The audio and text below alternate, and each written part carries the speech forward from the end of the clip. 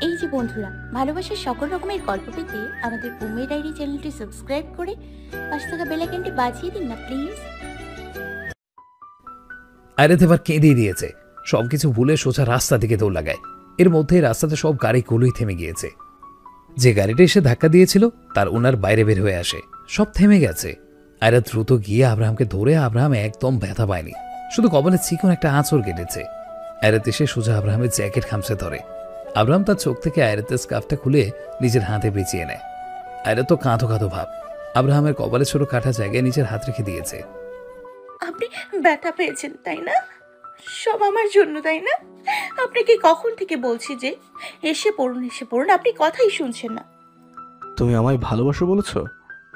ধুর রাখুন তো আপনার অনেক লেগেছে তাই না? না একদমই না। মিথ্যা বলবেন না। আহা কাল যে আমার হাত কেটে দিয়েছিলেন না তুমি তার থেকে এটা অনেকটাই কম। চুপ করুন তো কি এক পাগলের পাল্লায় পড়েছি আমি? দেখুন সব থেমে গেছে রাস্তায়। I am so so sorry sir আমি ভাবিনি এই সময় এভাবে আপনাকে দেখব। কি বলব আমি বুঝতে পারছি না। I am sorry Abraham sir. আপনার লেগেছে। স্যার সরি হ্যাঁ না ইটস ওকে বলে যাও ব্যাপার না। থ্যাংক ইউ স্যার এই বলেই সেই ব্যক্তিটি তার গাড়ি নিয়ে চলে যায়। আয়রাত আব্রাহামের দিকে ক্লান্ত নয়নে তাকায়। নিজের জীবন বাজি রাখলাম আমি কিন্তু আমার রিয়েকশন দিচ্ছ তুমি? চলুন তো এমন আজারা উদ্ভট কাজ যদি আর করেছেন তো আপনার একদিন কি আর আমার যতদিন লাগে। আর আব্রাহাম আবার নিচেদের গাড়িতে গিয়ে বসে পড়ে। কোথায় যাবে বেবি গার্ল চাঁদের দেশে। সরি সেখানে নিয়ে যেতে পারব না আমি। আরে বাড়ি যাব আমি বাড়ি নিয়ে চলুন আমাকে। আব্রাহাম আয়রাতের কথা মতো তাকে তার বাড়ির সামনে ড্রপ করে দিল। আয়রাতও চলে যেতে ধরে কিন্তু আবার থেমে যায়। আমার স্কার্ফ সেটা এখন আমার কাছে আমারই থাকবে। আমি দেবো না আমি। না দিলে না। এই বলে আয়রাত চলে যায়। আর আয়রাত বাড়ির ভেতরে না যাওয়া অবধি সে তার দিকে তাকিয়েই থাকে। আয়রাত চলে গেলে আব্রাহামও চলে যায়। রাত বাজে নটার কাছাকাছি। আয়রাত বসে বসে টিভি দেখছে। তখন তার কাছে ফোন আসে। হ্যালো? হ্যাঁ আয়রাত আমি অয়ন। জি ভাইয়া বলুন। জলদি আব্রাহামের বাড়ি আসো। কি? এখন? কিন্তু কেন? আব্রাহাম যে কি করছে আল্লাহ মালুম। কেন কি হয়েছে?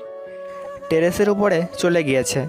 গিয়ে টেরেসের গ্লাস একদম লক করে দিয়েছে। খুলছে না। তবে আয়রাত টেরেস অনেক উঁচু। সেখান থেকে জাম না করে বসে আব্রাহাম। কি জাদা বলছেন আপনি হ্যাঁ? আচ্ছা আব্রাহাম কেন এগুলো করেছে? অবশ্যই তোমার জন্য। আয়রাত বোন প্লিজ। জলদি এসো। ধুত তেরি এই বলে আয়রাত ফোন কেটে দেয়। এক দৌড়ে তার চাচুর কাছে চলে যায়। চাচু চাচু এই চাচু। কি এত রাতে? তুই গাড়ি চাবি দিয়ে কি করবি? আর আমার গাড়ি তো জানি সেটা উনিশ কটকটি সনের টাকাটা ওটার উপর খরচ করতে পারো কিন্তু একটা গাড়ি কিনতে পারো না। যাই হোক জলদি চাবি দাও। এত রাতে গাড়ি চাবি দিয়ে কি করবি? আরে ওই যে মামা মানে ওই যে আরে ওই তো দিয়া। হ্যাঁ হ্যাঁ। দিয়া আর কি দিয়া না ওর মামা মামার বাসা থেকে আসার সময় আটকে গিয়েছে বুঝলে? তো আমাকে ফোন করেছিল হেল্প লাগবে ওর। তাই আমি যাচ্ছি। ওকে তো আর ওভাবে একা রাতের বেলা ছেড়ে দিতে পারি না বলো? তাই চাবি লাগবে চাবি দাও তো আমি নিয়ে যাই? এই না না না না না। কি? না মানে বলছিলাম কি যে তোমার না শরীর খারাপ প্রেশার আছে তাই তুমি থাকো। তোমার যেতে হবে না। আমি পারব আর জলদি এসে পড়ব। চিন্তা করো না। চাবি দাও তো দ্রুত। আচ্ছা এই নে। আয়রা চাবি নিয়েই দেয় একেবারে দৌড় বাড়ির বাইরে। বাড়ির পেছন দিক থেকে তার চাচার গাড়িটা বের করে স্টার্ট দিয়ে চলে যায়। বেশ অনেক সময় পর আব্রাহামের বাড়ির সামনে আসে। এসে আয়রাত গাড়ি থেকে দ্রুত নেমে আব্রাহামের বাড়ির ভেতরে চলে যায়।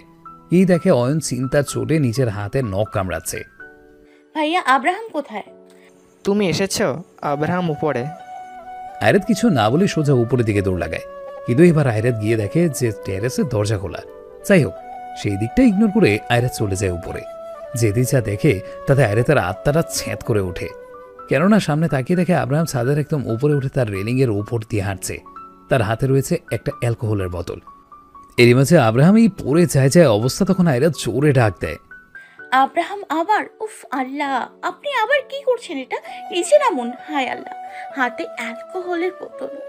আব্রাহাম আপনি ড্রিঙ্ক প্লিজ নিচে নামুন। Look who's come my baby girl. Abraham নিচে নামুন। আয়রা জানো আমার কেন জানি মনে হয় যে তুমি আমাকে ক্ষমাই করনি। কি? হ্যাঁ মানে আমার মন বলে যে তুমি সত্যিই আমাকে ক্ষমা করনি। শুধু তখন আমাকে রাস্তা থেকে আনার জন্য এমনই বলেছিলে। এই রে কি বলো ঠিক ধরেছি? ছাড়ুন ওই সব কথা। আপনি নিচে নামুন তো আগে। আয়রাত এই বলে আব্রাহামের দিকে এক পা এগোতে লাগে আর আব্রাহাম বলে ওঠে স্টপ রাইট এক পা এগাবো না ক্ষমা করনি তুমি আমায়। আমি জানতাম আমার জান পাখি আমায় মাফ করেনি তাহলে। আমি কেন বেঁচে থাকব হ্যাঁ? এ বেঁচে থাকার কোনো মানেই তো হয় না। এ থেকে ভালো আমি মরে যাই। আব্রাহাম এবার কিন্তু খুব বেশি বাড়াবাড়ি হচ্ছে। নিচে নামুন। এক কদম আগে বাড়াবে এটা বলে দিলাম কিন্তু। আব্রাহাম। গুড বাই সুইটার এই বলে আব্রাহাম তার দুই হাত মেলে দিয়ে ছাদের রেলিংয়ের উপর থেকে পেছনে থেকে পড়ে যেতে নেয়। আয়রা চোখ খিঁচে বন্ধ করে আব্রাহামের নাম ধরে ডাক দেয়। আয়রা চোখ মেলে সামনে তাকায়। দেখে কেউ নেই। মানে কি আব্রাহাম কি নিচে পড়ে গিয়েছে নাকি? আয়রা ছুটে গিয়ে রেলিংয়ে হাত রাখে। তারপর নিচে দিকে উকি দেয়। কোথাও কাউকে তো দেখাই যাচ্ছে না। একদম শুন ছান নীরব। তখনই আয়রাত তার কাঁধে কারও হাতে শীতল স্পর্শ পায়। আয়রাত চমকে গিয়ে চিল্লে ওঠে। এমনকি আয়রাত নিজে ভয়ে পেছনে ঘুরে পড়ে যেতে নিলে একটা হাত এসে আয়রাতের কোমর জড়িয়ে ধরে আসতে বৃষ্টে আয়রাত দেখে তো আর কেউ না, স্বয়ং আব্রাহাম নিজে। আব্রাহাম হেসে আয়রাতের দিকে তাকিয়ে আছে। আব্রাহামকে একদম ঠিকঠাক দেখে আয়রাতের কলিজাতে যেন পানি এলো। আয়রাত এতই ভয় পেয়েছে যে সে সব ভুলে আব্রাহামকে একদম চড়ে জড়িয়ে ধরে। আব্রাহামও তাই। আয়রা তো আব্রাহামকে জড়িয়ে ধরে সোজা হাও মাও করে কেঁদে দিয়েছে। আব্রাহাম প্লিজ এমন করবেন না আমার সাথে। আমি ভয়েই মরে যাব। কেন এমন করেন বলুন তো? আমি সত্যি ভয় পেয়ে গিয়েছি। আপনি চলে গেলে আমি নিজেকে কখনোই ক্ষমা করতে পারব না। আমি আপনাকে ভালোবাসি প্লিজ এমন করবেন না। তো তোমার কি মনে হয় আমি এগুলো সত্যি সত্যি করছিলাম নাকি? মানে?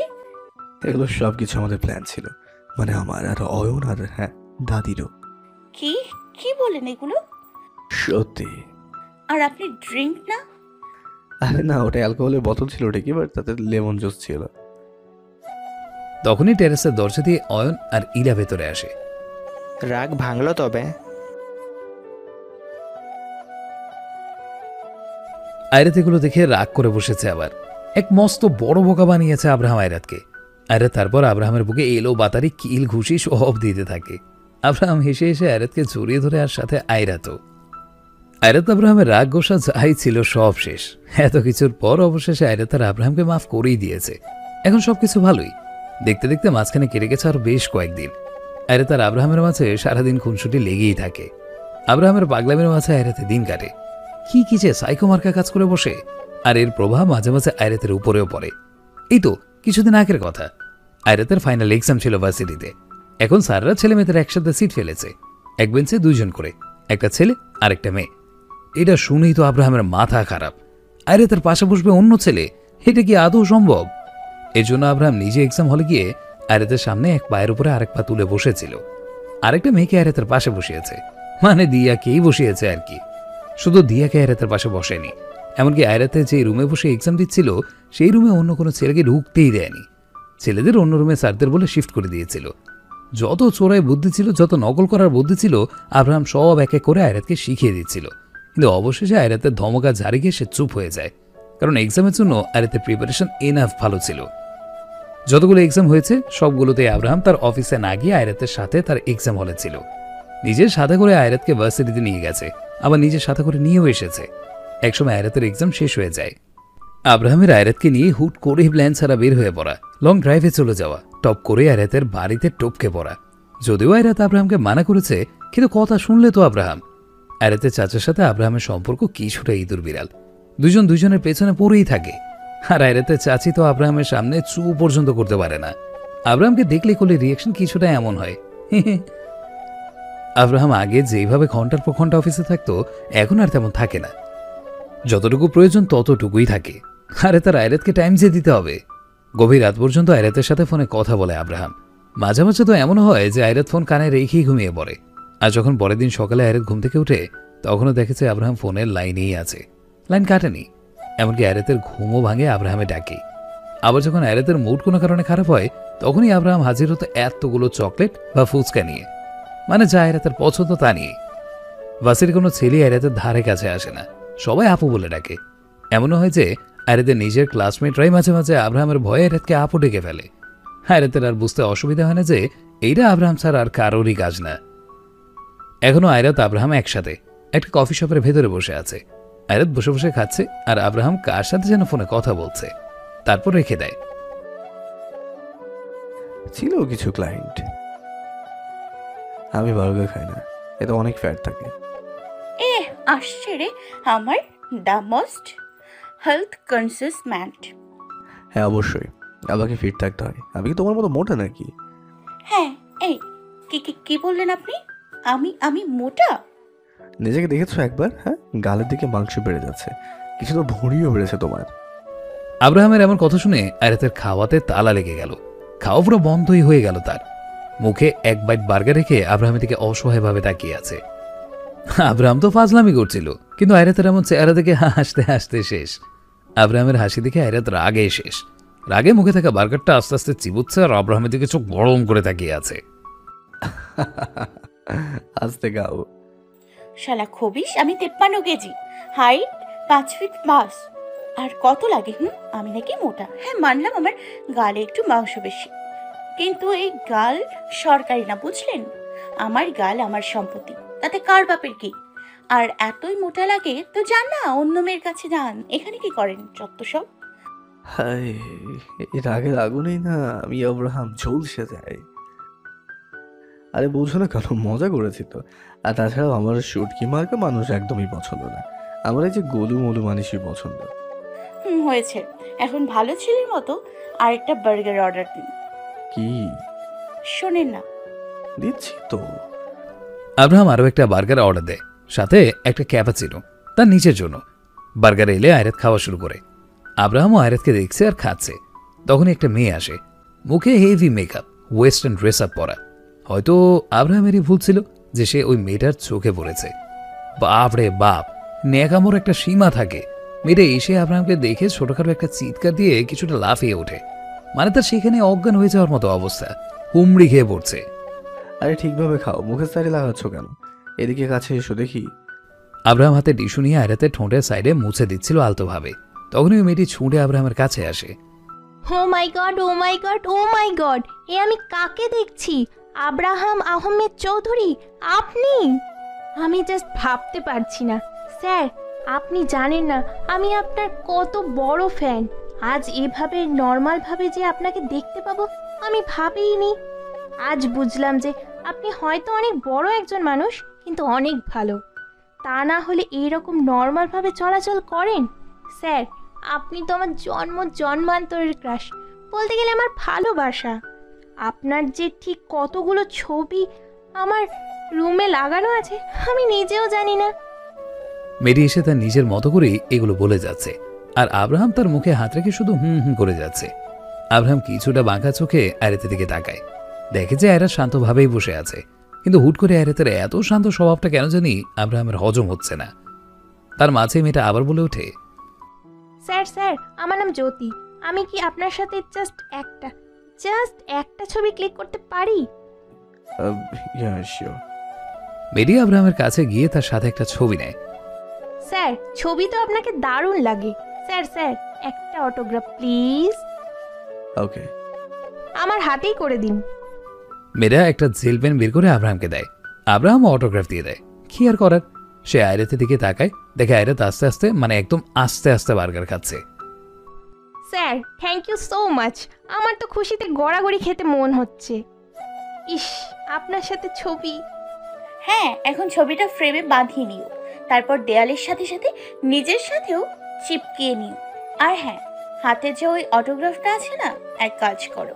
হাতের চামড়া খুলে সেটাকেও ফ্রেম করিয়ে নাও। ঠিক আছে বই এ মানে স্যার উনি কে?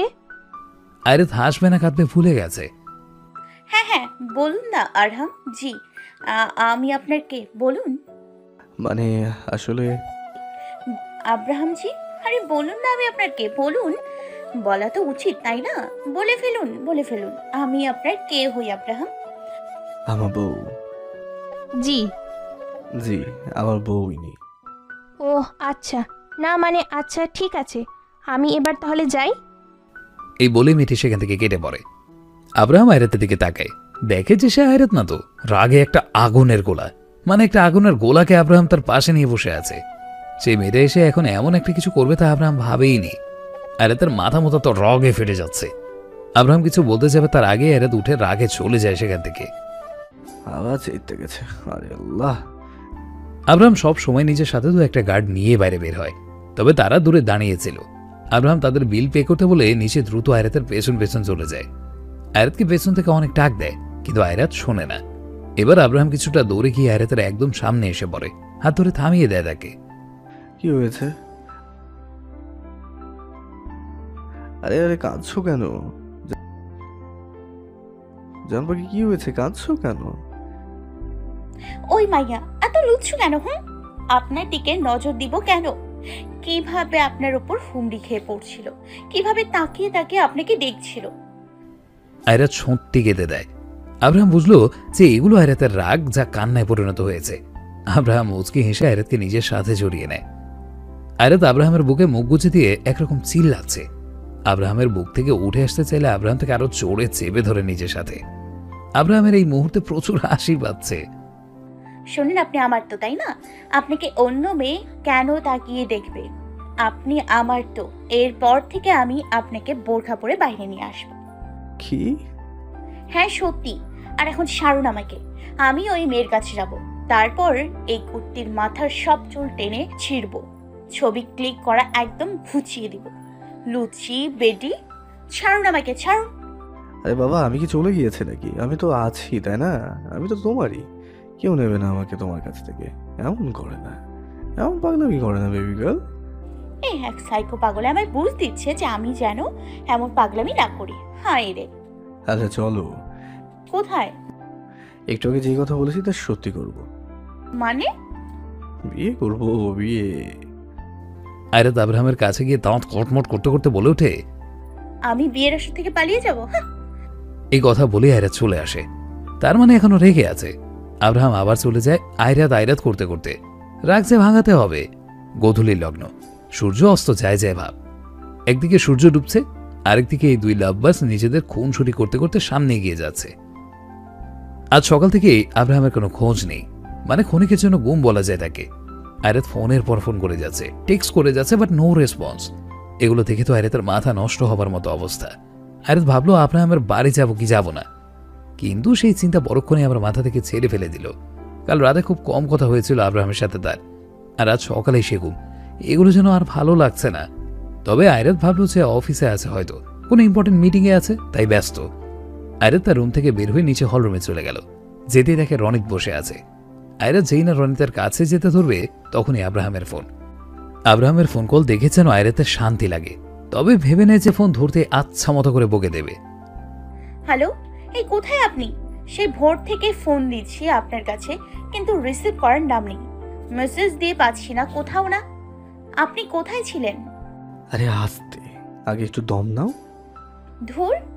আমি অনেক অনেক বেশি গুরুত্বপূর্ণ একটা কাজ করছি। তা কি এমন কাজ শুনি? অনেক বেশি গুরুত্বপূর্ণ। আমার থেকে বেশি? তোমার জন্যই তো করে। মানে? এত কিছু তোমার না বুঝলেও চলবে। কিন্তু এই লিসন কিছুক্ষণ পর একটা পার্সেল যাবে তোমার নামে। তো সেটা পিক করে নিও। পার্সেল কিন্তু কেন? মানে পার্সেল কেন? সেটা এলেই বুঝতে পারবে। আর আমি এখন রাখছি ওকে? পরে কথা বলি। আরে বেটা হ্যালো হ্যালো আব্রাহাম ফোন কেড়ে দেয়। আয়রাত একটা ভেঙচি কেটে রনিতের কাছে চলে যায়। কিরে বিচ্ছু? কি করিস? জাম খাই। খাবে? না তুই খা। আরে খাও না অনেক মজা। হুম দেখে শুনে খাস। জামাতে দাগ লাগাস না। নাহলে তোর মা তোকে সাবান ছাড়া ধুয়ে দেবে। তখনই কলিং বেলে চাপ পড়ে। আয়রাত গিয়ে দরজা খুলে দেয়। দেখে ডেলিভারি বয় দাঁড়িয়ে আছে। জি। জি এখানে নুজি ইফা বিনতি আয়রাত নামে কেউ আছে? জি আমি আয়রাত বলুন। হ্যাঁ আসলে আপনার নামে একটা কুরিয়ার এসেছে। কিন্তু আমি তো কিছু অর্ডার করিনি। কিন্তু এটা আপনার নামে এসেছে। ও হ্যাঁ হ্যাঁ হ্যাঁ দিন। এখানে একটা সিগনেচার করে দিন। ডেলিভারি বয় আয়রাতের হাতে পার্সেলটা এগিয়ে দিয়ে একটা কাগজ দেয়। আয়রাত তাতে সাইন করে দিলে এসে চলে যায়। আয়রা দেখে বেশ বড় সড়ো একটা পার্সেল সে অনেক বেশি এক্সাইটেড এতে কি আছে তা দেখার জন্য? সেটা তোর জেনে কাজ নেই। জাম খাচ্ছিস, চুপচাপ জাম খা। রনি ড্যাব ড্যাব করে তাকিয়ে থাকে আয়রাতের দিকে। আয়রাত তো ঢ্যাং ঢ্যাং করে পার্সেলটা হাতে নিয়ে উপরে তার রুমে চলে গেল। গিয়ে দরজা লাগিয়ে দিয়ে বিছানার উপরে ধপ করে বসে পড়ে। পার্সেলটা নিচে সামনে রেখে খুলতে থাকে। একসময় খোলা শেষ হলে আয়রাত ভেতরে থেকে একটা স্কাই ব্লু আর হোয়াইট কালারের কম্বিনেশনের গাউন। অসম্ভব সুন্দর দেখতে। আয়রাত তা নিয়ে দেখছিল, তখনই আব্রাহামের ফোন আসে।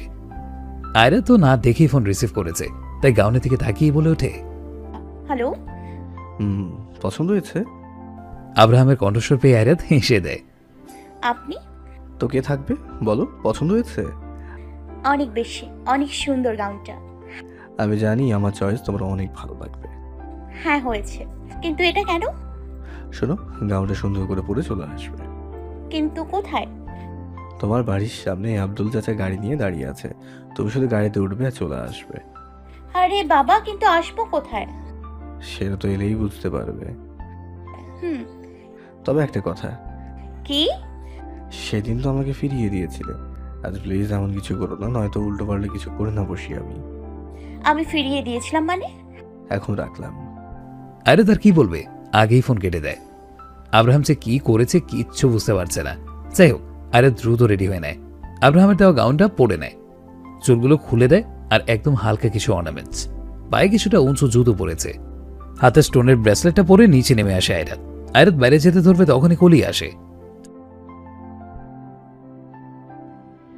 হ্যাঁ চাচি একটু বাইরে যাচ্ছি। জলদি ফিরে আসব।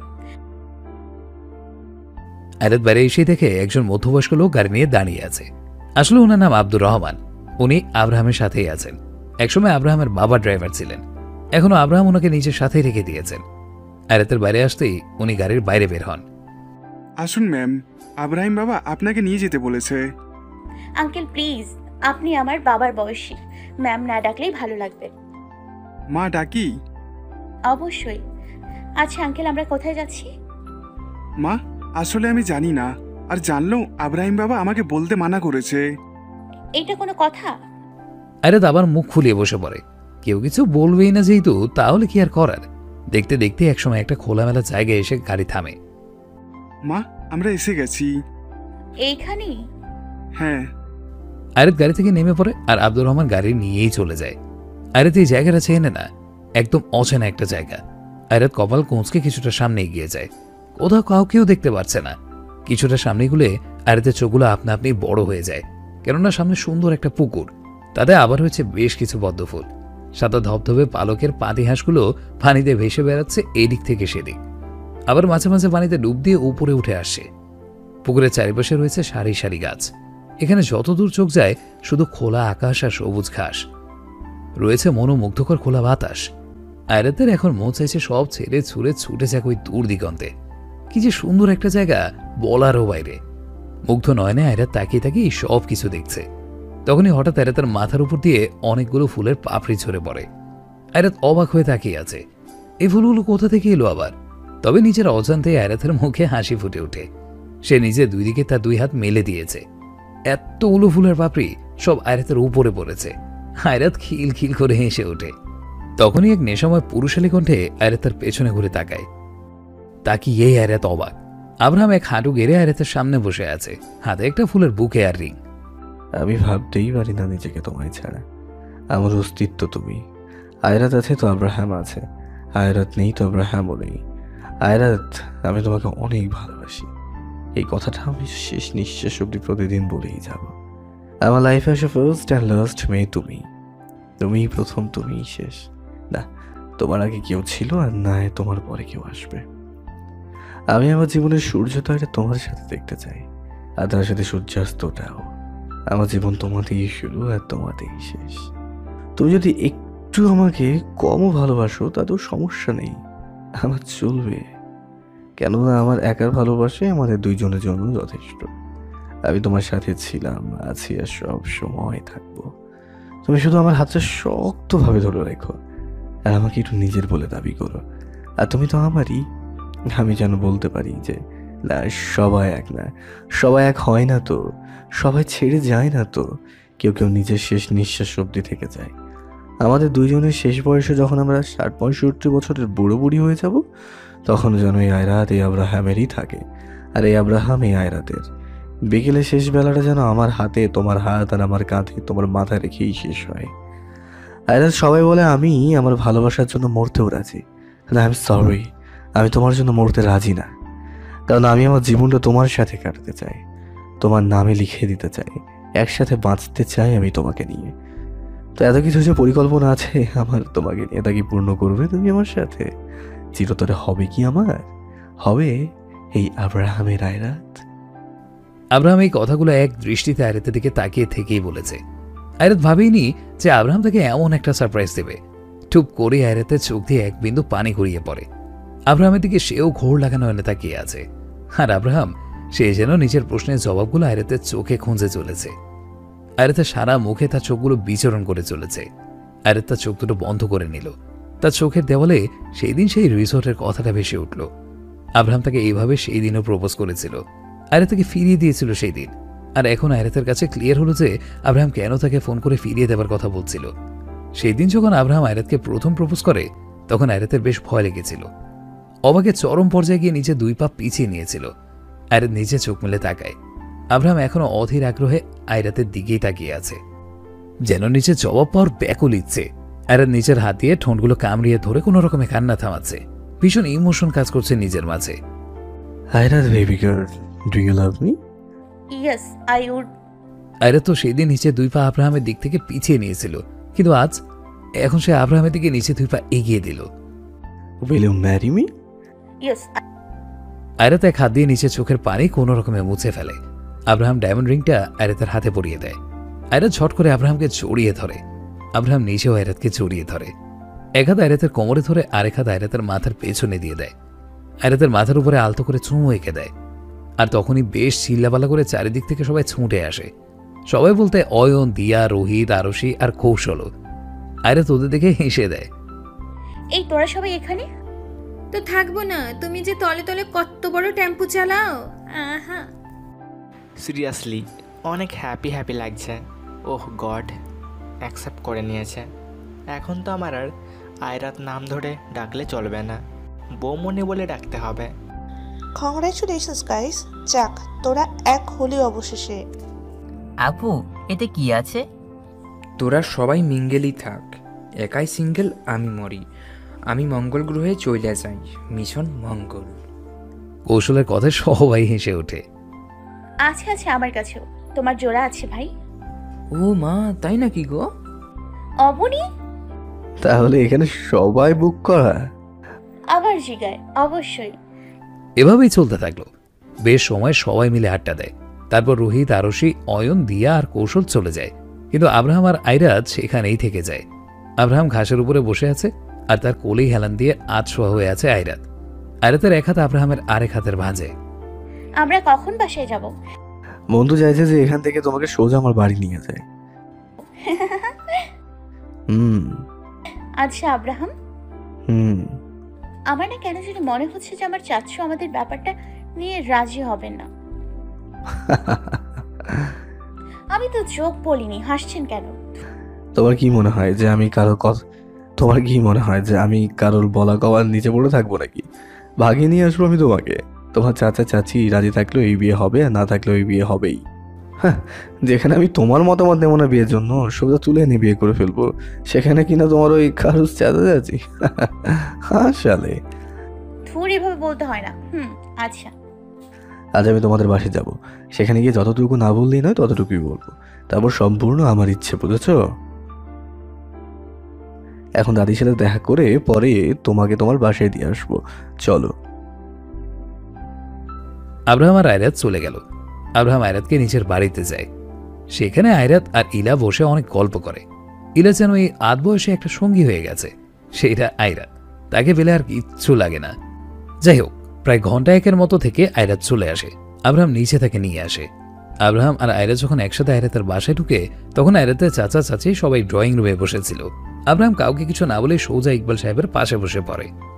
প্রিয় চাচা যান সরি শ্বশুর আব্বু বেশি না, তবে তোমাকে জাস্ট এতটুকু বলতে চাই যে আমি তোমার একমাত্র মেয়েকে খুব খুব জলদি বিয়ে করে নিজের সাথে নিয়ে যেতে চাই। সো আমি হচ্ছি তোমার একমাত্র মেয়ের জামাই, বুঝলে? আয়রাত আমার। তোমার রাজি থাকলেও বিয়ে হবে আর না থাকলেও। যদি ভালোভাবে রাজি হয়ে যাও তাহলে ভালো কথা, না হলে বাঁকা পথ আমি অনেক ভালো জানি। এর আগে চাই তোমরা আমার মিষ্টি সুরের সাইড ভাবো বা অন্য কিছু। তাড়াতাড়ি তোমার মেয়ের সাথে আমার বিয়ের জন্য রাজি হয়ে যাও। শ্বশুর বাবাজি আমা যান আয়রাতের বেশ হাসি পাচ্ছে। সে মুখ টিপে হাসছে আব্রাহামের এমন কথা শুনে। আর এছাড়াও এতদিনে আব্রাহামের ব্যাপারে বেশ ধারণা হয়ে গেছে ইকবাল সাহেবের। আর যাই হোক, আব্রাহাম আয়রাতের জন্য বেস্ট আয়রাতের জন্য আব্রাহামের থেকে ভালো কোনো ছেলে আর হয়ই না। আব্রাহাম এই বলেই উঠে গেল। সবার সামনেই আব্রাহাম আয়রাতের গালের পাশে নিজের হাত রেখে তার কপালে একটা গাঢ় চুমু দিয়ে চলে যায়। আয়রাত আর কি বলবে? সেও নিজের রুমে উপরে চলে যায়। ইকবাল সাহেব কিছুক্ষণ ভাবলেন এই বিষয়টা নিয়ে। তিনি কলি থেকে তাকিয়ে দেখে কলি হাপলার মতো তাকিয়ে আছে। কলি হঠাৎ করে ইকবাল সাহেবের হাতে নিজের হাত রাখেন। ইকবাল সাহেব তার দিকে তাকালে কলি চোখের ইশারা দেয়। অর্থাৎ হ্যাঁ বিয়েটা হোক। ইকবাল সাহেব মুচকি হেসে উঠে বাইরের দিকে চলে আসে। দেখে আব্রাহাম গাড়ির দরজা খুলছে। তখন ইকবাল সাহেবের ডাক আব্রাহাম? আরে শ্বশুর আব্বু তুমি এখানে? ইকবাল সাহেব কিছু না বলে আব্রাহামের দিকে এগিয়ে যায়। হুট করে আব্রাহামের হাতটা নিজের হাতে তুলে নেয়। আব্রাহাম কিছু না বুঝে শুধু তাকিয়ে আছে। আর সে এখন একটু সিরিয়াস হয়। আমার মেয়েটাকে সারা জীবন ভালোবাসার আগলে রেখো বাবা। এই বলেই ইকবাল সাহেব চলে যান। আব্রাহাম কিছুক্ষণ তাকিয়ে থাকে।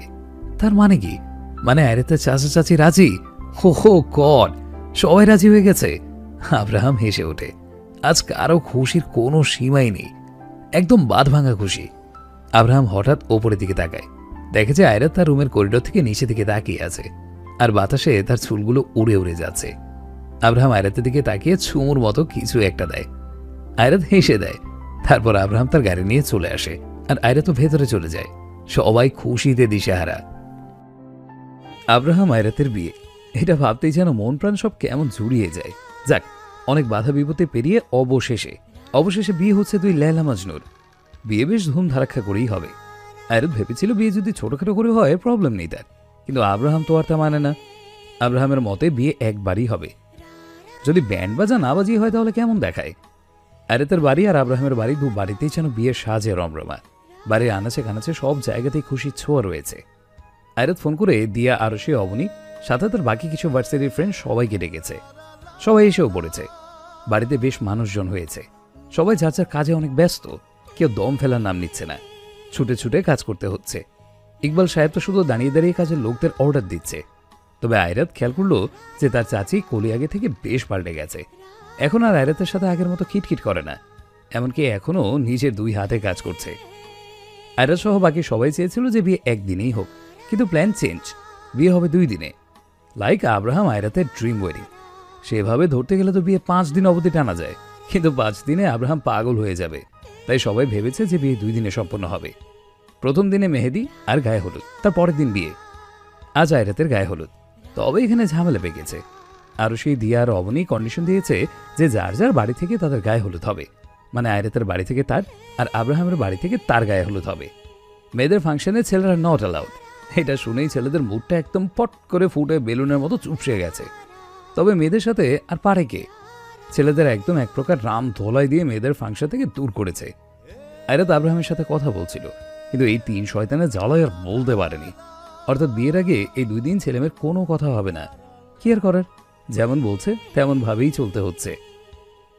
আজ যেহেতু মেহেদি আর হলুদ ফাংশন, তাই সকাল থেকে হলুদের উপর হলুদ বাটা হচ্ছে। কেননা মানুষ অনেক, তাই লাগবেই।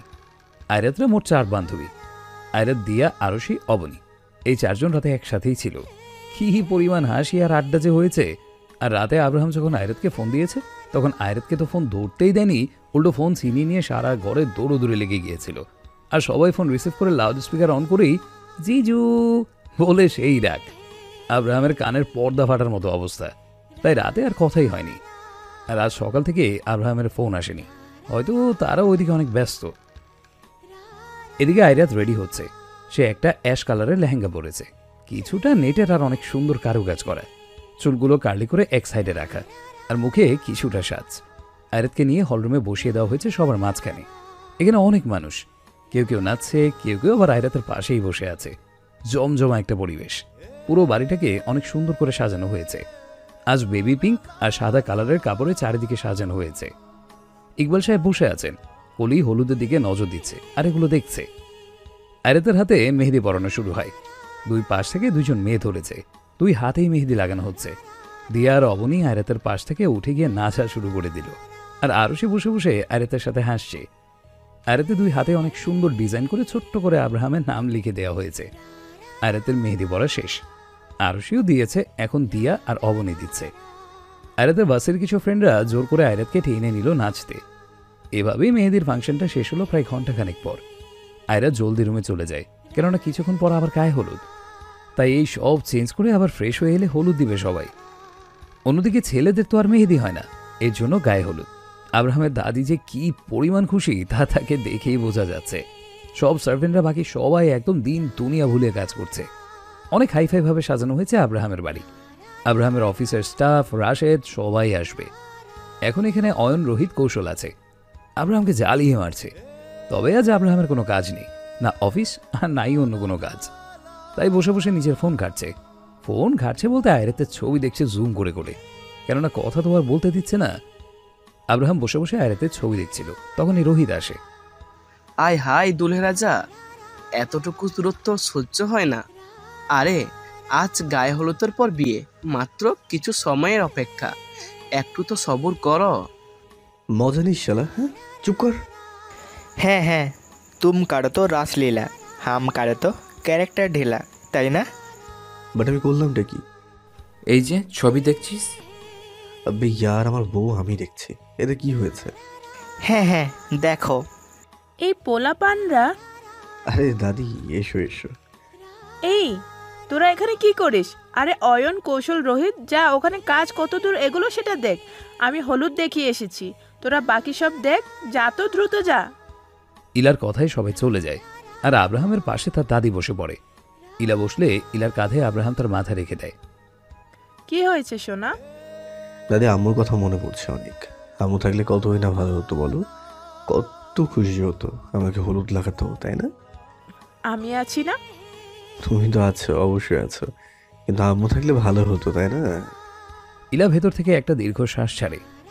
আচ্ছা হয়েছে। এবার চলেন মিস্টার আব্রাহাম চৌধুরী। কি জন্য বলে ওইটাকে? আরে ওই যে কি জন্য বলে না? ওইটা। কোনটা? আরে ওই যে কি জন্য একটা তোরা বলিস না? আরে ওই যে মামা মা মাফিয়া। হ্যাঁ হ্যাঁ মাফিয়া মাফিয়া। চলেন মাফিয়া। দাদি। ইলার কথায় আব্রাহাম চোরেই কিছুটা হেসে দেয়। সব রেডি এবার গায়ে হলুদ। বাইরে সবকিছু রেডি করে বসে আছে। কিন্তু আব্রাহাম ওপর থেকে এখনও নিচে নামেনি। অয়ন যেই না আব্রাহামকে আনতে যাবে তখন আব্রাহাম ওপর থেকে নিচে নামে। একদম সাদা ধবধবে একটা প্যান্ট আর গেঞ্জি। এত হ্যান্ডসাম লাগছে তাকে। আব্রাহাম যখন উপর থেকে নিচে নামছিল তখন আব্রাহামের অফিসে সব মেয়ে স্টাফরা গোল গোল চোখে কেমন যেন তাকিয়েছিল। যাই হোক, আব্রাহাম এসে হলরুমে বসে পড়ে। সামনে হলুদের বেশ কিছু বাটি। ইলা এসে সবার আগে আব্রাহামকে হলুদ দেয়। ইলা দুই হাতে হলুদ নিয়ে আব্রাহামের গালে হলুদ লাগিয়ে দেয়। কিন্তু আব্রাহামের গালে বেশি একটা হলুদ লাগে না।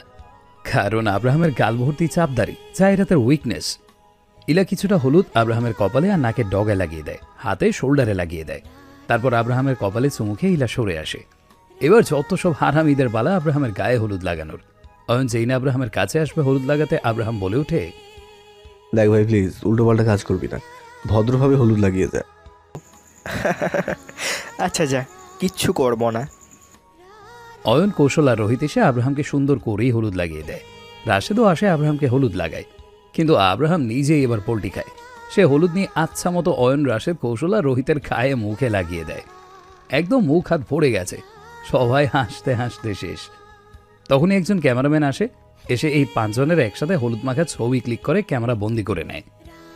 বেশ কিছুক্ষণ হলুদে থেকে আব্রাহাম ফ্রেশ হয়ে আসে। এবার পালা গায়ে হলুদের তত্ত্বের। বিয়ের অন্যতম একটি রীতি আর অংশ হলো গায়ে হলুদের তত্ত্ব। গায়ে হলুদে বরকনের বাড়িতে তত্ত্ব পাঠানোর রীতি অনেকটাই আনন্দদায়ক। আসলে বিয়েতে হলুদ দেওয়ার অন্যতম একটা কারণ হলো বরকনের সৌন্দর্য বৃদ্ধি এখানে যদিও বরকনে দুজন নেই মাশাল্লাহ বিয়ে উপলক্ষে বরকনের বাড়িতে যে উপহারগুলো পাঠানো হয়, মূলত তাকেই তত্ত্ব বলে। এখনও সেম তাই। আব্রাহাম উঠে ফ্রেশ হয়ে আসে। আব্রাহাম নাকি নিজে যাবে আয়রাদের বাসায়, কিন্তু কীভাবে যাবে তাই বুঝছে না। কেননা ছেলেদের যাওয়া নিষেধ করে দিয়েছে মেয়েরা। বিয়ের তত্ত্ব নিয়ে আব্রাহামের দাদি আর অন্য স্টাফরা আসবে। কিন্তু আব্রাহাম তো এই নিয়ম জীবনেও ফলো করবে না। আব্রাহাম হলুদে একদম চুবু চুবু অবস্থা। নিজেকে আয়নাতে দেখে কেমন যেন লাগছে। এই ফার্স্ট আব্রাহাম তার জীবনে হলুদ মেখেছে। তাও তার দাদির কথায়। আব্রাহাম ফ্রেশ হয়ে এসে টাওয়াল দিয়ে নিজের চুলগুলো মুছছে আর আয়রাতকে একটা মেসেজ করল। বাকি সেবার ফোনটা আয়রাতের হাতেই ছিল। মেসেজ পেয়ে আয়রাতটা ওপেন করে। বেবি গার্ল তোমাকে হলুদ সবার আগে আমি লাগাবো। আইরাত হেসে দেয়। সেও আবার রিপ্লাই দেয়। হা করে বসে থাকুন বাড়িতে অনেক মানুষ আর এখানেই তারাই আমাকে আগে হলুদ লাগাবে দেখেন পারবেন না আপনি। হুম দেখা যাবে কে আগে হলুদ লাগায়। আয়রাত মেসেজটা দেখে হেসে ফোন রেখে দেয়। তারপর আবার একটু নিচে যায় এদিকে দুই গাড়ি ভরে সব জিনিসপত্র নেওয়া হয়েছে। অয়ন রাশেদ কৌশল রোহিত, ওরা সবাই বাড়িতেই থেকে যায়। ইলা আর আব্রাহাম চলে যায়। তবে আব্রাহাম যে গিয়েছে তা কেউই জানে না। মূলত আব্রাহাম লুকিয়ে চুরিয়েই গিয়েছে। দেখতে দেখতে একসময় আব্রাহামের গাড়ি আয়রাতের বাসার সামনে এসে পড়ে। ইলাকে দেখে আয়রাতের চাচা চাচি এগিয়ে যায়। কম করে হলেও ইলার সাথে ছজন স্টাফ এসেছে। সবার হাতে এতগুলো জিনিস নিয়ে বাড়ির ভেতরে আসে। আয়রাত হলরুমে দাঁড়িয়েছিল ইলাকে দেখে সে এগিয়ে আসে। ইলা আয়রাতকে জড়িয়ে ধরে। আর হ্যাঁ হলুদ আব্রাহামের বাড়ি থেকে আয়রাতকে দেওয়া হয়েছে। সবকিছু এদিকে রেডি কলি গিয়ে আয়রাতকে জলদি করে চেঞ্জ করে আসতে বলে। আয়রাত ওপরে চলে যায়। ব্রাউন কালারের একটা লেহেঙ্গা পরেছে আয়রাত এমনিতেই দুধে আলতা গায়ের রং। তার উপরে ব্রাউন যেন ফুটেছে ভালো। আয়রাত তো গুনগুন করে গান গাছিল আর কানে নিচে ঝুমকো পড়ছিল। তখনই হুট করে লোডশেডিং হয়ে যায়। নিচে মানুষের সমাগমের আওয়াজ শোনা যাচ্ছে। তবে অন্ধকার দেখে তো আয়রাতের অবস্থা খারাপ। সে অন্ধকার দেখে প্রচণ্ড রকমের ভয় পায়। আয়রাত দরজার বাইরে নিজের এক পা ফেলতে যাবে ঠিক তখনই একটা হাত এসে তাকে হ্যাঁচকা টান দেয়। আকস্মিক এমন কাণ্ডে আয়রাত অবাকও হয়, আর সাথে বেশ ভয়ও পায়। ভয় পেয়ে সে চিৎকার দিতে যাবে তখনই কেউ তার শক্ত হাত দিয়ে আয়রাতের মুখটা চেপে ধরে। তবে এই ছোঁয়া আয়রাতের বেশ চেনা জানা। কেন যেন মনে হচ্ছে যে এই স্পর্শ সে বেশ ভালো করেই চেনে। নিজের মুখের উপরে আয়রাত কারও গরম নিঃশ্বাস অনুভব করতে পারে, যেন তার মুখটা নিজের বেশ কাছে। এবার আয়রাতের চোখগুলো একা একাই বড় হয়ে যায়। সে চিনতে পেরেছে এটা আব্রাহাম ছাড়া আর কেউ না। বেবি গার্ল আব্রাহাম তার হাতটা আয়রাতের মুখের উপর থেকে সরিয়ে ফেলে। আয়রাত বড় বড় দম ছাড়ে। হেই জানবা কি? আপনি আপনি এখানে কি করছেন? আর কীভাবে এলেন? আপনি জানেন কেউ যদি আপনাকে এখানে দেখে ফেলে তাহলে কি হবে? এই লোডশেডিংও আপনি করিয়েছেন তাই না? আল্লাহ আব্রাহাম যান এখান থেকে। কেউ দেখে ফেললে ঝামেলা হবে। ও হ্যালো বিয়ের বর আমি এমনভাবে বলছো যেন চুরি করতে এসেছি। আচ্ছা কি হয়েছে কি? মানে কেন এসছেন? কেন এসেছি? হ্যাঁ কেন এসছেন? আব্রাহাম একদম আয়রাতকে দেয়ালের সাথে চেপে ধরে। এক হাতে আয়রাতের কোমর পেঁচিয়ে ধরে আরেক হাতে আয়রাতের গাল আর গলার ঠিক মাঝ বরাবর স্লাইড করতে থাকে। আব্রাহাম একদম আয়রাতের গলা ঘেঁষে কানের কাছে গিয়ে স্লো ভয়েসে বলে ওঠে বলেছিলাম না যে তোমাকে গায়ে হলুদ সবার আগে আমিই লাগাবো? আমি যখন বলেছি তাহলে তো অবশ্যই করব তাই না? তুমি ভাবলে কি করে যে আমার কথা ভুল হবে? তোমার গায়ে হলুদ তো আমার হাত দিয়ে লাগবে তাও সবার আগে। কিন্তু চুপ। হঠাৎ আয়রাত তার গালে আব্রাহামের গালে স্পর্শ পায়। আব্রাহামের খোঁচা খোঁচা দাড়িগুলো তার গালে লেগে সুর সুরিয়ে দিচ্ছে। আয়রাত কিছুটা হেসে ওঠে। বড়ক্ষণে আয়রাত নিজের গালে ঠান্ডা কিছু একটার আভাস পায়। তার মানে এটা হলুদ। আব্রাহামের গালে হলুদ ছিল, আর সেই হলুদ আব্রাহাম তার গাল দিয়ে আয়রাতের গালে লাগিয়ে দেয়। এভাবে আয়রাতের দুই গালে আব্রাহাম তার গালগুলো ছুঁয়ে দেয়। তখনই আয়রাত নিজের কোমরে আবার বেশ শীতল কিছুর স্পর্শ পেয়ে আয়রাত কেমন কেঁপে ওঠে। আব্রাহামের হাতে হলুদ ছিল অনেক, সেই হলুদ নিয়ে সে আয়রাতের কোমরে লাগিয়ে দেয়। আব্রাহামের হাতে স্পর্শ পেয়ে আয়রাত নিজের চোখ বন্ধ করে ফেলে। আর আব্রাহাম এখনও নিজের গাল আয়রাতের গালের সাথেই লাগিয়ে রেখেছে। মুহূর্তের মাঝেই আয়রাতের কোমর একদম হলুদে লেপটে গেল। তখনই ধূপ করে বাড়ির লাইট এসে পড়ে। আয়রাত আব্রাহামের দিকে তাকায়। আব্রাহামকে দেখেই সে এসে ওঠে। সে সে নিজে দিকে তাকায় দেখে তার অবস্থা তো খারাপ। ধুর আব্রাহাম এটা আপনি কি করছেন? এভাবে হলুদ লাগিয়েছেন কেন? ইস কি অবস্থা ড্রেসটাও শেষ আমার। আমার পছন্দের লেহেঙ্গা ছিল। আয়রাতের কথা শুনে আব্রাহাম কিছুই বলে না। সে সোজা নিজের হলুদময় হাত দুটো দিয়ে আয়রাতের দুই গাল ধরে ফেলে। তারপর আয়রাতের ঠোঁট দুটোতে নিজের ঠোঁট মিশিয়ে দেয়। আয়রাত অবাক হয়ে তাকিয়ে থাকে। কিন্তু আব্রাহাম এবার তার এক হাত দেওয়ালে রেখে আরেক হাত আয়রাতের কোমরে বেঁচিয়ে রাখে। আয়রাতও তার দুটো হাত আব্রাহামের বুকের উপরে রেখে দেয়। কিছুক্ষণ পর আব্রাহাম নিজে আয়রাতকে ছেড়ে দেয়। আয়রাত মাথা নিচে নামিয়ে ফেলে। আব্রাহাম আয়রাতের কপালে চুমু খায়। তারপর বেশ কয়েক মিনিট হয়ে যায়, কিন্তু আব্রাহামের কোনো কথাই আয়রাতের কানে আসে না। আয়রাত কপাল কুঁচকে সামনে তাকায়, কিন্তু সামনে কেউ নেই। আয়রাত কপাল কুঁচকে আব্রাহামকে এদিক ওদিক খুঁজে বেড়াতে থাকে, কিন্তু সে নেই। মানে আব্রাহাম হাওয়ার বেগে এসেছে, আর হাওয়ার বেগে চলেও গিয়েছে। আয়রাতের মুখটা চুপসে আসে। কিন্তু তখন দিয়ার অবনী এদিকে আসতে থাকে। সামনে আয়রাতকে দাঁড়িয়ে থাকতে দেখে অবাক হয়ে যায় তারা। কেননা আয়রাতের গালে গলায় পেটে কোমরে সব জায়গায় হলুদে একদম লতপত অবস্থা। আয়রাত ট্যাপ ট্যাপ করে তাকিয়ে আছে। দিয়ার অবনী একবার তাদের দিকে তাকায়। তো আরেকবার আয়রাতের দিকে। কি রে আইরু তোর এই অবস্থা কেন? তুই হলুদ দিয়ে এমন হলুদিয়া পাখি সেজে আসছিস কেন? আব্বা না মানে ইয়ে আসলে আমি ওই তো আরে কি? এমন হলে কি করে? মামা মানে আমি আসলে আরে ওই যে ইলেকট্রিসিটি হ্যাঁ হ্যাঁ ইলেকট্রিসিটি চলে গিয়েছিল না? তো তখন হ- হলুদের বাটি পড়ে গিয়েছিল। পাগল পেয়েছিস? হলুদের বাটিতে পড়ে গেলে হলুদ ছিটকে আসতো। এভাবে একদম পারফেক্টভাবে গায়ে লেগে থাকতো না। আরে আমি? আইরাত আইরাত আর কোথায় তোরা? সব জলদি নিচে আয়। ওই তো ডাকছে চাচি জলদি চল। আয়রাত দিয়া আর অবনীকে এড়িয়ে কোনো রকমের নিচে চলে যায়। যাই হোক, আব্রাহামের বাড়ি থেকে যে হলুদ এসেছিল, তাই আয়রাতের গায়ে লাগাতে হবে। আর আয়রাতের গায়ে আগে থেকেই হলুদ লাগানো দেখে সবাই একই কথা জিজ্ঞাসা করে। আর আয়রাতও সবাইকে ওই এক কথা বলেই কোনো রকমে বুঝ দেয়। সবাই এক এক করে আয়রাতকে হলুদ লাগিয়ে দেয়। আয়রাতের এই হলুদে ভরা মুখটা যে কি পরিমাণ কিউট লাগছে, তা বলার বাইরে। তবে আব্রাহামের বেলায় যা হয়েছে, আয়রাতের বেলাতেও সেইমটাই হয়। দিয়া, অবনী আয়রাতার আরশি সবাই হলুদ দিয়ে একদম যা ইচ্ছে অবস্থা। আয়রাতে দুই হাতে গালে পায়ে হলুদ লাগানো ইলেও আয়রাতকে হলুদ লাগায়। ফটোগ্রাফার এসে তাদের একসাথে অনেকগুলো ছবি তোলে। এভাবেই হাসি খুশিতে আয়রাত আব্রাহামের মেহেদি আর গায়ে হলুদ শেষ হয়ে যায়। সূর্য তার মিষ্টি রোদের আভা চারিদিকে ছড়িয়ে গগনে ভেসে উঠেছে। দিয়া অবনী আর আরশি গিয়ে আয়রাতকে ঘুম থেকে টেনে তোলে। তবে আছেন যেন আয়রাতের এক নতুন রূপ দেখা যাবে। কি রে ওড ওড তোর বিয়ে আর তুই পড়ে পড়ে ঘুমাস? আরে ও ডাইরু এই যা তো যা যা যা। ঘুমোতে দে এখন ভালো লাগছে না আমার। সবাইকে গিয়ে বল বিয়ের দিন আরও একটু পেছাতে। আমার এখন বিয়ে করার মুড নেই। ঘুমোবো আমি। আয় হায় মাইয়াটা কয় কি? মারবো না একটা চটকা না? উফ উফ আইরু বেবি উফ। এ ধুরু যা। আয়রাতকে ঘুম থেকে তুলে তাকে জোর করেই ফ্রেশ হতে পাঠালো। কিন্তু সে এই যে ওয়াশরুমে গিয়েছে আর বেরিয়ে হয় না। এবার দিয়া গিয়ে আয়রাতের ওয়াশরুমের দরজাতে লাথি দিতে শুরু করে। অবশেষে ওয়াশরুমের ভিতর গিয়ে দেখে যে আয়রাত ব্রাশ করছে আর ঘুম হচ্ছে আল্লাহ তুমি কই আসছো এই আইরু। হ্যাঁ হ্যাঁ। তোর ঘুমের গোষ্ঠী কেলাই হারামি? ওট বইন্ডা ভালা ওট এ যার বিয়ে তার খবর নেই পাড়াপড়শির ঘুম নেই। দিয়ে আয়রাতের ওয়াশরুম থেকে বের হয়ে পড়ে আর আয়রাত ফ্রেশ হয়ে এসে পড়ে। এবার যেন আয়রাতের ঘুম ভেঙেছে। আয়রাত এলে আরশি তাকে খাইয়ে দেয়। তারপর আয়রাতকে রেডি করাতে থাকে। আজ যেন আরও কাজ বেশি। আব্রাহাম ঘুম থেকে উঠেছে। সে ভাবতেই পারছে না যে আয়রাত তার হচ্ছে। একদম পুরোপুরিভাবে তার হচ্ছে। আব্রাহাম ঘুম থেকে উঠে ফ্রেশ হয়ে আয়রাতের ছবির সামনে বসেছিল। তখনই রুমে তিন বাদর আসে। দোস্ত একটা কথা আছে। হুম কি হয়েছে? গ্যাস কর আর গ্যাস কর কি? তোরা যেহেতু তো ভালো কোনো কাজ তো হবেই না। এখন দ্রুত বলে ফেল। ভাং হোয়াট আরে হ্যাঁ তাও আবার খাঁটি ইন্ডিয়ান ভাং এগুলো কেন এনেছিস তোরা? জানিস তো এগুলো খেলে নেশা হয় তাহলে কেন? আর সবাই থাকবে তো? আরে এগুলো শুধু আমাদের জন্য। খা তোরাই। ও হ্যাঁ তুমি তো আবার ব্যান্ড মেনটেন করো প্রচুর পরিমাণে। আরে তা না কিন্তু আমি খাব না তোরাই খাস। সবশেষে আব্রাহাম রেডি হতে চলে যায়। হোয়াইট আর গ্রে কালারের কম্বিনেশনে আব্রাহাম একটা পাঞ্জাবি পরেছে। চুলগুলো ছড়ছড়ে একদম সিল্কি হাতে গোল্ডেন কালারের ওয়াচ।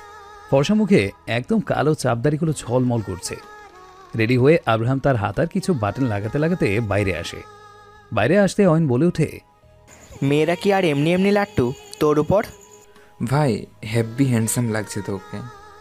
থ্যাঙ্কস সব কিছু রেডি এবার শুধু আব্রাহামের আয়রাতের কাছে যাবার পালা। আয়রাত আর একটা পুতুলের মাঝে আজ কোনো পার্থক্য নেই। বোঝা মুশকিল যে কোনটা আয়রাত আর কোনটা পুতুল। লাল টুকটুকে বউ। বেশ বড় সড়ো আর ভারী কাজ করা সুন্দর একটা লেহেঙ্গা পড়েছে কানে বড় ঝুমকো হাত ভর্তি চুড়ি গলায় নেকলেস। বেশ সাজে সেজেছে আয়রাত। আরে বিয়ে বলে কথা সাজতে তো হবেই। আয়রাত আয়নার সামনে বসেছিল তখন দিয়া এসে আয়রাতের কাঁধে হাত রাখে। আয়রাতকে পেছন থেকে জড়িয়ে ধরে বলে ওঠে কি যে মিষ্টি লাগছে আমার বোনটাকে। হায় কারণ নজর না লাগে। লাভ ইউ দিয়া অবনী আর আরশিও কিন্তু কম সাজেনি। তখনই হঠাৎ বাইরে বেশ চিল্লাবাল্লার আওয়াজ শোনা যায়। অর্থাৎ আব্রাহাম এসে পড়েছে। আজ কেন জানি যতই সময় এগুচ্ছে, আর এতে বুকের ধূপ ফুকানে ঠিক ততই বেড়ে যাচ্ছে। দিয়া অবনী আর আরশি ছুটে চলে যায় বাইরে। আরে জামাই আসবে, গেট ধরতে হবে তো। টাকা নিতে হবে তো। মেয়েরা গিয়ে আচ্ছা মতো ধরে ফেলল ছেলেদের। টাকা না দিলে ভেতরে আসা যাবে না। আর আয়রাত উপর থেকে সবার এমন কাণ্ড দেখছে আর হাসছে। মেয়েদের এমন কাণ্ড দেখে আব্রাহাম বলে, এখানে আসার সময় আমার বড় একটা কাগজে লিখে নিয়ে আসা উচিত ছিল। যা আমার বউ আমি নেব। গেটে কেন টাকা দেবো? আব্রাহামের এই কথায় সবাই চিল্লিয়ে ওঠে আর হেসে দেয়। অবশেষে আব্রাহাম পঁচিশ হাজার টাকা দিয়ে তারপরে ভেতরে ঢোকে। দিয়া অবনিয়ার আরশি ভেতরে এসে পড়লে আয়রাত তাদের খামচিয়ে ধরে। এই ফকিনিগুলা টাকা দে টাকা দে। আমার জামাইয়ের টাকা আমাকে পঞ্চাশ পার্সেন্ট দে। নইলে উষ্টা খাবি। দে দে আমার ভাগের টাকা দে। দে কইছি। কি আর করার? আয়রাত সত্যি সত্যি অর্ধেক টাকা নিয়ে নেয়। একসময় কাজে আসে। আয়রাতকে নিচে নিয়ে যাওয়া হয়। আয়রাত যখন সিঁড়ি বেয়ে নিচে নামছিল তখন আয়রাতের মাথার উপর দিয়ে একটা লাল কালারের পাতলা ওড়না ধরা হয়। ওনার এক পাশে দিয়া, এক পাশে অবনী, আরেক পাশে আরশি আরেক পাশে আরও একটা মেয়ে ধরে। এভাবে আয়রাতকে নিচে নিয়ে আসা হয়। আয়রাত যখন নিচে নামছিল, আব্রাহামের কেন জানি তখন মন চাইছিল যে ছুটে গিয়ে আয়রাতকে জড়িয়ে ধরতে। এক সেকেন্ডের জন্য আয়রাতের উপর থেকে তার চোখ সরেনি। আয়রাত এসে আব্রাহামের পাশে বসে পড়ে। আব্রাহাম আয়রাতের দিকে কিছুটা ঝুঁকে ফিসফিস করে বলে ওঠে কই তো রোকলো তুমি আমাকে একের পর এক ঘায়ল করেই মেরেই ফেলছো কাজী এসে বিয়ে পড়ানো শুরু করে দেয়। আইন এবং ইসলামের বিধিবিধান মেনে তিনবার কবুল বলে হায়রাত আব্রাহাম চিরতরে একে অপরের হয়ে যায়। এখন তারা স্বামী স্ত্রী। ওদিকে রায়হান একের পর এক মদের পেক খেয়েই যাচ্ছে। তখনই একজন গার্ড আসে তার কাছে। বস। বস আয়রাত ম্যামের বিয়ে তো হয়ে গেছে। এই কথা শুনে রায়হান এক চুমুক মদ খেয়ে রগে উঠে পড়ে বসা থেকে। তারপর স্টিলের একটা চেয়ার হাতে নিয়ে রাগে তুলে আছাড় মারে। রাগে যেন সে ফুসছে। বিয়ে তো হয়ে গেল আটকাতে পারলাম না আমি। কিন্তু আমি আব্রাহাম আর আয়রাতকে কখনোই এক হতে দেব না আমি কখনোই না। আজ হোক বা কাল হোক ওই দুজনকে আলাদা করেই ছাড়বো আমি। দুজনকে আলাদা করে দেবো আমি। বিদায় পালা আয়রাতের। কলির মন কিছুটা খারাপ। ইকবাল সাহেব কাঁদো কাঁদো ভাব। রনির ঠোঁট উল্টিয়ে বসে আছে। কিন্তু আয়রাত তো আয়রাতি আয়রাতকে এইভাবে দাঁড়িয়ে থাকতে দেখে অবনী আয়রাতের কানে হালকাভাবে বলে ওঠে কি রে তোর বিদায় হচ্ছে। চলে যাচ্ছিস তুই। একটু তো কান্না কর। এ আমার বইয়েই গিয়েছে কান্না করতে। এত কষ্ট করে সেজছি কান্না করলে সব নষ্ট হয়ে যাবে না? বিয়ে করেছি আমি কাঁদবো কেন? ধুর আমার সাজ নষ্ট হয়ে যাবে। তুই কান্না কর চোখে গ্লিসারিন দিয়ে। আমার এত কান্না আসে না। ঘোড়ার ডিম। আয়রাতের কথা শুনে সবাই হেসে দেয়। সবাইকে বলে কয়ে আয়রাত চলে আসে। গাড়িতে আব্রাহাম আর আয়রাত একসাথে বসে আছে। একসময় এসে পড়ে আয়রাত আব্রাহামের বাড়ি। ভেতরে আসার সময় আব্রাহাম আয়রাতকে কোলে করে নিয়ে তারপরে ভেতরে আনে। ইলা গিয়ে আয়রাতকে আব্রাহামের রুমে বসিয়ে দিয়ে আসে। রুমটা সিম্পলের মাঝে ভারী সুন্দর লাগছে। সাদা, গোল্ডেন কালারের বিভিন্ন সাইজের বাতি দিয়ে সাজানো। আব্রাহামের রুমের চারিপাশে শুধু আয়রাতের ছবি। আবার কিছু কিছু আব্রাহামের সাথেও। আব্রাহামকে আগেই তার রুমে যেতে দেয় না অয়ন কৌশল আর রোহিত। বেশ সময় আড্ডা দেয়। তারপর ঠিক সাড়ে বারোটার দিকে আব্রাহাম তাদের থেকে নিজের পিচ ছাড়িয়ে ভেতরে আসে। ভেতরে এসে আব্রাহাম তো অবাক, কেননা আয়রাত রুমে নেই। এই সময় আয়রাতকে বেড়ে এক হাত লম্বা ঘোমটা দিয়ে বসে থাকার কথা, কিন্তু আয়রাত নেই। আব্রাহাম আশেপাশে আয়রাতকে খুঁজতে খুঁজতে এগিয়ে যায়, কিন্তু ঠিক তখনই নিজের রুমের করিডোর থেকে আব্রাহাম কিছু শব্দ শুনে। এমন আচারি আমারকে গান শুনে আব্রাহাম এগিয়ে যায়। আর যা দেখে তাতে আব্রাহামের চোখ তো কপালে। কেননা আয়রাত করিডোরের রেলিংয়ের উপরে বসে আছে আর হাতে একটা অ্যালকোহলের বোতল। তার মানে আয়রাত ড্রিঙ্ক করেছে? ও ইয়ার যা করে আসার কথা জামাইয়ের ছিল তা উল্টো বউ করে বসে আছে। আয়রাতের মাথার ঘুমটা খুলে লেহেঙ্গা কিছুটা উপরে তুলে এক হাত কোমরে রেখে এগুলো বলছে। এই আমি গেলাম। আমি গেলাম। আরহাম বেবি আমি গেলাম। এই বলেই আয়রাত পড়ে যেতে ধরে। আব্রাহাম ভয় পেয়ে ধরতে গেলে আয়রাত নিজেই দেওয়াল ধরে থেমে যায়। আবার হি হি হি করে হেসে দেয়। আব্রাহাম খুব বুঝিয়ে আয়রাতকে নিচে নামিয়ে আনে। আয়রাত নেমে আব্রাহামের কাঁধ দুই হাতে জড়িয়ে ধরে। মানে আব্রাহামের গলায় ঝুলছে। এই রাতে মেয়েরা বিছানাতে বসে নিজের সামনে ইয়া বড় একটা ঘোমটা টেনে বসে থাকে লজ্জা পেয়ে। কিন্তু তুমি তো উল্টো। বাহারে মানে কি বউ আমার হ্যাঁ? সবার থেকে আলাদা বুঝলে শোনা এসব এত ন্যাকামো আমার দ্বারা পসিবল না। এই শোনো না। হ্যাঁ বলো। তুমি এত চার্মিং কেন? এত হ্যান্ডসাম কেন তুমি? আর তোমার হাতের মাসলগুলো এত ফোলা ফোলা কেন? জিম করি যে তাই। তোমার এই সুন্দর চুল এই সুন্দর চোখ দেখো চোখের পাপড়িগুলো আমার থেকেও বড়। হয় তোমার এই সিক্স প্যাক বডি এই চাপ দাড়ি ও লে আমার জামাইটারে পুরাই কুচু কুচু বেবি গার্ল তুমি ড্রাঙ্ক এখানে বসো। আচ্ছা তুমি অ্যালকোহল কোথায় পেলে আগে এটা তো বলো। আগে বলো তুমি কি রোজ ড্রিঙ্ক করো? তুমি আমায় তুমি করে বলছো? আরে আগে বলো না। একদম না। আমি মাঝে মাঝে জাস্ট টেস্টে মনে রাখার জন্য খাই ব্যাস। তাহলে তোমার কাছে অ্যালকোহলের এতগুলো কালেকশন রাখা কেন? এ ওয়েট মানে কি? মানে এই যে আমি তোমার কালেকশনগুলো থেকে এটা নিয়েছি। ও গড আয়রাত আবার চুমুক দিতে যাবে তখন আব্রাহাম তার হাত ধরে সাথে সাথে থামিয়ে দেয়। আয়রাত আব্রাহামের গালে কষে একটা মা দিয়ে দেয়। তারপর তাকে জড়িয়ে ধরে। আব্রাহাম আমি আপনাকে অনেক ভালোবাসি। অনেক ভালোবাসি অনেক অনেক বেশি ভালোবাসি। হঠাৎ আয়রাত কেমন যেন শান্ত হয়ে গেল। আব্রাহাম তা বুঝতে পেরে আয়রাতকে তুলে দেখে আয়রাত সেন্সলেস হয়ে গেছে। আব্রাহাম কিছুটা হাঁপ ছাড়ে আবার হেসে দেয় আয়রাতের এইসব কাণ্ড দেখে। আব্রাহাম আয়রাতকে কোলে তুলে নিয়ে বিছানাতে শুইয়ে দেয়। তারপর সে আয়রাতের পাশে বসে তার মাথায় হাত বুলিয়ে দিতে থাকে। আব্রাহাম নিজের এক হাতে আয়রাতের হাত নিয়ে রেখেছে, আরেক হাত দিয়ে তার মাথায় বুলিয়ে দিচ্ছে। আয়রাতের দিকে তাকিয়ে আছে সে এক নয়নে। মাঝে মাঝে নিজের ঘুমতো আয়রাতের কপালে চুমু দিচ্ছে। এই তো, এইভাবেই কেটে যায় আয়রাত আব্রাহামের সেই রাত। পরদিন সকালে আয়রাতের ঘুম ভেঙে যায়। পাশে থাকা বড় থাই গ্লাসটা সরিয়ে দেওয়া হয়েছে। এখন তাতে ঝুলছে সাদা কিছু পর্দা। পর্দাগুলো ভেদ করেই ভেতরে সূর্যের আলো প্রখরভাবে পড়ছে। আয়রাত পিটপিট করে চোখ মেলে তাকায়। সব কেমন যেন একটু খোলা খোলা লাগছে দেখতে। মাথার পাশে হাত দিয়ে চোখ মুখ খিঁচে বন্ধ করে উঠে বসে। মাথাটা বেশ ধরে এসেছে ঝিমঝিম করছে।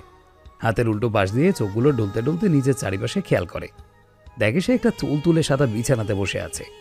আয়রা সারা ঘরে চোখ বুলায়। এই এখন সে কোথায় আছে? এটা কার রুম? আয়রাত কিছু বুঝতে না পেরে যেই না খানিক চিৎকার দিয়ে উঠতে যাবে, তখনই তার নিচে দিকে খেয়াল হয়। কাল রাতে লাল লেহেঙ্গাটা এখনও সে পরেই রয়েছে।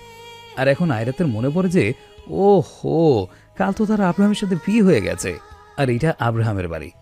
আয়রাত চুপ করে বিছানাতে বসে পড়ে। আব্রাহামকে খুঁজছে। সে কোথায় দেখতে পারছে না যে। আয়রাত বসে বসে নিজের মাথা চুলকাতে লাগল। তখনই হাতে একটা মিনি ফুটরে নিয়ে আব্রাহাম রুমে ঢুকে। Good morning my lovely wife very good morning ঘুম ভাঙলো তাহলে? হ্যাঁ। হুম। আব্রাহাম এসে আয়রাতের সামনে বসে। আয়রাতের দিকে ঘোর লাগা নয়নে তাকিয়ে আছে।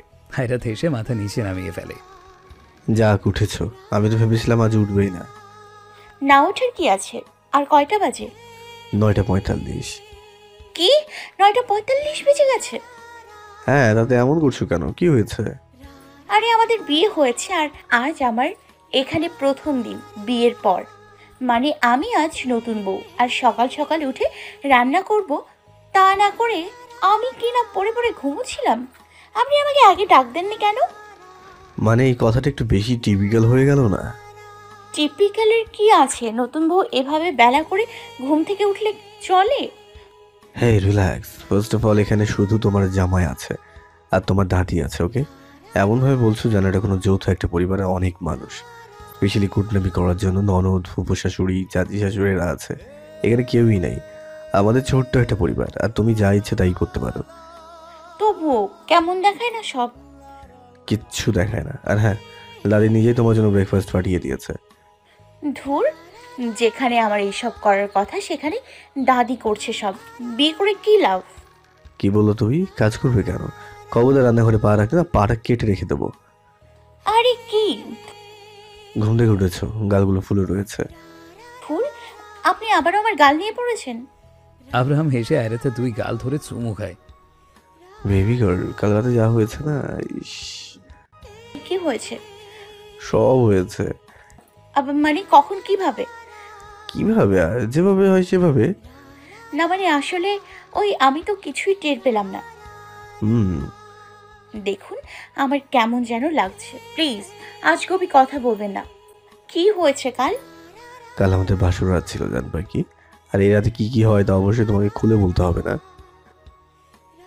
আচ্ছা হয়েছে মুখ লটকাতে হবে না কিছুই হয়নি তবুও তুমি অনেক কিছুই করেছ।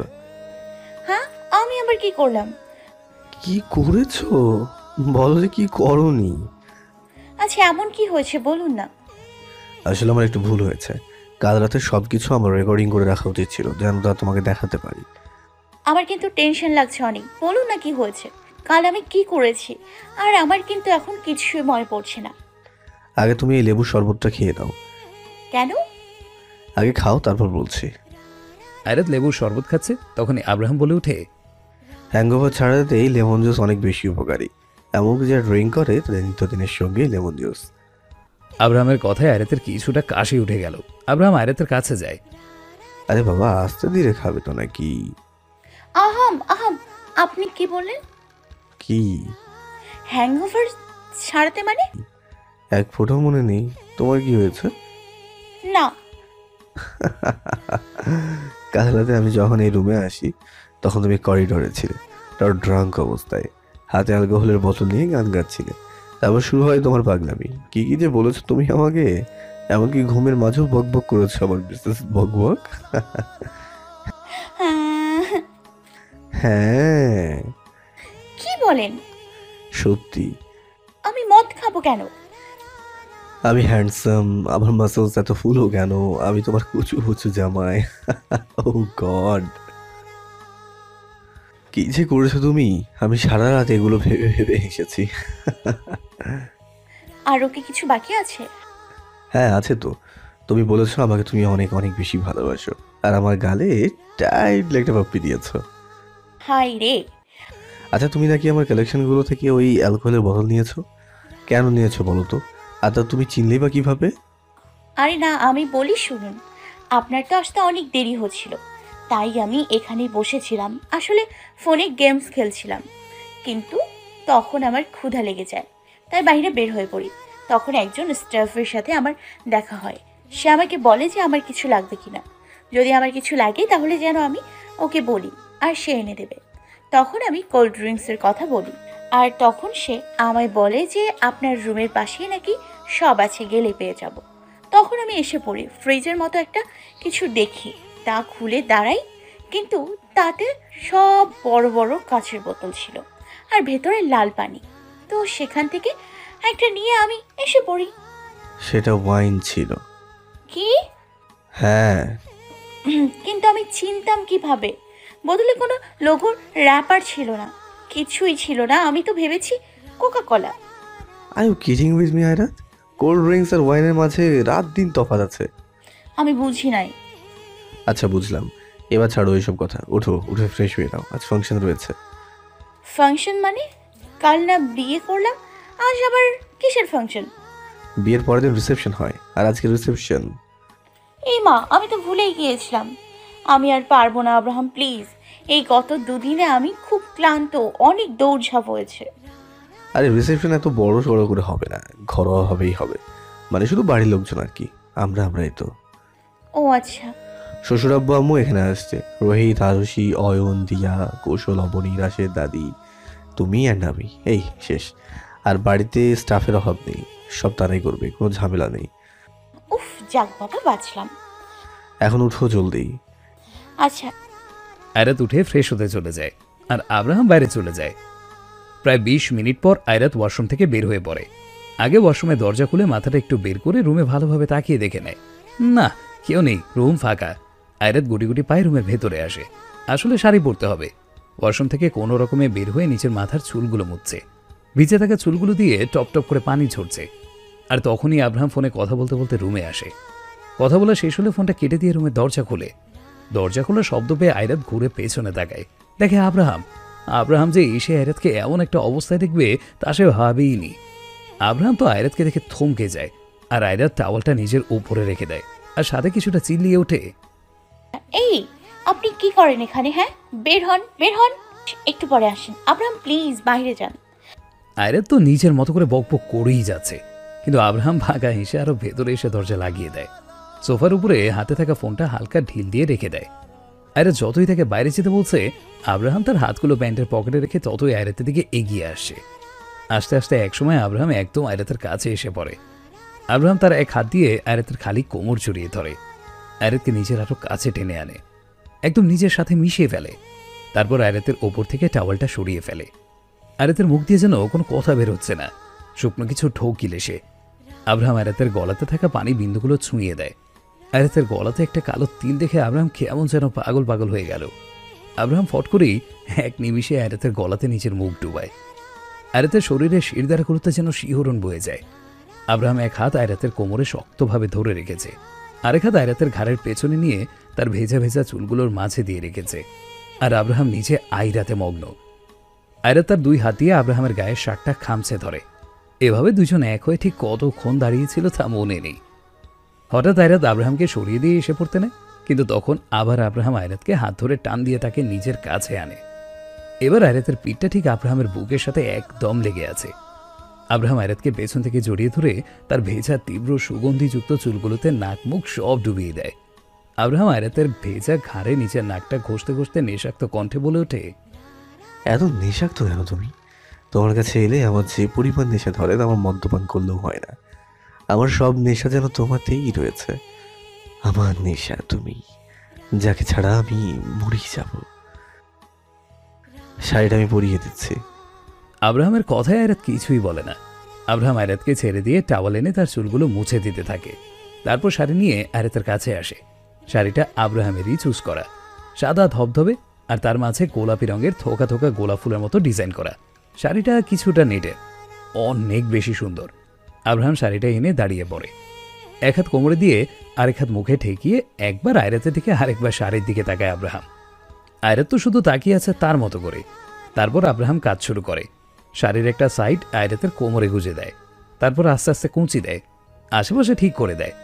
আঁচলটা বেশ বড় করে রাখে শাড়ি সেই শাড়ি পরতে আয়রাতের সময় লাগে প্রায় এক ঘণ্টা, মাঝে মাঝে তো রাগও উঠেছে এই শাড়ি পরতে গিয়ে। তাও শাড়ি ভালোভাবে পরাই হয় না। আর সেই শাড়ি এখন কিনা আব্রাহাম তাকে পরিয়ে দিল মাত্র পনেরো মিনিটে। শাড়ি পরানো শেষ হলে আব্রাহাম নিচে এক হাঁটু ভাঁজ করে বসে আয়রাতের শাড়ির কুঁচিগুলো আরও একটু ঠিকঠাক করে দেয়। পুরোপুরি শাড়ি পরানো শেষ হলে আব্রাহাম কিছুটা দূরে গিয়ে দুই হাত কোমরে রেখে আয়রাতকে আপাদ মস্তক দেখতে থাকে। না ইটস পারফেক্ট আয়রাত আয়নার সামনে দাঁড়িয়ে নিজেকে পুরো দেখে নেয়। আয়রাতের মুখ তো হা আয়রাত চোখ বড় বড় করে আব্রাহামের দিকে তাকায়। আব্রাহাম হেসে দিয়ে আয়রাতের কাছে আসে। তারপর তাকে পেছন থেকে জড়িয়ে ধরে আয়নাতে তাকায়। অনেক সুন্দর লাগছে। বউ এত কিউট হলে প্রবলেম আছে। আমি সামাল দেবো কি করে? আগে আপনি বলুন যে আপনি এত সুন্দর আর এত ভালো করে শাড়ি পরানো কোথা থেকে শিখলেন? বিয়ের আগে অনেকগুলো গার্লফ্রেন্ড ছিল তো তাই তাদের শাড়ি পরিয়ে দিতে দিতে শিখে গেছি। কি? কি বললেন?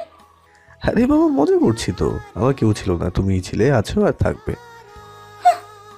আয়রাত মুখ ভেঙচি কেটে চলে আসতে দিলে আব্রাহাম আবার তার হাত ধরে আয়নার সামনে বসিয়ে দেয়। তারপর হেয়ার ড্রায়ার দিয়ে আয়রাতের চুল শুকিয়ে দিতে থাকে।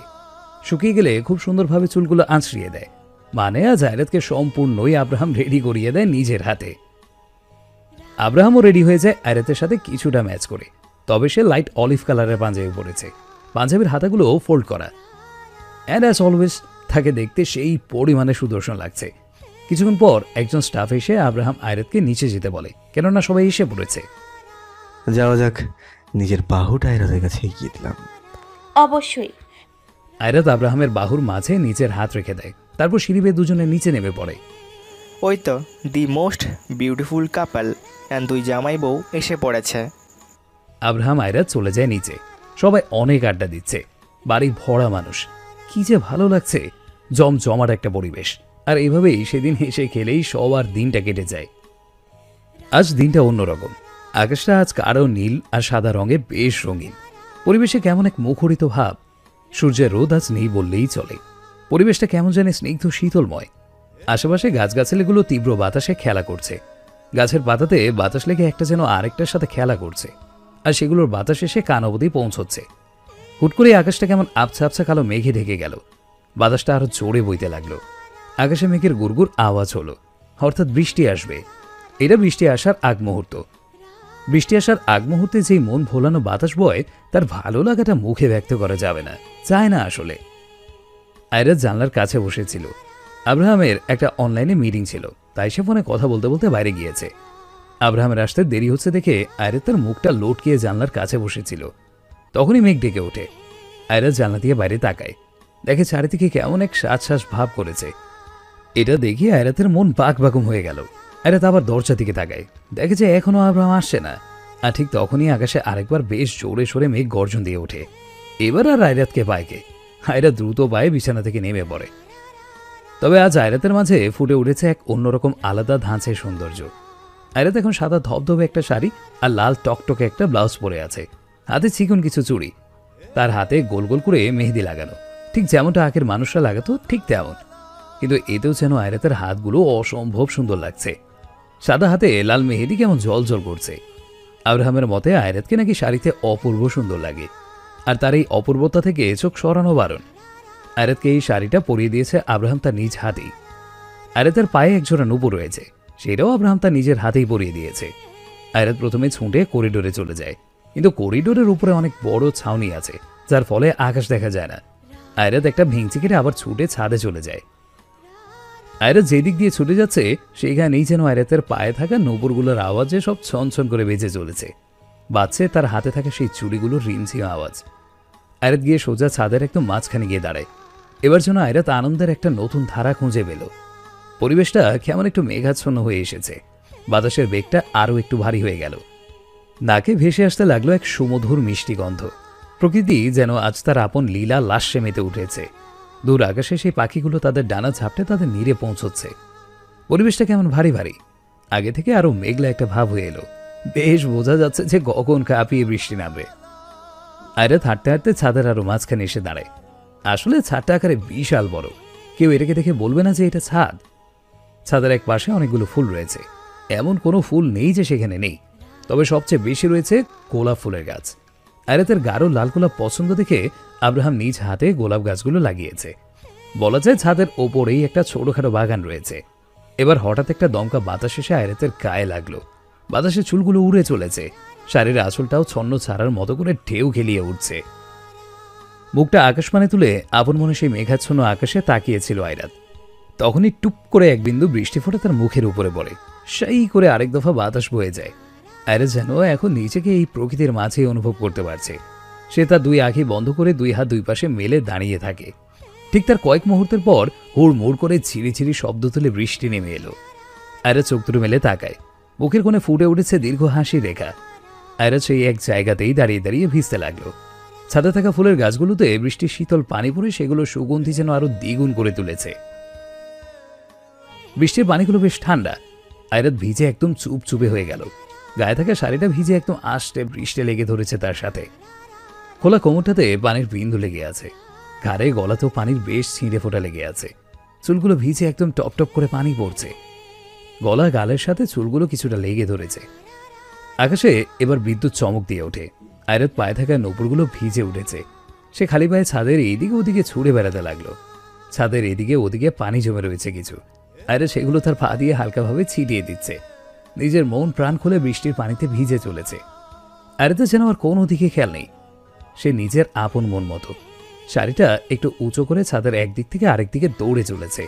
তবে এইভাবে থাকতে থাকতেই কেন জানি আয়রাতের মনে হলো যে কেউ তাকে খুব বেশি গভীরভাবে পর্যবেক্ষণ করে দেখছে। আয়রাত ঘুরে তার পেছনের দিকে তাকায়। দেখে ছাদের দরজাতে আব্রাহাম তার দুই হাত ভাঁজ করে হেলান দিয়ে দাঁড়িয়ে আছে। আব্রাহাম আয়রাতের দিকেই তাকিয়ে আছে। আয়রাত তো নিজের মতো করে বৃষ্টিকে উপভোগ করে চলেছিল। কিন্তু আব্রাহামকে তার থেকে এইভাবে তাকিয়ে থাকতে দেখে আয়রাতের বুকের ভেতরটা কেমন থক করে ওঠে। শ্বাস ঘন হয়ে আসে। আয়রাত বৃষ্টির মাঝে দাঁড়িয়ে আছে। বৃষ্টির পানিগুলো আয়রাতের সারা গায়ে গড়িয়ে গড়িয়ে পড়ছে। আব্রাহাম একদম সাদা প্যান্ট আর সাদা শার্ট পরে দাঁড়িয়ে আছে। চোখগুলো আয়রাতে স্থির। বৃষ্টির বেগ আরও বেড়ে গেলে আব্রাহামকে কেমন ঝাপসা ঝাপসা লাগছে দেখতে। তখন আরও একবার বিদ্যুৎ চমক দিয়ে ওঠে। আয়রাত এবার চমকে গিয়ে চোখ মুখ কিছুটা কুঁচকে ফেলে। আব্রাহাম এবার আর দাঁড়িয়ে না থেকে সোজা নিজের সামনে হাঁটা দেয়। বৃষ্টির পানিতে আব্রাহামও নেমে পড়ে। মুহূর্তে আব্রাহামও ভিজে যায়। বৃষ্টি ভেজা পানিতে আব্রাহামের শার্টটা ভিজে একদম তার গায়ের সাথে লেগে ধরে। ভেতর থেকে তার বডি স্পষ্ট দেখা যাচ্ছে। আব্রাহাম এসে আয়রাতের সামনে দাঁড়িয়ে পড়ে। আব্রাহামের সামনে চুলগুলো ভিজে তা থেকে টপ টপ করে পানি পড়ছে। আব্রাহাম একবার আপাতমস্তক আয়রাতকে দেখে নিল। আব্রাহাম তার হাতটা আয়রাতের গালে রাখে। আব্রাহামের শীতল হাতে স্পর্শ পেয়ে আয়রাত কেমন যেন কিছুটা কেঁপে ওঠে। আব্রাহাম এক হাত দিয়ে আয়রাতের কোমর ধরে নিজের কাছে নিয়ে আসে। আয়রাত তার একটা হাত আব্রাহামের বুকের উপরে রেখে দেয়। আব্রাহাম তার মাথা আয়রাতের মাথার সাথে ঠেকিয়ে রাখে। তার একটা হাত আয়রাতের গালে স্লাইড করতে করতে বলে ওঠে, তোমার ধারণাও নেই জান পাখি। তোমাকে বৃষ্টি ভেজা শাড়িতে কি পরিমাণ আবেদনময় লাগছে? এমন করে আমার সামনে প্লিজ এসো না, ঠিক থাকতে পারি না আমি। নিজের উপরে কন্ট্রোল হারিয়ে ফেলি আমি। নিজেকে কেমন পাগল পাগল লাগে। নিঃশ্বাস ভারী হয়ে আসে আবার তোমাকে কাছে পাবার প্রবল ইচ্ছে জাগে। আব্রাহাম তার হাত দিয়ে আয়রাতের গোলাপি ঠোঁটগুলো ছুঁয়ে দেয়। আয়রাত মাথাটা কিছুটা ঝুঁকিয়ে রেখেছে। আব্রাহাম আয়রাতের কোমরে স্লাইড করতে লাগে। আয়রাত তার হাত দিয়ে আব্রাহামের শার্টটা খামচে ধরে। আব্রাহাম দেখে আয়রাতের গলায় ঘাড়ে পানিগুলো শিশির বিন্দুর ন্যায় চিকচিক করছে। আব্রাহাম এগুলো দেখে যেন নিজের উপরে একদম লাগামহীন হয়ে গেল। আর এক মুহূর্ত দেরি না করে আব্রাহাম আয়রাতের গলায় মুখ ডুবায়। আয়রাত আবেশে চোখগুলো বন্ধ করে ফেলে। আব্রাহাম চুমুতে চুমুতে ভরিয়ে দিতে লাগল আয়রাতের ঘাড়ে। আয়রাতের ভেতরে এক আলাদা অনুভূতি হচ্ছে, এক অজানা অনুভূতি, যার নাম সে জানে না। আয়রাত বেশ লজ্জা পায়। সে আব্রাহামকে ছাড়িয়ে সেখান থেকে এসে পড়তে চাইলে আব্রাহাম তার হাত ধরে ফেলে। তারপর আবার তাকে নিজের কাছে টেনে আনে। এক হ্যাঁচকা টান দিতেই আয়রাত আবার আব্রাহামের কাছে এসে পড়ে। আয়রাতের পিঠটা আব্রাহামের বুকের কাছে। আব্রাহাম পেছন থেকে আবার আয়রাতকে জড়িয়ে ধরে তার ঘাড়ে মুখ ডুবায়। আব্রাহামের হাতগুলো আয়রাতের পেটে কোমরে বিচরণ করে চলেছে। নিজের করতে চাই আমি তোমায়। তোমার ইচ্ছাতে তোমার মতে কাছে পেতে চাই আমি তোমায়। এতটাই কাছে যেখানে তুমি আমি নামক কোনো দুই উক্তি থাকবে না। তুমি আর আমি মিলে এক হয়ে যাব। এতটাই কাছে পেতে চাই আমি তোমায় যেখানে কোনো দূরত্বই থাকবে না একদম। জানবা কি হবে কি আমার? তখনই আকাশ কাঁপিয়ে বিদ্যুৎ গর্জন করে ওঠে আর আয়রাত সাথে সাথে ঘুরে আব্রাহামকে জড়িয়ে ধরে। আব্রাহামও আয়রাতকে জড়িয়ে ধরে একদম নিজের সাথে মিশিয়ে ধরে। আব্রাহাম তার দুই হাত দিয়ে আয়রাতের গাল ধরে তারপরে ফট করে আয়রাতের ঠোঁটে নিজের ঠোঁটগুলো মিশিয়ে ফেলে। তবে আয়রাত এবার না করেনি, আর না আব্রাহামকে কোনো বাধা দিয়েছে। আব্রাহাম বুঝলো যে আয়রাতের সম্মতি আছে। আব্রাহাম যেন আয়রাতকে আরও নিজের সাথে চেপে ধরে তার ঠোঁচোরা আঁকড়ে ধরে। দুইজন ভালোবাসার মানুষ এই বৃষ্টিতে এক হয়ে দাঁড়িয়ে আছে। দুজনেই ভিজে একাকার হয়ে গেছে। তবে বাইরে যেন বৃষ্টি আরও ভয়ানক রূপ ধারণ করল। আব্রাহাম আয়রাতকে ছেড়ে দাঁড়ায়। হাত দিয়ে তার সামনে আসা চুলগুলো পেছনের দিকে ঠেলে দেয়। কিন্তু এবার আব্রাহাম আয়রাতকে সোজা তার কোলে তুলে নেয়। আয়রাত তার দুই হাত আব্রাহামের গলাতে জড়িয়ে ধরে। আব্রাহাম আয়রাতকে কোলে নিয়ে সোজা ঘরের ভেতরের দিকে হাঁটা দেয়। রুমের ভেতরে গিয়ে আয়রাতকে বিছানায় শুয়ে দেয়। তখনই ধপ করে সারা ঘরে অন্ধকারে চেয়ে আসে। রুমটাতে আবছা আলো এসে পড়েছে। বাইরে যে বিদ্যুৎ চমক দিচ্ছে মাঝে মাঝে, তার আলো এসে সারা ঘরকে ক্ষণিকের জন্য আলোকিত করে তুলছে। এজন্য আলো আধারের এক অসম্ভব সুন্দর মিশ্রণ। আব্রাহাম আয়রাতকে বিছানাতে শুয়ে দিয়ে ক্রমশ আয়রাতের দিকে এগুতে থাকে। এখন আয়রাতের সাথে তার মাথা একদম ঠেকে আছে। আয়রাতের মাথা বালিশে ঠেকে গেলে আব্রাহাম আয়রাতের দুই পাশে হাত দিয়ে আয়রাতের ওপরে ঝুঁকে পড়ে। আয়রাতের কপালে আব্রাহাম উষ্ণ চুমুর উত্তাপ দিয়ে দেয়। তারপরেই আবার আয়রাতের ঠোঁটগুলো আঁকড়ে ধরে। আজ যেন দুজনের মাঝে কোনো বাধাই নেই। আব্রাহাম আয়রাতের ওপর থেকে ভেজা শাড়ির আঁচলটা ফেলে দেয়। নিজের গা থেকে শার্টটা ফেলে দিয়ে আবার আয়রাতের কোমর ধরে নিজের দেহের সাথে আয়রাতের দেহটা লাগিয়ে নেয়। তারপর ডুব দেয় আয়রাতের মাঝে। আজ আব্রাহাম তার আয়রাতে মগ্ন। সে আজ তার আয়রাতকে নিজের করে পেয়েছে আয়রাতের চোখের কার্নিশ পেয়ে এক ফোঁটা পানি গড়িয়ে পড়ে। আব্রাহামের শূন্য পিঠটা আয়রাত খামছে ধরে। আব্রাহাম আজ তার প্রিয়তমাকে নিজের ভালোবাসার উষ্ণতার চা ধরে মরিয়ে নিয়েছে। আজকের এই বৃষ্টি ভেজা দিনটা যেন তাদের ভালোবাসাকে আরও বাড়িয়ে দিয়েছে। আর এভাবেই একে অপরের মাঝে পরিপূর্ণতা পেল দুটি ভালোবাসার মানুষ। আজ আয়রাত সম্পূর্ণ রূপেই তার আব্রাহামের। আর তার আব্রাহাম আয়রাতের। আব্রাহাম আয়রাত মিলে এক। তাদের ভালোবাসার আজ এক নতুন অধ্যায় শুরু। বিকালের সাজ এখন, বাইরে বৃষ্টি নেই। তবে বৃষ্টি ভেজা যে স্নিগ্ধতা থাকে, সেটা এখনও বজায় রয়েছে। চারিদিকে মৃদু ঠান্ডা বাতাস বয়ে যাচ্ছে। আকাশটা এখন আরও কালো মেঘে ঢাকা নেই। পরিষ্কার হয়ে সতেজতা ছড়িয়ে দিয়েছে সবখানে। ঠিক বৃষ্টির পরপরে আকাশে যে রং ফুটে ওঠে, সেটার আভা সব জায়গায় মিলেমিশে একদম একাকার হয়ে গেছে। কিছুটা লাল কমলার সংমিশ্রণ। রুমের ভেতরে সাদা বড় বড় পর্দাগুলো বাতাসে ঢেউ খেলাচ্ছে। ভেতরে নীরবতা ভেঙে পর্দাগুলো উড়ে যাওয়ার শব্দ কানে আসে বুক পর্যন্ত কোমল সাদা চাদরটা টেনে দিয়ে চুলগুলো এলোমেলো করে আয়রাত ঘুমোচ্ছে। কিছুটা উপর ভাবে বালিশে মাথা ঠেকিয়ে শুয়ে আছে আয়রাত। যার ফলে গালে মাংসের ভাঁজ পড়ে ঠোঁটগুলো খুবই ছোট আর বাচ্চা বাচ্চা লাগছে। আর এই সব কিছুই খুঁটিয়ে খুঁটিয়ে দেখে চলে আব্রাহাম। একটা হাত মাথার পাশে ঠেকিয়ে শুয়ে আছে সে, আর তার আয়রাতকে দেখে চলেছে। ঠোঁটে ঝুলছে মুচকি হাসি। আব্রাহাম আয়রাতের কাছে এগিয়ে গিয়ে তার হাত দিয়ে আয়রাতের মুখের উপরে এসে পড়া চুলগুলো সরিয়ে দেয়। এতে আয়রাত কিছুটা নড়ে চড়ে ওঠে। আব্রাহাম এগিয়ে এসে আয়রাতের কপালে চুমু দিয়ে দেয়। চুমুরত অবস্থায় আব্রাহাম তার চোখগুলো বন্ধ করে দেয়। আয়রাত ঘুমের মাঝেই টের পায় যে এইটা আব্রাহাম সেও খানিক হেসে আব্রাহামকে জড়িয়ে ধরে। আব্রাহামের শূন্য বুকে মুখ লুকায়। আয়রাতে কোনো সারা শব্দ না পেয়ে আব্রাহাম তাকিয়ে দেখে যে আয়রাত আবার ঘুমিয়ে পড়েছে। তাই আব্রাহাম এবার নিজে উঠে পড়ে। আয়রাতকে কিছু ডাক দিলে এসে অন্য পাশে ঘুরে আবার ঘুমিয়ে পড়ে। আব্রাহাম এবার আর না পেরে আয়রাতকে সোজা কোলে তুলে নেয়। এমন আচমকা কাণ্ডে আয়রাত চমকে যায় আর নিজের সাথে থাকা চাদরটা খামচে ধরে। এই কি করছেন কি আপনি? তোমার ঘুম ছুটাচ্ছে দাঁড়াও। না আমাকে নিচে নামান। আমি আরও একটু ঘুমোবো। আমার ঘুম পাচ্ছে। এই আমাকে নিচে নামান। চুপ। আয়রাত বকবক করেই যাচ্ছে। কিন্তু এইদিকে আব্রাহাম আয়রাতের একটা কথাও শুনছে না। সে আয়রাতকে কোলে নিয়ে তার মতো করে যেতে লাগল। সোজা ওয়াশরুমে নিয়ে গিয়ে আয়রাতকে ঠিক শাওয়ারের নিচে নামিয়ে দেয়। আয়রাত সেখান থেকে চলে আসতে ধরলে আব্রাহাম তার কোমর ধরে নিজের দিকে টান দেয় আর এর পরেই শাওয়ারটা অন করে দেয়। নিজের উপর এই ঠান্ডা পানি ছোঁয়া পেতে আয়রা সামান্য চিল্লিয়ে উঠে আব্রাহামকে দুই হাতে খামচে ধরে একদম। আব্রাহাম এতে কিছুটা শব্দ করে হেসে ওঠে। একে তো প্রচুর শীতল দিন আবহাওয়া প্রচুর ঠান্ডা, তার উপর আরও এই ঠান্ডা ঠান্ডা বানি গায়ে যেন কাঁপন ধরিয়ে দিচ্ছে। আয়রাত শীতে কাঁপতে লাগে। আব্রাহাম আয়রাতের মাথার সাথে নিজের মাথা ঠেকিয়ে রাখে। নিজে দুই হাতে আয়রাতের কোমর শক্তভাবে জড়িয়ে ধরে। আয়রাতও নিচে দুই হাত আব্রাহামের বুকের উপরে রেখে দেয়। উপর থেকে সব পানি তাদের দুইজনের উপরে পড়ছে। আর আবেশে দুজনেই চোখ বন্ধ করে রেখে দিয়েছে। পানিগুলো আয়রাতে ঠোঁট বেবে বুকের দিকে গড়িয়ে পড়ছে। আব্রাহাম আয়রাতের সেই ঠোঁটগুলোকে নিচের করে নেয়। আয়রাত আব্রাহামের থোঁতার সমান হয়। তাই এবার আয়রাত তার পাগুলো ফ্লোর থেকে কিছুটা উঁচু করে নেয়। আব্রাহামের আরও কাছে যায়। আব্রাহাম আয়রাতের ঠোঁট ঠিক কতক্ষণ ডুবেছিল খেয়াল নেই। কিন্তু যখন আব্রাহাম খেয়াল করল যে আয়রাত ঠান্ডায় কিছুটা কাঁপছে তখন আব্রাহাম আয়রাতকে একদম নিচের বুকের সাথে লাগিয়ে ধরে চড়িয়ে ধরে তাকে। এতে আয়রাত ঠান্ডার মাঝেও যেন কিছুটা আব্রাহামের বুকের উত্তাপ পায়। আপনি বাইরে যান আমি ফ্রেশ হয়ে আসছি। যদি আমার বাইরেই যাওয়ার হতো তাহলে আর নিজে তোমাকে এখানে কোলে করে নিয়ে আসতাম না। আরে কিন্তু? সে ওয়াটার শাওয়ার টুগেদার এইটা আবার কোনো লজিক আমার লজিক আব্রাহামের সাথে তো আর কেউ পারবে না। অবশেষে দুজনেই ফ্রেশ হয়ে এসে পড়ে। আব্রাহাম সোফাতে বসে ফোন ঘাটছে। আর তখনই আয়রাত টাওয়াল নিয়ে নিচের চুল মুছতে মুছতে আসে। আব্রাহাম তাকিয়ে দেখে আয়রাত এক মনে নিজের চুল মুছছে। আব্রাহাম এক টান দিয়ে আয়রাতকে নিজের সামনে বসিয়ে দেয়। এদিকে এসো। আয়রাত বসে পড়ে। আব্রাহাম খুব যত্নের সাথে আয়রাতের চুলগুলো মুছে দেয়। আচ্ছা শুনুন আমি নিচে যাই আপনি এসে পড়ুন। কেন? কেন মানে আরে ক্ষুধা লাগেনি আপনার? সেই সকালে ব্রেকফাস্ট করেছিলেন শুধু। আর দাদি আছে দাদিকে ঔষধ দিতে হবে। আচ্ছা যাও কিন্তু রান্নাঘরে ঢুকবে না কিন্তু।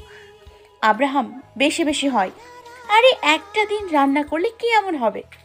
আরে কি দরকার এই গরমে কিচেনে গিয়ে ঘেমে একাকার হওয়ার আরে আমি এতটাও বাজে রান্না করি না খাওয়া চলে। ও আচ্ছা। তোমার হাতে সেই বিরিয়ানি যদি আমি খেতে পারি তাহলে সব খাবারই খেতে পারব। আব্রাহামের মুখে আয়রাতের সেই দিনে সেই বিরিয়ানির কথা শুনে হায়রাত তার দাঁত দিয়ে জিভ কাটে। আল্লাহ জানেন যে আব্রাহাম সেই বিরিয়ানিটা খেয়েছে কীভাবে। আয়রাত আব্রাহামের একটা কথাও না শুনে নিচে চলে যায়। তবে সে রান্না করে যায় না। আব্রাহাম প্রচুর বকবে তাই সে শেফদের যা যা খাবে তাই রান্না করতে বলে ইলার ঘরের দিকে চলে যায়। আয়রাত দরজার সামনে দাঁড়িয়ে বলে ওঠে দাদি আসব? আরে আয় আয় বলার কি আছে? সোজা এসে পড়বি। কি করো? পান খাই। হাই রে আব্রাহাম দেখলে কিন্তু বকাঝকা করবে অনেক। আরে এখন তো দেখছে না। পান খেতে খেতে দাঁতগুলোর কি হার করেছ দেখেছ একবার? আরে আমি বুড়ি মানুষ এই বয়সে পান খাব না তো কি খাব? হ্যাঁ পান খাও বের করছি তোমার দাঁড়াও। আয়রাত পেছনে দরজার দিকে তাকায়। ওই তো নাও বলতে বলতে এসে গেছে। কবে কথা শুনবে দাদি? আরে দূর বিয়ে করেছিস এখন বইয়ের দিকে নজর দে আমার পানের দিকে না। কে শুনে কার কথা? ইলা তার পানের বাটাটা নিয়ে লুকিয়ে ফেলে।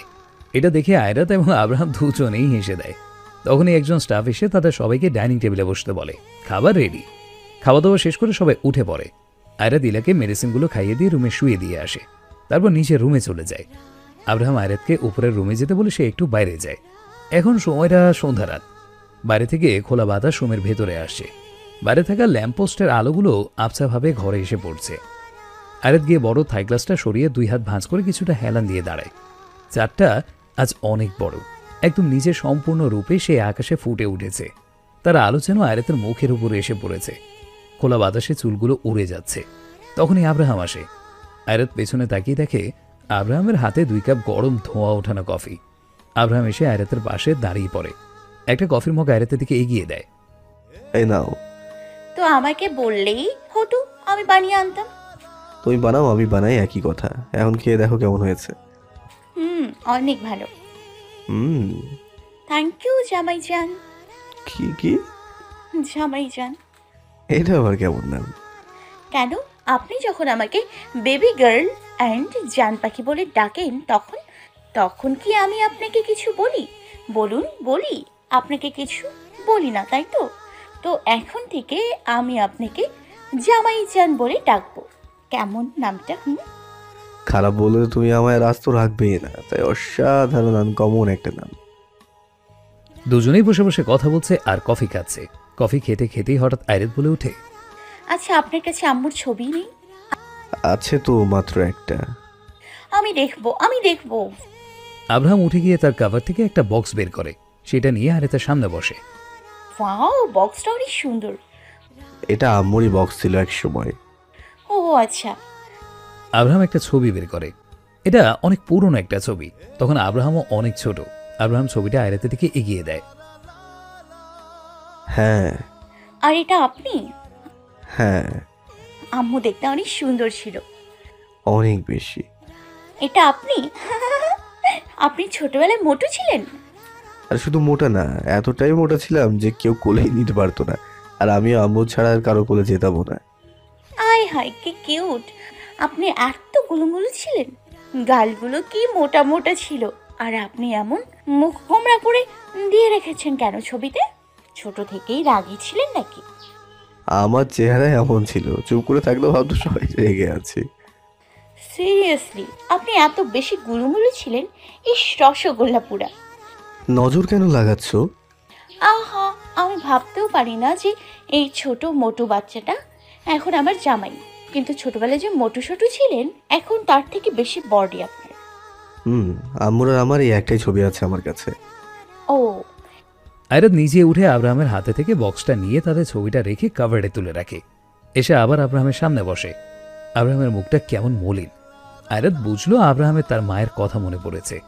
আয়রাত হেসে দিয়ে আব্রাহামের গালগুলো হালকাভাবে টেনে দেয়। আব্রাহাম হেসে দেয় এই শুনুন না আপনি আবার আগের মতো গুলমুলু হয়ে যান না? আমি শুধু আপনাকে গুতাবো। আমি যেই কাজগুলো করি বা যেই প্রফেশনের সাথে আছি তার সাথে এমন গোলুমুলু বডি চাই না বেবি হুম। আয়রাত আব্রাহামের গালে চুমু খায়। আচ্ছা শুনুন না। বলো। আপনি গান গাইতে পারেন? আমার লাইফের ফার্স্ট চয়েস ছিল রকস্টার হওয়া। কি? সত্যি? হ্যাঁ। তাহলে হলেন না কেন? সিচুয়েশন কিছুটা আমার ইচ্ছের বিপরীতে ছিল তাই হয়নি। আর এছাড়াও আপনি এখন কম কিসে আরে তেমন কিছুই না আচ্ছা আমি গান শোনাবো। এখন? হ্যাঁ এখনই মানে এখনই। আয়রাত আব্রাহামের সাথে জেদ ধরে বসল। আব্রাহামের আর কি করার? সে উঠে গিয়ে একটা গিটার বের করে আনে।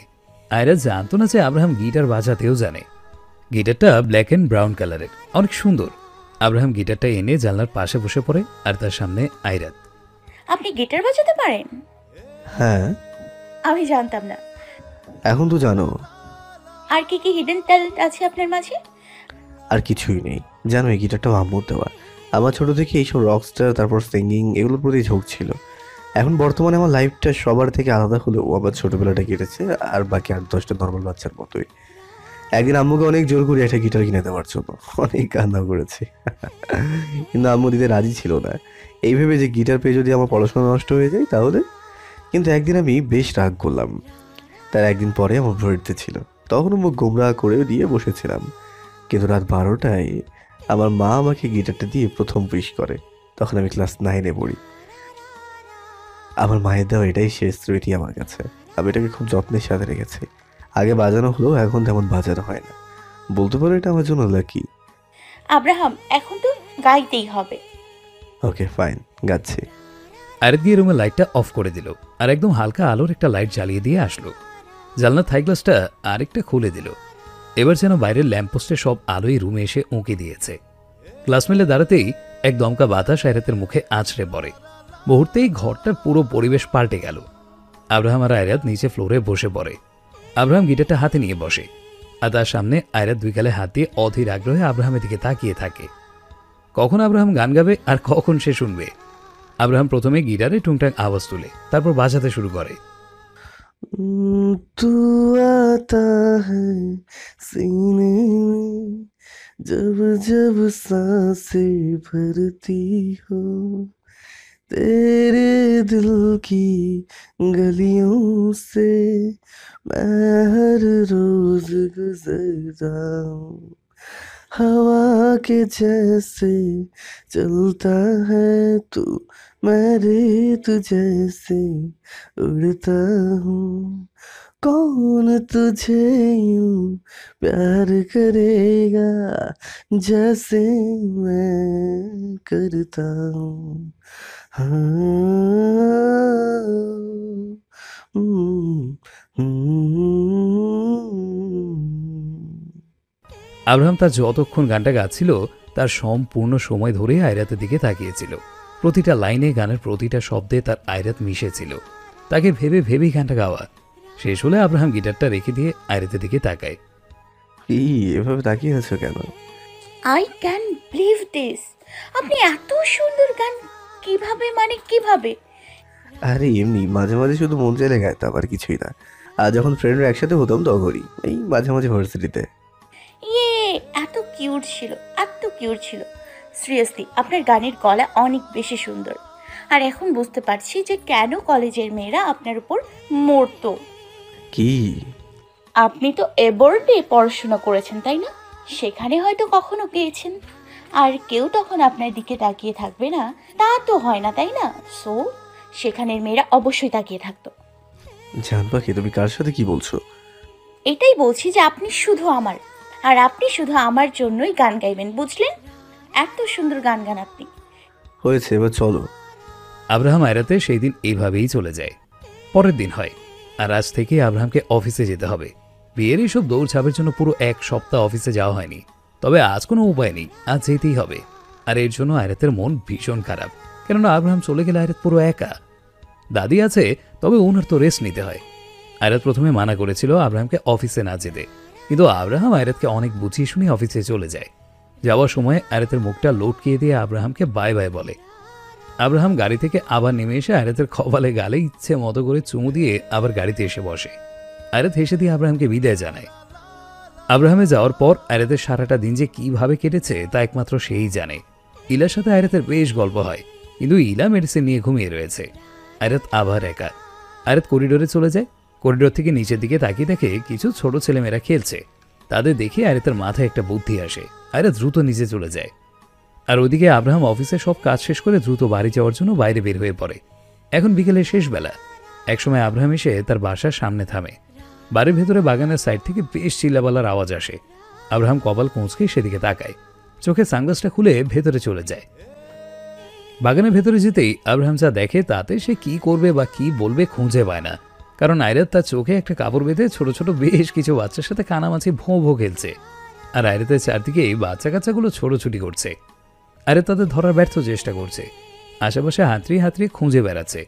আর বাচ্চাগুলো খুশিতে লাফাচ্ছে। আয়রা তো চিল্লাচ্ছে আর খেলছে বাচ্চাদের সাথে। আব্রাহাম তার জ্যাকেটের হাতাগুলো ফোল্ড করতে করতে আয়রাতের সামনে এগিয়ে গেল। বাচ্চাগুলো আয়রাতকে বলে দিতে ধরলে আব্রাহাম সব বাচ্চাদের হাতের ইশারাতে চুপ করে থাকতে বলে। বাচ্চাগুলো মুখে আঙুল দিয়ে চুপ করে যায়। আব্রাহাম যেই না আয়রাতের সামনে গিয়ে দাঁড়ায় তখনই আয়রাত আব্রাহামকে ধরে ফেলে। এই ধরেছি ধরেছি ধরেছি। আয়রাত আব্রাহামের হাত বুক ছুঁয়ে দেখে বেশ হাট টাকারটা একজন। আয়রাত তার চোখ থেকে কাপড় সরিয়ে ফেলে। দেখে আব্রাহাম আয়রাত তাকে দেখে হেসে দিয়ে জড়িয়ে ধরে। জামাই যান প্রায় সন্ধ্যা নেমে এলে বাচ্চাগুলো আয়রাতকে বিদায় জানিয়ে এসে পড়ে। এই এই, তোরা সবাই শোন। কাল আবার এখানে আসবি কিন্তু ঠিক আছে? সবাই আসবি আবার খেলব ওকে? আর শোন কাল আসলে সবাইকে এতগুলো চকলেট দেওয়া হবে বুঝলি? এখন সবাই জলদি বাড়ি যা। বাচ্চাগুলো সবাই দৌড়ে চলে যায়। আয়রাতের এমন কাণ্ড দেখে আব্রাহাম বলে ওঠে এক বাচ্চা মেয়েকে বিয়ে করেছি আমি। হ্যাঁ ভালো হয়েছে। এই সন্ধ্যা হয়ে গেছে ভেতরে চলো। আব্রাহাম আয়রাতের হাত ধরে টানতে টানতে ভেতরে নিয়ে আসে। আয়রাত বাইরে আরও থাকতে চাইলে আব্রাহাম তাকে একরকম ঠেলে জোর করেই ভেতরে নিয়ে যায়। এভাবেই মাঝখানে আরও তিন চার দিন কেটে গেল। সবকিছু ভালো ভালোই চলছে। আব্রাহাম অফিসে যায় আবার আসে। আয়রাতকে টাইম দেয় অনেক। মাঝে মাঝে তো আয়রাত থাকতে না পেরে কাউকে কিছু না বলে সোজা আব্রাহামের অফিসে টপকে পড়ে। এভাবেই হাসি খুশিতেই সবার জীবন চলছে। তবে আজ আব্রাহামের অফিসের অফ ডে তাই সে বাড়িতে। আয়াত বসে বসে চিপস খাচ্ছে। তখনই হঠাৎ আব্রাহাম বলে ওঠে আচ্ছা আমাদের বিয়ের কদিন হলো? কিসের কদিন? এক মাসই তো হয়নি। হুম আচ্ছা তো হানিমুনে কবে যাচ্ছি আমরা? হানিমুন হুম। যাচ্ছি না। এই মানে কি? আয়রাত আব্রাহামের দিকে ঘুরে বসে। না বাসায় দাদি একা কীভাবে থাকবেন? আর আপনার অফিস আছে সেখানে সেগুলোকে কে সামলাবে? এত কাজ এইদিকে এগুলো ফেলে দূরে যাব কীভাবে? আমরা কি ওখানে আজীবন থাকতে যাচ্ছি নাকি? Okay fine. আপনি কোথায় যেতে চাচ্ছেন? সুইজারল্যান্ড। বাবা বালিতে গেলে কি সমস্যা? আমার ড্রিম সিটি সুইজারল্যান্ড। আর হ্যাঁ আইসল্যান্ডও। প্যারিস? সুইজারল্যান্ড। আমরা বাংলাদেশেই থাকব আর হানিমুনও এখানেই হবে। আর আজই হানিমুনে যাব। মানে কি? আসুন। কিন্তু আরে আসুন তো। আয়রাত আব্রাহামকে নিয়ে কাভারের সামনে দাঁড় করিয়ে দেয়। তারপর আয়রাত আব্রাহামের দিকে একটা ডার্ক ব্ল্যাক কালারের পাঞ্জাবি এগিয়ে দেয়। এই নিন। এক দিনে তো আর চৌষট্টিটা জেলা পাড়ি দেওয়া সম্ভব না তাই না? তাই আজ আমরা আমাদের শহরটা ঘুরবো। এই শহর? লাইক সিরিয়াসলি আব্রাহাম নাক চুলকানো বন্ধ করুন তো? আর আমাদের হানিমুনটা সবার থেকে বেশি সুন্দর আর আলাদা রকমের হবে বুঝলেন? আচ্ছা। আপনি এই কালো পাঞ্জাবিটা পরবেন আর আমি পরবো এই যে এই কালো শাড়িটা। আচ্ছা ঠিক আছে। যেই ভাবা সেই কাজ। আব্রাহাম রেডি হয়ে গেল। কালো পাঞ্জাবি হাতে কালো ঘড়ি চুলগুলো যেন আপনা আপনি বাতাসে ডুলছে আর মুখে থাকা সেই ঘন ছাপ দাড়ি আহা look like black charming prince Abraham তার পাঞ্জাবির হাতা ফোল্ড করতে করতে রুমে আসে। তবে সে সামনে তাকাতেই থমকে দাঁড়ায়। আয়রাতকে দেখে। আয়রাত একদম কালো কালারের একটা শাড়ি পরেছে। তাতে ছোট ছোট বেশ কিছু সাদা স্টোন হাতে এতগুলো কালো চুড়ি। মাথা চুলগুলো পেছনে খোপার মতো করে বেঁধে নিয়ে কপালের সাইড দিয়ে কিছু চুল বের করা। আয়রাত দাঁড়িয়ে দাঁড়িয়ে নিজেকে দেখছিল। কারও রুমে আসা শব্দ বের পেছন ঘুরে তাকায়। দেখে আব্রাহাম তার দুই হাত ভাঁজ করে দাঁড়িয়ে আছে। আয়রাত তাকে দেখে হেসে দেয়। আব্রাহামের কাছে গিয়ে দাঁড়ায়। কেমন লাগছে? তোমার কাজলটা দাও। কি? হ্যাঁ কাজলটা আমাকে দাও। কিন্তু আমি চোখে কাজল পড়েছি তো। আহা দাও না। আয়রাত কাজলটা এনে আব্রাহামের হাতে দিয়ে দেয়। আব্রাহাম তার কানে আঙুলে সামান্য কিছু কাজল নিয়ে আয়রাতের কানের পেছনে লাগিয়ে দেয়। এটা কি ছিল? যে পরিমাণ কিউট লাগতেছে কেউ নজর দিলে পরে আমার সমস্যা হবে। আয় হায় ফ্লাইটিং লেভেলের হাই। হ্যাঁ বলতে পারো। এখন আমি কি করব? আপনাকে বোরখা পরাবো? এটা কোনো কথা হ্যাঁ? হ্যাঁ এটাই কথা। আপনি এত পরিমাণে সুদর্শন হবেন পরে সব মায়া মানুষ আপনার দিকে ড্যাব ড্যাব করে তাকিয়ে থাকবে। তখন আমি আমার কি হবে? আরে দূর রাখো তো চলো। আব্রাহাম আয়রাত ইলার কাছ থেকে বিদায় নিয়ে বাইরে বের হয়ে পড়ে। আব্রাহাম যেই না গাড়ির চাবি দিয়ে লক খুলতে যাবে তখনই আয়রাত তার হাত ধরে টান দেয়। আজ আমরা গাড়িতে যাব না। তাহলে? আজ আমরা রিক্সাতে করে ঘুরবো। তাহলে গাড়িদের সাথে নিয়ে যেতে হবে। কিন্তু কেন? তোকে আমি এভাবে একা একা বের হব নাকি? আচ্ছা নিয়ে নিন। আরে আমরা আমাদের মতো করেই থাকব না জাস্ট আমাদের আশেপাশে থাকবে আর কিছুই না। হুম। আব্রাহামের গার্ডরাই একটা রিক্সা ডেকে আনে। তারপর আব্রাহাম আর আয়রাত রিক্সাতে উঠে পড়ে। আয়রাতের এক হাত আব্রাহামের এক হাতের ভাজে। তো কোথায় যাব আমরা? আগে কিছুক্ষণ রিক্সাতে করে ঘুরি তারপর। আয়রাত আর আব্রাহাম কমপক্ষে তিরিশ মিনিট রিক্সা করে ঘুরেছে। তবে ঘুরতে ঘুরতে হঠাৎ আব্রাহাম রিক্সা থামিয়ে দেয়। এই যে চাচা রিক্সা থামান। কোথায় যাচ্ছেন? আসছি দাঁড়াও। আব্রাহাম নেমে সোজা চলে যায়। কিছুক্ষণ পর হাতে একটা বেলি ফুলের মালা নিয়ে আসে। আয়রাত আব্রাহামের দিকে তাকিয়ে থাকে। কোথায় গিয়েছিলেন? এটা আনতে। বেলি ফুল। হ্যাঁ এবার এদিকে এসো। আব্রাহাম রিক্সাতে উঠে পড়ে। তারপর নিজ হাতে আয়রাতের খোপায় বেলি ফুলের মালাটা পরিয়ে দেয়। এইবার পারফেক্ট লাগছে দেখতে। থ্যাংক ইউ জামাই রিক্সা আবার চলতে লাগল। সোজা রাস্তা। তার আশেপাশে প্রচুর গাছগাছালি। তার উপরে খোলা হাওয়া। আর নিজের প্রিয়জনের হাতটি ধরে রিক্সা করে ঘুরে বেড়ানো। আর কি লাগে? এবার আয়রাত আব্রাহাম রিক্সা থেকে নেমেই পড়ল। তারা গিয়ে একটা কৃষ্ণচূড়া গাছের নিচে বসে পড়ে। গাছে কিছু সবুজ পাতা আর সম্পূর্ণই ফুলে ফুলে ভরা। কৃষ্ণচূড়া গাছের নিচেও প্রায় অনেক ফুল পড়ে ছড়িয়ে ছিটিয়ে রয়েছে। জায়গাটা ভীষণ সুন্দর লাগছে দেখতে। আয়রাতের এত সব কিছু দেখে এখন যেন লাফাতে মন চাইছে। আয়রাত গিয়ে ঠিক গাছের নিচটায় বসে পড়ে। আর আব্রাহাম তখনই এসে ফট করে আয়রাতের খোলে মাথা দিয়ে শুয়ে পড়ে। আয়রাত তার আলতো হাতে আব্রাহামের মাথায় হাত বুলিয়ে দিতে থাকে। জায়গাটা অনেক সুন্দর না? তোমার থেকে বেশি না। হয়েছে থাক। এই মাথা থেকে হাত ছড়ালে কেন? আব্রাহাম আয়রাতের হাতটা টেনে আবার তার মাথায় রেখে দেয়। জায়গাটা খোলামেলা তেমন কোনো মানুষজন নেই। পাখিদের কিচির মিচিরগুলো কানে এসে বাজছে। একটা ছোট্ট মেয়েকে দেখে আয়রাত সে ফুল বিক্রি করে। তার কাছ থেকে আয়রাত অনেকগুলো গোলাপ ফুল আর কদম ফুল নেয়।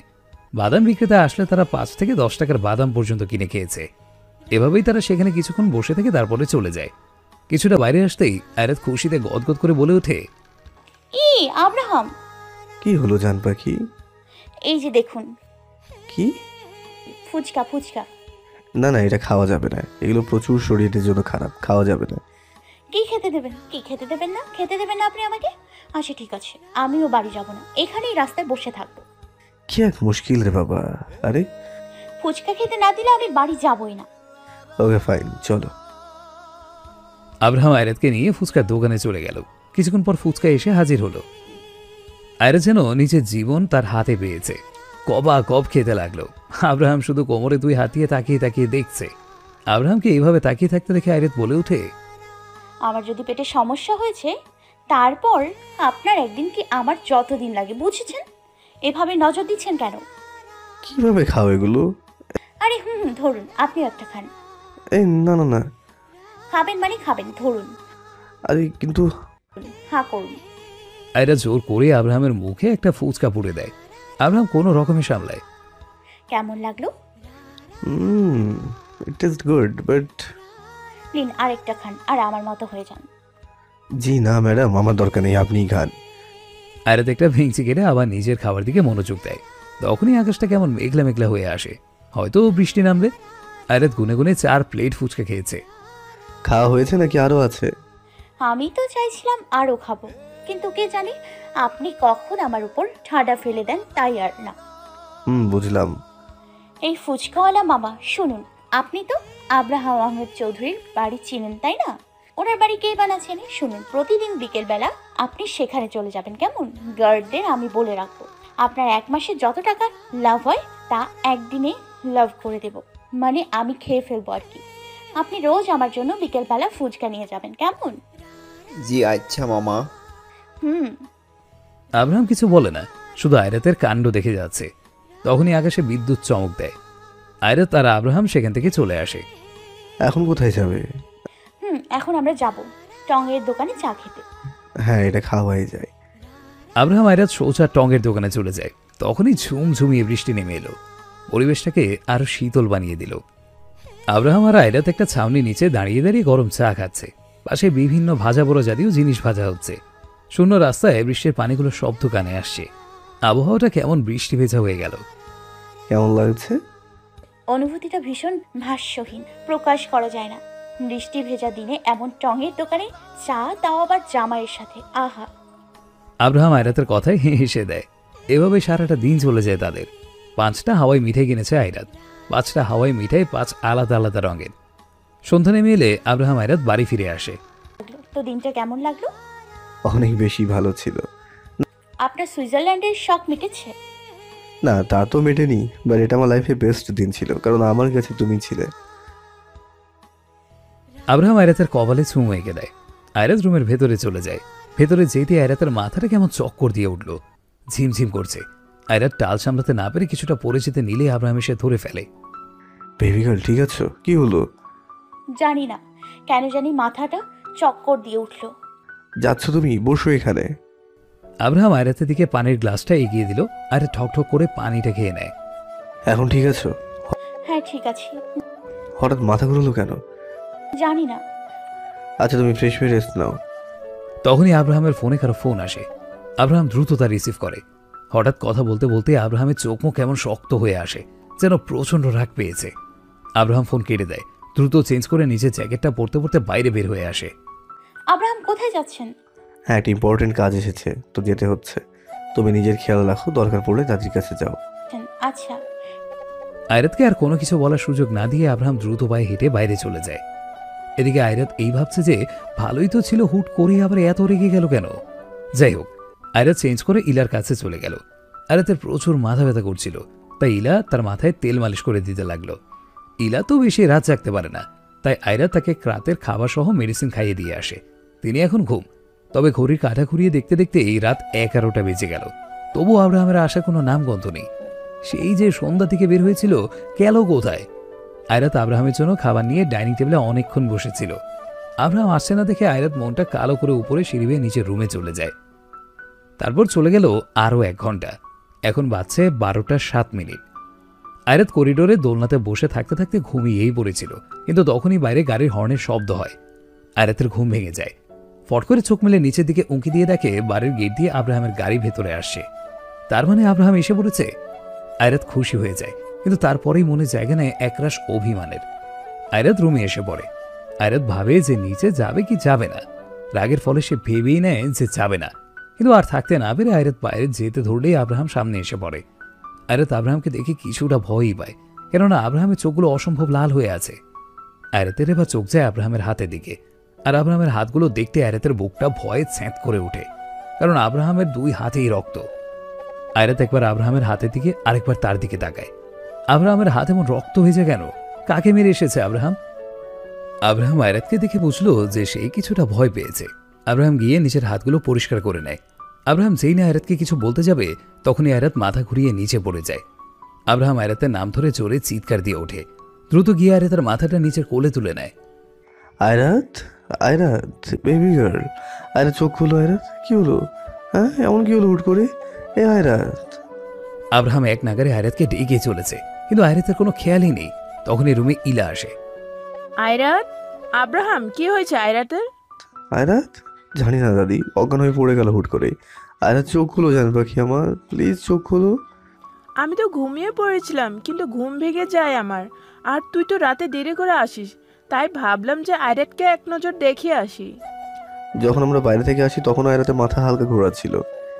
আর তুই বাসা থেকে চলে যাবার পর আয়রাত দুইবার বমি করেছে। কি? হ্যাঁ। আব্রাহাম আয়রাতকে কোলে করে বিছানাতে শুয়ে দেয়। দ্রুত ডক্টরকে ফোন দেয়। আব্রাহামের চিন্তায় মাথা ছিঁড়ে যাচ্ছে। এখনও আয়রাতের কোনো হুশ খেয়াল নেই। অজ্ঞান হয়ে শুয়ে আছে। আর আব্রাহামের ভুল হয়েছে তার একটু কেয়ারফুল হওয়া উচিত ছিল। আয়রাছে এগুলো খুন খারাপা দেখে ভয় পায় রাগে তা মাথা থেকে বের হয়ে গিয়েছিল আব্রাহামের। আব্রাহাম আয়রাতের হাতটা নিচে দু হাতে জড়িয়ে ধরে বসে থাকে। আব্রাহাম আয়রাতের পাশেই বসেছিল। তার ঠিক দশ মিনিট পর ডাক্তার আসে। আব্রাহাম আয়রাতের কাছ থেকে সরে আসে। তারপর ডক্টর তার চেক আপ করে। What happen doctor anything serious না। তেমন কিছু না সব ঠিকই আছে। তাহলে হুট করে সেলফলেস দেখুন ওনার বাইরের জিনিস অনেক খাওয়া হয়। মানে আসলে পুরোপুরি জাঙ্ক ফুডস না তবে হাবিজাবি বেশি। এই ধরুন চিপস পপকর্ন আর স্পেশালি ফুচকা। ফুচকাটা টক জাল জাতীয় খাবার। আর এই দুইটা জিনিসের মাত্রা অত্যাধিক হলে বমি বা ফুড প্রয়োজনের সমস্যা দেখা দেয়। তাই উনি আজ বমি করেছেন একাধিকবার। আর রইল কথা অজ্ঞান হয়ে পড়ার কথা। মিস্টার আব্রাহাম চৌধুরী, আপনার ওয়াইফ আয়রাতের কিছু জিনিসে বিরাট শুয়ে আছে। এই ধরুন, অন্ধকার, অনেক উচ্চতা আর ব্লাড মানে উনি এই তিনটে জিনিস অতিরিক্ত পরিমাণে দেখলে বেশ ভয় পেয়ে যান।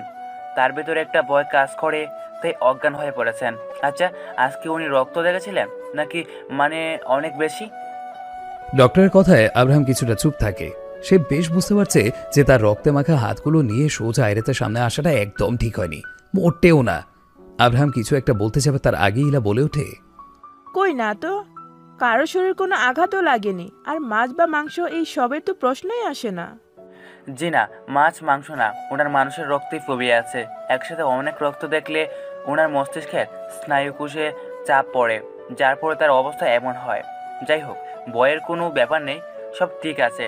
শুধু একটু রেস্ট আর ঠিকঠাকভাবে খাওয়া দাওয়া করলেই ভালো হয়ে যাবে। আর হ্যাঁ খেয়াল রাখবেন উনি যেন এই বাইরের জিনিস বেশি একটা না খান। আর উনি কিন্তু প্রচুর জাল খাবার খান। এটা কমাতে হবে। চেক আপ শেষ হলে আব্রাহামের একটা গার্ড গিয়ে ডাক্তারকে এগিয়ে দিয়ে আসে। ইলা আব্রাহামকে আয়রাতের উপর নজর রাখতে বলে চলে যান। আব্রাহাম একটা ক্ষীণ দম ছেড়ে আয়রাতের দিকে এগিয়ে যায়। কিছুটা ঝুঁকে আয়রাতের কপালে চুলগুলো সরিয়ে একটা চুমু খেয়ে এসে পড়ে। সোজা সাওয়ার নিতে চলে যায়। এখন এই মুহূর্তে তার মাথা ঠান্ডা করাটা বেশ প্রয়োজন। কেননা আব্রাহাম সত্যি সত্যি একজনকে মেরে রেখে এসেছে। আব্রাহামের কাছে তখন রাশেদের ফোন এসেছিল। কথায় আছে না, লাথোকে ভূত বাতসে নেই মানতে? বিষয়টা ঠিক তেমনই। রায়হান এত সহজেই হাল যে ছেড়ে দেবে না, তা আব্রাহাম আগে থেকেই জানতো।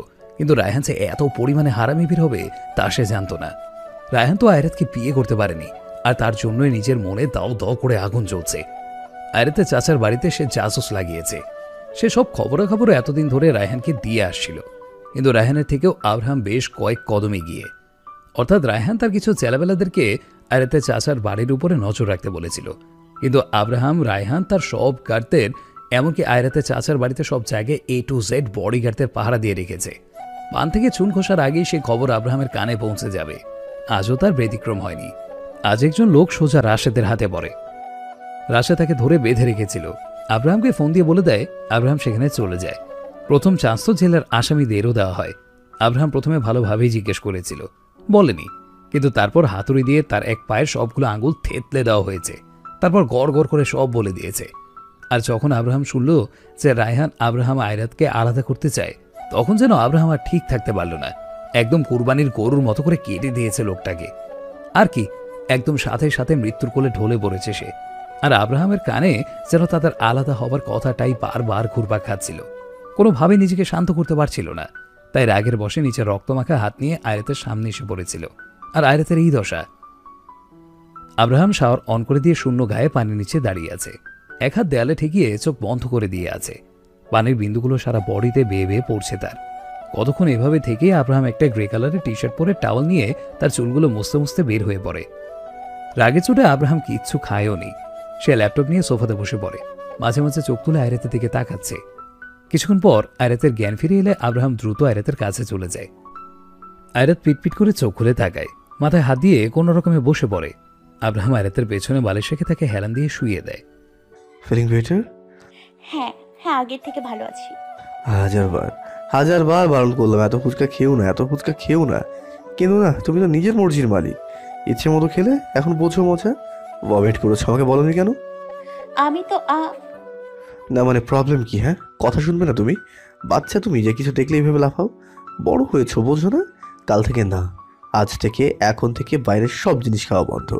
কোনো আজারা জিনিস খাবে না, শুধু হেলদি খাবার খাবে। মরিচ হাতে দেখলে হাত কেটে দেবো, ঝাল খাবে না।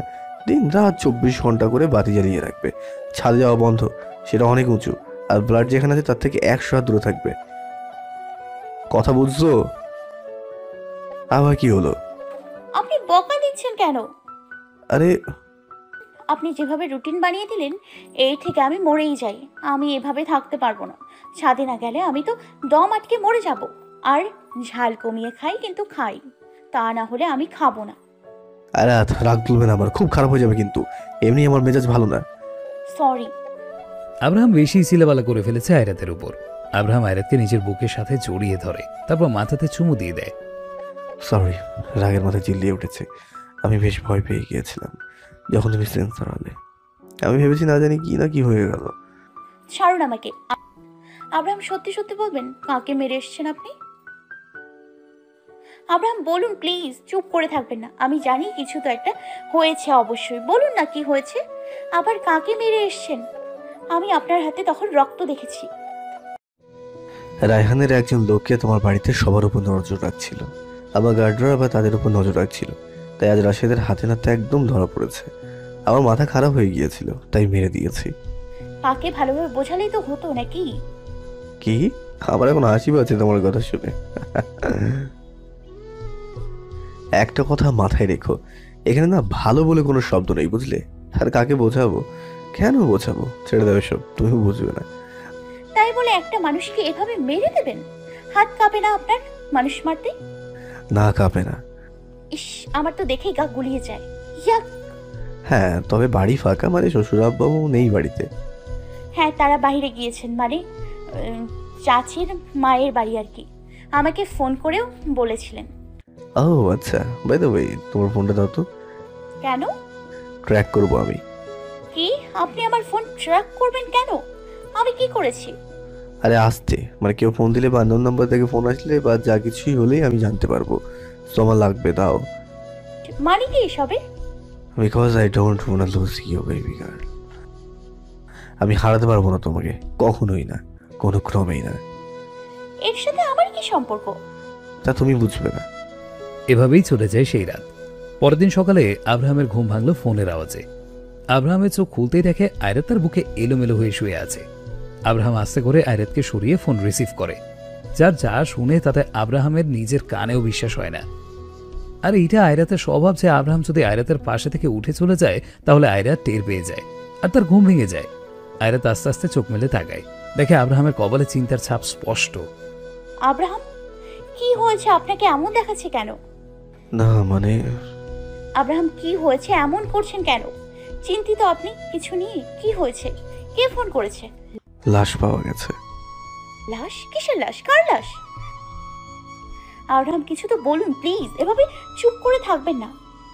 রাশেদ ফোন দিয়েছিল বাড়ির কাছে লাশ পাওয়া গেছে। কাদের লাশ? শ্বশুর আব্বা আম্মুর। কি? আব্রাহামের কথা শুনে আয়রাত থপ করে নিচে বসে পড়ে। আয়রাত কি শুনলো যেন তার বিশ্বাসই হচ্ছে না। কি বলছে আব্রাহাম এগুলো? আয়রাতের যেন মাথায় পুরো আকাশটা ভেঙে পড়েছে। আব্রাহাম বোঝালো যে এখন আয়রাতকে সামাল দেওয়া কষ্টসাধ্য। আব্রাহাম আয়রাতের সামনে বসে পড়ে। আরে প্লিজ সামলাও নিজেকে।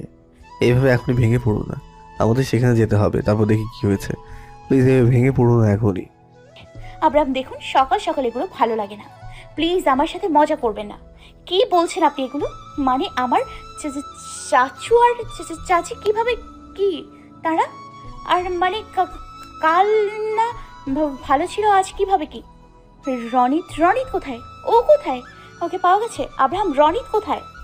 আয়রাত আমি জানি না কিছু। এখন আমাদের আগে সেখানে যেতে হবে তারপর বাকি কিছু।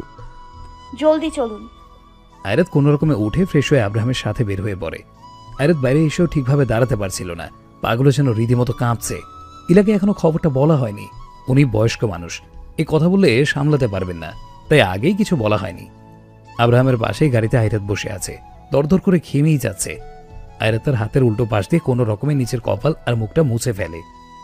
আয়রাত প্লিজ শান্ত হও। এইভাবে থাকলে তুমি নিজে অসুস্থ হয়ে পড়বে। প্লিজ সামলাও নিজেকে। কীভাবে সামলাবো আব্রাহাম? আমি জীবনেও আমার বাবা মার আদর পাইনি। যখন থেকে বুঝতে শিখেছি এই চাচুই আমার সব ছিল। চাচি আগে দেখতে না পেলেও আমাকে এখন চাচি ঠিকই ভালোবাসতো। আমার আপন বলতে চাচা চাচি ছাড়া কেউ ছিল না। আর এখন কি না? কাল আমার সাথে কথা বলল আজ সে আজ এসে পড়ার কথা ছিল। কাল আমার সাথে কথা বলল আর আজ তাদের এসে পড়ার কথা ছিল। কিন্তু এখন কি না লাশ? না জানি রনিত কি হলে আছে এখন। চিন্তা করো না রনিরকে পাওয়া গেছে। তারা আমার গার্ডের কাছে আছে সেখানে। আব্রাহাম প্লিজ দ্রুত চলুন। প্রায় তিরিশ মিনিট পর আব্রাহাম আর আয়রাত ইকবাল সাহেবের বাড়ির সামনে এসে দাঁড়ায়। গাড়ি থামতে আয়রাত দ্রুত নেমে পড়ে। আয়রাতকে দেখে রনিত দৌড়ে এসে আয়রাতকে চড়িয়ে ধরে। রনিত কান্না করছে অনেক। আয়রাত রনিতের সামনে বসে রনিতের চোখের পানিগুলো মুছে দিতে দিতে বলে ওঠে। কি হয়েছে ভাই? কে কে এগুলো করেছে? দেখেছিস কাউকে? কীভাবে হলো? জানি না আপু। কাল আমরা গাড়িতে করে আসছিলাম। বাবা দেখল যে একটাকের অনেক সময় ধরে আমাদের গাড়ি পিছু নিচ্ছে। তবে আমরা যেই না আমাদের বাড়ির সামনে এসে থামলাম তখনই ওই গাড়ি থেকে বেশ কয়েকজন লোক এসে পড়ল আমাদের সামনে। আম্মুর সাথে কি যেন কথা বলে তারা। হয়তো আম্মু ওদের আগে থেকে চিনত। একসময় আম্মুর সাথে কথা কাটাকাটি লেগে গেল তাদের। তারা আব্বু আম্মুকে সবাইকে মেরে দেয়। জানো আমি না খুব ভয় পেয়ে গিয়েছিলাম তাই ছুটে এসে গাড়ির ডিকির পিছনে লুকিয়ে পড়ি। তাই তারা আমাকে দেখতে পারেনি নইলে তো আমাকেও তারা চুপ চুপ চুপ। আয়রাত রনিতকে জড়িয়ে ধরে চুপ করে। তারপরে দেখে যে বাড়ির আঙিনায় দুটো লাশকে সাদা কাপড় দিয়ে মুখ ঢেকে দেওয়া হয়েছে। সাদা কাপড়ের উপর দিয়ে ছোপ ছোপ রক্তের দাগ লেগে আছে। তা দেখে আয়রাতের বুকের ভেতরটা কেমন মোচড় দিয়ে ওঠে। আয়রাত রনিতকে ছেড়ে দিয়ে দাঁড়ায়। রনিত আব্রাহামের কাছে চলে যায়। আব্রাহাম তাকে কোলে নিয়ে দাঁড়িয়ে পড়ে। বাচ্চাটা অনেক ভয় পেয়ে আছে। আয়রাত কাঁপা কাঁপা পায়ে লাশগুলোর দিকে এগিয়ে যায়। আয়রাতের সেখানে যেতে লাশগুলোর মুখের উপর থেকে কাপড় সরিয়ে দেওয়া হয়। রক্তে মাখা লাশ হয়ে আছে ইকবাল সাহেব আর তার স্ত্রী কলি। আরে তাদের দেখেই চিৎকার দিয়ে ওঠে। আব্রাহাম আয়রাতের দিকে এগিয়ে যায়। আরে তো কোনো কোল কিনারা খুঁজে পাচ্ছে না। পাগলের মতো করে কেঁদেই যাচ্ছে। আব্রাহাম কি আয়রাতকে ধরে। কিন্তু আয়রাত ইকবাল সাহেবের গাল ধরে চাচ্চু চাচ্চু করে ডেকেই যাচ্ছে। কলির কাছে গিয়ে ডাকছে। কিন্তু লাভ নেই। তারা আজীবনের জন্য চলে গিয়েছে সেই না ফেরার দেশে। আয়রাতের কানতে কানতে নাজেহাল অবস্থা হয়ে গেছে। আব্রাহাম বুঝলো যে এইভাবে এখানে আয়রাত থাকলে সে অসুস্থ হয়ে পড়বে। তাই এক প্রকার জোর করেই আয়রাতকে আব্রাহাম নিয়ে এসে পড়ে। ইকবাল সাহেবের থেকে কলিকে যেন আরও বাজেভাবে খুন করা হয়েছে। কোলে লাশের উপর থেকে সাদা কাপড়টা উঠিয়ে নিলে আব্রাহাম তার হাত দিয়ে আয়রাতকে নিচের দিকে ঘুরিয়ে তার বুকের সাথে চেপে ধরে। আয়রাতের কান্না করতে করতে খুব খারাপ দশা হয়ে গেছে। আব্রাহাম কোনো রকমে তাকে সামাল দিচ্ছে। আয়রাতের চাচা চাচির লাশকে আব্রাহামের বাড়িতে নিয়ে আসা হয়েছে। পুলিশ অফিসাররা ইনভেস্টিগেশন করতে চেয়েছিল, কিন্তু আব্রাহাম সোজা মানা করে দেয়, কেননা আব্রাহাম জানে যে এগুলো কার কাজ। আয়রাস যেন পাথর হয়ে গেছে, চুপ মেরে খালি এক জায়গায় বসেই আছে রনিতকে নিয়ে। এদিকে আব্রাহাম পুরো শহরে তার গার্ডদের লাগিয়ে দিয়েছে রায়হানকে খোঁজার জন্য, কিন্তু পাচ্ছে না। পাগল কুকুরের মতো করে খুঁজে যাচ্ছে এই রায়হানকে। একটাবার হাতে পেলে সেখানেই ইল্লা হবে তার। আব্রাহাম এই মুহূর্তে ঠিক কি বলে আয়রাতকে সান্ত্বনা দেবে জানা নেই তার। আব্রাহামের দাদি ইলা খবরটা শুনেছেন। তিনিও যেন একটা শখের মধ্যে আছেন। কি থেকে কি হয়ে গেল? আব্রাহাম ফোনে কথা বলছিল রাশেদের সাথে। এই পুরো শহরে নাকি রায়হান কোথাও নেই। যেইভাবে গার্ডগুলো খুঁজেছে তাদের রায়হান যদি সত্যি সত্যি এখানে থাকতো তাহলে পেয়ে যাবার কথা। তার মানে রায়হান গুম হয়েছে। আব্রাহাম আয়রাতের দিকে তাকিয়ে দেখে আয়রাত মুখ গোমরা করে এক ধ্যানে বসে আছে। আব্রাহাম ফোনটা কেটে দিয়ে আয়রাতের দিকে এগিয়ে যায়। আয়রাতের পাশে বসে পড়ে। জান পাখি। আয়রাত মাথাটা তুলে এক নজর আব্রাহামের দিকে তাকায়। তার চোখের পাতাগুলো ফুলে টকটকে লাল বর্ণ ধারণ করেছে। আব্রাহাম কিছু বলতে যাবে তখনই সাথে সাথে আয়রাত আব্রাহামের বুকে চাপিয়ে পড়ে হাউ মাউ করে কেঁদে দেয়। আব্রাহাম তাকে জড়িয়ে ধরে। আমি এখন কীভাবে থাকব? আমার দম আটকে আসছে। আমি আমি তো এমন কিছুই চাইনি। সব আমার জন্যই তাই না? আমাকে আমাকে রায়হান বিয়ে বিয়ে করতে পারেনি তাই জেদের জন্য এগুলো করেছে। ওরা আমার চাচা চাচির সাথে তাই না? সব আমার দোষ। এর থেকে আমি মরেই যেতাম। চুপ একদম চুপ। আব্রাহাম আয়রাতকে নিয়ে বসেছিল। তখনই একজন গার্ড বেশ দ্রুত পায়ে আব্রাহামের কাছে আসে। আব্রাহাম তার দাদিকে বলে আয়রাত আর রনিতকে এখান থেকে নিয়ে যেতে বলে। ইলা অনেক বুঝিয়ে শুনিয়ে আয়রাতকে নিয়ে যায়। কি হয়েছে?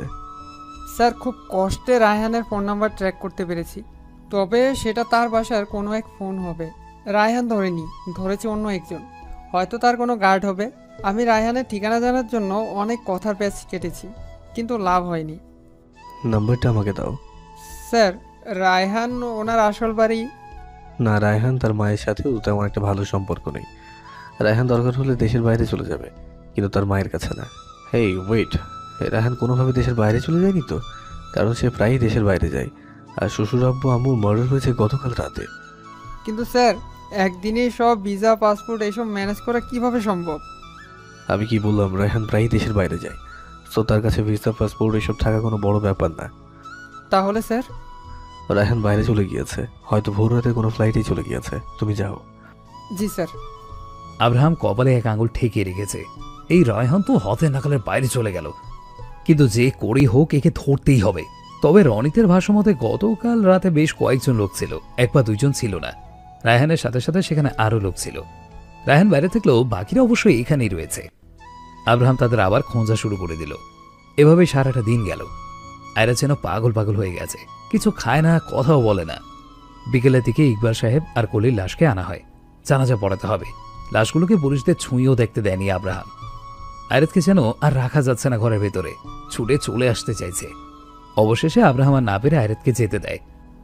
আয়রাত দুটো লাশের মাঝখানে বসে আবার হাউ মাউ করে কাঁদছে। রনিতকে আসতে দেয়নি এখানে। আয়রাত চাচ্ছু বলে চিৎকার করে ওঠে। আব্রাহাম খেয়াল করল যে আয়রাতের কেমন তার চোখগুলো বন্ধ করে আসছে। আয়রাত পড়ে যেতে ধরলে আব্রাহাম দ্রুত গিয়ে আয়রাতকে ধরে ফেলে। আয়রাত অজ্ঞান হয়ে গেছে। আব্রাহাম গার্ডদের লাশগুলোকে নিয়ে জানাজার ব্যবস্থা করতে বলে। আব্রাহাম আয়রাতকে কোলে করে বাসার ভেতরে নিয়ে আসে। সোজা নিজের রুমে গিয়ে আয়রাতকে শুইয়ে দেয়। আয়রাতের কপালে চুমু দিয়ে আব্রাহাম এসে পড়ে। একসময় সন্ধ্যা নেমে আসে। মাগরিবের আজানের পরে জানাজা পরে ইকবাল সাহেব আর কলিকে কবর দেওয়া হয়। আব্রাহাম জানাজার নামাজটা পরে বাসায় আসে। এসে দেখে আয়রাত হলরুমে বসে আছে।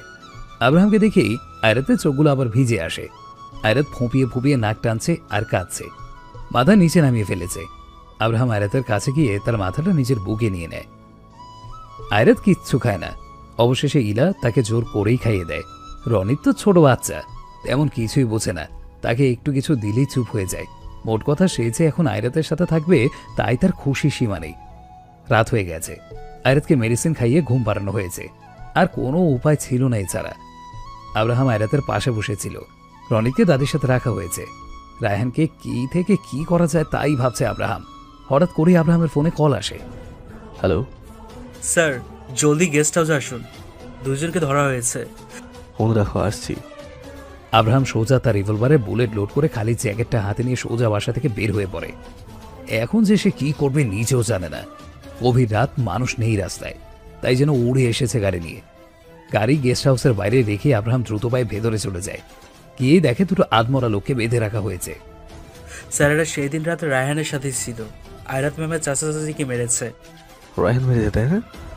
লোক দুটোকে এতই মারা হয়েছে যে তারা আর মুখ দিয়ে কিছু বলতে পারছে না। কোনো রকমে মাথা তুলায় ব্যাস, আব্রাহাম চোখ বন্ধ করে রিভলভারে যত বুলেটগুলো ছিল সব মাথার ভেতরে ঢুকিয়ে দেয়। শেষ, মারা গেছে তারা। আব্রাহামের রাগে যেন শরীর কাঁপছে। রায়হানকে না মারা অবধি তার মনে শান্তি নেই। অন্যদিকে রায়হান এসে পড়েছে লন্ডন। তবে একা আসেনি। রায়হানের সাথে এসেছে প্রীতিও। যে কিনা বলতে গেলে আব্রাহামের পেছনে পাগল। আসলে আব্রাহাম আয়রাতের বিয়েটা রায়হানের সাথে সাথে মেনে নিতে পারেনি প্রীতিও। কথায় আছে না শত্রু শত্রু একে অপরের বন্ধু হয়। এখানেও ঠিক তাই। রায়হান চায় আয়রাতকে আর প্রীতি চায় আব্রাহামকে। রায়হানের সাথে প্রীতিও এখন লন্ডনেই আছে। রায়হান যে আয়রাতের চাচা চাচিকে মেরে রেখে এসেছে, তা প্রীতি জানে। আসলে ইকবাল সাহেবের গাড়ির পেছনে যে গাড়িটা থাওয়া করে আসছিল, তা রায়হানেরই ছিল। একসময় তারা গাড়ি থামায়। রায়হান গিয়ে সোজা কলিকে ধরে। আব্রাহামের সাথে আয়রাতের বিয়ে কেন দিল? রাজি কেন হলো? বলি তো রায়হানের হ্যাঁতে হ্যাঁ মিলিয়েছিল। তাহলে কেন তাদের দুজনের বিয়ে দিল?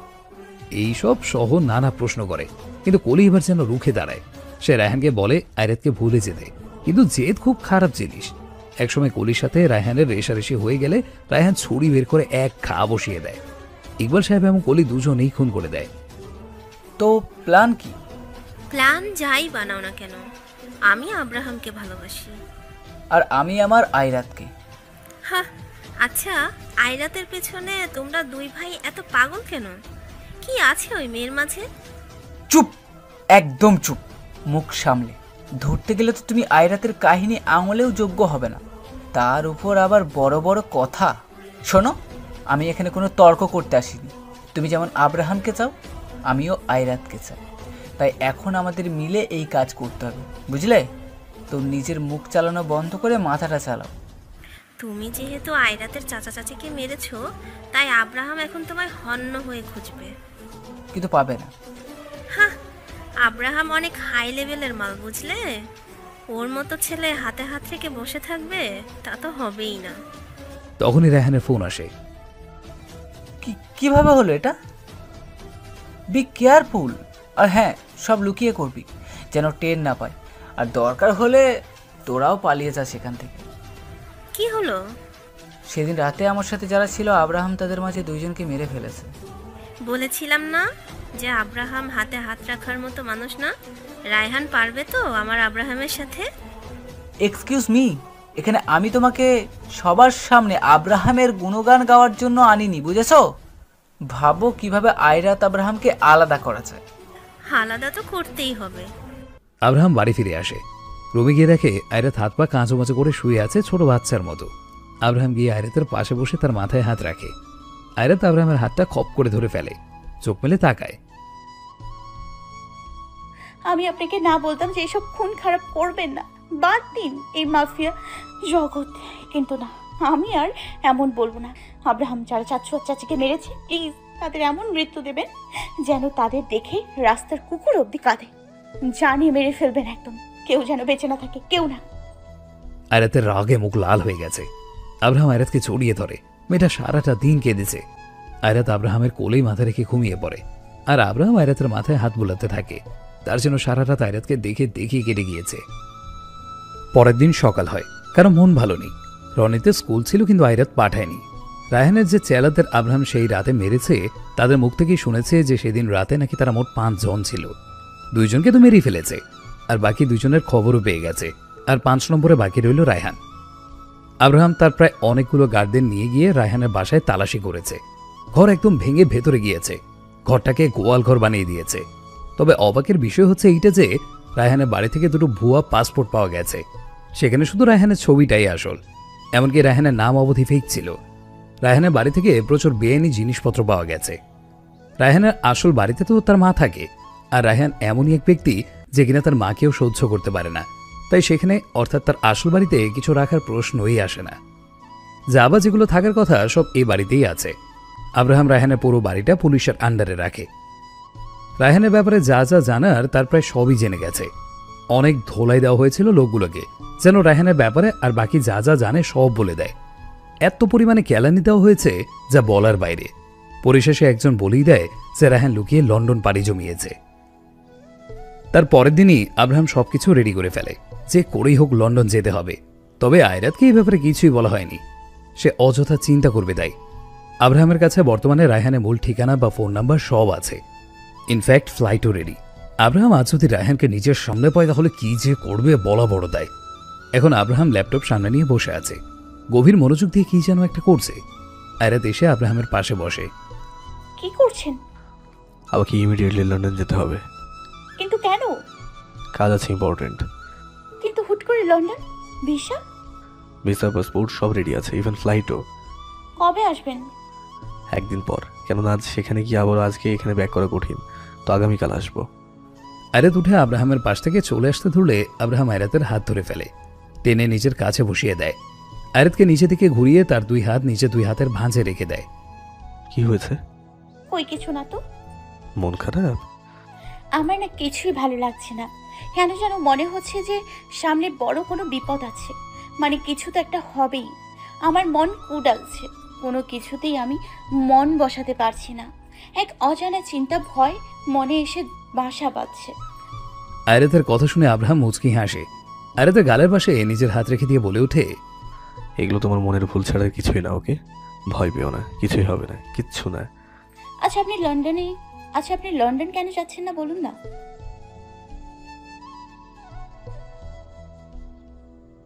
আমি জলদি এসে পড়ব। আমি চাই রনিতকে খাওয়াতে হবে আর দাদিকে মেডিসিন দিতে হবে। আপনিও নিচে আসুন। আসছি।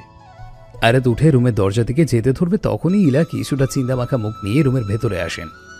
আব্রাহাম? বলো দাদি। দাদি তোমরা কথা বলো আমি যাই। আব্রাহাম রাগ করিস না। দাদি হয়েছে রে কি? রুকসানা এসেছে। উনি এখানে কেন? আমি জানি না হল রুমেই বসে আছে। তোর সাথে দেখা করতে এসেছে। প্লিজ শোনা তুই রাগ করিস না। দাদি মানলাম আমি একটু রাগি কিন্তু এতটাও না যে যাত্রার সাথে খারাপ বিহেভ করে দেবো। যাই হোক ওনাকে পাঠিয়ে দিও। আচ্ছা। ওদিকে আয়রাত সিঁড়ি বেয়ে নিচে নেমে পড়ে। নিচে নেমেই দেখে একজন মাঝবয়সী মহিলা বসে আছে। আয়রাত তাকে চিনে না। তাই সাধারণতই আয়রাত কপাল কুঁচকে সেখানে যায়। আয়রাতের কিছু বলার আগেই রুকসানা হাসি মুখে আয়রাতের দিকে এগিয়ে যায়। তুমি বুঝি আব্রাহানের বউ? জি। বাহ মাশাল্লাহ ভারী মিষ্টি দেখতে তুমি। জি কিন্তু আমি আপনাকে তো চিনতে পারলাম না। না চেনারই কথা আর এছাড়াও চেনেই বা কি করবে? তেমন কিছু বা কেউ লাগে না আমি তোমার। আপনি কি আব্রাহামের কিছু হন? সৎ মা আমি রায়হানের মা। ও আচ্ছা আপনি দাঁড়িয়ে কেন? বসুন বসুন। না না না আমি ঠিক আছি। আপনি কি আব্রাহামের সাথে দেখা করতে এসেছেন? হ্যাঁ। ও আচ্ছা আপনি বসুন। আয়রাতের এখন ঠিক কি করা উচিত জানা নেই তার। রায়হান যে তার চাচা চাচিকে মেরে ফেলেছে তাই যেন আয়রাতের মাথায় এখন ঘুরছে। রুকসানা ব্যবহারে বোঝা যাচ্ছে যে সে কত নরম মনের একটা মানুষ। কিন্তু রায়হান এমন জানোয়ার হয়েছে কেন? তবু একজনের রাগ আরেকজনের উপরে তুলতে নেই। তাই আয়রাত চুপ থাকে। রুকসানার সাথে যথেষ্ট ভালো আচরণ করে। আয়রাত টুকটাক কথা বলছিল তখন ইলা উপর থেকে নিচে নেমে আসে। রুকসানা ইলাকে দেখে দাঁড়িয়ে পড়ে। মা? হ্যাঁ আব্রাহাম উপরেই আছে তুমি যাও। জি। রুকসানা আব্রাহামের রুমের দিকে পা বাড়ায়। আয়রাত কতক্ষণ তার দিকে তাকিয়ে থেকে ইলাকে বলে হুম আব্রাহামের সাথে কি কথা বলতে এসেছেন উনি? জানে না রে নাথবউ আব্রাহাম রাগারাগি করবে না তো? তাই তো বলে এলাম দেখি কি হয়। আচ্ছা ধরো মেডিসিন নাও। রুকসানা গিয়ে আব্রাহামের রুমে চলে যায়। আব্রাহাম করিডোরে ছিল। রুকসানাকে দেখে সে ভেতরে আসে। কেমন আছেন? আলহামদুলিল্লাহ বাবা তুমি? আপনার গুণধর ছেলে ভালো হয়ে থাকতে দিল কই? তো আমার কাছে এত বছর পর কি মনে করে? কি করব বাবা বলো? ছেলে হাজার ভুল করলেও এমনকি মাকে ভুলে গেলেও মা তো আর তা করতে পারে না তাই না? কথাটা বলার জন্য আমাকে মাফ করবেন কিন্তু আপনি আপনার ছেলে এটা ভালোভাবে লালন পালন করতে পারেননি একদমই না। তা না হলে এমন অমানুষ হতো না। আমি জানি রায়হানার তোমার মাঝে কিছু ঠিক নেই কিছুই না কিন্তু তবুও আমি তোমাকে কিছু কথা বলতে এসেছি। বলুন। আব্রাহাম বাবা এখনও কি রাগ করে আছো আমার সাথে? না। হ্যাঁ যখন ছোটবেলা রৌনক চৌধুরী আপনাকে বিয়ে করে আনে তখন সবার জন্য ঘৃণার পাহাড় জন্ম নিয়েছিল আমার মনে। কিন্তু যখন বড় হলাম বুঝতে শিখলাম তখন বুঝলাম যে আপনারও যাওয়ার মতো কোনো জায়গা ছিল না। তাই বাধ্য হয়ে আপনি এখানেই থেকেছেন। নয়তো একটা সুখের সংসারকে এইভাবে তছনছ করে থেকে যাওয়ার ইচ্ছে আপনারও ছিল না। আমি জানি আমি কখনোই তোমার মায়ের জায়গা নিতে পারব না। আর আমি নিতে চাইও না। যার যার মায়ের প্রতি একটা আলাদা মায়া থাকে হয়তো আমার ছেলের তাও নেই। আমি বুঝতে পেরেছি আপনি কেন এসেছেন। বাবা আমি জানি। রায়হান আয়রাতে চাচা চাচিকে মেরেছে। পুলিশ অফিসাররা আমার বাসিতে বেশি ছিল। তাদের মুখ থেকেই সব শুনেছি সব জানি আমি। তুমি তো রায়হানকে মেরেই ফেলবে। যদি তাকে কাছে পাও এটাও আমি জানি কিন্তু কি করব বলো মা আমি? ছেলের সাত খুন মাফ করেও দিতে পারি। এতে হয়তো তুমি আমাকে স্বার্থপর ভাবতেই পারো কিন্তু কি হয়েছে তার সোজা সাপটা বলুন। আব্রাহাম বাবা আমি তোমার সামনে হাত জোর করছি।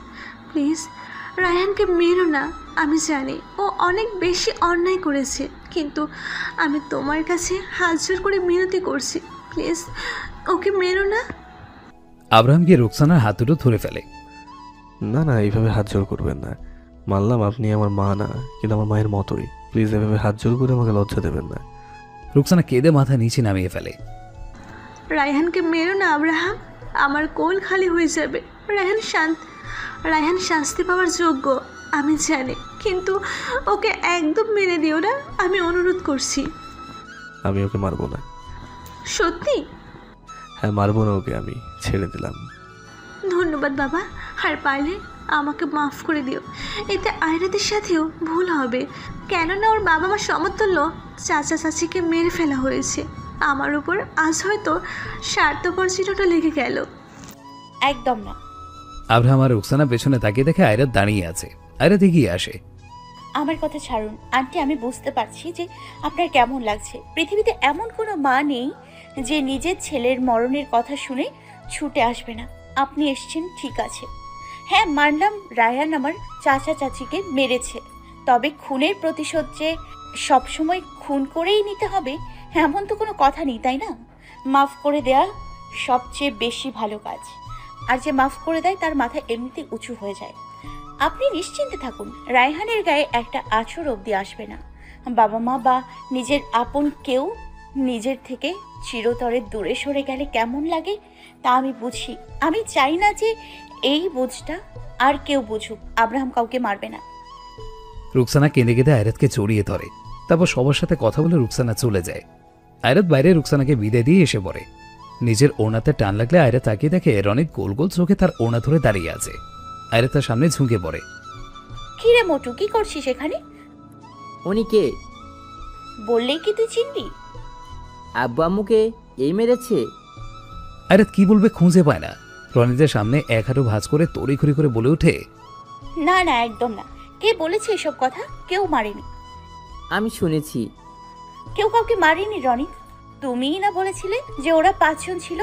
তাহলে এদের মাঝে এই কি করে আসবে বলো? এই তো একা। আর ওরা সবাই ছেলে ছিল তাই না? কেউ কাউকে মারেনি। আপু আ সবজি খেতে দিয়েছিলাম তোকে খেয়েছিস? এখন যদি সবগুলো সবজি না খাস তুই তাহলে আমি তোকে মেরে আলু ভর্তা বানাবো। রনিত দৌড়ে চলে যায়। আর হ্যাঁ রনিত মোটা সোটা। তুই মোটু? এই মোটু দাঁড়া একদম দৌড়বি না দাঁড়া। আয়রাত রনিতের পেছনে পেছনে ছুটে চলে যায়। আয়রাত হলরুমে এসে উপরের দিকে তাকায়। আব্রাহাম না জানে কি করছে। সে রুমে চলে যায়। গিয়ে দেখে আব্রাহাম দুই হাত ভাঁজ করে দাঁড়িয়ে আছে। চোখ দুটো তার বাইরের দিকে। আয়রাত গিয়ে আব্রাহামের কাঁধে হাত রাখে। কি হইছে? মায়েরা তো অদ্ভুত হয় কেন? কারণ আল্লাহ তাদের সবাই থেকে আলাদাভাবে বানায় তাই? না মানে তুমি ভাবতে পারছ যে দু দুটো মানুষকে খুন করা হয়েছে আর তারই মা কিনা আজ এসে নিজের ছেলের জন্য আহাজারি করছে আমার কাছে। আপনি আপনি লন্ডন রায়ানকে মারার জন্য যেতে চাইছিলেন তাই না? হ্যাঁ। ছেড়ে দিন যেভাবে আছে সেভাবেই থাক। মাফ করে দিন আর ঝামেলা করতে হবে না। হয়তো আমার চাচাশ্রীর ভাগ্যে মৃত্যুটা এভাবেই লেখা ছিল তাই মারা গেছে। আমি তো এই ভেবে খুশি যে আমার রনিতের কিছু হয়নি। কোথায় ও? এক একটা সবজি তুলে তুলে মুখের সামনে নিয়ে দেখছে তারপর নাক মুখ কচলাচ্ছে আবার রেখে দিচ্ছে। তুমিও না বাচ্চাদের না কি খেতে দাও? দরকার কি সবজি খাবার? চকলেট দাও। হ্যাঁ আমার তো মাথা খারাপ হয়েছে। বেশি করে বাইরে জিনিস খাওয়াই ওকে। হয়েছে? নিজে কি কম খাও নাকি? আগে থেকে অনেক কমেছে আমার। আমাকেও আমার মা আর দাদি মিলে ঠেসে ঠেসে আগে সবজি খাওয়াতো। দূর কি ঘাস ঘুষ এগুলো মানুষ খায় নাকি তাই? না গরু ছাগলে খায়। আমাদের বেবি হলে না জানি তুমি কি করো। এই চুপ করুন আপনি বাইরে যাবেন না তাই আমার হ্যাপি লাগছে। আব্রাহামের মাথায় দুষ্ট বুদ্ধি চেপে বসে। সে আয়রাতের কোমরে এক টান দিয়ে নিজের বুকের ওপরে ফেলে দেয়। ও তাই হ্যাঁ না? আমি বাইরে যাব না এতে তুমি খুব খুশি কেন বলো তো? আবার না মানে মানে আসলে আমি তো হুম তুমি কি বলো? আব্রাহাম আয়রাতের কোমরে পেটে সুরসুরি ঘাঁটতে লাগল। আর আয়রাত ছটফট করছে। আব্রাহামের কাছ থেকে সরে আসতে চাইলে আব্রাহাম যেন আরও আঁকড়ে ধরে। আব্রাহাম কি করছেন? ছাড়ুন আমার কাতো কত লাগছে। ছাড়ুন! না বাইরে যেহেতু যাব না তাহলে সারাদিন তোমার সাথে চিপকে থাকি। আয়রাত আয়রাত। ওই যে দাদি ডাকছে। আব্রাহাম ছাড়ুন আমাকে। আব্রাহাম আয়রাতের ঘাড়ে চুমু দিয়ে দেয়। আয়রাত কোনো রকমে নিজেকে ছাড়িয়ে আব্রাহামের দিকে একটা ভেঙচি কেটে দৌড়ে রুম থেকে বের হয়ে পড়ে। আব্রাহাম মুচকি হেসে করিডোরে গিয়ে দাঁড়ায়। হঠাৎ করেই নিচের ফোন বেজে ওঠে। আব্রাহাম গিয়ে তা ধরে আন্নোর নাম্বার। হ্যালো? হ্যালো বড় ভাই। কেন ফোন করেছিস? আর আরে রেগে যাচ্ছিস কেন? আমি তো তুই কেমন আছিস তা জানার জন্য ফোন করেছি। হুম আলহামদুলিল্লাহ ভালো আছি। আর তোকে ভালো রেখেছি। আমি তো ভালোই থাকব। হুম মরদের মুখ থেকে ফিরে আসলে কেউ না খুশি হয়ে থাকতে পারে বল। মানে? বেশ ভালো হয়েছে যে তুই আমাকে কল করেছিস। আর শুন কথা বলার পর সিম ভেঙে ফেলার দরকার নেই। আমি তোকে ট্রেস করব না ছেড়ে দিয়েছি তোকে। নয়তো তখন তুই দুনিয়ার ওপরে থাকতি। মানে কি এসবের? শুধু জন্ম দিলেই যেমন বাবা মা হয়ে যায় না ঠিক তেমনই মানুষের পেটে থেকে জন্মালেও সবসময় মানুষ হয়ে জন্ম নেওয়া যায় না। মানুষের পেট থেকে অমানুষ হয়েও বের হয়েছিস তুই। যা ইচ্ছে বল। তোর মা এসেছিল আমার কাছে। কেন এসেছিল? তোর প্রাণ ভিক্ষা চাইতে আর কি। কি বলতে চাস তুই? তুই লন্ডনে আছিস এতক্ষণ আমি তোর সামনে থাকতাম। আর তুই থাকতি লাশ হয়ে। কিন্তু তোর মা এসে আমার কাছে যা বলল তাতে তোকে মারার জন্য আমার মন আর সাঁই দিল না। ভাগ্য ভালো তুই মা এত ভালো পেয়েছিস।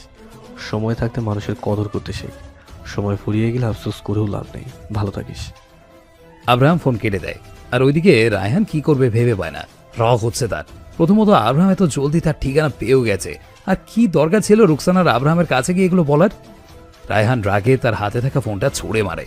আব্রাহাম তাকে ছেড়ে দিয়েছে। আব্রাহাম ভিক্ষে দিয়েছে তাকে ভিক্ষে। আব্রাহাম তার জীবন তাকে ভিক্ষে দিয়েছে। এরা ভাবতে যেন রায়হানের মাথায় আগুন ধরে উঠেছে। রায়হান রাগে শুধু রুমে পায়চারি করে যাচ্ছে। তখনই হাই হিলে টকবক শব্দ তুলে প্রীতি রুমে আসে। রায়হানের মুখখানা দেখে বুঝলো যে সে বেশ রেগে আছে। রায়হান সবকিছু ঠিক আছে তো? কিছু ঠিক নেই। রায়হান রাগে চিল্লিয়ে উঠে বাসা থাকা ফ্লাওয়ার ভাসটা ভেঙে ফেলে। প্রীতি ভয় কয়েক কদম পিছিয়ে যায়। আমার মা ওই আব্রাহামের কাছে গিয়ে নাকি বলেছে যে আব্রাহাম যেন আমাকে না মারে তার মানে কি আমি আব্রাহামকে দেখে ভয় পাই নাকি? ওই আব্রাহাম আমার সামনে আসলেই বার কি? আমি কম না। মা কেন যে আব্রাহামের কাছে গেল? রাগে মাথা ফেটে যাচ্ছে আমার। আচ্ছা ঠিক আছে আগে তুমি শান্ত হও। ব্যাপার হাতের বাইরে যায়নি এখনও। তুমি ঠান্ডা করো মাথা। আর এভাবে হাল ছেড়ে দিলে হয় না। সব কিছু ঠান্ডা মাথায় ভাবতে হবে শান্ত হও। আমার আয়রাতকে চাই। ওকে ওকে ফাইন সব হবে। আগে তুমি চুপ করো। রাগের মাথায় নেওয়া সব ডিসিশন খারাপই হয়। ঠান্ডা হও। আর এখন যে আব্রাহাম লন্ডন আসবে না তাতে আমাদেরই ভালো হয়েছে। রায়হান প্রীতিকে ছেড়ে দেয়। প্রীতি একটা সিগারেট জ্বালিয়ে তার ধোঁয়া উড়িয়ে দিয়ে রায়হানের পাশে এসে দাঁড়ায়। আমার কাছে একটা প্ল্যান আছে। অ্যান্ড আই এম শিওর যে এটা কাজ করবে। আব্রাহাম আয়রাত সেদিকে ভালোই আছে। আয়রাত আগে থেকে তার চাচা চাচির মৃত্যুর শোকটাকে কিছুটা কাটিয়ে উঠতে পেরেছে। আব্রাহাম তাকে সবসময় হাসি খুশি রাখে। আগে ছিল তিনজন এখন চারজন। রনিত আছে। আসলে বাড়িতে একটা ছোট বাচ্চা থাকলে বাড়ির চেহারাটাই পাল্টে যায়। খুনসুটিতে দিন কাটছে। আব্রাহাম অফিসে যায় আবার আসে। মাঝে মাঝে আয়রাতে জিদের ফলে তাকে অফিস কামাই দিতে হয়। আগে চকলেট আনতে হতো একজনের জন্য, এখন দুইজনের জন্য আনতে হয়। রনিতকে আব্রাহাম নিজের জান দেখে। মাঝে মাঝে এই দুই ভাই বোনের কাণ্ড দেখে তো আব্রাহাম বলেই উঠে যে, এই দুই পাগলের জন্য আমি নিজেও পাগল হয়ে যাব। তখন আর আব্রাহামকে কে পায়? আয়রা তার রনিত মিলে ফাইট শুরু করে দেয়। আজ আব্রাহামের দাদার মৃত্যুবার্ষিকী। তাই ইলা আর আয়রাত মিলে জমিয়ে রান্না করছে। আজ কোনো স্টাফ রানবে না। আয়রাত আর ইলা সকাল থেকেই সব শুরু করে দিয়েছে। আব্রাহাম যদিও না করেছিল, কিন্তু ইলা আর আয়রাতের সাথে পারেনি। অনেক সময় ইলা রান্না করেছিল, তাই আয়রাত ইলাকে হলরুমে এসি নিচে পাঠিয়ে দিয়েছে। তার ঘণ্টাখানিক পর আয়রাত ঘেমে নিয়ে এক একার হয়ে গেছে। রনিত উপরে আব্রাহামের কাছে। আয়রাত ভাবলো, গরমের দিন যেহেতু, তাই সবার জন্য ঠান্ডা জুস নিয়ে যাক। ইলাকে জুস দিয়ে আয়রাত দুটো গ্লাস নিয়ে উপরে রুমে যায়। তবে রুমে গিয়ে রুমে দরজা খুলতে আয়রাতের মুখ খা। তার মাথা ঘোরাচ্ছে। পুরো রুম বালিশের ভেতরে তুলো দিয়ে ছড়িয়ে ছিটিয়ে রয়েছে। চারিদিকে খালি তুলো আর তুলো। কিছু কিছু উড়েও যাচ্ছে। আর বিছানার উপরে তাকিয়ে দেখে আব্রাহাম আর রনিত পিলো ফাইট করছে। দুজনের হাতে দুটো বালিশ, আর তার ভেতরে তুলো নেই বললেই চলে। সব তুলো বাইরে বের হয়ে গেছে। আব্রাহাম, রনিত এতক্ষণ বালিশ নিয়ে এগুলো করছিল। আয়রাতকে হঠাৎ এইভাবে দেখে দুজনেই চুপ হয়ে যায়। আয়রাত চোখগুলো ছোট ছোট করে তাদের দুজনের দিকে তাকায়। আয়রাতের এমন চেহারা দেখে আব্রাহাম, রনিত দুজনেই শুকনো ঢোক গিলে। আয়রাত এগিয়ে গিয়ে কোনো রকমের টি টেবিলের উপরে জুসের গ্লাস দুটো রাখে। আয়রা তাকিয়ে দেখে আব্রাহাম আর রনিত ড্যাব ড্যাব করে তাকিয়ে আছে। এটা দেখে আয়রাতের মাথা খারাপ হয়ে যায়। এই এগুলো কি? সারাদিন রান্নাঘরে এত কাজ করার পর এখন এগুলো? ঘেমে নে শেষ হয়ে গিয়েছি। এখন এই রুম পরিষ্কার এখন এই রুম কে পরিষ্কার করবে? রুম রুম নাকি কোনো গরুর গোহাল? কি একটা অবস্থা করেছে। এগুলো কে করবে এখন? আর কিছু ছিল না খেলার জন্য? বাইরে বাগানে গিয়ে খেলতে? দুজনেই এগুলো কি করেছ? আয়রাতে চিল্লানোর ফলে আব্রাহাম আর রনিত দুজনেই কানে আঙুল দিয়ে রেখেছে। আয়রাত আরেকবার চিল্লিয়ে উঠলে আব্রাহাম আর রনিত দুজনেই দৌড়ে রুম থেকে বের হয়ে যায়। কি আর করার? আয়রাত সব পরিষ্কার করে। তার জন্য নাকের পানি আর চোখের পানি এক। পুরো জঙ্গলি হয়ে গেছে। আয়রাত ইনিয়ে বিনিয়ে নিচে নেমে আসে। ইলা আয়রাতের দিকে তাকিয়ে আছে। আর আব্রাহাম রনিত আয়রাতকে দেখে হি হি করে হেসে দেয়। তারপর দুজনেই হাই ফাইভ করে। আয়রাতকে চেনা যাচ্ছে না। মাথায় এতগুলো তুলো। মুখটা কালো হয়ে গেছে। আব্রাহাম আর রনিতকে হাসতে দেখে আয়রাত দেয় আরেক ধমক। কি আর করার? ইলায়দের কাণ্ড দেখে হাসছে।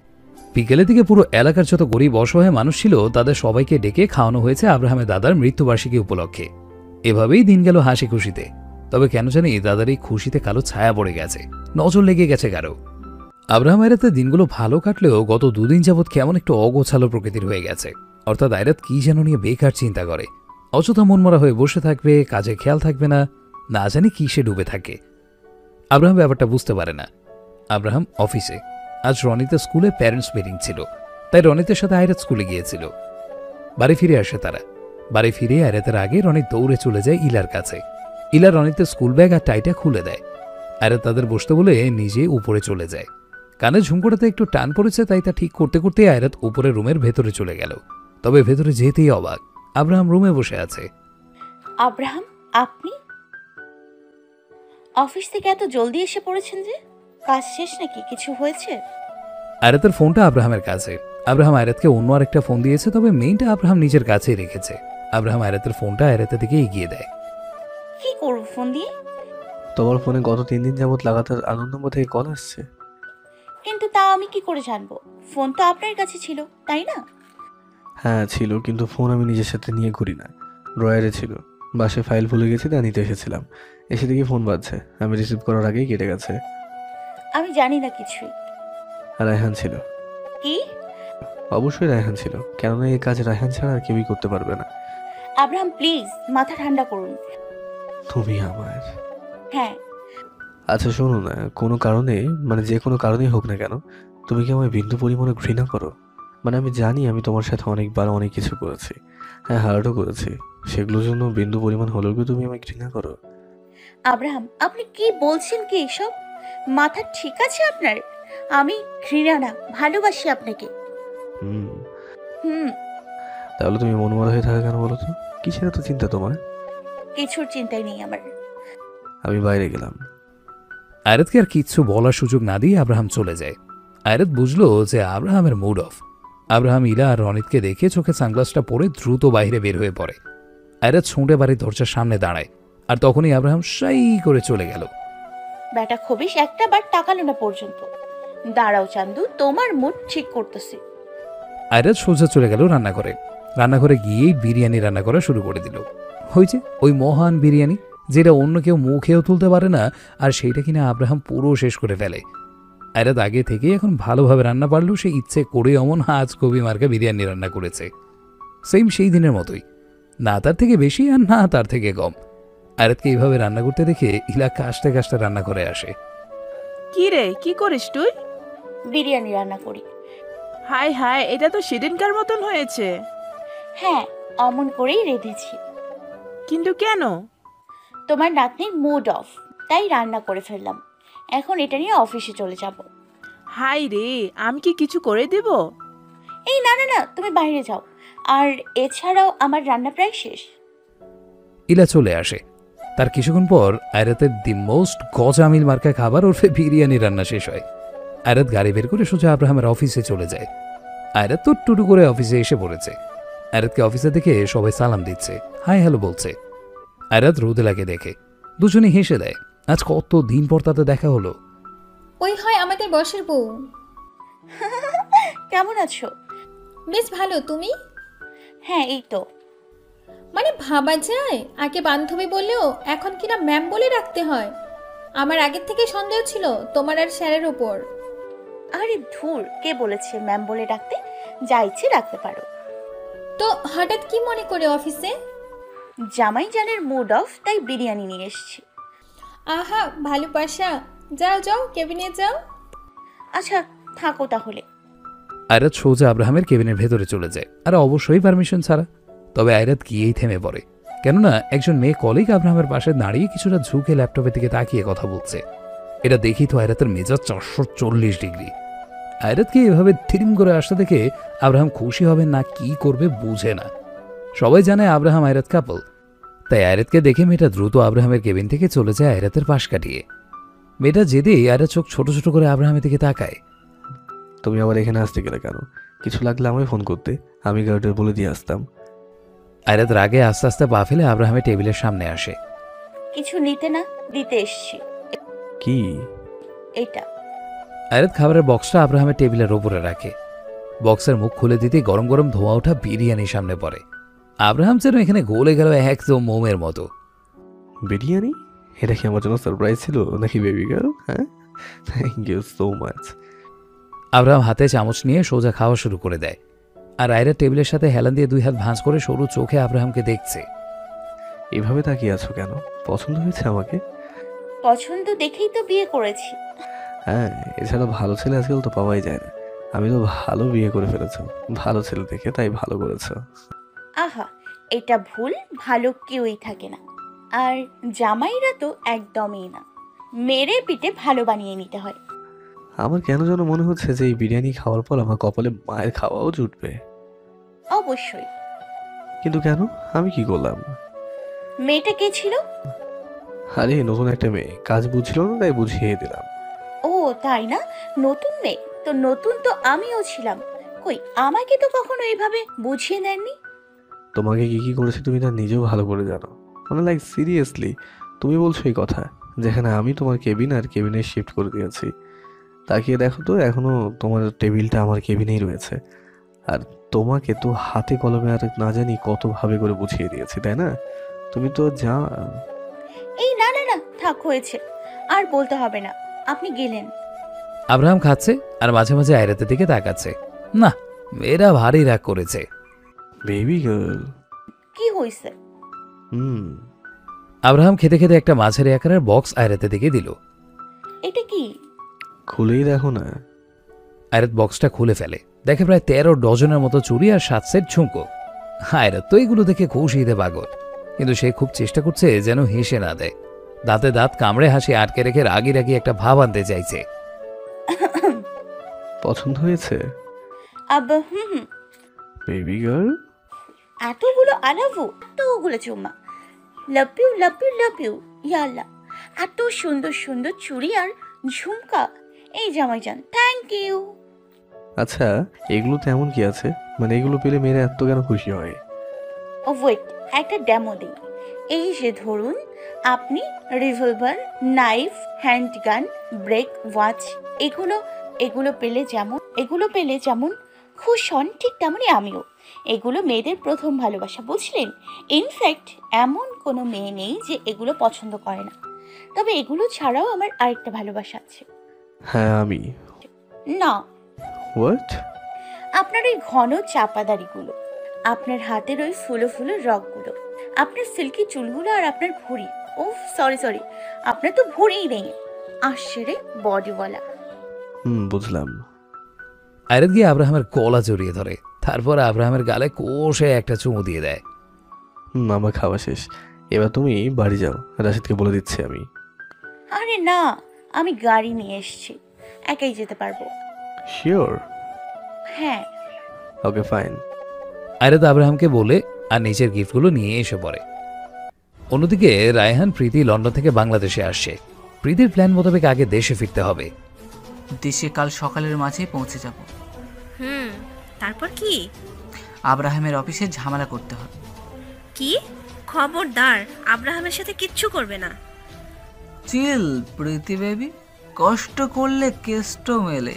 আব্রাহামের একটু ক্ষতি না করলে না আয়রাত আমার হবে আর না আব্রাহাম তোমার। দেশে গিয়ে এরপর কি করবে তাই বলো। আব্রাহামের একটা ড্রাইভার আছে যা আমার সাথে রয়েছে কিন্তু এটা আব্রাহাম জানে না। বেশি না মাত্র কয়েকদিন হবে নতুন ড্রাইভারটা গিয়েছে তার সাথেই গোলমাল লাগাতে হবে।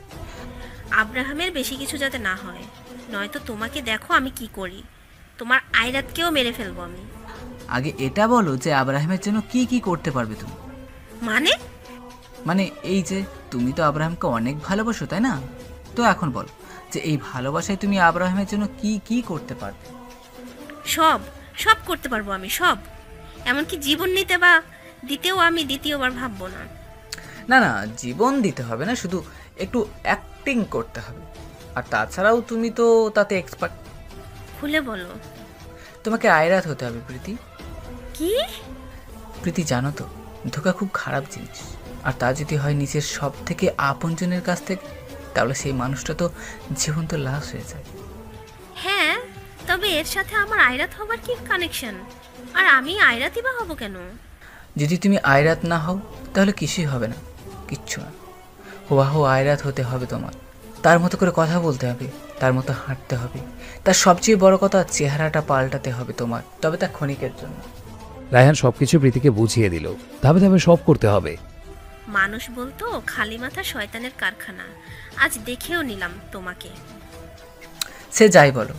তো Ayrat part two be ready I am আব্রাহামের আজ অনেক বড় একটা ডিল সাইন করতে হবে। ফরেন থেকে কিছু ক্লায়েন্ট আসবে।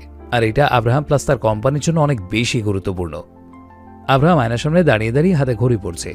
তার দু চোখ যেন আয়রাতকে খুঁজে চলেছে কিন্তু আয়রাত ঘরে নেই সে নিচে হল রুমে আয়রাত আয়রাত। আয়রাত আয়রাত আয়রাত। তখনই রুমে একজন স্টাফ আসে হাতে কফি নিয়ে। স্যার আসব? আয়রাত কোথায়? স্যার ম্যাম তো নিচে মানে কাজ করছে আর কি। ওকে যে আমি এখানে ডাকছি তার কি? স্যার আ- আ- আপনার ক- কফি। রেখে যাও। স্টাফ কফিটা রেখে দ্রুত চলে যায় রুম থেকে। এদিকে আয়রাত ইলা আর রনিতকে নাস্তা বেড়ে দিচ্ছে। আব্রাহাম তার জ্যাকেটের হাতা ফোল্ড করতে করতে নিচে নেমে আসে। আয়রাত সেদিকে তাকায়। এসেছেন আপনি? আস। কফিটা আমি তোমার হাতে রুমে নিয়ে যেতে বলেছিলাম। হ্যাঁ কিন্তু আমি এখানে একটু কাজ করছিলাম তাই। কফি রুমে দিয়ে আসতে বেশি সময় লাগতো না নিশ্চয়ই? আচ্ছা কি হয়েছে? স্টাফ দিয়ে এসছেন? না কফি একই তো হলো। না এক না। সবসময় আমার সাথে তোমার তেড়ামি না করলে চলে না তাই না? আরে আজব! আব্রাহাম তার ভারী ভারী কদমগুলো ফেলে হলরুম থেকে বের হয়ে গেল। আর আয়রাত অবাক হয়ে তার দিকে তাকিয়ে আছে। বুঝলাম না। এটুকু কথায় এত রাগ করার কি আছে? আমি কি খালি বসে আছি নাকি? কাজ করছি তো। একজন দিয়ে এলেই তো হবে। আমার হাতে কফি খেতে হবে নাকি? রাগ যেন নাকের ডকায় থাকে আজাররা। তোদের মাঝে কি কিছু হয়েছে? আরে না দিদি কিছুই না। শুধু কফিটা আমি নিজে গিয়ে দিয়ে আসিনি দেখে এমন করছে। জানিস যে ছেলেটার রাগ মাত্রাতিরিক্ত কাজ আমি করতাম তুই গিয়ে দিয়ে আসতি? আরে ছাড়ো তো একটু পরেই ভালো হয়ে যাবে। আব্রাহাম গাড়িতে করে যাচ্ছে তবে অফিসে না। মিটিংটা হবে কোনো এক ফাইভ স্টার হোটেলে। কানে এয়ারপোর্ট আব্রাহামের সেটা দিয়েই কথা বলছে। সব কিছু রেডি আছে? স্যার আপনি বললে আমিও ওখানে যাই? ওকে না থাক তুমি ওই দিকটা সামলাও আর আমি এখানে দেখছি। আচ্ছা স্যার। আব্রাহাম ফোন কেটে দেয়। হোটেলে যেতেই আব্রাহামের সময় লাগে প্রায় আধা ঘণ্টা। আগে থেকে সব অ্যারেঞ্জ করা আছে কেননা সবাই জানে আব্রাহাম আসবে। আব্রাহামের যেতেই কতগুলো বিদেশি লোক এগিয়ে আসে তারপর তারা ভেতরে চলে যায়। অন্যদিকে আজ একদম সকালবেলায় রায়হান এবং প্রীতি বাংলাদেশে এসে পড়েছে। রায়হান প্রীতিকে নিয়ে নিজের দুই নম্বর বাড়িতে চলে যায়। সেখানেই বসে আছে। প্রীতি ওয়াইন খাচ্ছিল তখন হঠাৎ বলে ওঠে এখন কি করবে? এখন না যা করার রাতে করতে হবে। তুমি আসলে করতে কি চাচ্ছ বলো তো? এরা কে? এখনই বুঝে যাবে। ওয়েট প্রীতি খেয়াল করে দেখে লোকগুলোর হাতে বিভিন্ন ধরনের সার্জিক্যাল জাতীয় জিনিস। প্রীতির মাথায় তো কিছুই ঢুকছে না। অবশেষে রায়হান বলে ওঠে বলছিলাম না আয়রাত হতে হবে। এখন কি সার্জারি করব নাকি? না এটা পড়তে হবে। আর সম্পূর্ণ কালো কালারের পড়তে হবে লাইক হুডি আয়রাত আর তোমার হাইট প্রায় মিলে যায় মুখে মাস্ক তো পরেই থাকবে। ওয়েট তুমি ফেক আইরাত হতে বলছো আবার মাস্কও পরতে বলছো কেন? লিসেন মানুষের চামড়া দিয়েই অর্থাৎ অনেক সময় মৃত মানুষের চামড়া দিয়ে বা প্লাস্টিক দিয়েই অন্য মতো হুবাহু মাস্ক বানানো যায়। এখন যমজ তো আর সবাই হয় না তাই না? তাই একই রকম দেখার জন্য এই প্লাস্টিকের মাস্কগুলো পরা হয়। ফর এক্সাম্পল আমরা মুভিতে অনেক সময় দেখি যে একটা মানুষের ডবল রোল করছে। কিন্তু এখানে তো আর সত্যি সত্যি প্লাস্টিক সার্জারি করা হয় না তাই না তো তো তখন এই প্লাস্টিকের লুক লাইক মাস্কগুলো ইউজ করা হয় The face mask phenomenon, a mask which is made by plastic. Reconstructive procedures correct defects on the face or body. The main fact is it's temporary, not permanent. It's the speciality of this plastic mask. Anyone can give this mask structure as his or her wish, and he or she can remove this plastic mask at any time. But it takes a lot of time to put properly on someone's face কারণ মনে কোনো প্রশ্ন থাকলে গুগলে search দিয়ে দেখতে পারেন। অতপর অনেক সময় ব্যয় করে মাস্ক লাগানো হয়। এতক্ষণ প্রীতিকে ইচ্ছে করেই আয়না দেখানো হয়নি। আর যখন সে দেখল প্রীতির চোখগুলো তার কোটর থেকে খুলে আসার উপক্রম। হুবহু প্রীতিকে আয়রাতের মতো লাগছে। রায়হান প্রীতির পাশে এসে দাঁড়ায়। প্রীতি আয়নাতে নিজেকে দেখছে আর গালে নাকি মুখ হাত দিয়ে দেখছে। তার যেন বিশ্বাসই হচ্ছে না। লাইক সিরিয়াসলি মানে আমি আইরাত। কীভাবে কি? এই এই আমি হব না। খুলো এই প্লাস্টিক মুখ থেকে। এত ওভার রিয়েক্ট করার দরকার নেই। তোমার ফেসটা জাস্ট ওর মতো করা হয়েছে যেন সব প্ল্যান মোতাবিক হয়। আর কিছুই না। পুরো তিন ঘণ্টা সময় লেগেছে। আর শোনো চেহারা এক হয়ে গেলেও কোনো লাভ নেই। তোমার যে কথা বলার স্টাইল বা এমন আচরণ না আব্রাহাম তাতে তোমাকে এক সেকেন্ডেও চিনে ফেলে। এখন কি আমাকে এই আইরাতের মতো বেহেনজি হতে হবে নাকি? না শুধু একটা ভদ্রতা আর সভ্যতা শিখতে হবে। হয়ে যাবে। তারপর কি? আগুন লাগাতে হবে। কোথায়? এখন আপাতত অন্য কিছুই লাগাই তারপর না হয় মানুষের জীবনেও লাগিয়ে দেব। রায়হানের সাথে আব্রাহামের যে ড্রাইভারের কানেকশন আছে রায়হান সৌজা তাকে ফোন দেয়। হ্যালো। হ্যালো স্যার ভালো খবর আছে। কি? অপন স্যার অফিসে নেই উনি বাইরে কোনো কাজে গিয়েছেন। বাহ গুড। তোকে কি কি করতে হবে জানিস তো? জি জি আমি জানি। তো আর দেরি কিসে লেগে পড়। রায়হান ফোন কেটে দেয়। আমাদের এখান থেকে বের হতে হবে। সো একটা সুসংবাদ আসবে তারপরে। এখন সন্ধ্যের সময়। আর এই ড্রাইভার গিয়ে আব্রাহামের অফিসের একদম শেষ কেবিনের দিকে হাঁটা ধরে? এই কেবিনগুলোতে সাধারণত কোনো স্টাফ কাজ করে না। তাই এখানে মানুষজনও তেমন বেশি একটা নেই। এগুলোই যেন তার কাজটাকে আরও সহজ করে দিয়েছে। খুব লুকিয়ে চুরিয়ে ড্রাইভার সেই কেবিনগুলো থেকে চলে যায়। যেহেতু এটা পুরো অফিসার একদম শেষ জায়গায়, তাই এখানেই কাজটা করতে হবে। কাজ বলতে আগুন লাগিয়ে দেবে। যেই ভাবা, সেই কাজ। ড্রাইভারটা তার পেছন থেকে একটা বড় সড়ো পেট্রোলের বোতল বের করে। কেবিনের চারিদিকে ইচ্ছে মতো পেট্রোল ছিটিয়ে দেয়। পুরো কেবিনেই পানির মতো পেট্রোল পড়ে আছে। ড্রাইভারটা সে কেবিন থেকে বের হয়ে এসে পড়ে। কেবিনের বাইরে দাঁড়িয়ে শয়তানি একটা হাসি দিয়ে নিজের পকেট থেকে লাইটারটা বের করে জ্বালিয়ে ছুড়ে মারে কেবিনের একদম ভেতরে। চোখের পলকে যেন ফ্লোরে আগুন ধরে গেল। আগুনের ধারা যেতে যেতে পুরো রুমে দাও দাও করে আগুন ধরে গেল। আর এইদিকে সেই ড্রাইভারটা ওখান থেকে দ্রুত পালিয়ে গেল। রায়হানকে ফোন করে জানিয়ে দেওয়া হয়েছে যে আব্রাহামের অফিসে আগুন লাগিয়ে দিয়েছে। আর ভাগ্য ভালো যে কেবিনে যে কটা সিসিটিভি ক্যামেরা ছিল, তাও চলে গেছে। রায়হানের কলিজাতে যেন এবার শান্তি বেরোছে অফিসের রেড সিগন্যাল আছে। আগুন লাগলে তা আপনা আপনি বেজে ওঠে। রেড সিগন্যালের তীব্র শব্দ অফিসের চারিদিকে বেজে উঠলে সবাই যেন ভয় পেয়ে যায়। রাশেদ কথা বলছিল একজন স্টাফের সাথে। তখনই অফিসের পিয়ন ছুটে আসে। রাশেদ স্যার ও রাশেদ স্যার অফিসে তো আগুন লেগে গেছে। কি বলছেন কি সব তখনই বেশ কিছু মানুষের চিল্লাপালার আওয়াজ শোনা যায়। সবাই ছুটে আসছে এই দিকে অবস্থা বেশি ভালো না বুঝতে পেরে রাশেদ এক ফ্লোরের বাইরের গ্লাস দিয়ে অন্য ফ্লোরে দেখে। সেদিকে কিচ্ছু দেখা যাচ্ছে না শুধু কালো ধোঁয়া আর ধোঁয়া। রাশেদ দ্রুত সবাইকে বাইরে বের হয়ে যেতে বলে। সবাই ছোট ছোট করে বাইরে বের হয়ে এসেছে। রাশেদ অন্য গার্ডগুলোকে যত তাড়াতাড়ি সম্ভব ফায়ার সার্ভিসদের ডেকে নিয়ে আসতে বলে। সবাই এই মুহূর্তে অফিসের বাইরে।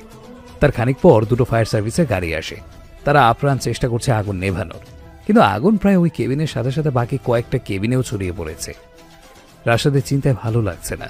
এটা হলোটা কি করে? কেননা অফিসের ভেতরে আগুন লাগবে এমন কোনো জিনিস রাখাই হয়নি। আর কেউ স্মোক করলে তো তাকে সোজা বাইরে বের করে দেওয়া হবে। তাহলে হলো কি করে এটা? রাশেদ দ্রুত আব্রাহামকে ফোন করে। If we invest 37 lakh rupees on this project, then we can be successful. Abraham মিটিংয়ে ছিল তখনই তার ফোন বেজে ওঠে। আর স্বাভাবিকভাবেই আব্রাহাম বেশ বিরক্ত হয়। তাকে দেখে রাশেদ ফোন করে। আব্রাহাম প্রথমে তাকে এড়ে দেয়। কয়েক সেকেন্ড পর রাশেদ আবার ফোন দেয়। আব্রাহাম এবার রিসিভ করে এক্সকিউজ মি প্লিজ আব্রাহাম দূরে গিয়ে ফোনটা কানে ধরে কিছুটা রাগি ভাবেই বলে ওঠে। রাশি তুমি জানো যে আমি মিটিংয়ে তবুও কেন ফোন স্যার অনেক বড় একটা বিপদ হয়ে গেছে। কি হয়েছে? গলা এমন কেন লাগছে তোমার? স্যার অফিসে আগুন লেগেছে। হোয়াট কি যাতা বলছো এগুলো?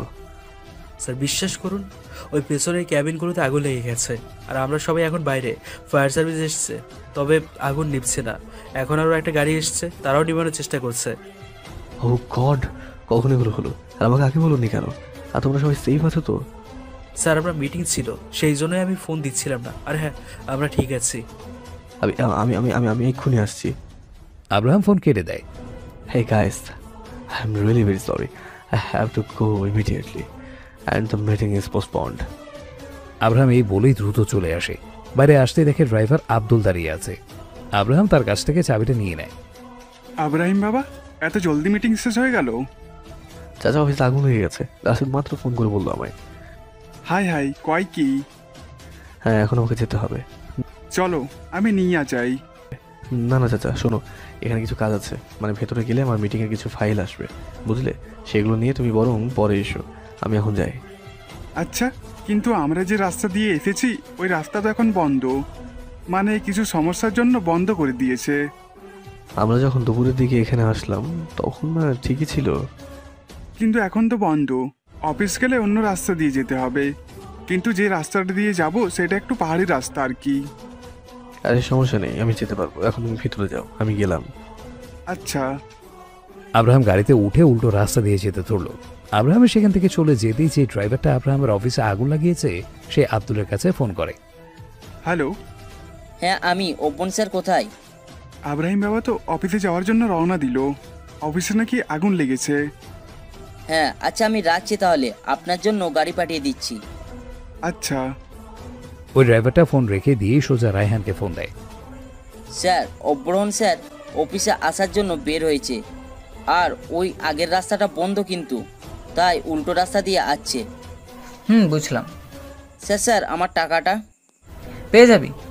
রায়হান ফোন কেটে দেয়। আয়রাত ওরফে প্রীতির দিকে তাকায়। কিছুক্ষণ পর আমাদেরও না তোমার বের হতে হবে না। আমি একা কেন? কারণ এই কাজটা আপাতত তোমার পরেরটা আমার। আব্রাহাম কোথায়? আব্রাহাম অন্য রাস্তা দিয়ে অফিসে আসবে তবে আসতে পারবে না। আব্রাহামের? গাড়িতে গড়বড় করা আছে। মানে? কি করেছ তুমি? তা তো গেলেই বুঝতে পারবে। এবার চলো শোনো যে করে হোক এই রোডে আমাদের আব্রাহামের আগে পৌঁছাতে হবে। আর আগেই পৌঁছাবে আমরা। কারণ আব্রাহামের গাড়ির ব্রেক আগে থেকে কিছুটা তালগোল আমি পাকিয়ে রেখেছি এই ড্রাইভারকে বলে। সো জলদি বের হও। আর শোনো বিহেভ ইউর সেলফ কোনোভাবেই যেন আব্রাহাম টের না পাই ওকে? বললাম না চিন্তা করতে হবে না সে ব্যাপারে তোমাকে? আমি সব করতে পারব।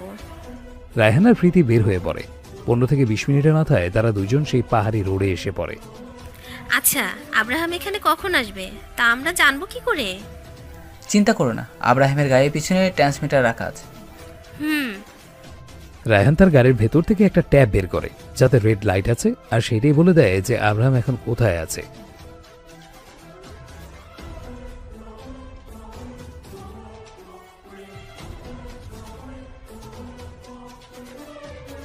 হ্যাঁ। প্রীতি আই রিপিট আব্রাহাম যেন টেন না পাই যে তুমি আয়রাত বা প্রীতি ওকে চেহারা যেহেতু এখন আয়রাতের মতো তাই আসলে আয়রাত হওয়ার চেষ্টা করো। আর আমাদের জন্য আরও একটা প্লাস পয়েন্ট হচ্ছে এই অন্ধকার রাস্তা ওকে ওকে তবে ওদিকে আব্রাহামের চিন্তায় মাথা কাজ করছে না আর এই রাস্তাটা অনেক বড় সহজে শেষই হতে চায় না। রাস্তাগুলো অনেক ভাঙা চোরা উঁচু নিচু অনেক। রাস্তার অবস্থা একেবারেই বাজে। আব্রাহাম দেখে সামনে বেশ ভাঙা একটু জায়গা আছে তাই আব্রাহাম ব্রেক কষার চেষ্টা করে। কিন্তু ব্রেক হচ্ছে না কোনোভাবেই। আব্রাহাম বেশ কয়েকবার ট্রাই করে ব্রেক করার, কিন্তু কোনোভাবেই হচ্ছে না। আব্রাহামের কপালে চিন্তার ছাপ স্পষ্ট। ব্রেক হচ্ছে না, আর গাড়ি এদিকে সামনে এগিয়েই যাচ্ছে। একসময় গাড়ি ওই ভাঙা জায়গাটার সাথে বাড়ি খায়। আব্রাহাম গাড়িটা ঘোরাতে চাইলে গাড়ি ব্রেকলেস হয়ে অন্যদিকে ঘুরেছে আপনা আপনি। গাড়ি গিয়ে একটা বেশ বড় সড়ো গাছের সাথে জোরে ধাক্কা খায়। ধাক্কাটা এতই জোরে লেগেছে যে গাড়ির ফ্রন্ট গ্লাসটা ভেঙে সব কাজ ভেতরে টুকরো টুকরো হয়ে এসে পড়েছে। আব্রাহামের হাত কেটে গেছে অনেকটুকু। কবলে চোট পেয়েছে, ব্লাড যাচ্ছে অনেক। কবলের পাশ দিয়ে রক্ত যাচ্ছে। গাড়ির ঠিক ওপরে গাছের একটা ডাল ভেঙে পড়েছে। আব্রাহাম গাড়ি থেকে বের হওয়ার মতো কোনো রাস্তাই খুঁজে পাচ্ছে না। অবশেষে খুব কষ্টে আব্রাহাম গাড়ি থেকে বের হয়ে পড়ে। তবে গাড়ি থেকে বের হতেই সে তার মাথায় দুই হাত দিয়ে চেপে ধরে চোখ মুখ সব কুঁচকে ফেলে। বাড়িতে লুটিয়ে পড়ে সে। কেমন যেন মাথাটা খোরাচ্ছে মাথায় আঘাত পাওয়ার ফল এটা। চোখের সামনে নিচে সবকিছু ঝাপসা ভাবে দেখছে। আব্রাহাম আদো আদো চোখের সামনে তাকায়। দেখে কেউ একজন কালো হুড়ি পরে তার দিকে এগিয়ে আসে। ধীরে ধীরে সে আব্রাহামের একদম কাছে এসে পড়ে। একাটো ভাঁজ করে আব্রাহামের সামনে বসে পড়ে। আব্রাহাম নিবু নিবু চোখের সামনে তাকায়। কিন্তু স্পষ্ট দেখা যাচ্ছে না কিছুই কারণ ব্যক্তিটা সম্পূর্ণ কালো পোশাকে জড়ানো আর মুখেও কালো মাস্ক কে? আমাকে চিনলে না আব্রাহাম? তোমার বেবি গার্লকে তুমি চিনলে না? আমি আব্রাহাম তোমার আইরাত। এখন তোমার মনে হাজার প্রশ্ন আসবে যে আমি এখানে কি করে এলাম? কি করছি? হাহ, তুমি কি ভেবেছ যে আমি তোমায় ভালোবাসি? আমি ভালোবেসে তোমায় বিয়ে করেছি? জীবনেও না। আমি শুধু ঘৃণা করি তোমাকে শুধুই ঘৃণা আর কিচ্ছু না। আমাকে কম জ্বালাওনি তুমি। এমনকি আমার চাচা চাচিও তোমার জন্যই মরেছে। কীভাবে জানো? নাই তুমি আমার জীবনে আসতে নাই তো ঝামেলা হতো। না রায়হামের মনে যে উঠতো আমাকে নিতে। আর নাই আমার চাচা চাচিকে মারতো সে। সব কিছুর মূল তুমি। সব আমার অ্যাক্টিং ছিল সব তোমাকে ভালোবাসি বলা, এমনকি বিয়ে করা, সব ঢং ছিল। তোমাকে আজ মেরে ফেলতেও আমার বাঁধবে না। আর আজ এই যে তোমার অ্যাক্সিডেন্ট হলো না, তাও আমিই করেছি। মনে রেখো, আমি মরে যাব। তাও তোমার মতো মানুষকে ভালোবাসবো না। আমি ঘৃণা করি তোমাকে। শুধুই ঘৃণা। আমি মেরেছি তোমাকে। না তুমি আয়- আয়- আয়রাত না। তুমি আয়- আয়রাত না। দেখবে আমায়?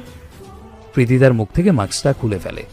আব্রাহামের ওকে দেখে তার মাথায় যেন আকাশটা ভেঙে পড়েছে। এ আয়রাত এ আব্রাহামের সেই আয়রাত। আয়রাত আব্রাহামকে মেরে ফেলার জন্য এগুলো করেছে। এ এতই ঘৃণা করে তার আয়রাত তাকে। আব্রাহামের মাথায় যন্ত্রণা হচ্ছে খুব। সে আর চোখ খুলে রাখতেই পারছে না। মরো। এই কথা বলেই প্রীতি ঘুরে এসে পড়ে। কিন্তু এদিকে আব্রাহামের যেন বিশ্বাসই হচ্ছে না এই আয়রাত আইরাত কীভাবে তার সাথে এগুলো করতে পারল? তাহলে এতদিন যাই ছিল সব কি মিথ্যে? প্রীতি চলে যেতে লাগল। আব্রাহাম উঠে দাঁড়াতে পারছে না, খুব কষ্ট হচ্ছে তার। তবুও কোনো রকমে আব্রাহাম উঠে দাঁড়ায়। কিছু একটা বলতে যাবে তার আগেই আব্রাহামের মাথার পেছনে ভারী শক্ত কোনো বস্তু দিয়ে তীব্র আঘাত হয়। আব্রাহাম তার দুই হাত দিয়ে মাথা চেপে ধরে। রক্ত ঝরছে মাথার পেছন দিয়ে। টাস করে একটা শব্দ এসে প্রীতির কানে লাগে। প্রীতি থেমে যায়। পেছন ঘুরে দেখে রায়হান আর তার হাতে একটা ভারী লোহা। সেটা দিয়ে আব্রাহামের মাথার পেছনে আঘাত করা হয়েছে। সাথে সাথে আব্রাহাম মাটিতে লুটিয়ে পড়ে। কিন্তু প্রীতি তো অবাক সে দ্রুত রায়হানের কাছে যায়। রায়হান এ কি করলে? আব্রাহামকে মারলে কেন? এটা আমাদের কথা ছিল না। রিল্যাক্স বেশি কিছু হয়নি মরেনি। কিন্তু চুপ।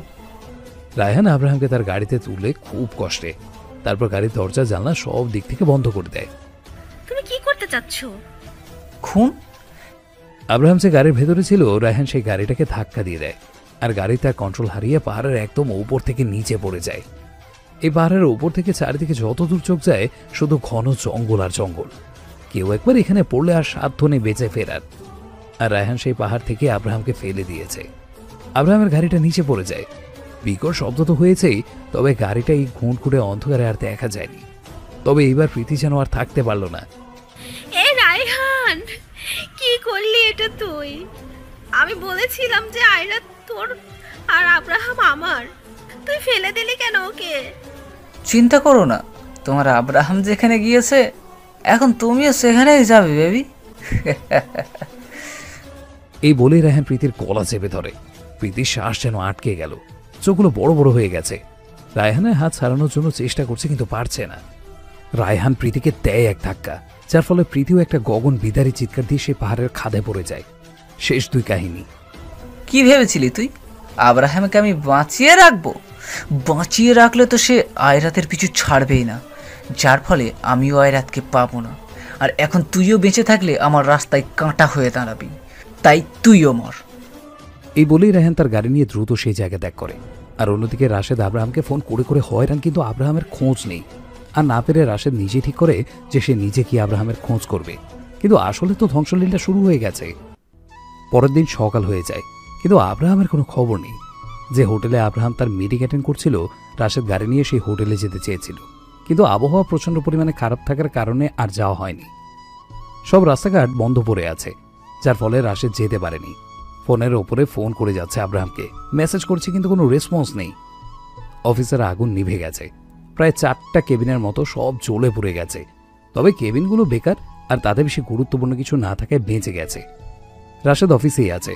অফিস পুরোপুরি ঠিক না হওয়া পর্যন্ত সকল স্টাফদের আসা নিষেধ করে দিয়েছে। সবাই আব্রাহামকে খুঁজে চলেছে। সবার কথা যার অফিসে আগুন লেগেছিল, তার নিজেই কোনো খোঁজ পাওয়া যাচ্ছে না।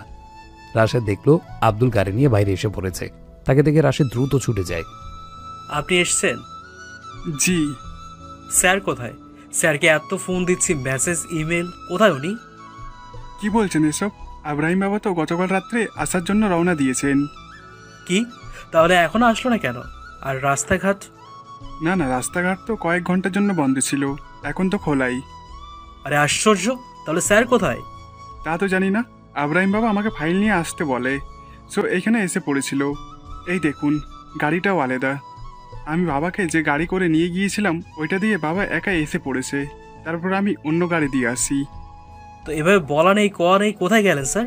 অফিসে এত বড় একটা কাণ্ড হলো তা জেনেও তো এভাবে স্যার কখনোই বসে থাকবেন না। এবার যেন চিন্তার পাহাড় মাথায় এসে পড়ল। অন্যদিকে আয়রাতের মন মেজাজ খুব বেশি খারাপ।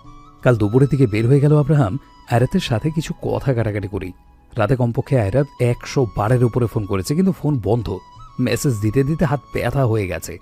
আর আব্রাহাম তো বাইরে আয়রাতকে ছাড়া কখনোই থাকবে না।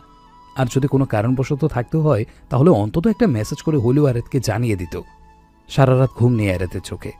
আয়রাত হলরুমে পা গুটিয়ে বসেছিল। আব্রাহামের অপেক্ষায়, কিন্তু সে নেই। সকাল হলে ইলা হলরুমে এসে দেখে আয়রাত গালে হাত দিয়ে বসে আছে। কি রে? এভাবে বসে আছিস যে? আর এত সকালে উঠে পড়েছিস? আব্রাহাম আসেনি। কি? হ্যাঁ। আব্রাহাম তো কখনোই বাইরে থাকে না তাহলে আজ? বুঝতে পারছি না। এত ফোন দিচ্ছি কিন্তু পাচ্ছি না। গেল কোথায়? নাতি শোনো তুমি রনিতকে দেখো। আমি অফিসে যাচ্ছি। একা যাবে? হ্যাঁ একাই যাব। আর এখনই যাব। তুমি থাকো। আমার কিছু ভালো লাগছে না। আয়রাত উঠে শুধু হাতে নিজের ফোনটা নিয়ে চলে যায়। প্রায় বেশ কিছুক্ষণ পর আয়রাত অফিসে চলে যায়। কিন্তু অফিসের নকশা কিছুটা ভিন্ন। আয়রাত কপাল কোঁচকে ভিতরে যায়। যেদি দেখে রাশেদ এক দৌড়ের উপরে আছে।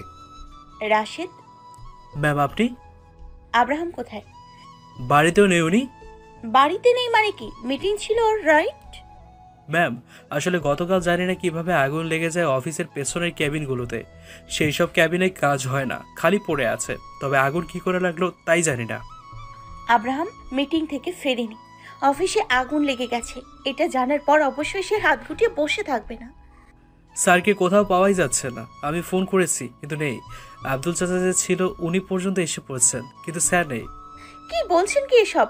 এখন চিন্তায় আমার কিচ্ছু ভালো লাগছে না। মানুষটা তাহলে কোথায় গেল? ম্যাম প্লিজ চিন্তা করবেন না। আমি গার্ডদের আর পুলিশ অফিসারদের সেই রাস্তার সব দিকে পাঠিয়ে দিয়েছি। তারা খুঁজছে। আমার কিচ্ছু ভালো লাগছে না। আয়রাত তারপর অফিসেই থেকে যায়। বাড়িতে ফোন দিয়ে কয়েকবার ইরা আর রনিতের খবর নিয়েছে। কিন্তু সময় সময়ের মতোই যেতে থাকে। তবু আব্রাহামের আসার নাম নেই। সময় যত দ্রুত এগুচ্ছে, আয়রাতের চিন্তা ততই যেন বেড়ে যাচ্ছে। পুলিশে আব্রাহামের ফোন লাস্ট কখন আর কোথায় সুইচ অফ হয়েছিল তা ট্র্যাক করে। আর ভাগ্যক্রমে সেই পাহাড়ি রাস্তায় আব্রাহামের ফোন ট্র্যাক করে পাওয়া যায়। লাস্ট সেখানেই বন্ধ হয়েছিল। পুলিশরা সেখানে যায়। রাস্তায় কিছু একটা থাকলে অবশ্য পেত এখানে রাতের বেলা যেমন গাড়ি ঘোড়া কম চলাচল করে, দিনের বেলা ঠিক তার দ্বিগুণ হারে যাতায়াত করে। তাই রাস্তার কিছু হলে অবশ্যই কারও না কারও নজরে তো পড়তই। চারিদিকে বেশ গাছপালা। পুলিশ অফিসাররা খেয়াল করে দেখে যে নিচে গভীর খাদ। কোনো ক্রমে এখানে কিছু একটা হয়নি তো। নিচে জঙ্গলটা গভীর হলেও সার্চ করতে হবে। এই জঙ্গলে যাওয়ার অনেক রাস্তাই আছে, তবে বেশ উঁচু নিচু। খুন চালানোর জন্য একদল পুলিশ ফোর্সকে সেই জঙ্গলে পাঠিয়ে দেওয়া হয়েছে। ঘণ্টাখানেক তালাশি করার পর কেউ তো কোনো মানুষকে খুঁজে পায়নি তবে গাড়ির কিছু অংশ বিশেষ খুঁজে পাওয়া গেছে। গাড়িটা খুব বাজেভাবে ভেঙে গেছে। পুলিশরা দ্রুত রাশেদকে ফোন করে। হ্যালো? হ্যালো অফিসার কিছু খোঁজ পেলেন? আসলে আমরা তো আমাদের যথাসাধ্য চেষ্টা করছি তেমন কিছুই পাইনি তবে আবার পেয়েছিও। এখানে একটা গাড়ির প্রায় অনেকগুলো টুকরো পেয়েছি যেন ওপর থেকে নিচে খাদে এই গাড়িটাকে ফেলে দেওয়া হয়েছে এমন। কি আবল তবল বলছেন এইসব? আপনারা ভালো করে দেখুন। জি আসলে আমি জানি ব্যাপারটা অদ্ভুত কিন্তু যা পেয়েছি তাই বললাম। জঙ্গল তো গভীর তাই সেখানে আমাদের গিয়ে খোঁজাখুঁজি সম্ভব না। আরও ভালোভাবে খোঁজার জন্য মেশিন আনা হয়েছে। এখন আপনারা যদি এখানে একটু আসছেন তাহলে সুবিধা হতো। জি আসছি। রাশেদ এই বলি ফোন কেটে দেয়। রাশেদের মুখটা কালো দেখে আয়রাত বলে ওঠে কি হয়েছে? আব্রাহামকে পাওয়া গেছে? ম্যাম আমাদের একটু বাইরে যেতে হবে। চলো। রাশেদ আর আয়রাত গাড়িতে বসে পড়ল। পথটা দূরে তাই যেতে যেতে প্রায় এক ঘণ্টার কাছাকাছি লেগে গেল। রাশেদকে গাড়ি একটা পাহাড়ি রাস্তায় থামাতে দেখে আয়রাত কপাল কোঁচকে তার দিকে তাকায়। আমরা এখানে কেন এলাম? ম্যাম এখানেই স্যারের ফোন লাস্ট সুইচ অফ হয়েছিল আর এখানেই সব পুলিশ অফিসাররা আছে। মানে কি? এখানে ফোন বন্ধ হয়েছিল মানে? আর পুলিশটা কেন? ম্যাম চলুন। আয়রা দ্রুত গাড়ি থেকে নেমে পড়ে। বাইরে এসেও দেখে প্রায় অনেক পুলিশ। তারা বেশ বড় সড়ো সার্চ মেশিন দিয়ে খাদের ভেতরে খোঁজার চেষ্টা করছে। আয়রাতের মনের ভেতরে এগুলো দেখে একশো একটা হাতুড়ি পেটাতে শুরু করে দিয়েছে।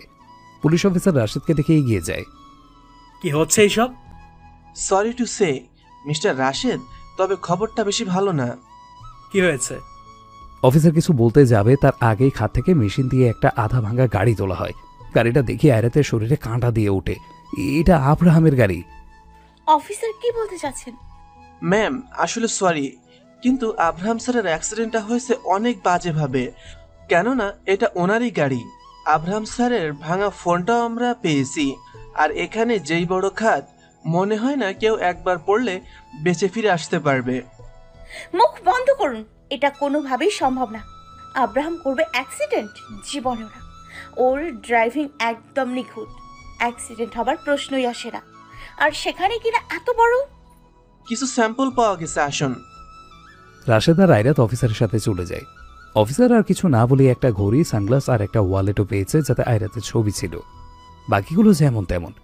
আয়রা যখন ওয়ালেটটা দেখল আর তার ভেতরে নিজের ছবি তখন যেন আয়রাতের মাথায় আকাশ ভেঙে পড়ল। এগুলো পুলিশরা অনেক খোঁজাখুঁজির পর পেয়েছে। আয়রাতের হাত কাঁপছে। এটা কি আদৌ সম্ভব? আব্রাহামের অ্যাক্সিডেন্ট কীভাবে হলো? কি থেকে কি হচ্ছে? ম্যাম আমাদের মাফ করবেন সে সকাল থেকে আপ্রাণ চেষ্টা চালিয়ে যাচ্ছি। কিন্তু খাদে কোনো মানুষ তো দূর মানুষের চিহ্ন পর্যন্ত পাওয়া যাচ্ছে না। আর এখানে বন্যপ্রাণীরাও রয়েছে। আব্রাহাম স্যারের অ্যাক্সিডেন্ট হয়েছিল সন্ধ্যা রাতে। আর পুরো রাত পেরিয়ে এখন তো এত সময় হয়ে গেছে। এখন বলতে কি চাইছেন আপনারা? ম্যাম মনে হয় স্যার মারা চুপ করুন! কি কি যা তা বলতে যাচ্ছেন। ভুলেও এমন কথা মুখে আনবেন না। আপনার সাহস হয় কি করে? এমন বলেন আব্রাহামের কিছু হয়নি। আপনারা একদিন খুঁজে এমন বলছেন? কি ফাউল পুলিশ অফিসার আপনারা? হ্যাঁ? খুঁজুন আব্রাহামকে। খুঁজতে থাকুন। আব্রাহামের কিচ্ছু হয়নি। অ্যাক্সিডেন্ট মানুষের হয় না? হয়তো। তাই বলে কি সে? আরও খুঁজুন। কিছু হয়নি আব্রাহামের। প্লিজ একটু শান্ত হন। আপনি বাড়ি যান। না। আমি আব্রাহামকে ছাড়া বাড়ি যাব না। আমার আব্রাহামকে নিয়েই যাব। ওকে চাই আমার। আর আপনি দাঁড়িয়ে দাঁড়িয়ে কি মুখ দেখছেন? যান, খুঁজুন। আয়রাত রেগে আছে অনেক। মাথা নষ্ট হয়ে গেছে তার। পুলিশ অফিসার অবস্থা বুঝতে পেরে চলে গেলেন। আয়রা তার দাঁড়িয়ে থাকতে পারছে না। তাই সে হাঁটা দিল। এসে গাড়ির ভেতরে বসে পড়ে। পাশে থাকা পানির বোতলটা নিয়ে ঠক ঠক করে খেয়ে ফেলে। হাত পা রীতিমতো কাঁপছে। বারবার আল্লাহকে ডেকে যাচ্ছে। যা ভাবছে সে তা যেন না হয়, কোনোভাবেই যেন না হয়। এমন কিছু হবার আগে আয়রাত মরে যাক, কিন্তু প্লিজ এমন কিছু যাতে না হয়। সেদিনটা এইভাবেই কেটে যায়। আয়রা তো আসতেই চাইছিল না সেখান থেকে, কিন্তু রাশেদ আর বাকিরা অনেক বুঝিয়ে বাড়ি পাঠায় তাকে।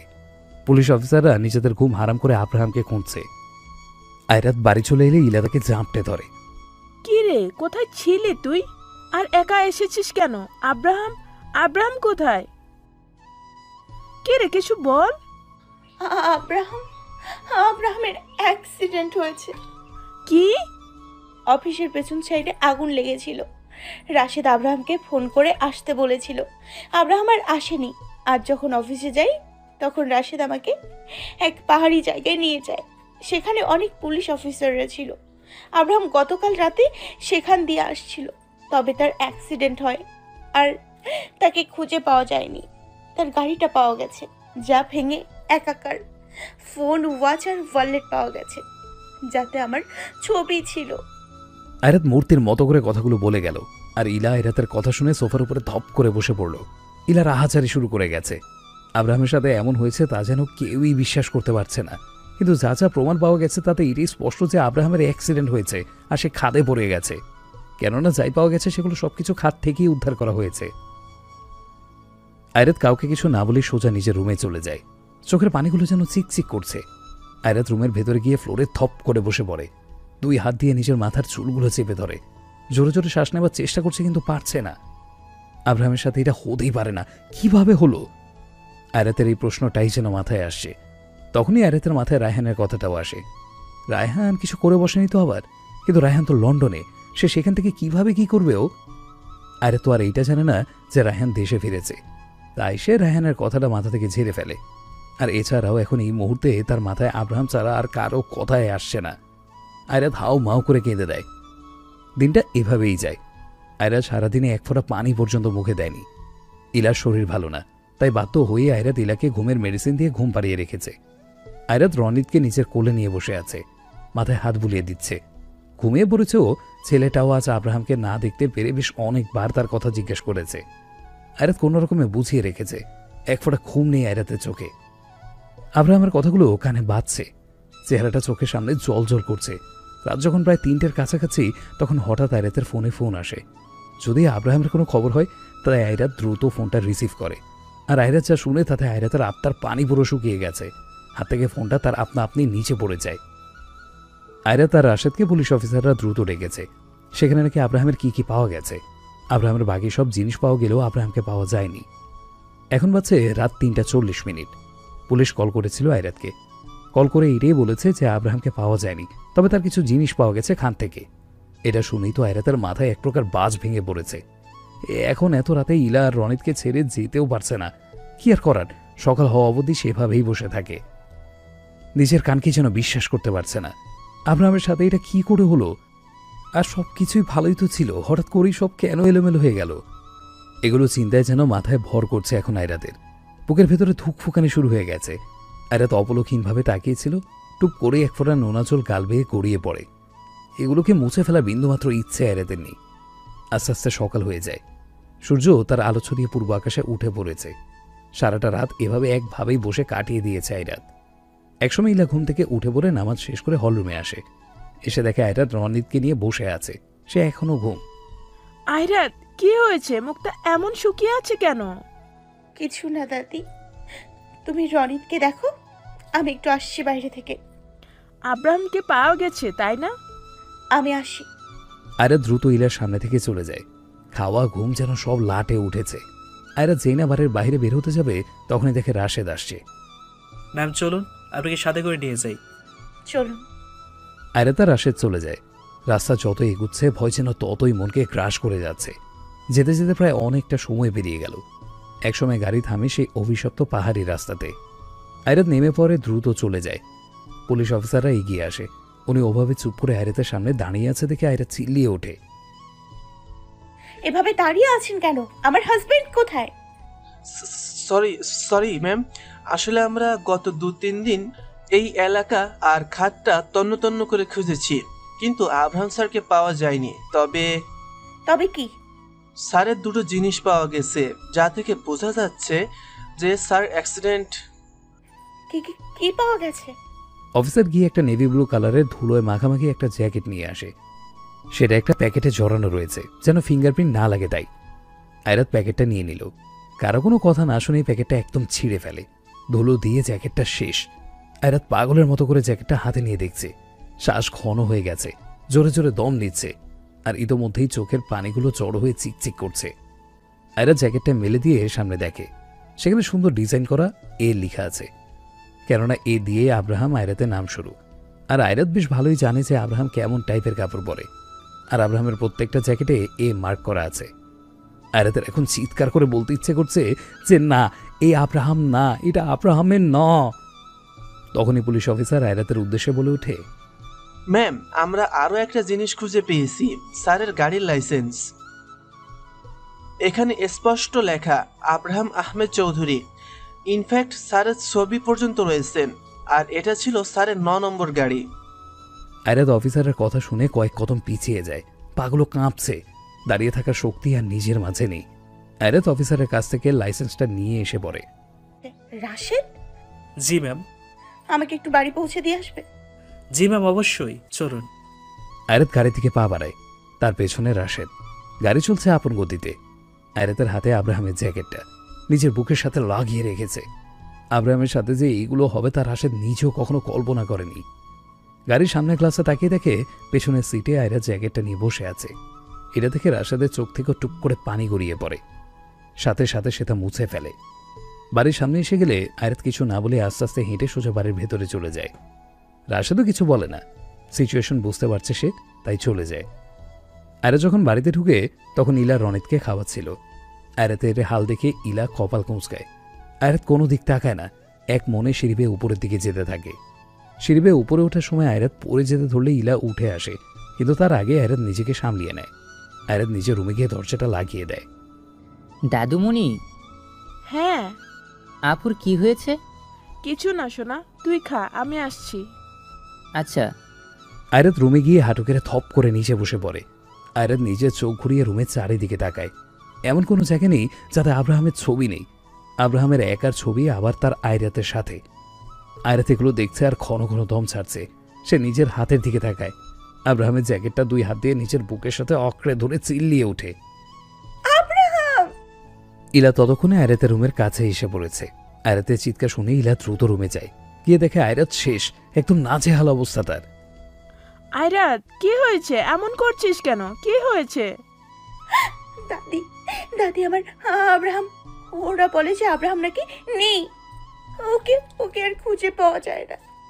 ওরা সব মিথ্যে বলছে তাই না? আমি আমি আমি জানি তো যে ওরা ওরা সব মিথ্যে বলছে। আমার আব্রাহামের কিছু হয়নি। আব্রাহাম অমন না। ওর সাথে কি করে এমন হলো বলো? সব শুনে ইলা নিজেও নিচে বসে পড়ে। সর্বপ্রথম নিজের স্বামীকে হারিয়েছে মহিলাটা তারপর নিজের মেয়ে নামক ছেলের বউকে তারপর নিজের ছেলেকে। আর বাঁচার একমাত্র আশাই আব্রাহাম আইরাত এখন যদি নিজের নাতিকেও হারিয়ে ফেলে এর থেকে মরণ অনেক শ্রেয়। ইলা নিজের আঁচলে মুখ গুজে কেঁদে দেয়। আমি এখন এখন কি করব আমি? আমি মরে যাই হ্যাঁ। হ্যাঁ আমি মরে যাই। এভাবে জীবন্ত লাশ হওয়ার থেকে মরে যাওয়া অনেক ভালো। এত কিছু আমি সহ্য করতে পারব না।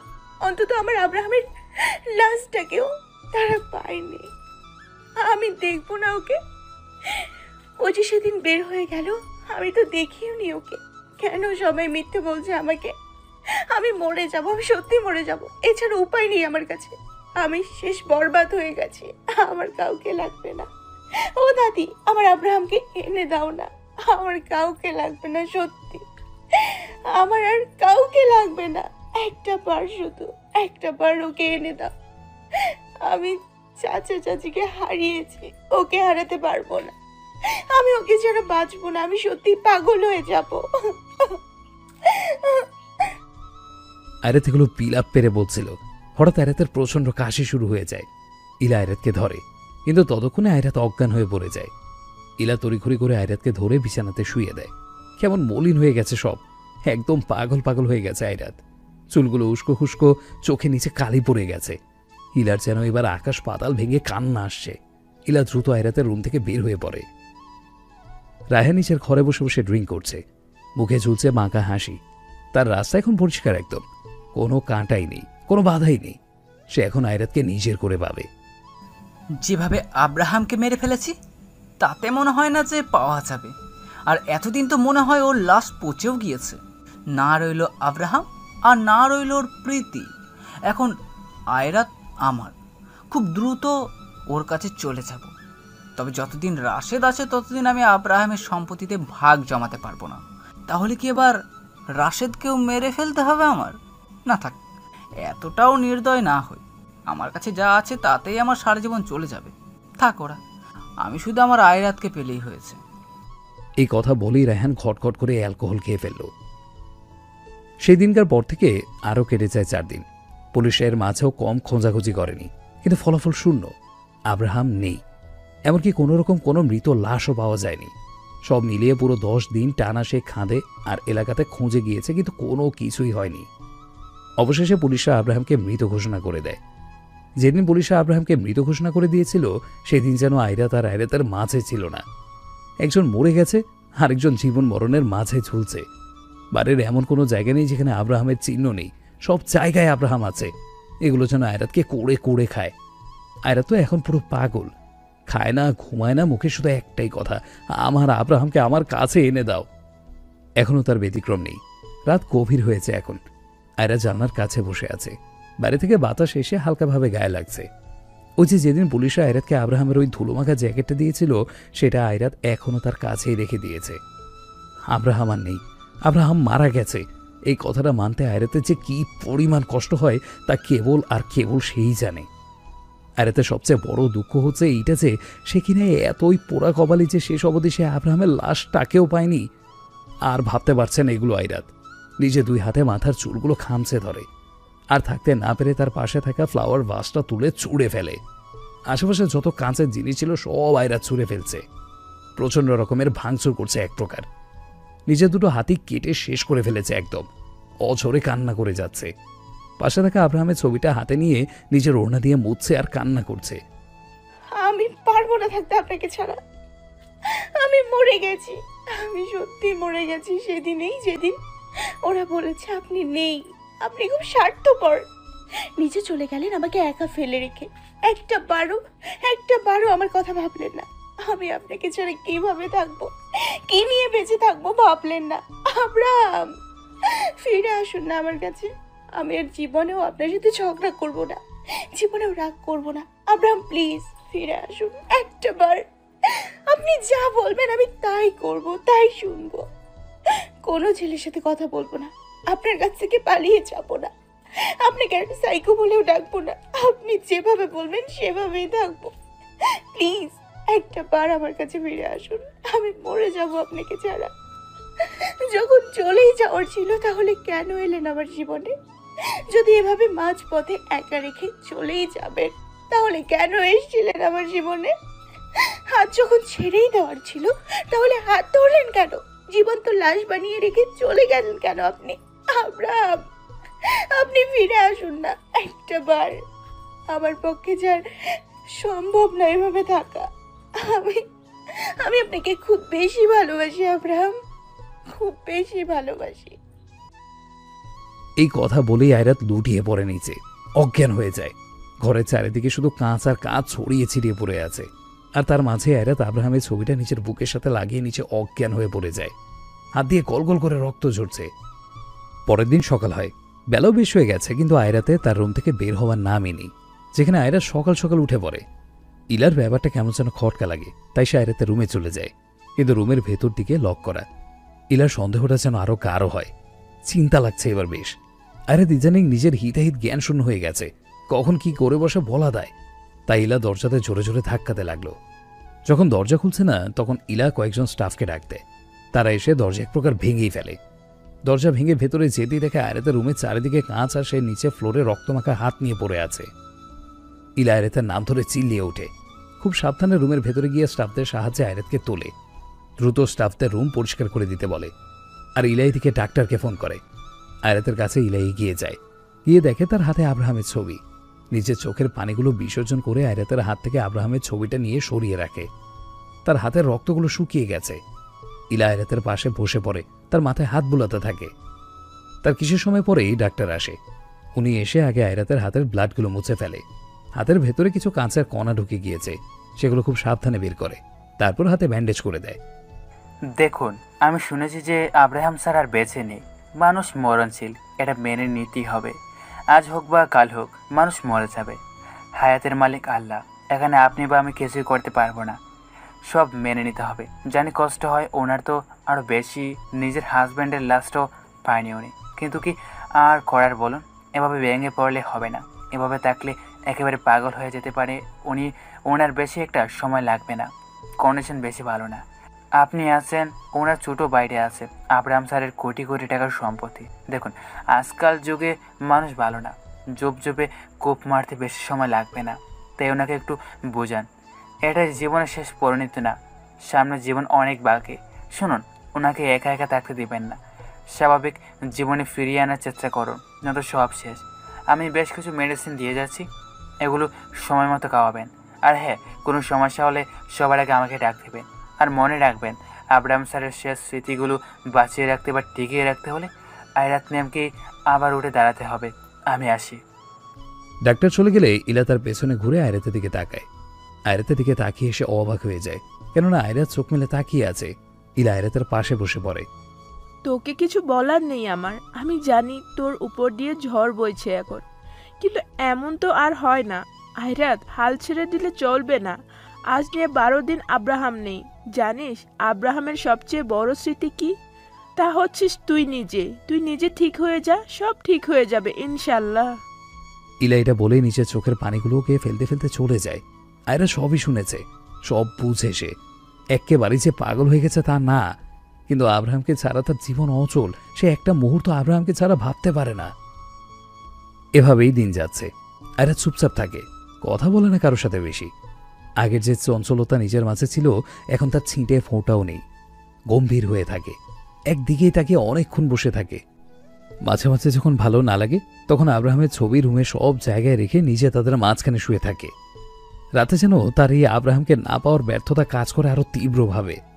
আব্রাহামের ওই হাসি কথা আয়রাতের সাথে ঝগড়া করা বালিশ দিয়ে মারামারি করা আয়রাতকে জ্বালানো সব যেন আয়রাতের কানে এসে বাজে। এগুলো যখন মনে পড়ে তখন মনে হয় এর থেকে সে নিচে শেষ হয়ে যাক। আব্রাহামের ওই বেবি গার্ল ডাকটা কত দিন হয়ে গেল শুনে না আয়রাত। আয়রাত এগুলোই ভাবছিল রুমে জানলার কাছে বসে বসে। তখনই রনি দৌড়ে আসে আয়রাতের কাছে। পরনে স্কুল ড্রেস। আপু আপু। হ্যাঁ। রনি আয়রাতের গলা জড়িয়ে ধরে। কোথায় যাওয়ার আছে? এ কি? তোমার গলা ভেঙে গেছে না ঠিক আছে। স্কুল যাচ্ছি। হ্যাঁ দাদুমণি নিয়ে যাচ্ছে। হুম। আয়রাত আমি রনিতকে স্কুলে দিয়ে যাই। তুই বাসায় থাক। যাও। এই বলেই ইলা আর রনিত গাড়ি দিয়ে স্কুলে চলে যায়। আয়রাত আগের মতোই জানলার কাছে বসে থাকে। সময় যাচ্ছে কিন্তু আয়রাত আব্রাহামের ভাবনাতেই মগ্ন। তার প্রায় আধা ঘণ্টা পর নিচে হলরুমে কোনো কিছু ভাঙচুরের আওয়াজ আসে। আয়রাতের ভাবনাতে ছেঁদ ঘটে, যার ফলে সে চমকে ওঠে। আয়রাত কপাল কুঁচকে তাকায়, কারও পায়ের আওয়াজ স্পষ্ট। আয়রাত উঠে তার রুমের বাইরে যেতে ধরবে, তার আগে আয়রাতের রুমে কেউ একজন আসে। আয়রাত কপাল কুঁচকে সেদিকে তাকিয়ে থাকে। সে কিছু একটা বলতে যাবে, তার আগে ব্যক্তিটি তার মাথা থেকে কালো কাপড়টা সরিয়ে ফেলে। এই রায়হান না? রায়হানকে দেখে আয়রাত ভূত দেখার মতো চমকে যায়। আপনি এখানে? আব্রাহাম তো নেই তাই আমাকেই আসতে হলো। মানে? মানেটা কি এখনও পরিষ্কার করে বলতে হবে তোমাকে? তুমি জানো না যে কেন এখানে এসেছি আমি? বলছি না ভালোবাসি তোমাকে। এখন তুমি আমার দেখ তুই আমার চাচা চাচিকে মেরেছিস কিছু বলিনি।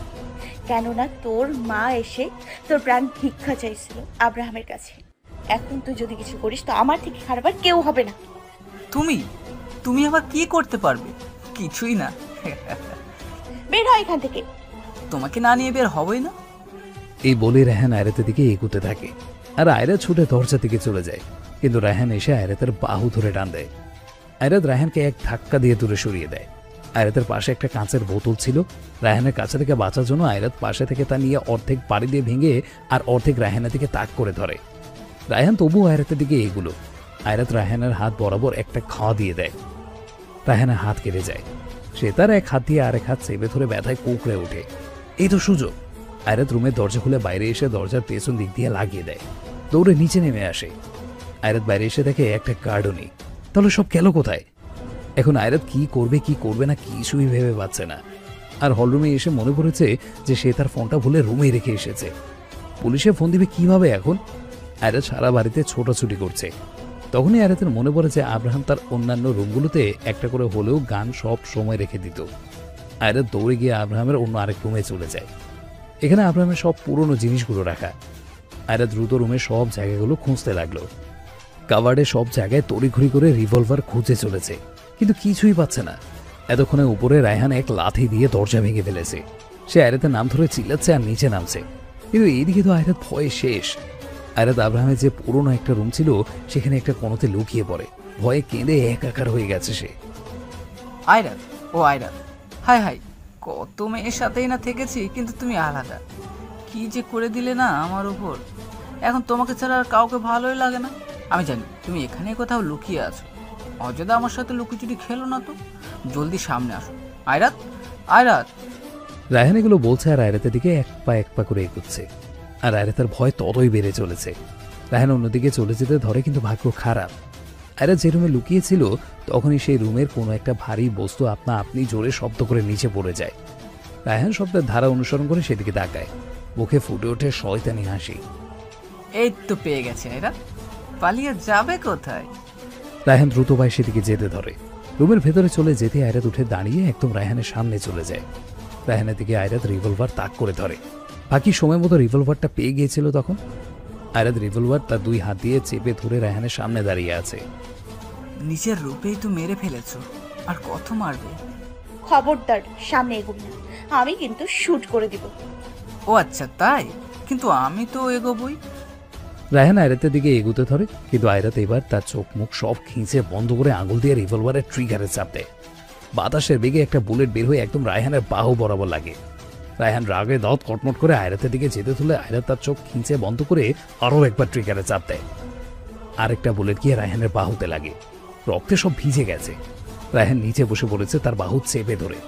আর আয়রাত ভয় পেয়ে চিল্লিয়ে তার হাত থেকে রিভলভারটা নিচে ফেলে দেয়। নিজে দুই হাত দিয়ে মুখ চেপে ধরে। জীবনে এই প্রথম আয়রাত কাউকে শুট করেছে। এখন যেন সে কাঁপছে। আয়রাত দৌড়ে রুম থেকে বের হয়ে আবার দরজা পেছন থেকে লাগিয়ে দেয়। আয়রাত দৌড়ে বাইরে এসে পড়েছে মেয়েরা অনেক ভয় পেয়ে আছে। আয়রাতের এত জোরে ছুঁড়ার কারণে একটা টেবিলের সাথে তার পায়ে হোঁচট খায় ব্যথায় চোখ মুখ কোঁচকিয়ে ফেলে। পায়ের আঙুল একদম কেটে ভর্তা হয়ে গেছে। আয়রাত একটু থেমে তার এক হাত দিয়ে পায়ের আঙুল চেপে ধরে। আয়রা তার পেছনের দিকে তাকায়। রায়হানকে যে রুমে লক করে দিয়ে এসেছে, সেই দরজাতে আবার জোরে জোরে চাপড় পড়ে। রায়হান ধাক্কাচ্ছে। আয়রা তার কোনো উপায় না পেয়ে দ্রুত উপরে নিজের রুমে চলে যায়।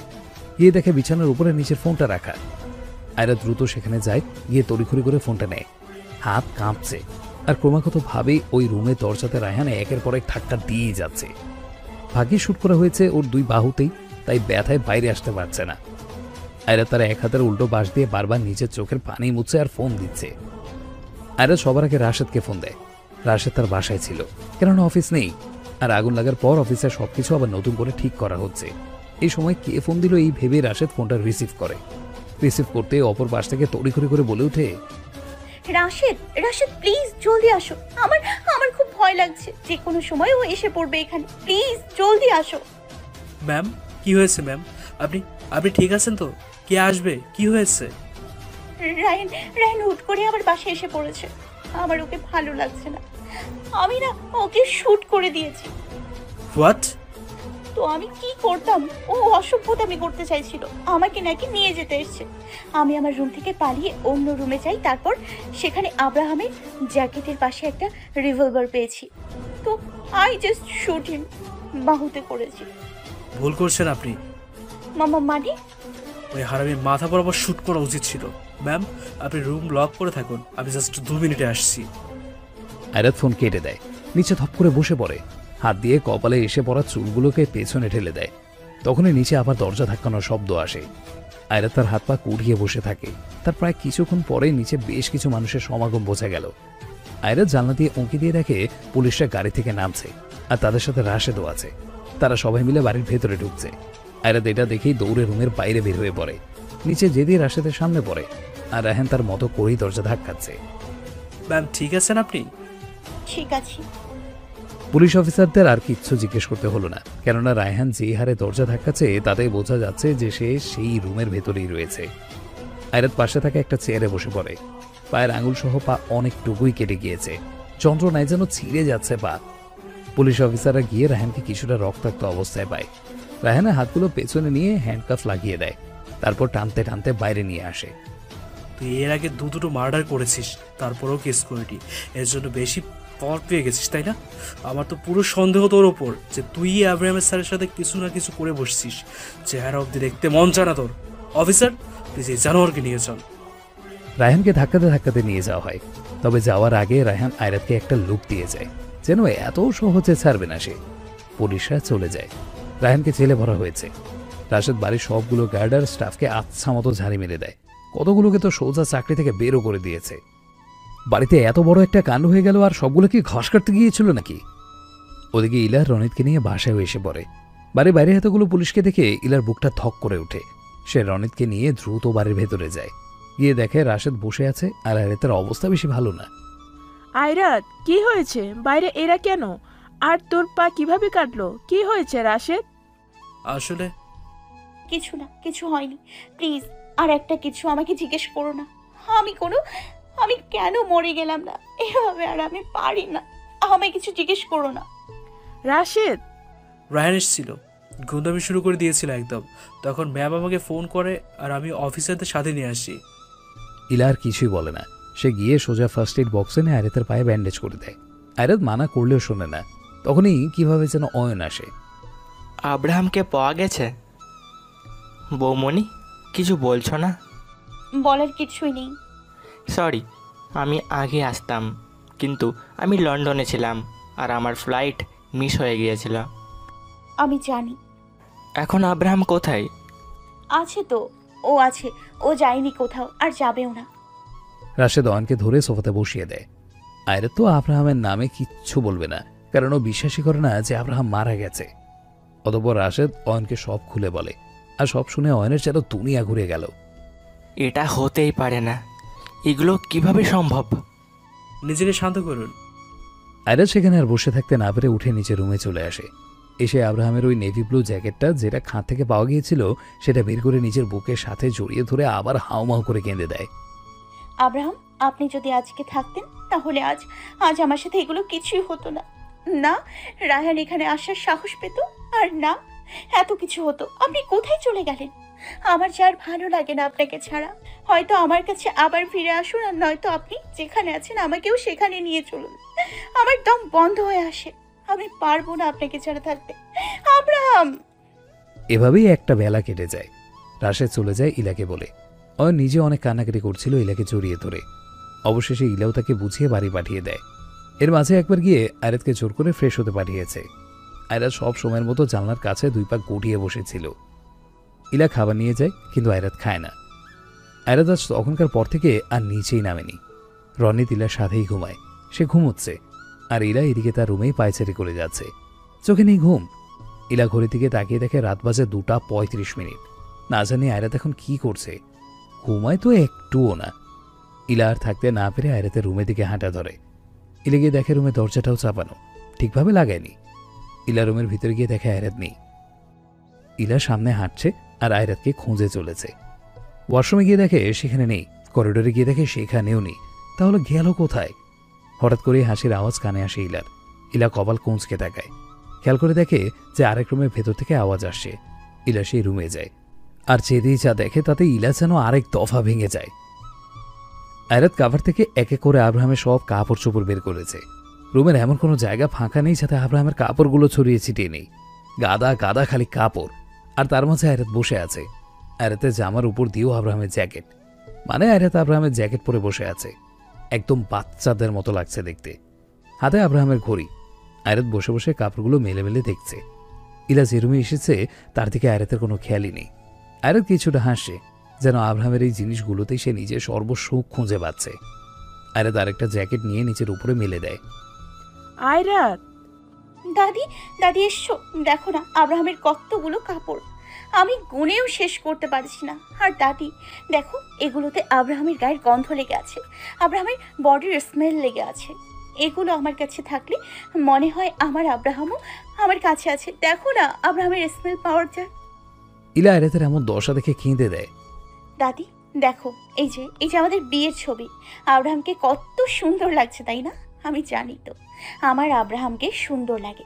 আচ্ছা দাদি বিয়েতে তো আমরা আজীবন একসাথে বেঁধে গিয়েছিলাম তাই না?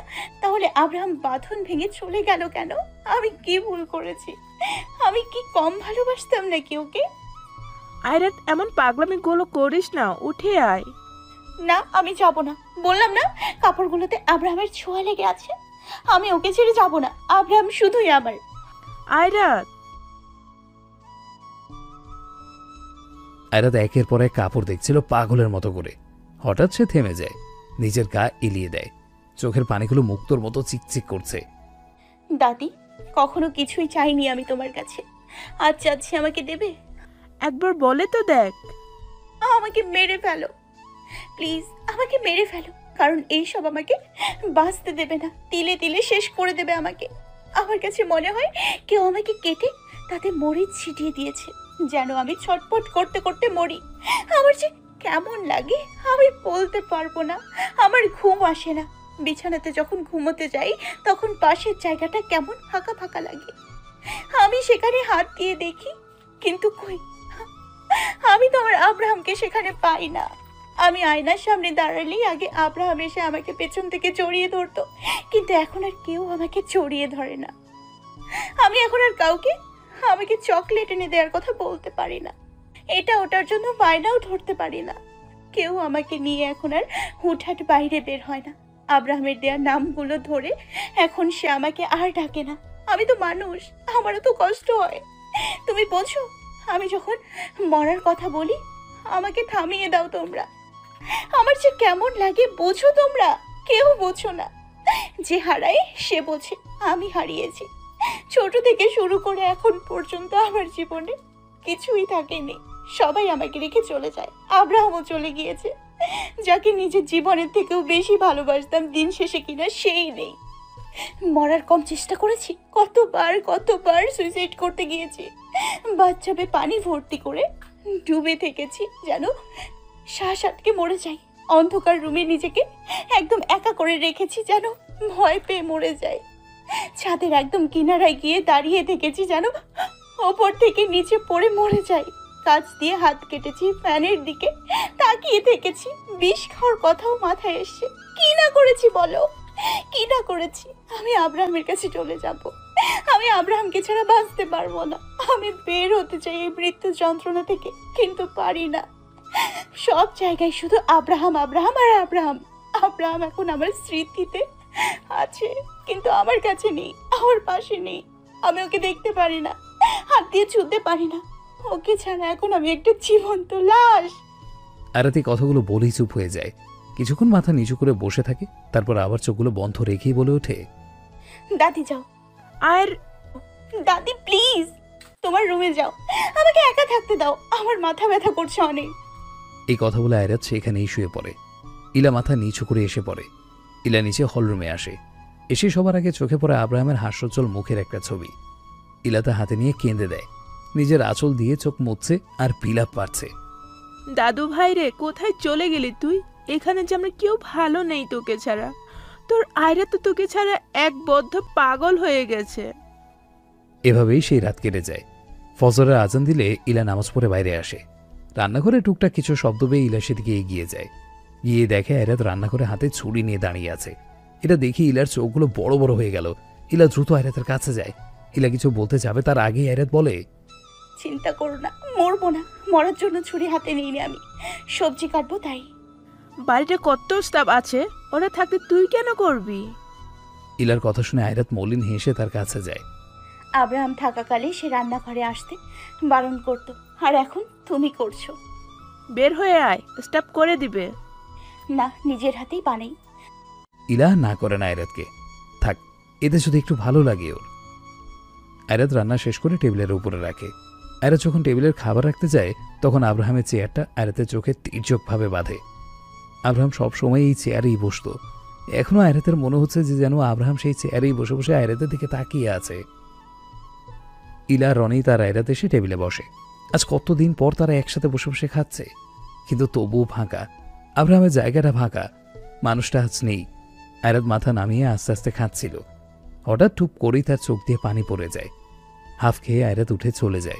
রান্নাঘরে গিয়ে জোরে জোরে দম ছাড়ছে। নিজের চোখের পানিগুলো মুছে ফেলে। আয়রাত এসে আবার হলরুমে বসে। তারপর কি যেন একটা ভেবে রাশেদকে ফোন দেয়। তবে রাশেদকে ফোন দিতে আয়রাত যা শুনে তাতে আয়রাতের মাথায় আগুন না শুধু, একদম আগুনের জ্বালামুখী ফেটে পড়ে। আব্রাহামের অফিস নিলামে উঠেছে। আব্রাহামের অফিসের চার ভাগের এক ভাগ নিলামে উঠেছে। রাশেদ সকাল থেকে এগুলো ঝামেলাতে পড়ে রয়েছে। আর যখন আয়রাত তাকে ফোন দেয়, তখন রাশেদ আয়রাতকে এই কথাই বলে। আর আয়রাতের তো এটা শুনে মেজা চারশো চল্লিশ হয়ে গেছে। আয়রাত আর কিছু না বলে সোজা গাড়ির চাবিটা হাতে নিয়ে বাড়ির বাইরে এসে পড়ে। রাগে মাথা ফেটে যাচ্ছে তার। আব্রাহামের অফিসের এক ভাগ নিলামে উঠেছে লাইক সিরিয়াসলি তীব্রভাবে গাড়ি ড্রাইভ করে যাচ্ছে আয়রাত। প্রায় বিশ থেকে পঁচিশ মিনিট পর গাড়ি এসে আব্রাহামের অফিসের সামনে থামে। আয়রাত গাড়ির দরজাটা ঠাস করে লাগিয়ে দেয়। আয়রাত ভেতরের দিকে হাঁটা দেয়। কিছু দূর যেতেই দেখে অফিসের সামনে বেশ কিছু লোক বসে আছে সারিবদ্ধভাবে। আর তাদের সবার সামনেই দুই তিনজন লোক দাঁড়িয়ে আছে। আয়রাতকে দেখতে পেরে রাশেদ তার কাছে আসে। আয়রাত কাউকে কিছু না বলে সোজা সামনে চলে যায়। বন্ধ করুন এই সব কিছু কি হচ্ছে এখানে? আয়রাতের চিল্লানোতে সবাই তার দিকে তাকায়। তাকে দেখে একজন লোক এগিয়ে আসে। লোকটি আজাদ রহমান। অর্থাৎ যেই নিলাম তুলেছেন আর কি। কে আপনি? আর এখানে কি চাই? কে আমি? যার অফিসকে নিলামে তুলছেন তার বউ আমি। আর এগুলো কি হচ্ছে? বিনা কারোর পারমিশনে আপনার সাহস হয় কি করে? আব্রাহামের অফিসের অংশ নিলামে তোলার? আমাদের কাছে পুলিশের পারমিশন আছে। তাই না? পারমিশন তো সেটা পুলিশকে মোটা অঙ্কের টাকা ঘুষ খাইয়ে তো আমিও নিতে পারব। দেখুন। আর কেউ কিছু বলতে যাবে তার আগেই কিছু পুলিশ অফিসার আসে। তারা আসতে আজাদ বলে ওঠে। স্যার দেখুন আমাদের কাছে আপনার পারমিশন থাকা সত্ত্বেও উনি এসেছে আমাদের কাছে বাধা দিচ্ছেন। মিসেস আয়রাত হোয়াট দেখুন আসলে কিসের ভিত্তিতে আপনারা নিলামে তুলেছেন? দেখুন অফিসে আগুন লেগেছিল আর যে অংশে আগুন লেগেছিল সেখানে কেউ কাজ করে না। কেবিনগুলো পড়ে আছে তবে আগুন লাগলেও সেখানে প্রায় লক্ষ লক্ষ টাকা পাওয়া গেছে। সেই টাকাগুলো অবৈধ। অবৈধ রাইট তো আগে আপনি আমাকে এটা বলুন যে পুলিশ তো আপনি হয়েই গিয়েছেন কিন্তু খাবার খেয়ে নাকি গরুর ঘাস খেয়ে হয়েছেন কোনটা? Excuse me excuse me my food তো এই যে আপনি বলছেন না যে অবৈধ টাকা পাওয়া গেছে? সত্যি কথা বলতে এমন টাকাগুলো আপনার বাড়ির তল্লাশি করলেও পাওয়া যাবে। তো অযথা এত প্যাচ লাগানো বন্ধ করুন। মিস্টার আজাদ আপনাকে কত লক্ষ টাকা দিয়েছে? নাকি কোটি দিয়েছে কোনটা হ্যাঁ আমি তার থেকেও ডাবল দেবো আপনাকে। আপনি এখনই আমাকে মিস্টার আজাদের বাড়ি নিলামে তোলার পারমিশনটা দিয়ে দিন। আপনি কে? আব্রাহাম কেমন মানুষ ছিল বা কোন জগতের মানুষ ছিল তা আপনি আমি সবাই জানি। এখানে নতুন করে বলার কিছুই নেই। কিন্তু তাই বলে আব্রাহাম কোনো ইলিগেল কাজ করবে তার প্রশ্নই আসে না। টাকারই অফিস অফিসে টাকারই কাজ করা হয়। তো টাকা পাওয়া যাবে না? আশ্চর্য তো। মানলাম যে কেবিনগুলোতে আগুন লেগেছিল। সেখানে কোনো কাজ করা হয় না।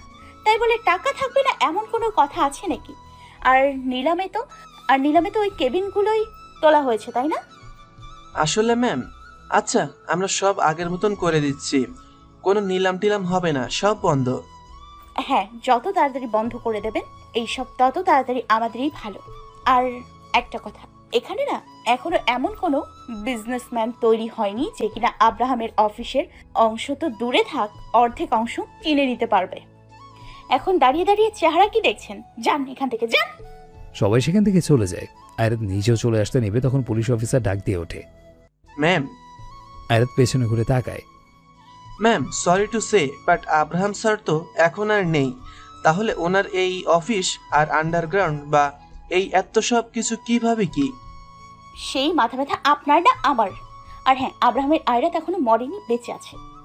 এই বলেই আয়রাত সেখান থেকে এসে পড়ে। আয়রাত যখন বাইরে আসে তখন রাশেদ তার দিকে তাকিয়েছিল। কি হলো? ম্যাম সত্যি বলতে আমি এটা সামলাতে পারতাম না।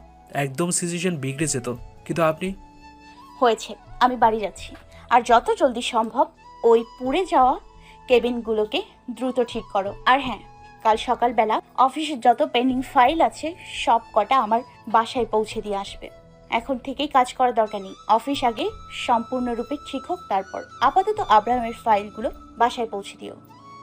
জি ম্যাম আচ্ছা। তখনই একজন ড্রাইভারকে আয়রাতে চোখে পড়ে। সে অতি দ্রুত কিছুটা লুকিয়ে অফিসারের পেছনের রাস্তা দিয়ে বের হয়ে গেল। আয়রাতের কাছে ব্যাপারটা কেমন যেন বাঁধল। এই সেই ড্রাইভারটা যে রায়হানের সাথে জড়িত ছিল তবে আয়রাত তা জানে না। আর নাই রাশেদ জানে। রাশেদ? জি। এই যে মাত্রই যে ড্রাইভার গেল? ওকে আগে তো দেখিনি। ম্যাম ওর নাম নাফিস নতুন ড্রাইভার। ও আচ্ছা। এই বলেই আয়রাত গাড়িতে উঠে পড়ে।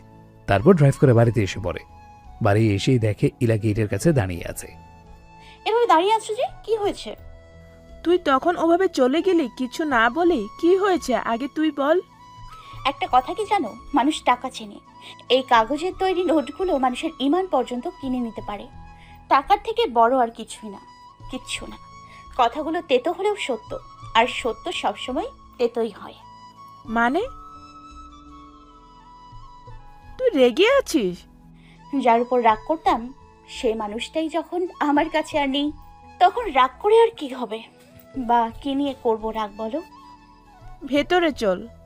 এভাবেই সেই দিনটা চলে গেল। পরের দিন সকালে একজন গার্ড এসে আয়রাতের বাসায় অফিসের সব ফাইলগুলো দিয়ে যায়। আয়রা সব ভালোভাবে ফাইলগুলো দেখে। আয়রাতের জানা মতো এখানে এখন কোনো গর্ব নেই। আর আব্রাহাম কখনোই আয়রাতকে না জানিয়ে কিছু করতো না। সেটা অফিসের কাজ হোক বা কোনো ডিল সাইন করতে হোক না কেন, সব ব্যাপারই আয়রাতের জানা থাকতো। আর এইটাই যেন আয়রাতের জন্য প্লাস পয়েন্ট হয়ে গেছে। আয়রাত ফাইলগুলো যখন ওলট পালট করে দেখছিল, তখন তাদের মাঝখান থেকে আব্রাহামের ওই সিগনেচার পেনটা বের হয় যাতে আব্রাহাম সবসময় সাইন করতো। আয়রাতা হাতে নিয়ে দেখে। মুচকি হেসে ওঠে। আব্রাহাম যেভাবে পেন ধরতো, সেভাবেই ধরার ট্রাই করে, কিন্তু পারে না। বেশ কয়েকবার ট্রাই করতে করতে হয়ে যায়। একদিন যে আয়রাত অফিসে আব্রাহামের কোড, সাইন করা, পেন, এইসব নিয়ে আব্রাহাম পার্ট টু হওয়ার ট্রাই করছিল, হঠাৎ করেই তার সেই দিনের কথা মনে পড়ে যায়। আয়রাত তার আনমনেই হেসে ওঠে। আয়রাত এক ক্ষীণ দম ছেড়ে ফাইলগুলো নিয়ে বসে পড়ে। একটার পর একটা ফাইল চেক করে যাচ্ছে, তো করেই যাচ্ছে। ওঠার নাম নেই। নেই হাত, ব্যথারও নাম। বেশ সময় পার হয়ে যায় কিন্তু আয়রাত তার রুম থেকে বের হয় না। আয়রাত বের হচ্ছে না দেখে ইলা আয়রাতের রুমে যায়। গিয়ে দেখে আয়রাত বসে বসে ফাইল দেখছে। চোখে চশমা। আয়রাত? হ্যাঁ এসো। কি করিস? কাজ করি অফিসের কাজ। অফিসের কাজ? হ্যাঁ আসলে অনেকগুলো ফাইল পড়েছিল তো। ভাবলাম আমি সব করে দিই। তাই রাশিদকে বলে এসেছিলাম তাই ফাইলগুলো দিয়ে গেল।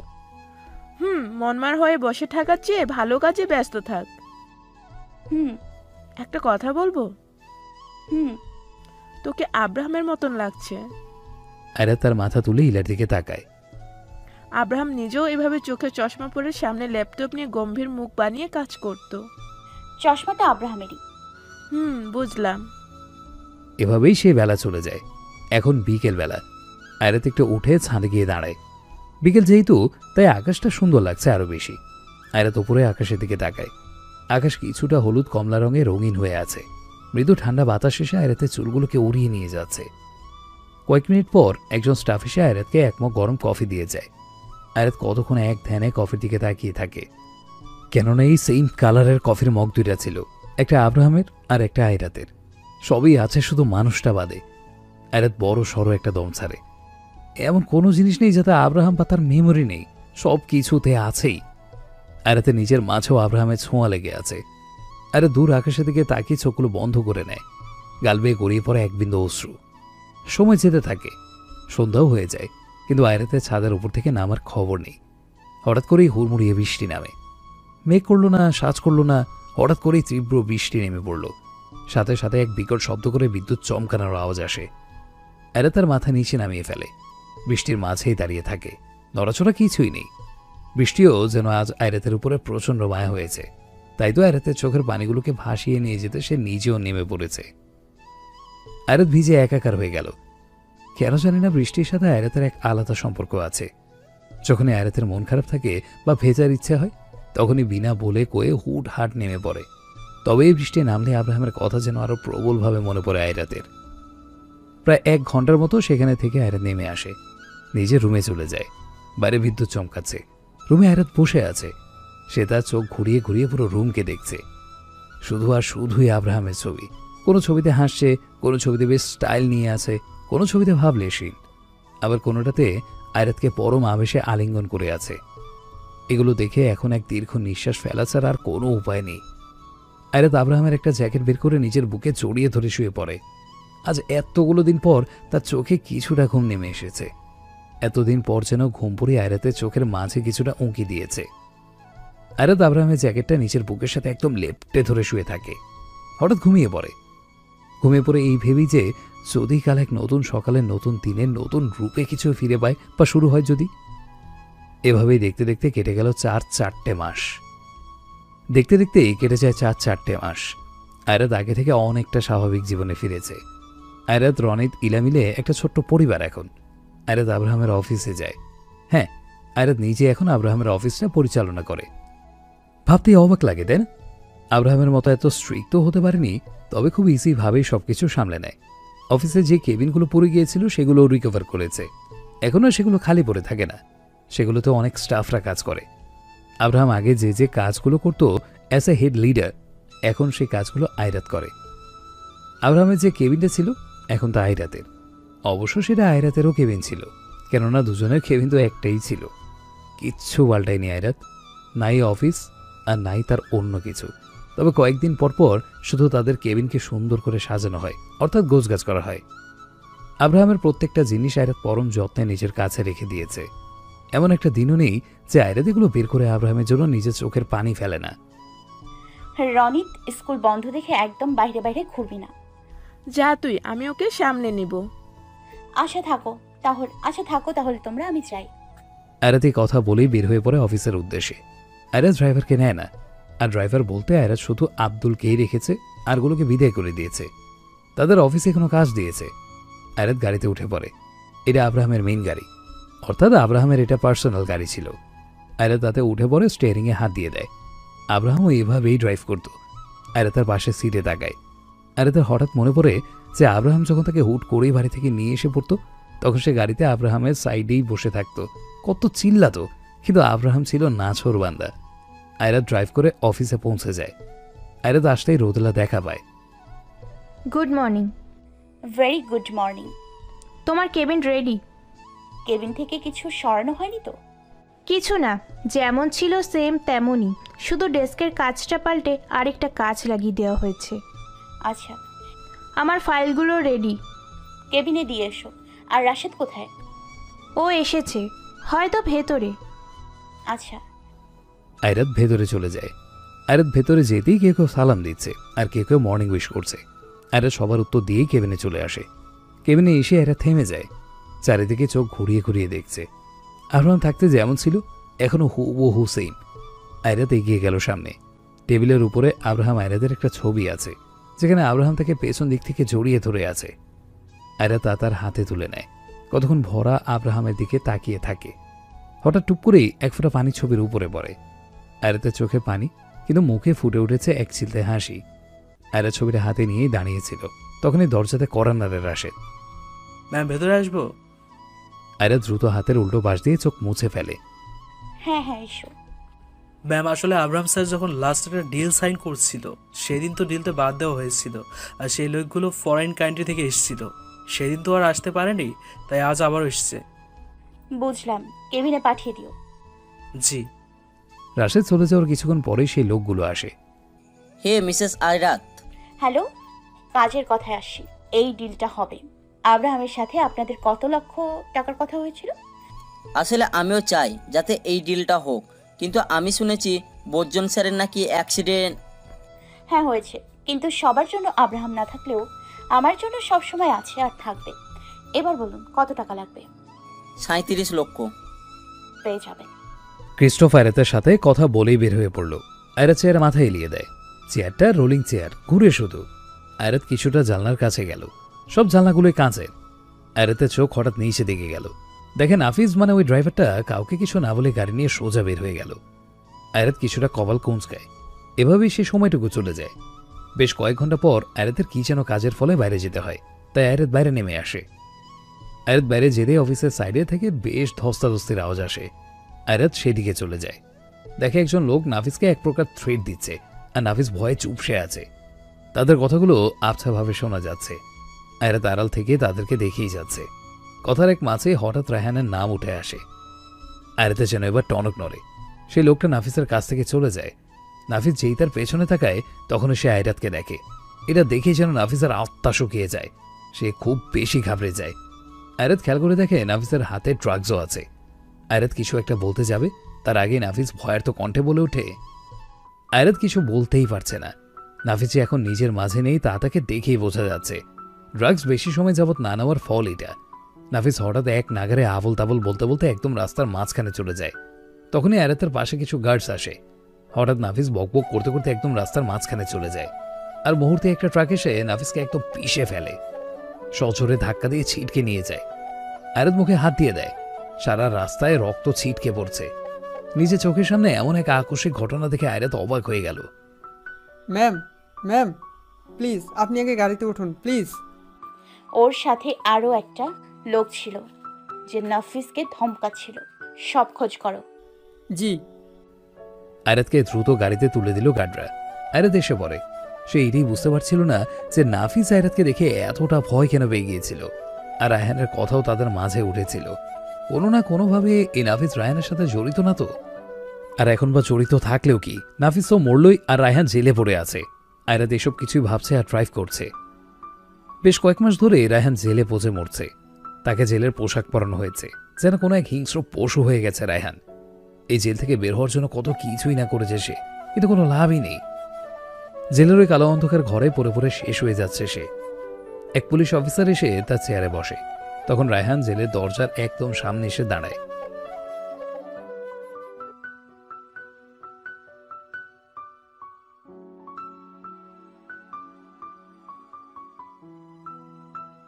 লাভ নেই, এগুলো কৃতকর্মের ফল। রায়হান রাগে জেলের লোহাগুলোতে বাড়ি মেরে চিল্লিয়ে ওঠে। এভাবেই দিন যাচ্ছে। নাফিসের লাশটা পুলিশদের দিয়ে দেওয়া হয়েছে। লাশ চেক করার পর স্পষ্ট তার বডিতে ড্রাগস পাওয়া গেছে। আর হ্যাঁ আরেতে সন্দেহ স্পষ্ট ছিল। নাফিস রায়হানের সাথে জড়িত ছিল। রায়হানকে শাস্তি আর কি করে দেবে যেখানে রায়হান শাস্তি পাচ্ছেই? আর নাফিস তো মরে ভূত। বাড়ি থেকে অফিস অফিস থেকে বাড়ি। ব্যাস, এই এতটুকুই থেকে গেছে আয়রাতের জীবন। নিজের ইচ্ছেগুলোকে যেন এক প্রকার মাটি চাপা দিয়ে দিয়েছে আয়রাত। শখ, ইচ্ছে কোনো কিছুই আর তার জীবনের মাঝে নেই। তার তো এটাও মনে নেই যে সে প্রাণ খুলে লাস্ট কবে হেসেছিল। সব কেমন চুপসে গেছে। জীবন থেকে খুশি ঝলকি সরে গিয়েছে। সময় যাচ্ছে, দিন যাচ্ছে, কিন্তু আয়রা যেমন ছিল তেমনই। আব্রাহামকে ভুলতে পারেনি সে, আর নাই কখনো পারবে। মাসের পর মাস চলে যায়, কিন্তু কিছুই ঠিক হবার নাম নেই। কেমন যেন সব এলোমেলো হয়ে গেছে। তবে আয়রাত নিজে যেমনই থাকুক না কেন ইলা বা রনিতের ক্ষেত্রে কোনো কমতি রাখেনি। আয়রাত নিজে যথেষ্ট হাসি খুশি থাকে তাদের সামনে, যেন সে একদম ঠিক আছে। কিন্তু ভেতরে ভেতরে তো সে কবেই মরে গিয়েছে, তার মাঝেও অনেক দিন চলে গেছে। রনিত আগে থেকে বড় হয়েছে। একদিন আয়রাত বসে বসে কাজ করছিল, তখন ইলা আসে আয়রাতের রুমে। ইলা এসে আয়রাতের পাশে চুপ মেরে বসে আছে। তা দেখে আয়রাত নিজেই বলে ওঠে, দাদি? হুম। কি বলবে জলদি বলো। কি করে বুঝলি তুই? বুঝি বুঝি সবই বুঝি। এবার বলো। না মানে বলছিলাম যে? আয়রাত ল্যাপটপটা রেখে দিয়ে ইলার দিকে ঘুরে তাকায়। তার হাত দুটো নিজের কাছে নিয়ে নেয়। বলো তো কি বলবে? বলব? অবশ্যই। দেখ কারও জীবন থেমে থাকে না। আব্রাহাম যেমন আমার কাছে প্রিয় ছিল তুইও তাই। তোরা কেউ আমার কাছে আলাদা ছিলি না। আমি তোর এমন কষ্ট দেখতে পারব না নিজের চোখের সামনে। আমি জানি যা হয়েছে খুব খারাপ। ধরে নে এটা লেখা ছিল কপালে। কিন্তু শোন, এভাবে একা একা তো আর কারোর জীবন কাটে না, তাই না? কাউকে না কাউকে লাগেই। আয়রাত, শোনা, আমি বলি তুই আরেকটা বিয়ে করে নে। আয়রাত, শোনা, আমি বলি তুই আরেকটা বিয়ে করে নে না, এতে তোরই ভালো। জীবনের শেষ বয়সে কাউকে না কাউকে লাগে। তুই আরেকটা বিয়ে কর, আয়রাত। আয়রাত ইলার হাতগুলো ছেড়ে দেয়। ইলা ভেবেছে আয়রাত রাগ করেছে। আর এখন আবার পাগলামি শুরু করে দেবে। কিন্তু না আয়রাত উল্টো ইলার হাত ছেড়ে দিয়ে ইলার কাছে এসে বসে। আমি জানি তুমি আমাকে অনেক ভালোবাসো আর ভালোই চাও। যা বলেছ তা আমার ব্যাপারে ভেবেই বলেছ। কিন্তু দাদি আগে একটা কথা বলো তো। দুলাভাই যখন তোমাকে ছেড়ে চলে গিয়েছিল ত- তখন তুমি একা একা কীভাবে থেকেছো? আবার বিয়ে কেন করনি? না রে তখন আমাদের তেমন রীতিনীতি ছিল না। দ্বিতীয় বিয়ে করার মতন দ্বিতীয় বিয়ে করার মতন এত পদ্ধতি ছিল না সেই সময়ে। আহা, ভুল, কারণ তুমি দাদু ভাইকে অনেক ভালোবাসতে। তাকে ভুলতেই পারোনি। তো তখন আবার একটা বিয়ে করবে কীভাবে, তাই না? আমার অবস্থাটাও কিছুটা এরকমই। আমার পক্ষে সম্ভব না, দাদি। আমি পারব না আরহামের জায়গায় অন্য কাউকে বসাতে। আমার সেই সাধ্য নেই। আমি যদি মরেও যাই, তাহলেও আরহামের স্মৃতি নিয়েই মরবো। আমার আরহামের মতো না কেউ ছিল, না কেউ আছে আর না কেউ হবে। আমি আমার জীবনে আরহামকে ছাড়া অন্য কাউকে ভাবতেও পারি না। আমার দ্বারা এটা হবে না দাদি। হুম যা ভালো বুঝিস। আচ্ছা কাজ কর তুই আমি গেলাম। এই ইলাবতী ডাকটা ইলার হাজবেন্ডে দেওয়া। তিনিই ডাকতেন শুধু। মাঝে মাঝে আয়রা তো হিলাকে এই নাম ধরে ডাক দিয়ে ওঠে। এই যে ইলাবতী। কি রে? তোমাকে না আজকে হ্যাপি সুন্দর লাগছে। চুপ কর। ইলার ধমকে আয়রাত হেসে দেয়। ইলা রুম থেকে চলে যায়। ইলা চলে যাওয়ার সাথে সাথে আয়রাতের মুখের হাসিটাও উধাও হয়ে যায়। আয়রাত পাশে তাকিয়ে দেখে আব্রাহামের গিটারটা, যা তাকে তার মা দিয়েছিল। সেদিনের কথাটা মনে পড়ে যায়, যেদিন আব্রাহাম আয়রাতের জন্য গান গেয়েছিল। আয়রাত ফট করে চোখ সরিয়ে ফেলে তা থেকে। চোখের কানিশ বেয়ে পানি পড়ার আগেই আয়রাত হাত দিয়ে তা মুছে চোখে চশমা পরে তীক্ষ্ণ দৃষ্টিতে ল্যাপটপের দিকে তাকায়। সবকিছু পরিবর্তন হয়ে গেছে, আর সবকিছুর সাথে সাথে আয়রাত নিজেও মানুষ পরিবর্তনশীল। আর হবে নাই বা কেন? ঘড়ির কাটা ঘুরিয়ে সময় স্রোতের মতো ভেসে গিয়ে কেটে গিয়েছে প্রায় দুই বছর। দুই বছর পর।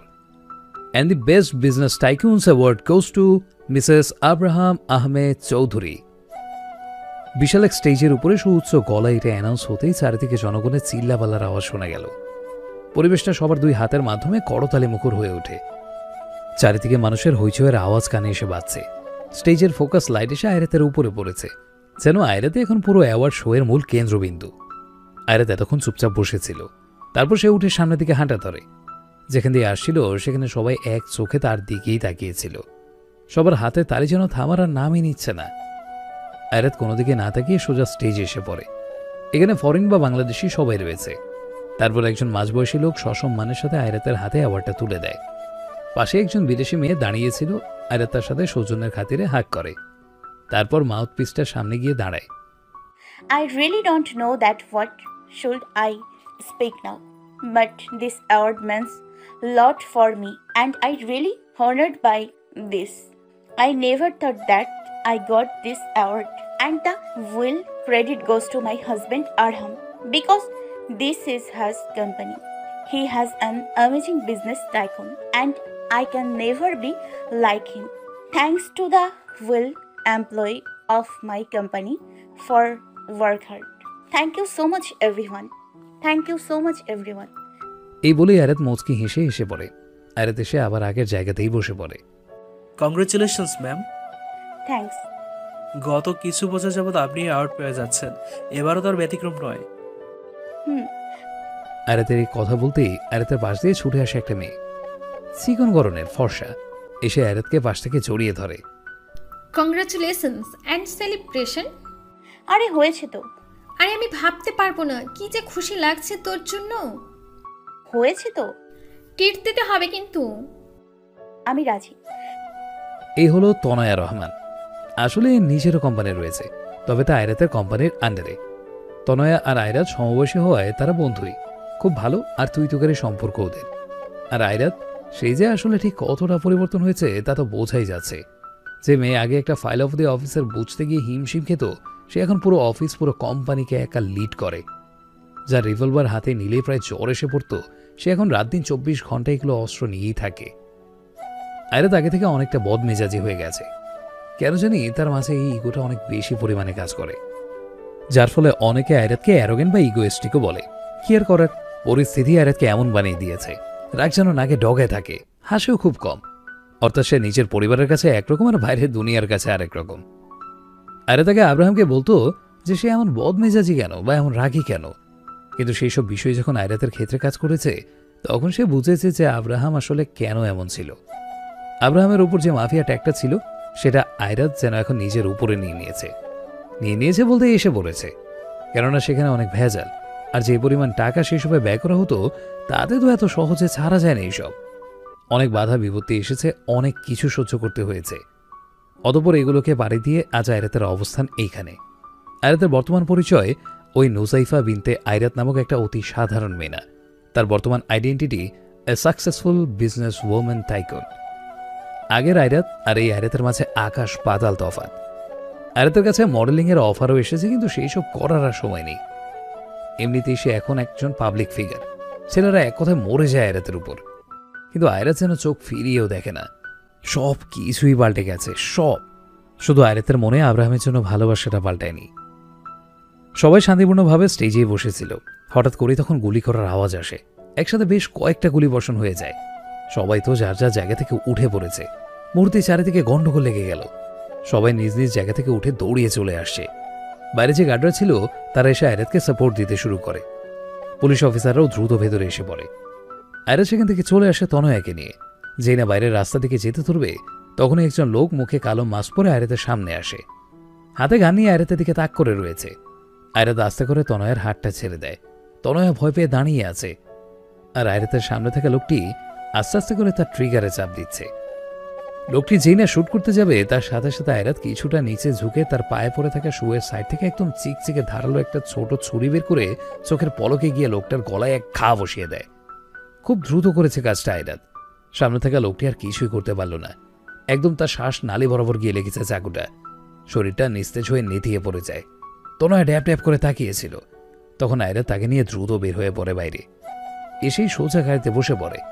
তখন রাশেদ এসে আয়রাতে গাড়ি জানলার কাছে দাঁড়ায়। রাশেদ সব কটাকে আটকাও। একটাও যেন বাদ না যায়। সবগুলোকে ধরে আনো। জি ম্যাম আপনি যান। আয়রাত গাড়ি ড্রাইভ করা শুরু করে দিল। তার পাশেই তনয়া। তনয়াকে নিচে থেকে এইভাবে তাকিয়ে থাকতে দেখে আয়রাত বলে ওঠে আরে এভাবে তাকিয়ে আছিস কেন? এখন বুঝলাম যে তুই সব সময় উঁচু সুপরে কেন থাকিস? কেন থাকি? এই যে এই সব চাকুটাকু লুকানোর জন্য আর কি। হুম তুই কি বাসায় নামবি হ্যাঁ। আয়রাত গিয়ে তনয়াকে তার বাসার সামনে ড্রপ করে দিয়ে এসে পড়ে। এখন প্রায় রাতের সময়।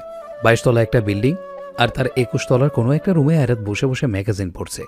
তার পাশে থাকা একটা রুমে কতগুলো মানুষকে কুকুরের মতো করে পেটানো হচ্ছে? বাকি সবগুলো আধা মরা আর এগুলোর যে মাস্টার মাইন্ড ছিল, তাকে তুলে আনা হয়েছে। আর এরাই তখন মানুষ ভর্তি শোতে গুলি চালিয়েছিল। আরে তার এক হাত কপালের পাশে ঠেকিয়ে ম্যাগাজিনের দিকে চোখ দিয়ে রেখেছে। আর বাসার রুমটা থেকেই মানুষের আত্মচিৎকার ভেসে আসছে। এই চিল্লাপাল্লা আর যেন আয়রাতের ভালো ঠেকছে না। তাই সে তার সামনে টেবিলের উপরে রাখা রিভলভারটা নিয়ে সোজা ওই রুমে চলে যায়। গার্ডরা আয়রাতকে দেখে সাইডে সরে যায়। আর আয়রাত গিয়ে কোনো প্রকার কথা না বলেই ধাই ধাই করে যতগুলো বুলেট ছিল সবকটা ওই লোকটার বুকে শ্যুট করে দেয়। কত বিক্ষত হয়েছে তার বুকটা। নিঃশব্দ রুমে লোকটা নিথর দেহটা নিচে লুটিয়ে পড়ার আওয়াজটা কানে এসে লাগে। ম্যাম মারলেন কেন? কারণ ভালো থাকার মানুষটা এই যে টর্চারগুলো করা হয়েছে বলার হলে এতক্ষণ সব কিছু বলে দিত। যেহেতু বলবি না তাহলে মরে বাকি যারা বেঁচে আছে তাদের দ্রুত হসপিটালে অ্যাডমিট করো। আর এর লাশ এমন জায়গায় ফেলে রেখে এসো যেন কাকপক্ষী অবধি টের না পায় ওকে? জি ম্যাম। এই বলে আয়রাত মুখে মাস্কটা পরে বের হয়ে পড়ে। বাইরে এসে লিফটে উঠে পড়ে। তারপর একদম বাইরে এসে গাড়ি করে বাড়ি চলে যায়। বাড়ি যেতেই আবার অয়নের ফোন আসে আয়রাতের কাছে। হ্যালো? বৌমণি ঠিক আছে তুমি? হ্যাঁ আমার আবার কি হবে? রাশেদের কাছে জানতে পারলাম। এসওয়ার্ড শোতে নাকি গুলি চালানো হয়েছে। হ্যাঁ কয়েকটা। কে করেছে? এসব জানতে পেরেছ? পরপারে পাঠিয়ে দিয়েছি। এখন কোথায় তুমি? এই তো সবে মাত্র বাসায় আসলাম। আর ভাইয়া প্লিজ দাদি যাতে এই সব কিছুই না জানতে পারে। সেদিকে খেয়াল রাখবে নয়তো অযথা চিন্তা করবে। হ্যাঁ আচ্ছা। রাখি। আয়রাত ভেতরে যেতে রনি দৌড়ে আসে। আয়রাত তো তাকে করে তুলে নেয় অবশ্য খুব কষ্টে। অ্যাডওয়ার্ড পেয়েছ? পেলাম। কেন পেলে? নিজেও জানি না। কেন যে দিল ওরা আমাকে? ও হ্যাঁ মনে পড়েছে। ওরা আমাকে বলল যে এটা গিয়ে বাসায় রনিককে দিতে তাই। এটা আমার তাহলে? হ্যাঁ। রনিত দুধ খেয়ে যা। তুই এখনও দুধ খাসনি? রনিত কিছু না বলে শুধু তার মাথা দুই পাশে নাড়ায় অর্থাৎ না। জলদি যা দুধ খেয়ে আয়। রনিত ইলার সামনে বসলে ইলা রনিতের দিকে দুধ এগিয়ে দেয়। আর আয়রাত ধপ করে সোফাতে বসে উপরে হুডিটা খুলে ফেলে। অনেক ক্লান্ত হয়ে গেছিস তাই না? না তেমন কিছু না। কি হয়েছে? মন খারাপ?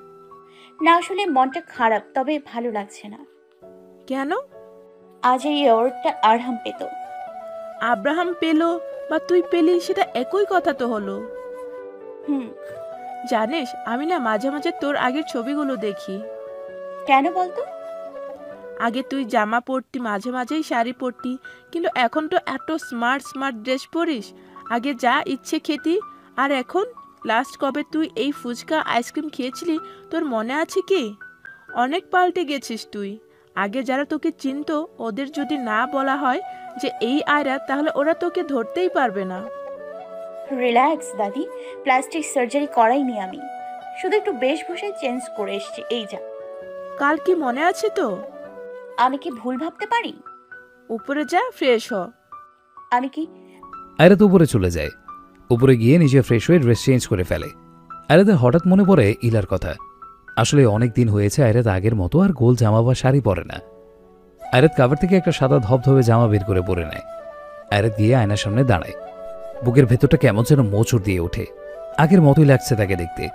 আয়রাতে কেন জানি মনে হতে লাগল যে এই হয়তো তার আব্রাহাম তাকে এসে জড়িয়ে ধরবে। কিন্তু এটা একটা স্বপ্ন মাত্রই। আয়রাত ঘড়ির দিকে তাকায়, দেখে বারোটা বাজার আর মাত্র বিশ মিনিট বাকি আছে। তখনই আয়রাত নিচে চলে যায়।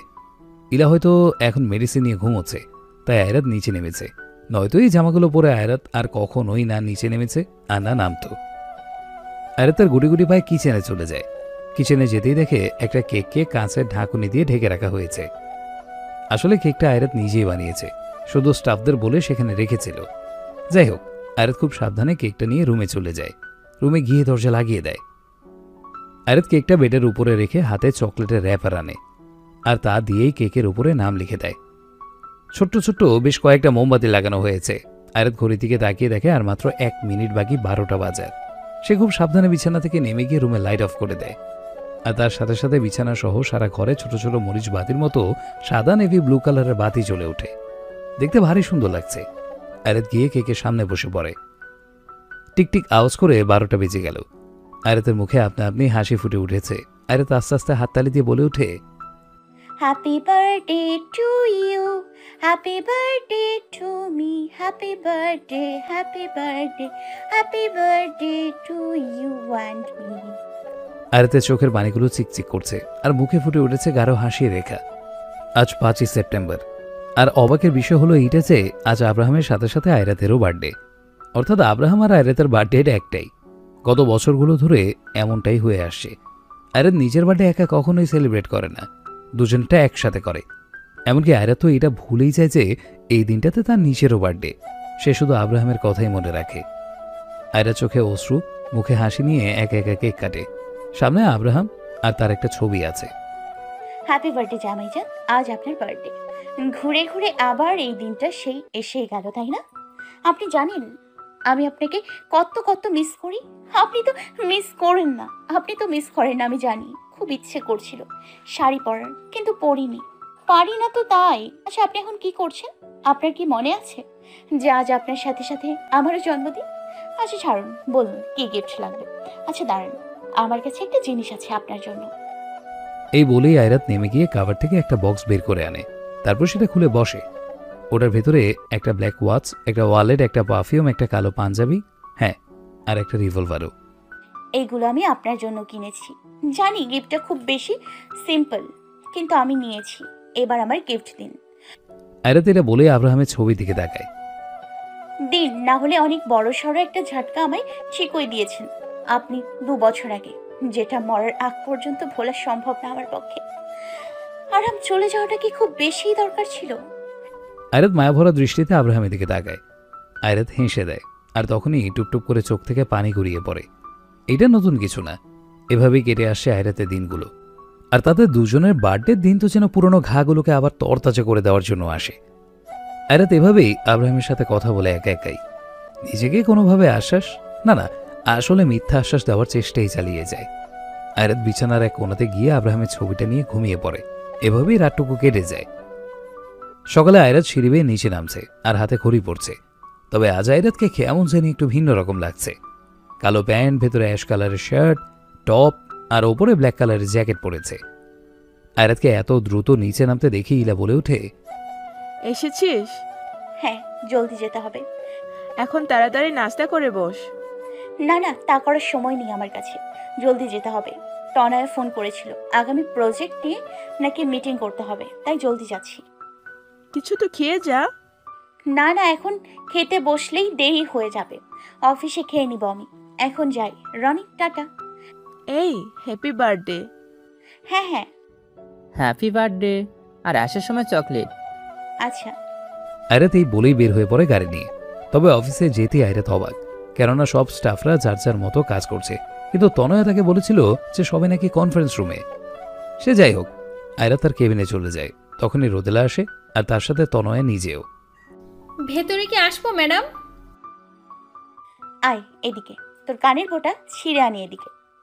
যাপ বাবা আমি আবার কি করলাম? সকালে ফোন করে কি বলেছিস আমাকে? সবাই কনফারেন্স রুমে তাই না? এই তোর মিটিং আরে ছাড় না by the way happy birthday হুম হয়েছে। হ্যাপি বার্থডে থ্যাঙ্কস চল। কোথায়? শোন একটা কনসার্ট আছে বুঝলি? মানে কি যে বলব আমি? এত সুন্দর সেটা অনেক জমজমাট। আর বিশাল বড় সড়ো করে হবে। হাজার হাজার মানুষ আসবে সেখানে। আমার তো আর তর্স হয়েছে না। চল আমরাও যাই।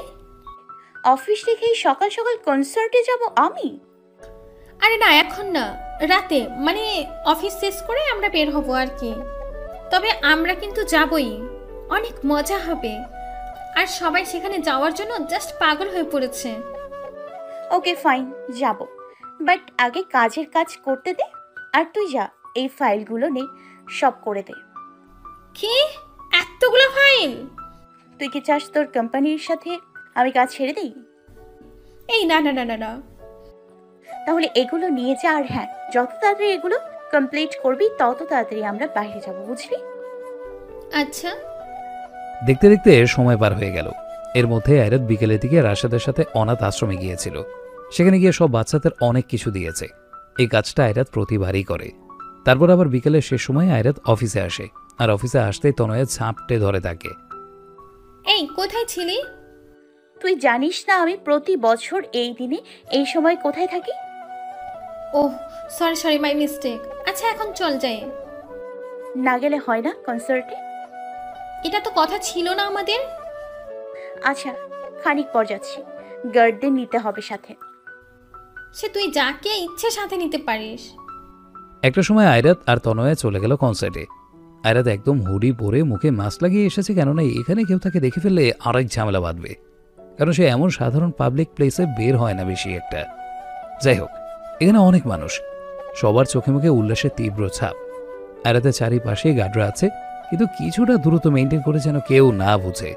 কনসার্টের এক পর্যায়ে এসে সবার মাঝেই যেন আরও হইচই শুরু হয়ে গেল। আর তনয় এগুলো বেশ এনজয় করলেও এখন আয়রাতের এগুলো কেমন যেন বিরক্তিকর লাগছে। গানের এত তীব্র শব্দ যে তাতে কানের পর্দা ফাটার মতো অবস্থা। একে তো এই গানের শব্দ, তার উপরে মানুষের এই চিল্লাপাল্লা আয়রাতের রাগ হতে লাগল ধীরে ধীরে। তারপরেও আয়রাত সেখানে থেকে গেল আরও বেশ কয়েক সময়। তার প্রায় এক ঘণ্টা শেষ হয়ে গেছে। আস্তে আস্তে রাত যত বাড়ছে, মানুষের সমাগমটাও ঠিক ততই বেড়ে চলেছে। আয়রাত আশেপাশে তাকিয়ে তনয়কে খুঁজতে লাগে, কিন্তু তনয়া নেই। আয়রাতা সেখানে থাকতে না পেরে চলে আসে।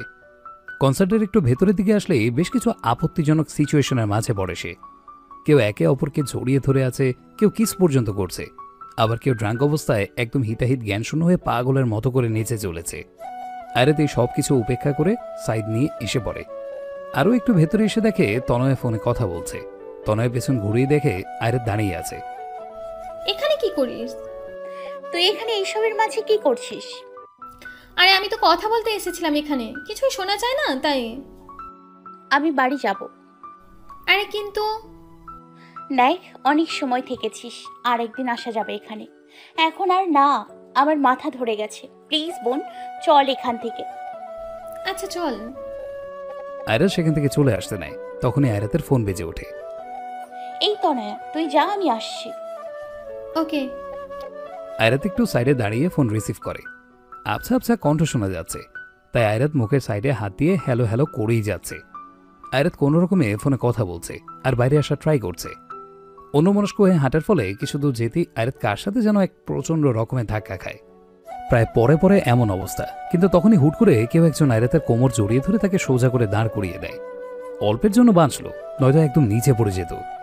আয়রাত বুঝতে পেরেছে যে তাকে কেউ ধরে দাঁড় করিয়েছে। কিন্তু আয়রাত যখন তার আশেপাশে তাকায়, তখন কাউকেই দেখে না। আয়রাত কপাল খুঁজকে আশেপাশে খুঁজেই চলেছে। কিন্তু সে যখন কাউকে খুঁজে পায় না, তখন দ্রুত বাইরে এসে পড়ে। কি রে, এত দেরি করলি যে? কিছু না, শোন, রাত সাড়ে আটটা বেজে গেছে। আমি তোকে বাড়ি পৌঁছে দিই, কেমন? আচ্ছা। আয়রাত গাড়ি ঘুরিয়ে আবার তনয়ের বাসার সামনে থামায়। তনয়ে চলে গেলে আয়রাত নিজেও এসে পড়ে। রাশেদ আয়রাতের সাথে আসতে চেয়েছিল, কিন্তু আয়রাত নিজেই মানা করে দেয়। তবে আয়রাত যখন নিজের বাসার উদ্দেশ্যে রওনা দেওয়া শুরু করে, তখন তার কিছুটা হলেও বুকে এক অজানা ভয় কাজ করতে লাগে। কেননা তনয়ের বাসা আয়রাতের বাসার রাস্তা থেকে বেশ উল্টো দিকে। এখন আয়রাতকে তার বাসায় যেতে হলে অন্য রাস্তা দিয়ে যেতে হবে। কি আর করার? আয়রাত ড্রাইভ করা শুরু করে দেয়। দেখতে দেখতে একসময় আয়রাত এক অতি চেনা জায়গায় রাস্তায় এসে পড়ে। সেই পাহাড়ি রাস্তাটা যাতে আব্রাহামের অ্যাক্সিডেন্ট হয়েছিল। কেন জানে আয়রাত যখন এই রাস্তাটা অতিক্রম করছিল, তখন আয়রাতের গায়ে কাঁটা দিয়ে উঠছিল। এই রাস্তার মুখও সে জীবনে মরতে চায়নি, কিন্তু আজ বাধ্য হয়ে। আয়রাত যথাসম্ভব নিজেকে সংযত রেখে সেই রাস্তাটি পাড়ি দেয়। যখন সে রাস্তাটা অতিক্রম করে এসে পড়ে, তখন যেন আয়রাত নিজের বুক ভরে দম ছাড়ে। এবার এই রোডটা হাইওয়ে একদম ক্লিন রাস্তা। এখানে কোনো কিছুর ভয় নেই। আয়রাত গাড়ি কিছুটা পিছিয়ে নিয়ে আবার সাই করে স্টার্ট দেয়। আস্তে আস্তে করে গাড়ি চালাচ্ছে। কিন্তু হুট করেই সামনের দিক থেকে একটা গাড়ি ফুল স্পিডে আয়রাতের গাড়ির দিকে আসতে লাগে। আয়রাত তা দেখে আগে থেকেই তার গাড়ির স্পিড আরও কমিয়ে দেয়। কিন্তু গাড়িটা এসে সোজা আয়রাতের গাড়ির গায়ে একদম ঘেঁষে চলে যায়। এতে আয়রাতের গাড়ির একটা সাইড মিটার আর গাড়ির স্কিন বেশখানে উঠে পড়ে। আয়রাতের এটা দেখে তো মাথা মোথা সব একেবারে খারাপ হয়ে গেল। আয়রাত জিত ধরে। আয়রাতের গাড়ির যে পরিমাণ স্পিড ছিল, তা সম্পূর্ণ বাড়িয়ে দিয়ে আয়রাত উল্টো ঘুরে ওই গাড়ির পেছনে যেতে থাকে। আয়রাত স্পিড আরও বাড়িয়ে দেয়। প্রায় ছ থেকে সাত মিনিট পর এভাবেই ড্রাইভ করতে থাকে। আরও একটু স্পিড বাড়িয়ে দিয়ে আয়রাত একদম সেই গাড়ি ক্রস করে চলে যায়। কিছু দূর গিয়ে আবার ব্রেক কষে সেই গাড়ির সামনে নিজের গাড়ি থামায়। ওই গাড়ি থেকে কেউ নামছে না দেখে আয়রাত নিজেই তার গাড়ি থেকে নেমে পড়ে। আয়রাত স্পষ্ট দেখতে পাচ্ছে যে ওই গাড়ির ড্রাইভিং সিটে কেউ একজন তো বসে আছে, কিন্তু বের হচ্ছে না। আয়রাত জিজ্ঞাসু দৃষ্টিতে তার দুই হাত দুই দিকে খানিক ছড়িয়ে দিয়ে রাগে বলে ওঠে। আবে ও রাস্তা কি তোর বাপের? এভাবে গাড়ি চালাস কেন? না আসলে গাড়ি চালা না হয় রাস্তায়। না নেই কিন্তু তাই বলে অন্যের ক্ষতি করে নয়। গাড়ি থেকে বের হ। এই এখন চুপ করে আছিস কেন? বের হ গাড়ি থেকে। কি করেছিস দেখ আমার গাড়ির সাইড মিরর ভেঙে দিয়েছিস। আর গাড়ির সাইডের সম্পূর্ণ স্কিল তুলে ফেলেছিস। বের হ গাড়ি থেকে। আরে তো রগে আগুন। কিন্তু এদিকে যে অচেনা ব্যক্তির গাড়িতে চুপচাপ বসে আছে সে আছেই। শুধু তার গাড়ির সামনে দুই হেডলাইট বারবার জ্বালাচ্ছে নেবাচ্ছে। খুব অ্যাটিটিউড তাই না? তোর অ্যাটিটিউডকে কীভাবে চুপসিয়ে দিতে হয়? I know that very well এই বলেই আয়রাত তার আশেপাশে রাস্তায় কিছু একটা খুঁজতে লাগে। তার পরপরই একটা বিশাল আকারের পাথর পেয়ে যায়। আয়রাত তা হাতে তুলে এনে বিনা বাক্যে একদম গাড়ির সামনে দুই হেডলাইটেতে জোরে বারে মেরে। ঝরঝর শব্দ তুলে সেগুলো ভেঙে গেল। আয়রাত তার জুতোর চিবা থেকে চাকু বের করে তা দিয়ে গাড়ির গায়ে ধরে দেয় চার পাঁচটা আঁচড় কেটে। তবে আশ্চর্যজনক বিষয় হচ্ছে যে আয়রা যে এত কিছু করছে তাতে সেই ব্যক্তিটি একটা টু শব্দ অবধি করছে না। চুপচাপ বসে আছে ড্রাইভিং সিটে। এগুলো এত কিছু করার পর আয়রাত তার হাত দুটো ঝাঁতে ঝাঁতে ওই গাড়িটার সামনে এসে দুই হাত ভাঁজ করে দাঁড়ায়। এই বলেই আয়রাত তার গাড়িতে গিয়ে ধপ করে বসে পড়ে। তারপরে সেই করে চালিয়ে চলে যায়। আয়রাত বাড়িতে এলেই একটু সারপ্রাইজড হয়। কেননা হলরুমে অয়ন দিয়া রোহিত আরুষি কৌশল অবনী সবাই এসেছে। আয়রাত তাদের দেখে খুশি হয়ে যায়। ও হ্যাঁ আরেকটা খুশির খবর। Arushi pregnant hey birthday girl happy birthday what a pleasant surprise কখন এসছো তোমরা সবাই? অনেক আগেই এসেছে কিন্তু তুই অনেক দেরি করে এসেছিস। সরি আসলে রাস্তায় অনেক জ্যাম ছিল তো তাই আর কি। যাই হোক কেমন আছিস তাই বল। এই তো আব্রাহাম যেভাবে রেখে গিয়েছে এখনও সেভাবেই আছি। আবার আরশি আপু কেমন আছো? শরীর ভালো? অনেক ভালো। হ্যাঁ এখন তো ভালো থাকতেই হবে। সে রাতটুকু এভাবেই সবার সাথে হেসে খেলে চলে যায়। সবাইকে আজ রাতটা থেকে যেতে বললে সবাই কিছুটা ব্যস্ততা দেখায়। আয়রা তো বুঝে যে সবারই কাজ আছে। আর তাছাড়াও প্রতিদিন কথা তো হয় কারও সম্পর্কে কোনো রকম ফাটলে ছিঁড়ে ফোটাও ধরেনি। আগে যেমন ছিল এখনও তাই। রাত বাজছে এগারোটা পঁয়তাল্লিশ মিনিট। ইলাকে আয়রাত মেডিসিন খাইয়ে ঘুম পাড়িয়ে দিয়েছে। আয়রাত এখন একটা বই নিয়ে আরেক কাপ গরম কফি নিয়ে বারান্দায় বসে আছে দোলনাতে। লাস্ট পনেরো মিনিট। আর মাত্র পনেরো মিনিট আছে তাদের দুইজনের জন্মদিনের। আবার আসবে এই দিনটা ঠিক একটা বছর করে। না জানি একটা বছরে আবার জীবনে কি কি পাল্টাবে। জীবনে আবার কি কি নতুন মোড় নেবে। আদৌ বেঁচে থাকবে কিনা আগামী বছরের এই দিনে? কত চিন্তা ভাবনা হঠাৎ কি যেন ভেবে আয়রাত গুনগুন করে গান ধরে। Happy birthday Abraham. ঘড়িতে টিকটিক শব্দ করে উঠল। তা যেন জানান দিচ্ছে যে সময় শেষ। বারোটা বেজে গেছে। পরের দিন সকালে উঠে আয়রাত অফিসে চলে যায়। আজ সত্যি বলতে অফিসে এমন কোনো কাজ নেই। আয়রাতেরও ভালো লাগছে না। তাই আয়রাত রোদেলা রাশেদ আর তনয়কে ডাক দেয় নিজের কেবিনে। ম্যাম ডেকেছেন? আরে এসো এসো। আসলে ভালো লাগছিল না তাই ভাবলাম তোমাদের ডাক দিই। আসো সবাই একসাথে লাঞ্চ করি। আয়রাতের কথা শুনে তারা তিনজনই হেসে দেয়। আয়রাতকে দেখে কেউ বলবে না যে এত বড় একটা কোম্পানির মালিক কিনা এত ফ্রেন্ডলি আর এত ভালো বিয়ে। তারা একসাথে খেতে বসে। এই চলো ঘুরতে যাই। হ্যাঁ ভালো হবে। আরে ঘুরে না আসলাম আজ আবার। ওই দিন ঘুরতে দিয়েছিস তুই আমাকে? আমাকে নিয়ে এসে পড়েছে জোর করে। চল আজ যাই না। হ্যাঁ ম্যাম চলুন যাই। এই চলো না যাই প্লিজ প্লিজ। যাবি না মানে যেতেই হবে। আরে বাবা ওকে ফাইন যাব যাব। বিকেলের দিকে বের হব। আয়রাতকে যেভাবে আঁকড়ে ধরেছে তাতে আর কোনো উপায় রইল না। আয়রাত বাধ্য হয়েই গেল। তবে তারা কোথায় যাচ্ছে তা আয়রাতকে বলেনি। এটা নাকি একটা সারপ্রাইজ তাই আয়রাতকে বলা হয়নি। আয়রাত আর কি করবে? ওকে ফাইন না বলল কেউ। তাদের সাথে সাথে আয়রাত যাচ্ছে। প্রায় বেশ কিছু সময় ড্রাইভ করার পর আয়রাত তনয়া রোদেলা আর রাশেদ একটা জায়গায় থামে। এখানে অনেকগুলো গাড়ি দাঁড় করানো। দেখে বোঝা যাচ্ছে যে একটা পার্কিং প্লেস। গাড়ি পার্ক করার পর তারা সবাই নেমে পড়ে। আয়রাতের জ্যাকেটের উপরে কিছুটা সন্দেহ হয়। তখনই তনয়া তাকে হাত ধরে ভেতরে নিয়ে যায়। আর যেতে আয়রাতের সন্দেহটা একদম ঠিক হয়ে যায়। এটা কনসার্ট উফ, আজ আবার এই কনসার্ট আয়রাত একটু ক্লান্ত দৃষ্টিতে তনয়ের দিকে তাকায়। আয়রাত আগে যদি জানতো যে তাকে ধরে বেঁধে আবার এই কনসার্টেই আনা হচ্ছে, তাহলে সে জীবনেও আসতো না। প্রচুর মানুষ। সবাই এক প্রকার লাফাচ্ছে আর চিল্লাচ্ছে। আর সবার সামনে কনসার্টে থাকা ডিজে তো বক্স একদম ফাটিয়ে দিচ্ছে গানের জোরে। আজ যেন সেই দিনকার থেকে আরও বেশি মানুষজন। আয়রা তনয়া রোদেলা আর রাশের সামনের দিকে গেল। Please not again Tanay. আজ আবারও এই কনসার্ট সেদিন না আসলাম আজ আবার কেন? আর ওয়েটের জন্যই তোরা কেউ আমাকে কিছু বলছিলি না। যে আমরা আসলে কোথায় যাচ্ছি রাইট ইয়েস দূর? আরে অনেক মজা হবে তো। আচ্ছা কনসার্ট তো বেসিকলি একদিনের জন্য হয় তাই না? তাহলে আজ আবার? এখানে কাহিনী আছে বিয়ে। তোকে নিয়ে সেদিন যখন আসি তখন একজন কেউ বিশেষ কেউ আসার কথা ছিল বাট সে আসতে পারেনি। কিছু প্রবলেমের জন্য তবে আজ আসবেই। আজ অনেক স্পেশাল তা কে উনি শুনি? তাই তো তুই উনি এলেই দেখতে পারবি।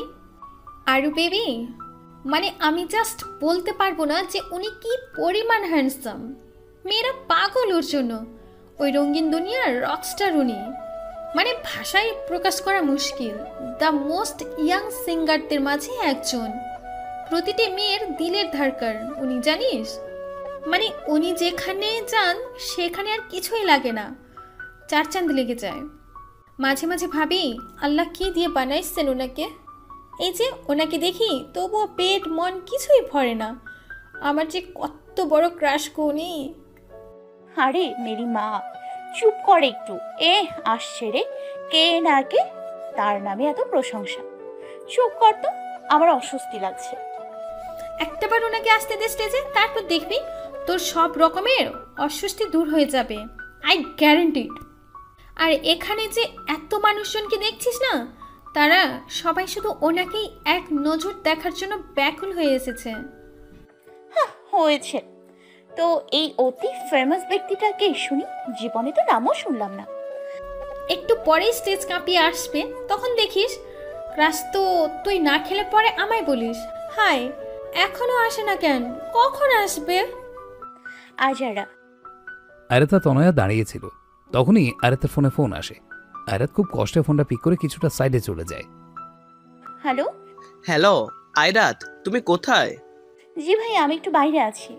ও আচ্ছা মানে আসলে অফিসে রাদেলা রাসেস বা তনয়া কাউকেই দেখতে পাচ্ছি না তাই তোমায় ফোন দিলাম এই আর কি। ও আচ্ছা। তাহলে তোমরা কখন আসবে? আমি তা নিজেও জানি না এরা সবাই আমাকে একটা কনসার্টে নিয়ে এসছে। ও তো এনজয় করো। আরে না আচ্ছা ভাইয়া এখানে আওয়াজ আসছে না। অনেক বেশি শোরগোল। আমি পরে কথা বলছি। Okay bye. এই বলেই আয়রাত ফোনটা কেটে দেয়। আর এই হচ্ছে আহসান আহমেদ। আয়রাতের অফিসেই কাজ করে। আয়রাতে থেকে বড় হতে আয়রাতাকে ভাই বলেই সম্বোধন করে। আর একটা সময় যখন পরিস্থিতি সব হাতের প্রায় বাইরে চলে গিয়েছিল তখন ইনি আয়রাতকে অনেক হেল্প করেন। আয়রাত যে কোনো প্রবলেমে পড়লে অ্যাজ এ ভাই আসানই সবার আগে এসেছে। তো যাই হোক এই আসান এখন আয়রাতের অফিসেই কাজ করে। আয়রাত তো কিছুটা দূরে গিয়েছিল ফোনে কথা বলার জন্য তখন রাশেদ আসে। ম্যাম। হ্যাঁ আহসান ভাইয়া ফোন করেছিল। হ্যাঁ আমার কাছেও। অফিসে যেতে হবে। ইমিডিয়েটলি কিছু কাজ পড়ে গেছে। হ্যাঁ আসো। কি রে আরও বাইরে আসলি কেন? ভেতরে চল। আরে অফিসে কিছু কাজ পড়ে গেছে রে জরুরিভাবে যেতে হবে। কি? একদমই না। কত ধৈর্য ধরে এখানে এসেছি। জাস্ট একটা নজর ওনাকে দেখার জন্য। একটু পরেই উনি এসে পড়বেন। আর এখন কি না এই কনসার্ট ছেড়ে যেতে হবে? আইরো না প্লিজ আমি যাব না। কিন্তু ম্যাম এক কাজ করি। আমি আর রোদেলা চলে যাই। আপনারা পরে এসে পড়বেন। তাহলেই হবে। বেস্ট আইডিয়া হ্যাঁ তাই হবে। আইরো প্লিজ না বলিস না। আরে বাবা আচ্ছা ঠিক আছে থাকব। অনেক ধন্যবাদ রে আরে হয়েছে। আব রাশিদ তুমি আর রোদেলা সাবধানে যাও ওকে? আর অফিসে ভাইয়া আছেন তো কি কি লাগে না লাগে সব দেখো। জি ম্যাম একদম চিন্তা করবেন না। এই বলেই রাশেদ আর রোদেলা অফিসের উদ্দেশ্যে চলে যায়। আর আয়রাত আর তনয়া আবার কনসার্টের ভেতরে চলে যায়। প্রচুর জোরে বিট বাজানো হচ্ছে। নানা রং বেরঙের ডিস্কো লাইট জল করছে চারিদিকে। সবাই বিটে তালে তালে দুলছে। তবে তার কিছুক্ষণ পর হুট করেই পুরো কনসার্টের লাইটগুলো অফ হয়ে যায়। সবার মাঝেই যেন একটা গম্ভীর শব্দ কাজ করে। এভাবেই লাইট চলে যাওয়ার কোনো মানেই হয় না। তবে তার সাথে সাথেই যার যার ফোনের ফ্ল্যাশ লাইট জ্বলে ওঠে। এই অন্ধকার পরিবেশে সবার ফোনের ফ্ল্যাশ লাইট যেন সাদা মুক্তোর মতো ফুটে উঠেছে। সবাই হাতে ফোনটা নিয়ে উপরে তুলে কিছুটা তুলতে থাকে। পরিবেশটার মাধুর্যই পাল্টে গেছে। দারুণ লাগছে সবকিছু। তখন স্টেজে কারও অবয়ব দেখা যায়। হয়তো সে পেছনে ঘুরে আছে। আর শুধু এই অবয়বটা দেখে জনগণের মাঝে যেন উল্লাসে সীমা নেই। চিলাবাল্লা মুহূর্তে আগে থেকে আরও দ্বিগুণ হারে জন্ম নিল। আর সেই অবয়বটা তার ঘাড় ঘুরিয়ে খানিক পেছনের দিকে তাকায়। মুখে ফুটে ওঠে বাঁকা হাসি। তবে তাকে কেউ দেখতে পারছে না ঠিকভাবে। মুখের কাছে মাইকটা নিয়ে একদম হালকা স্বরে গুনগুনিয়ে ওঠে। তাতেই সকলের গলার স্বর আরেক ধাপ উপরে উঠে পড়ে। তখনই তনয়া তার পাশে থাকা আয়রাতকে বলে ওঠে look here is the dream boy দেখাই তো যাচ্ছে না। আরে দেখতে থাক আগে আগে কি হয় সেই আবছা অবয়বটা এবার পুরোপুরি সামনের দিকে ঘুরে গেল তবে মুখে কোনো আলো নেই সে অন্ধকারেই ছেয়ে আছে হঠাৎ সে তার এক হাত উপরের দিকে তুলে ধরে উৎসুক জনতা উল্লাসে ফেটে পড়ে আর বিশাল আকারের স্টেজে সে অবয়বটা তার ভারী ভারী কদম ফেলে কিছুটা সামনে এগিয়ে আসে बेख्याली में भी तेरा ही ख्याल है کیوں بچھنا ہے ضروری؟ یہ سوال آئے تیری نزدیکیوں کی خوشی بے حساب تھی، اس سے میں فاصلے بھی تیرے بے مثال آئے۔ গানটাতে না পাওয়ার বেদনা হারিয়ে ফেলা তীব্র যন্ত্রণা, প্রতিটা দিন, প্রতিটা রাত কারও স্মৃতি নিয়ে ছটফট করার মতো অসহনীয় চাপ, কাউকে ভুলতে না পারার গাঢ় ছাপ স্পষ্ট ছিল। নিজের সর্বোচ্চ দিয়ে গিয়েছে গানটা। তাই গানটাতে একরাশ মুগ্ধতাও ছিল। কারও যেন চোখ সরার নামই নিচ্ছিল না। এক আলাদা নেশা, এক আলাদা ভালো লাগার মতো অনুভূতি কাজ করছিল সবার মাঝে অবশেষে গান শেষ হয়, আর তখন আরেক দফা সবাই চিল্লিয়ে ওঠে। আসলে এটা মানতে হবে যে যে এই গানটা গেয়েছে he has a magical voice Ayrat নিজেও বুঝলো যে, না, সে যতটা খারাপ ভেবেছিল আসলে ততটা খারাপ না। অনেক অনেক অনেক বেশিই ভালো। সে তার পাশে তাকিয়ে দেখে তনয় অন্য দিন দুনিয়ার কোনো হুঁশই নেই। সে তার মতো করে ড্যাব ড্যাব করে তাকিয়ে আছে। আয়রাত তা দেখে দেয় হালকার উপরে তাকে এক ধাক্কা। এতে তনয়ের হুঁশ আসে। কিরে, দেখলি তো, দারুণ না?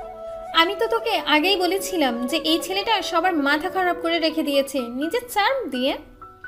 ছাতার মাথা। তখনই স্টেজে অ্যানাউন্সমেন্ট হয়। Ladies and gentleman so finally here is the most handsome and powerful singer rockstar mister Abraham Chowdhury Arnil কনসার্টের সামনে পেছনে এবং দুই সাইড দিয়ে ফায়ার ওয়ার্ক জ্বলে ওঠে ঠাস করে। আর অবশেষে এবার কনসার্টের ফোকাস লাইট আসে আব্রাহাম ওরফে অর্নিলের উপর এসে পড়ে। অর্নিল সোজা ফোকাস লাইটের দিকে তাকায়। তার চোখের মধ্যবিন্দুতে তা যেন চিকচিক করছে। সেই চির চেনা কাতিলানা হাসি, সেই মায়াবী চেহারা, সেই চাপতারি আর সেই চার্মিংনেস। অর্নিল সবার দিকে কিছুটা ফ্লাইং কিস ছুড়ে মারে। সবাই যে পরিমাণ চিল্লাচ্ছে, তাতে এখন পাগল হওয়ার উপক্রম। তনয়া নিজেও চিল্লাচ্ছে। কিন্তু আইরাত আইরাত সে যেন এখন এক অন্য জগতে চলে গিয়েছে। সে এখন আর নিজের মাঝে নেই। সব কিছু মাথার ওপর দিয়ে যাচ্ছে। কি থেকে কি হচ্ছে এইসব সে কিছুই বুঝতে পারছে না। কেননা আয়রাত অর্নিলকে দেখেছে। হুবহু আব্রাহামের মতো দেখতে হু বহু কোনো অমিল নেই, এক বিন্দু পরিমাণও নেই। কীভাবে সম্ভব এটা? আয়রাত এখন অবাকের চরম পর্যায়ে চলে গিয়েছে। আয়রাত এত ভিড়ের মাঝে দাঁড়িয়েও চোখগুলোতে একরাশ বিস্ময় নিয়ে তাকিয়ে তাকিয়ে দেখছে। হঠাৎ টুপ করেই আয়রাতে চোখ দিয়ে পানি গড়িয়ে পড়ে। সে নিজের চোখগুলোকেই বিশ্বাস করতে পারছে না। একটা মানুষের আরেকটা মানুষের সাথে এতটা মিল কি করে থাকতে পারে? পুরো কার্বন কপি। আয়রা তার যাই হোক না কেন, সে নিজের আব্রাহামকে চেনে, খুব ভালো করেই চেনে। আয়রাতের নিজেকে চিনতে ভুল হতে পারে, কিন্তু তার আব্রাহামকে চিনতে ভুল কখনোই হবে না। এটা কি তাহলে কোনো কাকতালীয় ব্যাপার, নাকি সত্যি আব্রাহাম? এত বছর পর আবার আব্রাহাম, কি করে সম্ভব এটা? আয়রাতের আব্রাহাম কি তাহলে মরেনি? সে বেঁচে আছে? আয়রাত এগুলোই ভেবে চলেছে, আর অপলক্ষীনভাবে তাকিয়ে আছে। আয়রাতের শরীরে কাঁটা দিয়ে উঠেছে, এক অজানা ভয় মনে এসে বাধা বেঁধেছে। কেন জানি আরেতের এখন সামনে থাকা এই অর্নিলকে দেখে খুব ভয় লাগছে। স্টেজের উপরে অর্নিল হাসছে, কথা বলছে, তার ফ্যানদের দিকে হাত তুলে হাত নাড়াচ্ছে। আরেতে দম ভারী হয়ে এসেছে এখন। মাথা কেমন যেন ঘোরাচ্ছে। নিচে চোখে এতটাই পানি জড়ো হয়েছে যে সামনে সবকিছু কেমন খোলা খোলা দেখতে পাচ্ছে সে এখন। তবে হঠাৎ করে অর্নিল চলে যেতে লাগে। সেদিকে আয়রাতের কোনো খেয়াল নেই। সে তার মতো করে নিচের ভাবনায় মগ্ন আছে। অর্নিল যখন একদম চলে যায় স্টেজের ওপর থেকে তখন আয়রাতের মনে পড়ে যে সে স্টেজের উপরে অর্নিল আর নেই। আয়রাত দ্রুত পায়ে ভিড় ঠেলে বাইরে এসে পড়ে। বেশ কিছু মানুষের সাথে তার কিছুটা ধাক্কাও লেগেছে। বাইরে এসে আয়রাত নিজের চারিপাশে আব্রাহামকে খুঁজতে লাগে, কিন্তু সে নেই। সেখান থেকে আরও কিছুটা দূরে এসেই আয়রা দেখে আব্রাহাম ফোনে কার সাথে যেন কথা বলতে বলতে গাড়িতে উঠছে। একজন গার্ড গাড়ির দরজা খুলে দেয় আর আব্রাহাম গিয়ে বসে পড়ে। এটা দেখে আয়রা সোজা আব্রাহামের কাছে চলে যায়। কিন্তু ততক্ষণে আব্রাহাম তার গাড়ি স্টার্ট দিয়ে দিয়েছে। আয়রা তার কোনো উপায় না পেয়ে পাগলের মতো করে আব্রাহামের গাড়ির পেছনে ছুটতে লাগে। আব্রাহাম? আ- আব্রাহাম আব্রাহাম আব্রাহাম দাঁড়ান আব্রাহাম একটু দাঁড়ান। আব্রাহাম দাঁড়ান। আব্রাহাম আমার জন্য দাঁড়ান। আব্রাহাম। আয়রা এগুলোই বলছে আর দৌড়িয়ে যাচ্ছে আব্রাহামের গাড়ির পেছনে। কিন্তু গাড়িতে জোরে গান বাজার ফলে কিছুই শোনা যাচ্ছে না। আর এদিকে আয়রাত পাগলের মতো করে ছুটছে তো ছুটছেই। গাড়ির বেগ যেন আরও আগে থেকে বেশ বেড়ে গেল। আর একটা সময় আয়রাত হোঁচুটকে নিচে পড়ে যায় আর গাড়ি দূরে চলে যায়। আর যাই হোক কেউ তো আর গাড়ির সাথে দৌড়িয়ে পারবে না, তাই না? আয়রাত কোনোরকমে উঠে দাঁড়ায়। হাঁটুতে ব্যথা পেয়েছে অনেক। ছাল উঠে গিয়েছে। কুনিতেও কিছুটা ছাল উঠেছে। আয়রাত উঠে দাঁড়িয়ে পড়ে। তারপর আবার সেই কনসার্টের কাছে চলে যায়। তনয়া কনসার্টের বাইরে দাঁড়িয়েছিল আয়াতকে আসতে দেখে তনয়া দ্রুত তার কাছে যায়। কে রে, কোথায় গেছিলি তুই? খুঁজছি তো আমি। আরে কি, ব্যথা পেলি কি করে? ও গড ব্লাড বের হয়ে এসছে তো তোর। শুন এইসব ছাড় এখন এগুলো দেখার টাইম নেই। আগে এটা বল যে আজ কনসার্টে যে গান গেছে সে কে ছিল? কি বলিস তুই এসব? তুই ওনাকে চিনিস না? না মানে হ্যাঁ আরে কে উনি বল না। ইন্ডাস্ট্রির সব থেকে সাকসেসফুল রকস্টার আর সিঙ্গার আব্রাহাম চৌধুরী অর্নিল কেই না চেনে ওনাকে? এক নামে পরিচয় ওনার। বাট অ্যাটিটিউড আর ইগো এগুলো বেশি আর কি। পাত্তাই দেয় না? আর আজ তো দেখলি যে কি পরিমাণ সুদর্শন উনি। আব্রাহাম। কি?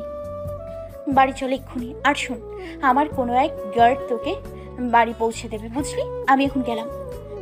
কিন্তু এত তাড়া কিসের তোর আরও? আমি যাই বাই আর হ্যাঁ তনয়া আব্রাহাম আহমেদ চৌধুরীর নামে কাউকে চেনে না। মানে দেখেনি তাই তনয়ের কাছে এই অর্নিলি প্রথম যার ফলে সে স্বাভাবিক আছে। এই বলেই আয়রাত গাড়িতে উঠে সাই করে চলে গেল। প্রায় তিরিশ মিনিট পর সোজা নিজের বাড়ির সামনে এসে থামে আয়রাত। গার্ডকে গাড়ি পার্ক করতে বলে আয়রাত দৌড়িয়ে বাড়ির ভেতরে চলে যায়। দাদি দাদি প্লিজ নিচে এসো দাদি। ইলা আয়রাতের গলা শুনতে পেরে হলরুমে আসে। কি রে কি হয়েছে? এসেই এমন করছিস কেন? দাদি। আয়রাত গিয়ে আগে ইলাকে জড়িয়ে ধরে। ইলা নিচের কাঁধে তরল কিছু স্পর্শ পেলে বুঝে যে আয়রাত কান্না করছে। থাকতে থাকতে আয়রাত হু হু করে কেঁদে দেয়। আরে আরে হলো কি? কিছু কি হয়েছে নাকি আয়রাত? দাদি আমি জানতাম যে আমার আব্রাহাম আ- আমাকে ছেড়ে কখনো কোথাও যাবে না। তোমরা শুধু ওকে ভুল বুঝেছ। আমি জানতাম ও ঠিক আছে। ওর মতো মানুষের কিছু কি করে হতে পারে? ইটস জাস্ট ইম্পসিবল কাল সব কটা পুলিশ অফিসারের চাকরি আমি খেয়ে দিব। কেননা তারা সব ভুল ইনভেস্টিগেশন চালিয়েছিল। মানে কি? আমি আমার আব্রাহামকে দেখেছি দাদি। ও আব্রাহামই ছিল। আমি ওকে চিনতে কখনোই ভুল করব না। আমি শিওর আমার মন বলে ও আমার Abraham. I have good feelings ও ও আমার আব্রাহামই ছিল দাদি। কাকে কি বলছিস? হয়তো ভুল দেখেছিস তুই? না দাদি বিশ্বাস করো আমায়। শুধু একটা বার আমি ভুল দেখিনি। হুম। আয়রা দৌড়ে গিয়ে সিঁড়ি দিয়ে উপরে উঠে নিজের রুমে চলে যায়। আমি জানি না কিছুই। আমার জাস্ট ওই ছেলের সব ইনফরমেশন চাই তাও দশ মিনিটের মাঝেই। জি ম্যাম পেয়ে যাবেন। শুধু কয়েকটা মিনিট সময় দিন। ফার্স্ট এই বলেই আয়রাত ফোন কেটে দেয়। চেয়ারে ধপ করে বসে পড়ে। হাত দিয়ে কপালের এক সাইডে স্লাইড করে যাচ্ছে সে। চিন্তায় আর ভালো লাগছে না কিছু। কাল সারাটা রাত আয়রা শুধু ঘরে পাইচারি করেই কাটিয়ে দিয়েছে। একবার ঘড়ির দিকে তাকায়, তো আরেকবার নিচের দিকে। সে আসলে ঠিক আছে তো? নাকি তার কোনো মানসিক সমস্যা দেখা দিয়েছে? আয়রাত নিজেও সব বুঝে যে এখন যদি সে এতগুলো বছর পর আবার আব্রাহামের ফিরে আসার কথা বলে, তাহলে অবশ্যই কেউ তাকে বিশ্বাস করবে না। কারণ যে দুই বছরেরও বেশি সময় হবে আগে মারা গিয়েছে, এতগুলো দিন পর সে আবার কি করে ফিরে আসবে, তাও এমনভাবে আয়রাত অনেক ট্রাই করেছে বোঝার যে কোথাও না কোথাও সে নিজেই ভুল নয় তো। কিন্তু বারবার লাগাতার আব্রাহামের ওই হাস্যোজ্জ্বল মুখখানা তার চোখের দেওয়ালে ভেসে উঠেছে। আয়রাত একটা ফোঁটা ঘুমায়নি রাতে। একটা মুহূর্তের জন্য চোখের পাতা লেগে আসেনি। কারণ এমন একটা কিছু সে দেখবে তার ধারণার দূর দূর পর্যন্ত তার ছিল না। তবে ধারণাকে আজ সত্যি করে দিয়েছে। ঘুম হারাম। সারা রাত আব্রাহামের চিন্তায় মগ্ন ছিল সে। কখন সকাল হবে আর কখন সে অফিসে ছুটে যাবে, তাই ভেবে এসেছে। আর সকাল হতে না হতেই আয়রাত এসে পড়েছে আজ অফিসে। ইলা শুধু আয়রাতের কাণ্ড দেখছিল। মানলো যে আয়রাত প্রায় উন্মাদ পাগল হয়ে গিয়েছিল আব্রাহামকে ছাড়া। তবে সময়ের সাথে সাথে সে নিজেকেও এনাফ স্ট্রং করে নিয়েছে। আয়রাতের দ্বারা এত বড় ভুল হবার কথা না। আর ব্যাপারটা যখন আব্রাহামের, তখন সেই ক্ষেত্রে তো মোটেও না। আর আয়রাত অফিসে এসে দ্রুত একটা গার্ডকে ফোন করে আব্রাহামের সব ডিটেলস বের করতে বলে। আয়রাতের এই মুহূর্তে প্রচুর কান্না পাচ্ছে। অবশেষে অবশেষে সে তার আব্রাহামকে খুঁজে পেয়েছে। আয়রাত জানে যে মৃত্যু সবার জন্যই অবধারিত। যে একবার মরে, সে কখনোই ফিরে আসে না। কিন্তু যেখানে আব্রাহাম মরেনি সেখানে তার না ফেরার প্রশ্নই আসে না। এতগুলো বছর একটা জলজ্যান্ত লাশ, একটা কাঠের পুতুলের মতো থাকার পর অবশেষে আয়রাত নিজের জীবনের মানে খুঁজে পেয়েছে। এ যেন কাঠফাটা রোদযুক্ত মরুভূমিতে এক বিন্দু পানির সমান গুরুত্ব রাখে। আয়রাত আগে পুরো পাগল না হলেও এখন মনে হয় সে সত্যি সত্যি পাগল হয়ে যাবে খুশিতে। আব্রাহামকে আয়রাত আবার পেয়েছে। এটা উচ্চারণ করতেই যেন বুকে একরাশ প্রশান্তি এসে নাড়া দেয়। চেয়ারে হেলান দিয়ে বসেছিল আয়রাত। মাথাটা উপরের দিকেই করে রেখেছে। এগুলো ভাবতে ভাবতে হঠাৎ টুপ করে এক ফোঁটা নোনাচল গড়িয়ে পড়ে চোখ দিয়ে। তখনই দরজাতে কড়া নাড়ে কেউ। ম্যাম আসব? এসো। ম্যাম কিছু কি হয়েছে? এত জরুরিভাবে ডেকেছেন যে? কি হয়েছে? বলো যে কি হয়নি। বুঝলাম না ম্যাম। আব্রাহামের কথা মনে পড়ে গেল? আয়রাতের এমন প্রশ্নে রাশাদের মাথাটা আপনি আপনি নিচে নেমে পড়ে। মুখটা শুকিয়ে যায়। ম্যাম গত ছ সাত বছর যাবৎ স্যারের সাথে ছিলাম আমি। স্যার আমাকে অনেক উপকার করেছেন যেগুলো হয়তো আমি সারা জীবনও শোধ করতে পারব না। আর ম্যাম কিছুদিন একটা বস্তু নিজের কাছে রাখলেও তার উপর মায়া পড়ে যায়। আর তো আর তো সেখানে এতগুলো বছর অনেক মনে পড়ে। আবার যদি আব্রাহাম আসে কেমন হবে? জি ম্যাম। অর্নিল নামে কাউকে চিনো? জি ম্যাম আসলে উনি তো সিঙ্গার। সত্যি বলতে আমি কখনো ওনাকে দেখিনি তবে নাম শুনেছি। হ্যাঁ আ- আসব? আরে আসো। আইরাত এগুলো কি? কি হলো? কাল কনসার্টে? লেট মি এক্সপ্লেইন রাশেদ তুমি তো এই অর্নিলকে কখনো দেখোনি রাইট তো আজ দেখে নাও। রোদেলা তার হাতে একটা ফোন নিয়েছিল। তাতে আব্রাহামের ছবি বের করা। রোদেলা তার রাশেদের দিকে ধরে। আর রাশেদ দেখেই হা হয়ে যায়। এবার বুঝতে পারলে কিছু। অর্নিলেই আব্রাহাম। কাল যখন রাশেদ, তুমি আর রোদেলা এসে পড়লে কনসার্ট থেকে, তার বেশ কিছুক্ষণ পরেই স্টেজের উপরে আব্রাহাম আসে। তোমরা তো অনেক আগেই এসে পড়েছিলে, কিন্তু কাল সম্পূর্ণ কনসার্ট স্টেজ আব্রাহামের ছিল। আমি ভেঙে বলতে পারব না। তোমাদের যে কাল যখন আমি কনসার্টে আব্রাহামকে দেখি, তো আমার অবস্থা কেমন ছিল? এই আব্রাহাম, আহমেদ চৌধুরী আর আব্রাহাম অর্নিল একই একই ব্যক্তি। আব্রাহাম মরেনি, আব্রাহাম বেঁচে আছে। হয়তো এতদিন আমাদের সবার কাছ থেকে দূরে ছিল, কিন্তু বেঁচে আছে সে। আব্রাহাম নিজের নেম চেঞ্জ করেছে, ফ্রেম চেঞ্জ করেছে, কিন্তু চেহারা না, তা করেনি। আর না অন্য কিছু। আমার দৃঢ় বিশ্বাস যে আব্রাহাম আব্রাহাম আর আব্রাহামই। রাশেদ আয়রাতের কথায় একবার রোদেলার হাতের ফোনে থাকা আব্রাহামের ছবি দিকে তাকায়, তো আরেকবার আয়রাতের দিকে তাকায়। পর মুহূর্তে রাশেদে বেশ জোরে সোরে কাশি উঠে যায়। কাশতে কাশতে রাশেদের খারাপ অবস্থা। বেশ ভীষণ খেয়েছে সে। আয়রা দ্রুত রাশেদের দিকে পানির গ্লাসটা এগিয়ে দেয়। পানিটা এক চুমুকেই শেষ করে রাশেদ কিছুটা শান্ত হয়ে বসে। সে যেন এখন একটা ঘোরের মধ্যে আছে। কিছুক্ষণ পর রাশেদ বলে ওঠে কিন্তু ম্যাম এটা কি করে সম্ভব? আমি শুধু এটা জানি যে আমার আব্রাহাম আছে ব্যাস। কিন্তু স্যার যদি ঠিকঠাকই থাকেন তাহলে এতদিন আমাদের কাছে এলেন না কেন? কারোর কাছে তো দূরে সে তোমার কাছেও আসেননি কেন? সেসব উত্তরই জানার আছে ওনার কাছ থেকে। এখনও আমার অনেক প্রশ্নের উত্তর পাওয়ার বাকি আছে। হঠাৎ তাদের কথা বলার মাঝে আয়রাতের ফোন আসে। সে ধরে হ্যালো? ম্যাম ওনার নাম আব্রাহাম চৌধুরী অর্নিল। তিনি গত সাড়ে তিন বছর যাবৎ ইন্ডাস্ট্রিতে কাজ করছেন। অনেক পপুলার ইনি। ওনার নিজের আপন বলতে কাউকে পায়নি তেমন। আর উনি এই শহরে থাকেন। সাড়ে তিন বছর আব্রাহামের অ্যাক্সিডেন্ট হয়েছে। দু বছর আর কয়েক মাস হবে। কিন্তু সে সাড়ে তিন বছর যাবৎ ইন্ডাস্ট্রিতে কীভাবে সম্ভব? ম্যাম অ্যাপয়েন্টমেন্ট নিতে হবে। তো নাও তাতে কি হয়েছে? যা করতে হয় করো। কিন্তু যত তাড়াতাড়ি সম্ভব তত তাড়াতাড়ি ওনার সাথে আমার দেখা করার ব্যবস্থা করো। জি আচ্ছা। হুম। ম্যাম হোয়াট উনি একদম আমাদের আব্রাহাম স্যারের মতো দেখতে। হ্যাঁ আয়রাত ফোনটা রেখে দেয়। সামনে তাকিয়ে দেখে রাশেদ আর রোদেলা ঠিক আগের মতো করে অবাক হয়ে দাঁড়িয়ে আছে। ভাবনা চিন্তা শেষ হলো? আমার বিশ্বাসই হচ্ছে না। সব কিছু কেমন যেন মাথার উপর দিয়ে যাচ্ছে। লিসন এই অর্নিল আর আব্রাহাম হুবাহু এক বা কপি ক্যাট দেখেই যে আমি এত বিশ্বাস নিয়ে বলছি তা না। আমি আব্রাহামকে হাড়ে হাড়ে চিনি। ওকে চিনতে কখনো আমার ভুল হতেই পারে না। এভাবেই সেই সময়টুকু কেটে গেল। আয়রাতের গার্ডরা আব্রাহামের সাথে আয়রাতের একটা অ্যাপয়েন্টমেন্ট ফিক্স করে। ম্যাম আপনার সাথে গার্ড? কোনো দরকার নেই আমি একাই যাব। আয়রাতি কথা বলে বাইরে বের হয়ে পড়ে। গাড়ি ড্রাইভ করে প্রায় বেশ সময় পর একটা ফ্ল্যাটে এসে পড়ে।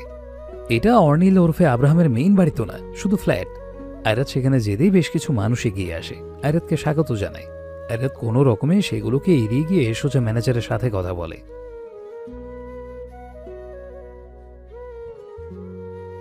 তো কোথায় উনি? দ্রুত ওনার সাথে দেখা করতে হবে আমায়।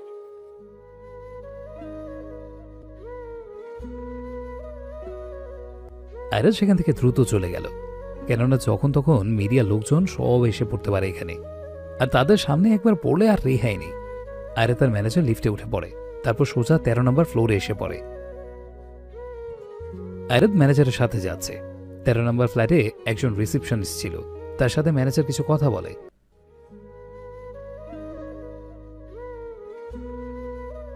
আয়রাত আবার সেখান থেকে হাঁটা দেয়। চার পাঁচ মিনিটের মতো হাঁটার পর একটা বেশ বড় সড়ো রুমে আয়রাতের চোখ পড়ে। আয়রাত উপরে তাকায়। উপরে সুন্দর করে লেখা, আব্রাহাম চৌধুরী অনিল। আয়রাতের বুকে একশো একটা হাতুড়ি পেটানো শুরু করে দিয়েছে। আয়রাত আগে বুক ভরে একবার দম নিয়ে নেয়। কেমন যেন লাগছে তার। আচ্ছা এই তো আব্রাহাম। আয়রাতের সেই আব্রাহাম।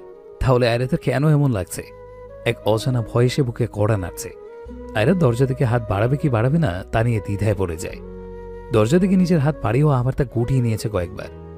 আয়রাত এবার চোখ বন্ধ করে কিছুটা দম নেয়, তারপর আবার দরজা থেকে ভালোভাবে তাকায়। কিন্তু এবার আয়রাত একটা জিনিস লক্ষ্য করে, আর তা হলো দরজার সাইডে একটা লোগো দেওয়া ডোন্ট ডিস্টার্ব এটা দেখে আয়রাত কিছুটা কপাল কুঁচকায়। মানে কি? অ্যাপয়েন্টমেন্ট আছে জেনেও এমন লোগো, তাও সোজা দরজার বাইরে? আজব! সে যাই হোক আয়রাত দরজা খুলে সোজা রুমের ভেতরে চলে যায়। দরজা খুলে ভেতরে যেতেই আয়রাত তার চোখগুলো একবার সম্পূর্ণ রুমে ঘুরিয়ে নেয়। ঠিক আগের মতো সাদা কালো সব জিনিস। আয়রাত কয়েক কদম সামনে আসে রুমের, আর তখনই দরজাটা আপনা আপনি লেগে যায়। আয়রাত একবার পেছনে ঘুরে দেখে, আরেকবার সামনে দেখে। রুমে কেউ নেই। তাহলে দেখা করতে বলল কার সাথে? আয়রাত কিছুটা কপাল কুঁচকায়। আশেপাশে খুঁজছে, কিন্তু যখন সে কাউকে পেলই না, তখন আয়রাত ঘুরে চলে আসতে নেয়। যেই না আয়রাত চলে আসতে নেবে তখনই কানে গাঢ়ভাবে কারও পিয়ানো বাজানো শব্দ আসে। পিয়ানো সাউন্ডটা এত পরিমাণে সুইট যা বলার বাইরে। আয়রাত পিয়ানো সাউন্ড অনুসরণ করে সেদিকে এগিয়ে যায়। কিছু দূর যেতেই আয়রা দেখে একটা রুম সেখানে অনেক বড় বড় পর্দা, সেগুলো বাতাসে দুলছে। আর সেখান থেকেই পিয়ানোর শব্দ ভেসে আসছে। আয়রাত আস্তে আস্তে সেদিক যেতে ধরবে, কিন্তু তখনই টিউন চেঞ্জ হয়ে যায়। যে পিয়ানোর সাউন্ড কিনা এত সুইট ছিল, তা এখন অগোছালো। কানের মাথা খেয়ে ফেলবে এমন কর্কশ শব্দ। আয়রাত বেশ বিরক্তি বোধ করল। আয়রাত জানে যে এটা আব্রাহাম আর সেই এমন করছে। আয়রাতের বেশ রাগ উঠে গেল। Is Arnil here? এবার আয়রাতের কানে কারও হেঁটে আসার শব্দ আসে। সেই রুম থেকে পিয়ানো সাউন্ড আসছিল আয়রাত সেদিকেই তাকিয়েছিল। তখনই হুট করে আয়রাতের পেছন থেকে এক গম্ভীর পুরুষালী কণ্ঠ ভেসে আসে। হ্যাঁ ইউ বিনা পারমিশনে ভেতরে আসার সাহস হলো কি করে? আয়রাত ফট করে পেছন ঘুরে তাকায়। সে আব্রাহাম আব্রাহাম যে তাকে কোনো কথা বলছে, সেদিকে আয়রাতের কোনো খেয়ালই নেই। আয়রাত জোরে জোরে দম নিচ্ছে আর চোখ একরাশ পানির ফোঁটা নিয়ে জলজল করে তার দিকে তাকিয়ে আছে। চোখগুলো লাল টকটকে হয়ে গেছে মুহূর্তেই। এই যেন টুপ করে পানি গড়িয়ে পড়বে এমন। আয়রাত নিজের মন ভরে আব্রাহামকে দেখছে। কতগুলো বছর পর সে আব্রাহামকে দেখছে। যাকে ছাড়া একটা মুহূর্ত ভাবতে পারতো না, তাকে ছাড়া আজ কতগুলো দিন পাড়ি দিয়ে ফেলেছে সে। আয়রাতের মুখে হাসি রেখা ফুটে উঠেছে আর চোখে পানি চিকচিক করছে। আব্রাহাম আয়রাতের দিকে এক ভ্রু উঁচু করে তাকিয়ে আছে। আয়রাত কয়েক কদম এগিয়ে যায় আব্রাহামের দিকে। আয়রাত তার হাতগুলো আব্রাহামের দিকে বাড়াতে নিয়েও থেমে যায়। কি করবে সে ভেবে পাচ্ছে না। আয়রাতের সামনে আব্রাহাম দাঁড়িয়ে আছে। মানে এটা যেন বিশ্বাসই হচ্ছে না এরাদের। আগের মতোই আছে আব্রাহাম, একটুও পাল্টায়নি। হয়তো আগে থেকে আরও বেশি অ্যাট্রাকটিভ হয়ে গেছে। কিন্তু আয়রাতের তো জীবন চায় যায় অবস্থা আব্রাহামকে দেখে। আয়রাত তার হাতগুলো নিজের মুখে চেপে ধরে। প্রচুর কান্না পাচ্ছে তার। এই মুহূর্তে আয়রাতে নিজের বুক ফেটে কান্না আসে। কি আশ্চর্য আপনি কে? আর এভাবে কাঁদছেন কেন? আমি কিন্তু আপনার সাথে কোনো ধরনের কোনো অসভ্যতা আমি করিনি যে এভাবে মরা কান্না কাঁদছেন। আব্রাহামের কথা বলা শেষ হতে না হতেই আয়রাত আব্রাহামের ওপর এক প্রকার ঝাঁপিয়ে পড়ে। আব্রাহামকে নিজের সাথে আষ্টে পৃষ্ঠে জড়িয়ে ধরে। একদম আব্রাহামের বুকের সাথে মিশে যায়। আরে তা আব্রাহামের গলা জড়িয়ে ধরে এবার পাগলের মতো হাওমাও করে কেঁদে দেয়। তার কান্না করার বেগ এতটাই যে সে কথা অবধি বলতে পারছে না। আরে আব্রাহাম, আহিম আমি আপনার কাছে হাত জোর করছি। প্লিজ। আপনি আমাকে আমাকে ছেড়ে আর কখনো দূরে চলে যাবেন না, প্লিজ। আমি মরে যাব। আমি কি কি কি নিয়ে বেঁচেছিলাম? তা কেবল আমিই জানি। আব্রাহাম, আমি আমি আপনাকে অনেক ভালোবাসি। আমি বুঝতে পারব। আব্রাহাম আমি আপনাকে অনেক ভালোবাসি। আমি আপনাকে বলে বোঝাতে পারব না।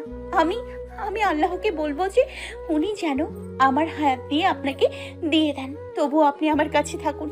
আমি ধ্বংস হয়ে গিয়েছিলাম, অনেক কষ্টে নিজেকে সামলিয়েছি। একবার ভেঙে চুরমার হয়ে গিয়েছিলাম, উঠে দাঁড়িয়েছি খুব বেশি কষ্টে। আপনি প্লিজ আমার থেকে আর দূরে যাবেন না। কেননা কেননা আমি আর ভাঙতে পারব না। ভেঙে আবার উঠে দাঁড়ানোর মতো সেই শক্তি আমার মাঝে নেই। আমি আপনাকে অনেক ভালোবাসি, আব্রাহাম। আপনি আমার, শুনেছেন আপনি? আপনি আমার। এই কথা বলে আয়রা যেন আবার পাগলের মতো করে বিলাপ পারা শুরু করে দিয়েছে। আয়রাতা থাকতে না পেরে এবার জোরে জোরে চিলিয়ে কান্না করা শুরু করে দেয়। হিঁচকি উঠে গিয়েছে। আব্রাহামের পরনে সাদা কালারের শার্টের কাঁধের অংশটা আয়রাতের চোখের পানিতে ভিজে একদম লেগে ধরেছে। তবে আব্রাহাম ঠায় দাঁড়িয়েই আছে। কি করবে কি করবে না ভেবে পাচ্ছে না। আরে তারা শক্তভাবে আব্রাহামকে জড়িয়ে ধরে। এভাবে কিছুক্ষণ থাকার পর আরে তার মাথাটা তুলে আব্রাহামের সামনে আনে। আব্রাহাম দেখে আয়রাতের চেহারা নকশাই পুরো পাল্টে গেছে। চোখমুখ সব ফুলে চেহারাতে কেমন একটা লাল আভা ফুটে উঠেছে। আয়াত ছলছল চোখে আব্রাহামের দিকে তাকিয়ে থাকে। পর মুহূর্তেই আয়াত পাগলের মতো করে আব্রাহামের গালে, কপালে, নাকে, চোখে, মুখে চুমু খেতে শুরু করে দেয়। আব্রাহাম শুধু চোখ বন্ধ করে দাঁড়িয়ে থাকে। আয়াত আবারও আব্রাহামকে জড়িয়ে ধরে হিঁচকি তুলে কাঁদা শুরু করে দেয়। আরে তার আব্রাহামকে দুই হাত দিয়ে নিজের বাহু ডোরে আবদ্ধ করে রেখেছে। ফুপিয়ে ফুপিয়ে কেঁদেই চলেছে। আব্রাহাম তাকে কিছু একটা বলতে গিয়েও আবার থেমে যায়। আয়রা যে এইভাবে ঠিক কতক্ষণ আব্রাহামকে জড়িয়ে ধরেছিল তা তার খেয়াল নেই। আয়রাত একটু শান্ত হয়ে এলে হঠাৎ আব্রাহাম তাকে নিজের কাছ থেকে ছাড়িয়ে নেয়। আয়রাত তার মাথাটা তুলে আব্রাহামের দিকে তাকায়। আব্রাহাম কিছুটা কপাল কোঁচকে আয়রাতের দিকে তাকিয়ে আছে। আব্রাহাম আয়রাতকে নিচে থেকে কিছুটা দূরে সরিয়ে কঠোর কণ্ঠে বলে ওঠে কি হচ্ছে এগুলো? আর কে আপনি? আব্রাহাম আপনি আমাকে চিনতে পারছেন না। আমি আমি আইরাত আব্রাহাম। আমি আপনার আইরাত। ও আই সি তো আপনি সেই আয়রাত আয়রা চৌধুরী গ্রুপের ওনার আব্রাহাম চৌধুরী গ্রুপের owner so how can I help you মানে কি আব্রাহাম? আপনি কি বলছেন এসব? আপনি আমাকে চিনতে পারছেন না। আব্রাহাম প্লিজ এমন করবেন না। আপনি কেন এসব বলছেন? হোয়াট আমি কি করেছি? করেছেন তো আপনি। মানে চেনা নেই জানা নেই হুট করে এভাবে অচেনা এক ছেলেকে এসে জড়িয়ে ধরেছেন। ন্যূনতম ম্যানার্স নেই আপনার। এসব কি যা তা বলছেন আপনি আপনি আমাকে চিনতে পারছেন না। কি করে সম্ভব এটা? Abraham please. আমার নাম অনিল আব্রাহাম না যদিও অনেকে আব্রাহামও ডাকে। নাম চেঞ্জ করলেই সবকিছু চেঞ্জ হয় না। ম্যানেজার আমাকে বলেছিল আপনার কথা বলতে গেলে আমার সামনে আপনার এক প্রকার প্রশংসা ঝুড়ি নিয়ে বসছিলেন। আমি তখন ভেবেছি আপনি বেশ বোঝমান একজন মেয়ে বাট আই ওয়াজ রং আপনি তো পাগল মনে হচ্ছে। মানে আমি এর আগে কখনো আপনাকে দেখিও নি আর আপনি আজ কি না? আপনি আব্রাহাম। আপনি আমার হাজব্যান্ড আব্রাহাম আহমেদ চৌধুরী। দু বছর আগে আপনার একটা কার অ্যাক্সিডেন্ট হয়েছিল। মনে আছে আপনার? আপনি কেন আমাকে চিনতে পারছেন না? চেনার প্রশ্নই আসে না। দেখুন আপনার হয়তো কোথাও কোনো বিরাট ভুল হচ্ছে। না আমি সব ক্ষেত্রে ভুল হতে পারি কিন্তু আপনার ক্ষেত্রে না। আমি ঠিকই আছি। হ্যাঁ লিসেন আমি আপনাকে চিনি না। আর এর আগে কখনো দেখিওনি ওকে আয়রাত ঝট করে আব্রাহামের কাছে এসে পড়ে। আয়রাত তার দুই হাত দিয়ে আব্রাহামের দুই গাল ধরে। কেন আব্রাহাম? কেন আপনি আমাকে চিনতে পারছেন না? বলুন তো। আমি কি করেছি? আমি তো জানতাম যে আপনার কিছু হয়নি। পুলিশরা তাদের কাজ প্রপারভাবে করতে পারেনি। আপনি জানেন না? আপনার বিন্দু মাত্র ধারণা নেই যে আমি আপনাকে ছাড়া কি হালে থেকেছি। কীভাবে লাইফ লিড করেছি? আপনি এতটা দিন কোথায় ছিলেন বলুন তো? কেন আমার কাছে একটা বারের জন্য আসেনি? আপনি জানেন না যে আমি আপনাকে কত জায়গায় খুঁজেছি। কতভাবেই না খুঁজেছি কিন্তু আমি পাইনি আপনাকে। আপনার দাদি আপনাকে ছাড়া যে কি হালে আছে তা আমি বলতে পারব না। আর কাল কাল যখন আমি আপনাকে কনসার্টে দেখি আমার নিজেরই তখন কোনো সেন্স ছিল না। আব্রাহাম প্লিজ আর দূরে দূরে থাকবেন না। আব্রাহাম আয়রাতের হাত দুটো নিচের গাল থেকে নামিয়ে দেয়। দেখুন মিস সরি মিসেস আপনার কথা ভুল হচ্ছে। আমি আপনার হাজব্যান্ড না। হ্যাঁ মানলাম আমার নাম আব্রাহাম কিন্তু এক নামে হাজার মানুষ থাকে। আর ওইলো চেহারার কথা? পৃথিবীতে না একই রকম চেহারা এবং সাতজন মানুষ থাকে। সাতজন কেন? সাতশো জন মানুষ থাকলেও আমি আমার আব্রাহামকে চিনতে কখনোই ভুল করব না। আপনি আমার আব্রাহাম। ও হ্যালো? সব কিছুর একটা লিমিট থাকে ওকে? এবার কিন্তু বেশ বাড়াবাড়ি করে ফেলছেন আপনি। আমি যদি আগে জানতাম যে আপনি এমন আধা পাগল আর একটা পাগলের সাথে আজ আমার অ্যাপয়েন্টমেন্ট রয়েছে তাহলে আমি ম্যানেজারকে হ্যাঁ জীবনেও বলতাম না। কিন্তু আম- Abraham Chowdhury Arnil profession singing and rockstar আমার ড্রিম এইগুলো ওকে আমার প্যাশন আমি কোনো আয়রত নামে কাউকে চিনি না। আপনার হাজব্যান্ডের সাথে আমার চেহারা মিলে যায়, আর এটা পুরোপুরি একটা কাকতালীয় ব্যাপার। এটা ছাড়া কিছুই না। এতে এত হাইপার হওয়ার কি আছে? রিল্যাক্স হ্যাঁ আয়রাত অবাক হয়ে আব্রাহামের দিকে তাকিয়ে আছে। আর আব্রাহাম পুরো একটা চিল মুড়ে কাছের একটা ডেস্কের উপর থেকে অ্যালকোহলের গ্লাসটা নিয়ে চুমুক দেয়। আয়রাতের এবার রাগ লাগছে। সে গিয়ে সোজা আব্রাহামের হাত ধরে থামিয়ে দেয়। মিথ্যা বলার আর কোনো জায়গা খুঁজে পান না তাই না? আপনি আমাকে শেখাচ্ছেন শুনুন। আমি জানি আপনি আব্রাহাম। অযথা আমাকে উল্টাপাল্টা বোঝানো বন্ধ করুন। আয়রাত যে আব্রাহামের হাত ধরে আছে তাতে আব্রাহাম তার দিকে এক ফ্রো উঁচু করে তাকায়। সে একবার আয়রাতের দিকে আরেকবার নিজেদের হাতের দিকে তাকাচ্ছে। আয়রাত অ্যালকোহলের গ্লাস সহ আব্রাহামের হাতটা নিজের হাত দিয়ে থামিয়ে রেখেছে। ভাই দা ওয়ে একটা জিনিস আপনার পছন্দ হলো খুব তা হচ্ছে আপনার চোখের পানি। আপনাকে কান্নারত অবস্থায় দারুণ মানায়। আর উইশ আপনি আপনার সারা জীবন এই কান্না করতে করতেই কাটিয়ে দেবেন। হ্যাঁ হ্যাঁ নিজের চোখের পানি দিয়ে আমার গায়ের শরীরটা খানিকটা ভিজিয়ে দেওয়ার জন্য থ্যাঙ্কস আমি চাই যে মেয়েরা যেন কিছু না কিছু একটা চিহ্ন আমাদের রেখেই যায়। What actually you know what আমি তোমার নামে অনেক কিছু শুনেছি। তুমি করে বললাম এখন কেননা আপনি ডাকতে আমার সাথে যায় না। আর মেয়েরা বেলা তো মোটেও না আর মেয়েরা যখন একদম ইমোশনাল হয়ে আমার কাছে এসে নিজের মায়া কান্না শুরু করে দেয় না? আহা কি যে ভালো লাগে না। মেয়েদের ব্যাপারে অনেক এক্সপিরিয়েন্স আছে বুঝি? থাকতে হয় মিসেস সাইরাত। আপনি এমন কেন করছেন আমার সাথে? আপনার সবই মনে আছে আমি জানি। তবু এমন কেন করছেন আপনি? আমি কি করেছি? আমি যতদূর জানি আমি তোমার সাথে এখনও তেমন কিছুই করিনি আয়রাত একবার করা শুরু করে দিলে থামা মুশকিল তবে করেছ তো তুমি। এসেই সোজা আমাকে আষ্ট্রে পিষ্ট্রে আঁকড়ে ধরেছ। জিনিসটা আমার কাছে আনএক্সপেক্টেড ছিল। তবে আনএক্সপেক্টেড হলেও I really like it Abraham! আমি তোমাকে চিনি না। আমাদের এই প্রথম দেখা। আর আমি কারও হাজব্যান্ড না। বিয়েই হলো না আমার হাজব্যান্ড আব্রাহাম আপনি আমার কথাটা গেট লস্ট আ- আব্রা I said get lost Ayrat আব্রাহামের দিকে এগিয়ে আসে। ফ্ল্যাট থেকে তাড়াতে পারলেন কিন্তু নিজের জীবন থেকে আর আপনার থেকে দূরে কখনোই তাড়াতে পারবেন না মনে রাখবেন। একবার হারিয়েছি আমি আর পারব না। আর একবার যখন পেয়ে গেছি তো আমিও দেখব মিস্টার আব্রাহাম আহমেদ চৌধুরী যে আপনি দূরে কি করে যান? আমার থেকে। পাগলামো তো কেবল শুরু শেষ হতে অনেক দেরি। এই বলে আয়রাত চলে আসতে নেয় কিন্তু আবারও থেমে যায়। ও হ্যাঁ আরেকটা কথা এই যে বাইরে যে আপনি ডন ডিস্টার্বের লোগো দিয়ে রেখেছেন না? তা অতি দ্রুত সরিয়ে নিন কেননা ডিস্টার্ব নিজেই এসে পড়েছে আপনার লাইফে। তা আমি আপনি তো আমার আব্রাহামই তাতে যত যাই বলেন না কেন আর হ্যাঁ মেয়েরা না মেয়ে হবে শুধু। আর সেটা এই আমি। এই বলে আয়রাত আব্রাহামের দিকে একটা সূক্ষ্ম দৃষ্টি নিক্ষেপ করে তার রুম ত্যাগ করে। অ্যাটিটিউড লেভেল হাই আয়রাত নিজের চোখের সানগ্লাসটা পরে দ্রুত পায়ে বাইরে এসে নিজের গাড়িতে উঠে পড়ে। বেশ কিছু সময় পর নিজের অফিসেও চলে যায়। আয়রাত যখন অফিসে ঢুকছিল তখন তার মুখে ঝুলেছিল এক চিলতে হাসির ছাপ। সবাই কিছুটা অবাকভাবে আয়রাতকে দেখছিল। কেননা কেউ আয়রাতকে কখনো হাসতে দেখেনি। অর্থাৎ বিনা কারণে সে মোটেও হাসে না। আয়রাত নিজের কেবিনে চলে যায় সোজা। তার কয়েক মিনিট পর কেবিনে রাশেদ আসে। ম্যাম কি খবর? Abram sir? কে বলেছে সে আব্রাহাম? জি। উনি তো আব্রাহাম নন উনি তো অর্নিল। কিন্তু এটা ওর কথা এটা ওর মতামত। যখন তাকে এটা বলি যে সে আব্রাহাম তখন সে পরিষ্কারভাবে সাফ মানা করে দেয় যে সে আব্রাহাম নয় বরং অর্নিল। আরও আমাকে নানা কথা বলে। তাহলে কি শুধু শুধু আমরা ভুল ভাবছি? না রাশেদ মোটেও না। আমার ভুল হতেই পারে না। সে আব্রাহাম আমার কাছ থেকে বাঁচার জন্য সেই সব বলছে। আর হ্যাঁ এখন শুধু দেখে যাও। আমি তো আব্রাহামকে তার নিজের মুখে স্বীকার করিয়েই ছাড়বো যে ওই আব্রাহাম আহমেদ চৌধুরী। জেদ একবার যখন ধরেছি তো ধরেছি। কিন্তু স্যার আপনাকে চিনতে মানা করছেন কেন? স্যার তো আপনাকে পাগলের মতো করে ভালোবাসে। জানি না রাশেদ আমার এগুলো ভাবতে আর ভালো লাগে না। যাই হোক যে যেই ভাষার কথা বোঝে তার সাথে সেই ভাষাতেই কথা বলতে হয়। তারা তো আব্রাহাম আগে থেকেই। একবার সোজা করিয়েছিলাম এবার না হয় আবার করব রাশেদ? জি ম্যাম আরে পার্টি অ্যারেঞ্জ করো ইয়ার।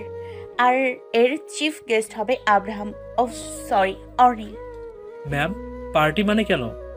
এই ধরো খুশিতে যেই বলে সেই কাজ। রাশের সহ বাকি স্টাফরা সবাই সব কিছু অ্যারেঞ্জ করে ফেলে। অন্যদিকে আব্রাহাম তার রুমে হাতে একটা বল নিয়ে দেওয়ালে জোরে জোরে মারছে। সে বল আবার আব্রাহামের দিকে ফিরে আসলে সে তা ক্যাচ ধরে ফেলছে।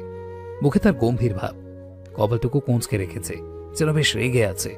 তখনই রুমে কেউ আসে। এসেই সোজা আব্রাহামের পেছনে কোমরে দুই হাত রেখে দাঁড়িয়ে পড়ে। কি চাই এখানে তো রেগে আছিস? না। হয়েছে। আমি জানি। আমাকে শেখাস না? কাজ থাকলে বল নয়তো বের হ। এই এই কি বললি? আমি বের হব মানে? তুই বের হ। ভালো লাগে না সবসময় ফাজলামি রাত্রি। সে খেয়াল করল যে আব্রাহাম বল দিয়ে দেওয়ালে একটার পর একটা আঘাত করেই যাচ্ছে। রাত্রি এবার গিয়ে কোনো কথা না বলে আব্রাহামের সামনে দাঁড়িয়ে পড়ে। আব্রাহাম থেমে যায়। হাতে বলটা নিয়ে রাত্রির দিকে চোখ তুলে তাকায়। কিছু বলছি আমি? আমি কি বলেছি যে আমি পয়রা এমন করছিস কেন? কিছু কি হয়েছে? এদিকে আয়। কি? এদিকে আয়। আব্রাহাম রাত্রির হাত ধরে নিজের পাশে বসিয়ে দেয়। কি হয়েছে? একটা কাঁচা ঘাতে বারবার আঘাত করলে আঘাতটা কিন্তু কাঁচাই রয়ে যায়। ভালো হয় না। আর সেই ঘাতে কিছু কিছু মানুষ এসে স্যাবলনের মতো কাজ করে। কি বলছিস এসব? কাঁচা ঘা স্যাবলন কি? তোর হাত কোথাও কেটেছে নাকি? আব্বে ঠাকুন তুই বুঝবি না? ছাড় বাদ দে। আচ্ছা শোন। মা তোর জন্য কষা মাংস পাঠিয়েছে। খেয়ে নিস। দেখছিস আন্টি? আমাকে কত ভালোবাসে। তোর মতো সবসময় পিছনে লেগে থাকে না আমার। কেন যে পিছে লেগে থাকি তা তো তুই আর বুঝিস না। আন্টির শরীর কেমন এখন? আগে থেকে অনেক ভালো। এভাবেই সেই সময়টুকু কেটে যায়। রাত্রি চলে যায়। সন্ধ্যার দিকে আব্রাহামের কাছে একটা ইনভাইটেশন কার্ড আসে। May I come in sir hmm. Sir আপনার জন্য এটা এসেছে। আব্রাহামের দিকে একটা কার্ড এগিয়ে দিয়ে কার্ডটা চলে যায়। আব্রাহাম কার্ডটা খোলে। উপরে সুন্দর করে লেখা আব্রাহাম চৌধুরী গ্রুপ। আর তা একটা পার্টি অ্যারেঞ্জ করা হয়েছে। সেখানে তাকে অ্যাজ এ চিফ গেস্ট হিসেবে ডাকা হয়েছে। আব্রাহাম যেই না কার্ডটা ছুঁড়ে ফেলে দিতে যাবে তখনই আয়রাতের ফোন। আব্রাহাম পিক করে। হ্যালো জামাই চান? What the hell is this না না হ্যালো না। আপনি আসবেন পার্টিতে। যাব না আমি। ভেবে দেখুন আপনি আসবেন নাকি আমি আপনার কাছে যাব? আর হ্যাঁ আমি যদি আপনার কাছে আসি তাহলে কিন্তু তা বেশি একটা ভালো হবে না আপনার জন্য। আমার পিছনে লাগতে না আসলেই ভালো হবে। আর যদি লাগি তো? বরবাদ করে দেব। অনেক আগেই হয়ে গেছে। তবে এবার যদি আপনার নিজাতে হই তাহলে আর ক্ষতি কি? এত বাঁকা স্বভাবের কেন তুমি? আরে আপনার কাছ থেকেই তো শিখেছি। ওকে ফাইন হাসবো আমি। আসব না, এসে পড়ুন। ওয়েট করছি। এই বলে আয়াত ফোন কেটে দেয়। আর আব্রাহাম চোখ বন্ধ করে একটা ক্ষীণ দম ছাড়ে। আর ওদিকে আয়াত পার্টির এ টু সেট সব আব্রাহামের পছন্দ মতো করে সব। বেসিক্যালি একটা টেস্ট করার জন্যই। আব্রাহাম ব্ল্যাক কালারের প্যান্ট আর অ্যাশ কালারের শার্ট পরে তার উপরে ব্রাউন কালারের জ্যাকেট ব্যাস, সে রেডি আব্রাহাম চলে যায় গাড়িতে করে। বেশ সময় পর সে আয়াতের অফিসে এসেও পড়ে। আব্রাহাম যখন আসে, তখন তাকে অফিসের সামনে কমপক্ষে পঞ্চাশ জনের মতো ছিল তাকে স্বাগত জানানোর জন্য। তবে আব্রাহাম কেন জানে নিজেকে সবার সামনে খারাপ প্রমাণ করতে চাইছে? আব্রাহাম যখন দেখে যে এতগুলো মানুষ তাকে স্বাগত জানানোর জন্য দাঁড়িয়ে আছে, তখন আব্রাহাম ইচ্ছে করেই হাতে একটা শ্যাম্পেনের বোতল নিয়ে নেয়, যাতে সবাই ভাবে যে আব্রাহাম ড্রিঙ্ক অ্যান্ড ড্রাইভ করছে। আব্রাহাম গাড়ি থেকে নেমে পড়ে। উপরের জ্যাকেটটা তার কাঁধে ঝোলানো, শার্টের হাতাগুলো ফোল্ড করা, চোখ থেকে চশমাটা খানিক নাকে ডগায় নামানো। ঠোঁটে বাঁকা হাসি আর হাতে শ্যাম্পেন। আব্রাহামের বাইরে নামতেই যেমন সবাই বড় সড়ো ক্রাশ খেলো, তেমনি সবাই বেশ অবাক হলো। দু, দুটো মানুষের মাঝে এতটা মিল কি করে সম্ভব? সবার সাথে সাথে সেখানে রাশেদ নিজেও ছিল। আব্রাহামকে স্বাগত জানানোর জন্য। কিন্তু আব্রাহামের এমন লোক দেখে রাশেদ যেন এখানেই মাথা ঘুরে পড়ে যাবে এমন অবস্থা।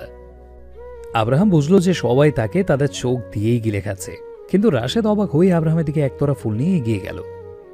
Welcome back sir what I mean welcome sir thanks আর বাকি সবাই কিছু বলবে তার আগেই আব্রাহাম চলে যায় ভেতরে। আশেপাশে আব্রাহামের অনেক গার্ডের রয়েছে। যে জায়গায় পার্টি অ্যারেঞ্জ করা হয়েছে সেখানে শুধু সাত আট ধবধবে লাইট। সব কিছুই বেশ ক্লাসে। এখানে অনেক মানুষ রয়েছে। আব্রাহাম যেই না হলরুমে ঢুকে তার সাথে সাথে সবার নজর আব্রাহামের দিকে। ব্যাকগ্রাউন্ড মিউজিক হিসেবে একটা সফট মিউজিক চালু করা হয়েছে। অনেকেই এসে আব্রাহামের সাথে ছবি ক্লিক করছে আবার অটোগ্রাফ চাচ্ছে। তবে এত সব কিছুর মাঝে আয়রাত নেই। আব্রাহাম খেয়াল করল যে কীরকম এক অদ্ভুত নজরে যেন সবাই তার দিকে তাকিয়ে আছে।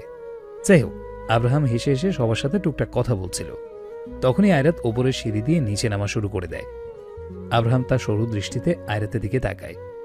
আয়রাত একটা ব্ল্যাক কালারের ফুল হাতাওয়ালা গাউন পরেছে। তবে তা ব্যাকলেস। চুলগুলো হালকাভাবে খোপার মতো করে উপরে বাঁধা। চারিদিকে চুলগুলো কিছুটা ছড়িয়ে পড়েছে। কানে সাদা স্টোনের দুল আর গলায় হালকার মাঝে একটা নেকলেস। সিম্পলের মাঝেও দারুণ ফুটে উঠেছে। আয়রাত হেঁটে এসে আব্রাহামের কাছে আসে।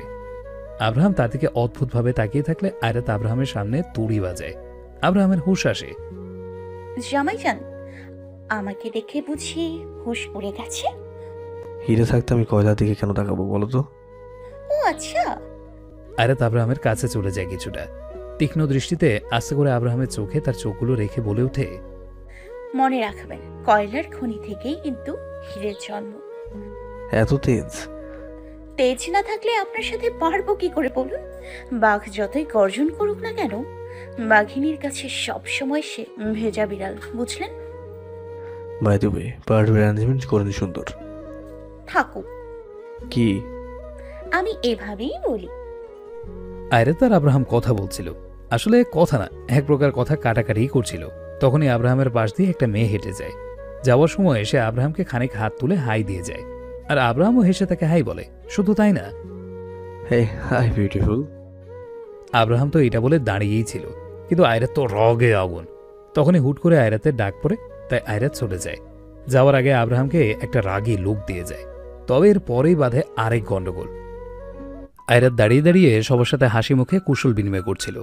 তার ফাঁকে ফাঁকে বাঁকে চোখে আবার আব্রাহামের দিকে নজর দিচ্ছে। অনেকে তাদের হাতে ড্রিঙ্ক নিয়ে আছে। কথা বলার মাঝে মাঝে তাতে চুমুক দিচ্ছে। আবার কেউ কেউ সফট মিউজিকের থালে থালে নিজেদের পার্টনারের সাথে কাপল ড্যান্স করছে। আয়রাতের কথা বলা শেষ হলে সে আব্রাহামের দিকে তাকায়। দেখে যে সে বসে বসে ফোন ঘাটছে। আয়রাত ধীর পায়ে তার দিকে এগিয়ে যায়। হে জামাইজান।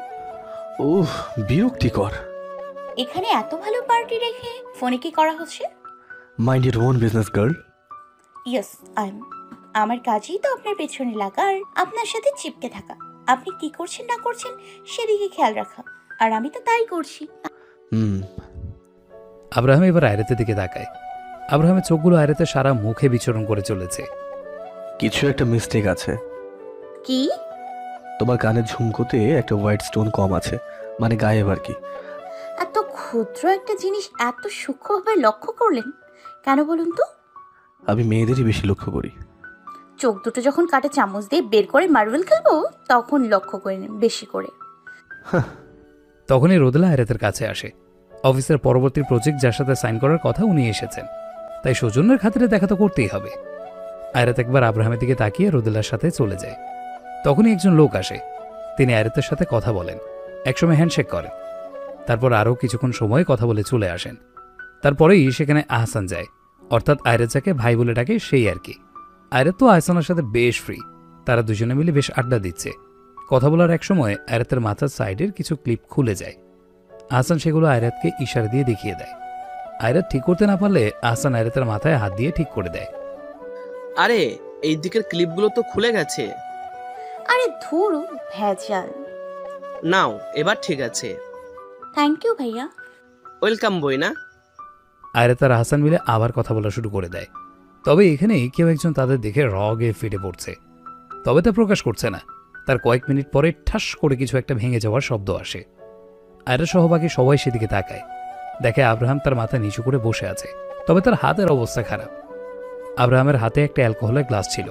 আব্রাহাম তা তার হাতের চাপেই ফাটিয়ে দিয়েছে। গ্লাসটা হাতের মাঝে ভেঙে খান খান হয়ে গিয়েছে। মুহূর্তে আব্রাহামের হাত থেকে রক্ত পড়া শুরু করে দেয়। কাছের টুকরোগুলো নিচে পড়ে আছে। আয়রা তো এটা দেখে কপাল কোঁচকে চিন্তা মাখা মুখ নিয়ে আব্রাহামের কাছে আসে। এসে আব্রাহামের হাত ধরে ফেলে। আব্রাহাম কি করলেন এটা আপনি? এভাবে হাতের মাঝে রেখেই কেউ গ্লাস ভাঙে নাকি? আপনার ভাঙচুর করতে মন চাচ্ছে আমাকে একবার বলে দিতেন। আমি হাজার হাজার জিনিস হাজির করে দিতাম কত ভাঙবেন আপনি? কিন্তু এভাবে? আব্রাহাম ঝট করে আয়রাতের কাছ থেকে নিজের হাতটা ছাড়িয়ে নেয়। সেখান থেকে উঠে চলে যেতে নেয় তবে আয়রাত থামিয়ে দেয়। আব্রাহাম শুধু টিস্যু দিয়ে কোনো রকমে হাতটা পেঁচিয়ে নেয়। আয়রা তো কিচ্ছু বলে না। আব্রাহাম এইভাবে রেগে কেন গেল, আয়রা তাই বুঝে উঠতে পারল না। সময় এভাবেই কিছুক্ষণ চলে যায়। তারপর আয়রাত খেয়াল করে যে আব্রাহাম জমি একটা মেয়ের সাথে ফ্ল্যাট করছে। আর ওই মেয়ে হেসে হেসে ফেটে পড়ছে। আয়রাত এগুলো দেখে সরু চোখে তাদের দিকে তাকায়। কিন্তু আয়রাতও তো কম না। আয়রাত গিয়ে সফট মিউজিক বাদ দিয়ে ধুম ধারাক্কা গান বাজাতে বলে আসে। প্রথমে মুঝে তো তেরি লত লাগিয়ে গান লাগিয়ে আসে। আর তারপরে আভি তো পার্টি শুরু হুই হ্যায়। আয়রাত নিজেও গানের তালে তালে গা দোলাচ্ছে, রোদেলা আর বাকি যারা ছিল তাদের সাথে। মানে আব্রাহামকে সে ইগনোর করেও করছে না। সে দেখাতে যাচ্ছে যে আব্রাহাম যা ইচ্ছে করুক গে। আয়রাত তো নিজের মতো করেই আছে। She don't give a damn about him আয়রাতের এমন করাতে পুরো পার্টির হুলিয়া নকশা সব পাল্টে গেছে। আয়রাত আরও একটু বেপরোয়া ভাব ধরে পার্টিতে অনেক ছেলে ছিল, তারাও তাদের মতো করে রয়েছে। যদিও তারা আয়রাতের কাছে আসার চেষ্টা করছে, কিন্তু আয়রাত কাউকে পাত্তাই দিচ্ছে না। আয়রাত এমন করছে আর আর চোখে আব্রাহামকে দেখছে। কিন্তু আব্রাহাম আগে যেমন ছিল, এখনও সেম সে আরও উল্টা অন্যদিকে ঘুরে ড্রিঙ্ক করছে। এতে আয়রাত নিজের মনে মনে আব্রাহামকে একটা ভেঙচি কেটে দেয়। তবে প্রকৃতপক্ষে কিন্তু আব্রাহামের নজর আয়রাতের দিকেই আছে। অর্থাৎ দুজনেই ছুবার উস্তাম দুজনেই দুজনের দিকে তাকিয়ে আছে, কিন্তু বুঝতে কেউই কাউকে দিচ্ছে না। কেউ কারও থেকে এক বিন্দুও কম না। একসময় গান অফ হয়ে যায়। সবাই মিলে কিছুটা চিলিয়ে ওঠে আর একসাথে করতালি দেয়। এবার আব্রাহাম ঘুরে আয়রাতের দিকে তাকায়। আয়রাত নিজেও আব্রাহামের দিকে তাকায়। আয়রাত হেঁটে আব্রাহামের কাছে আসে। এসে আব্রাহামের পাশে দাঁড়িয়ে পড়ে। দুজনেই চুপ। হঠাৎ আব্রাহাম আয়রাতের দিকে তাকায়। আয়রাতের কেন যেন মনে হচ্ছে যে পাশ থেকে কেউ একজন তার দিকে তাকিয়ে আছে। আয়রাত ফট করে মাথা ঘুরিয়ে তার সাইডে তাকায়। দেখে আব্রাহাম তার দিকে ঘোর লাগানো হয়ে তাকিয়ে আছে। আয়রাত তার চোখগুলো নামিয়ে নিজের গলাটা একটু খাকারি দিয়ে ওঠে। কিন্তু আব্রাহাম হুট করে আয়রাতের দিকে এগুতে লাগে।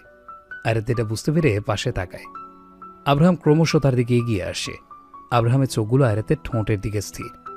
আয়রাত কিছুটা হকচকিয়ে ওঠে। সে ভেবেছে, হয়তো আব্রাহাম কিছু একটা করে বসবে এখানেই। কিন্তু আয়রাতের ধারণাকে ভুল প্রমাণ করে দিয়ে আব্রাহাম করে উল্টো কাজ। আয়রাতের গলাতে একটা ব্ল্যাক কালারের স্কার্ফ ছিল। আব্রাহাম সেটা আস্তে করে টান দিয়ে নিয়ে নেয়।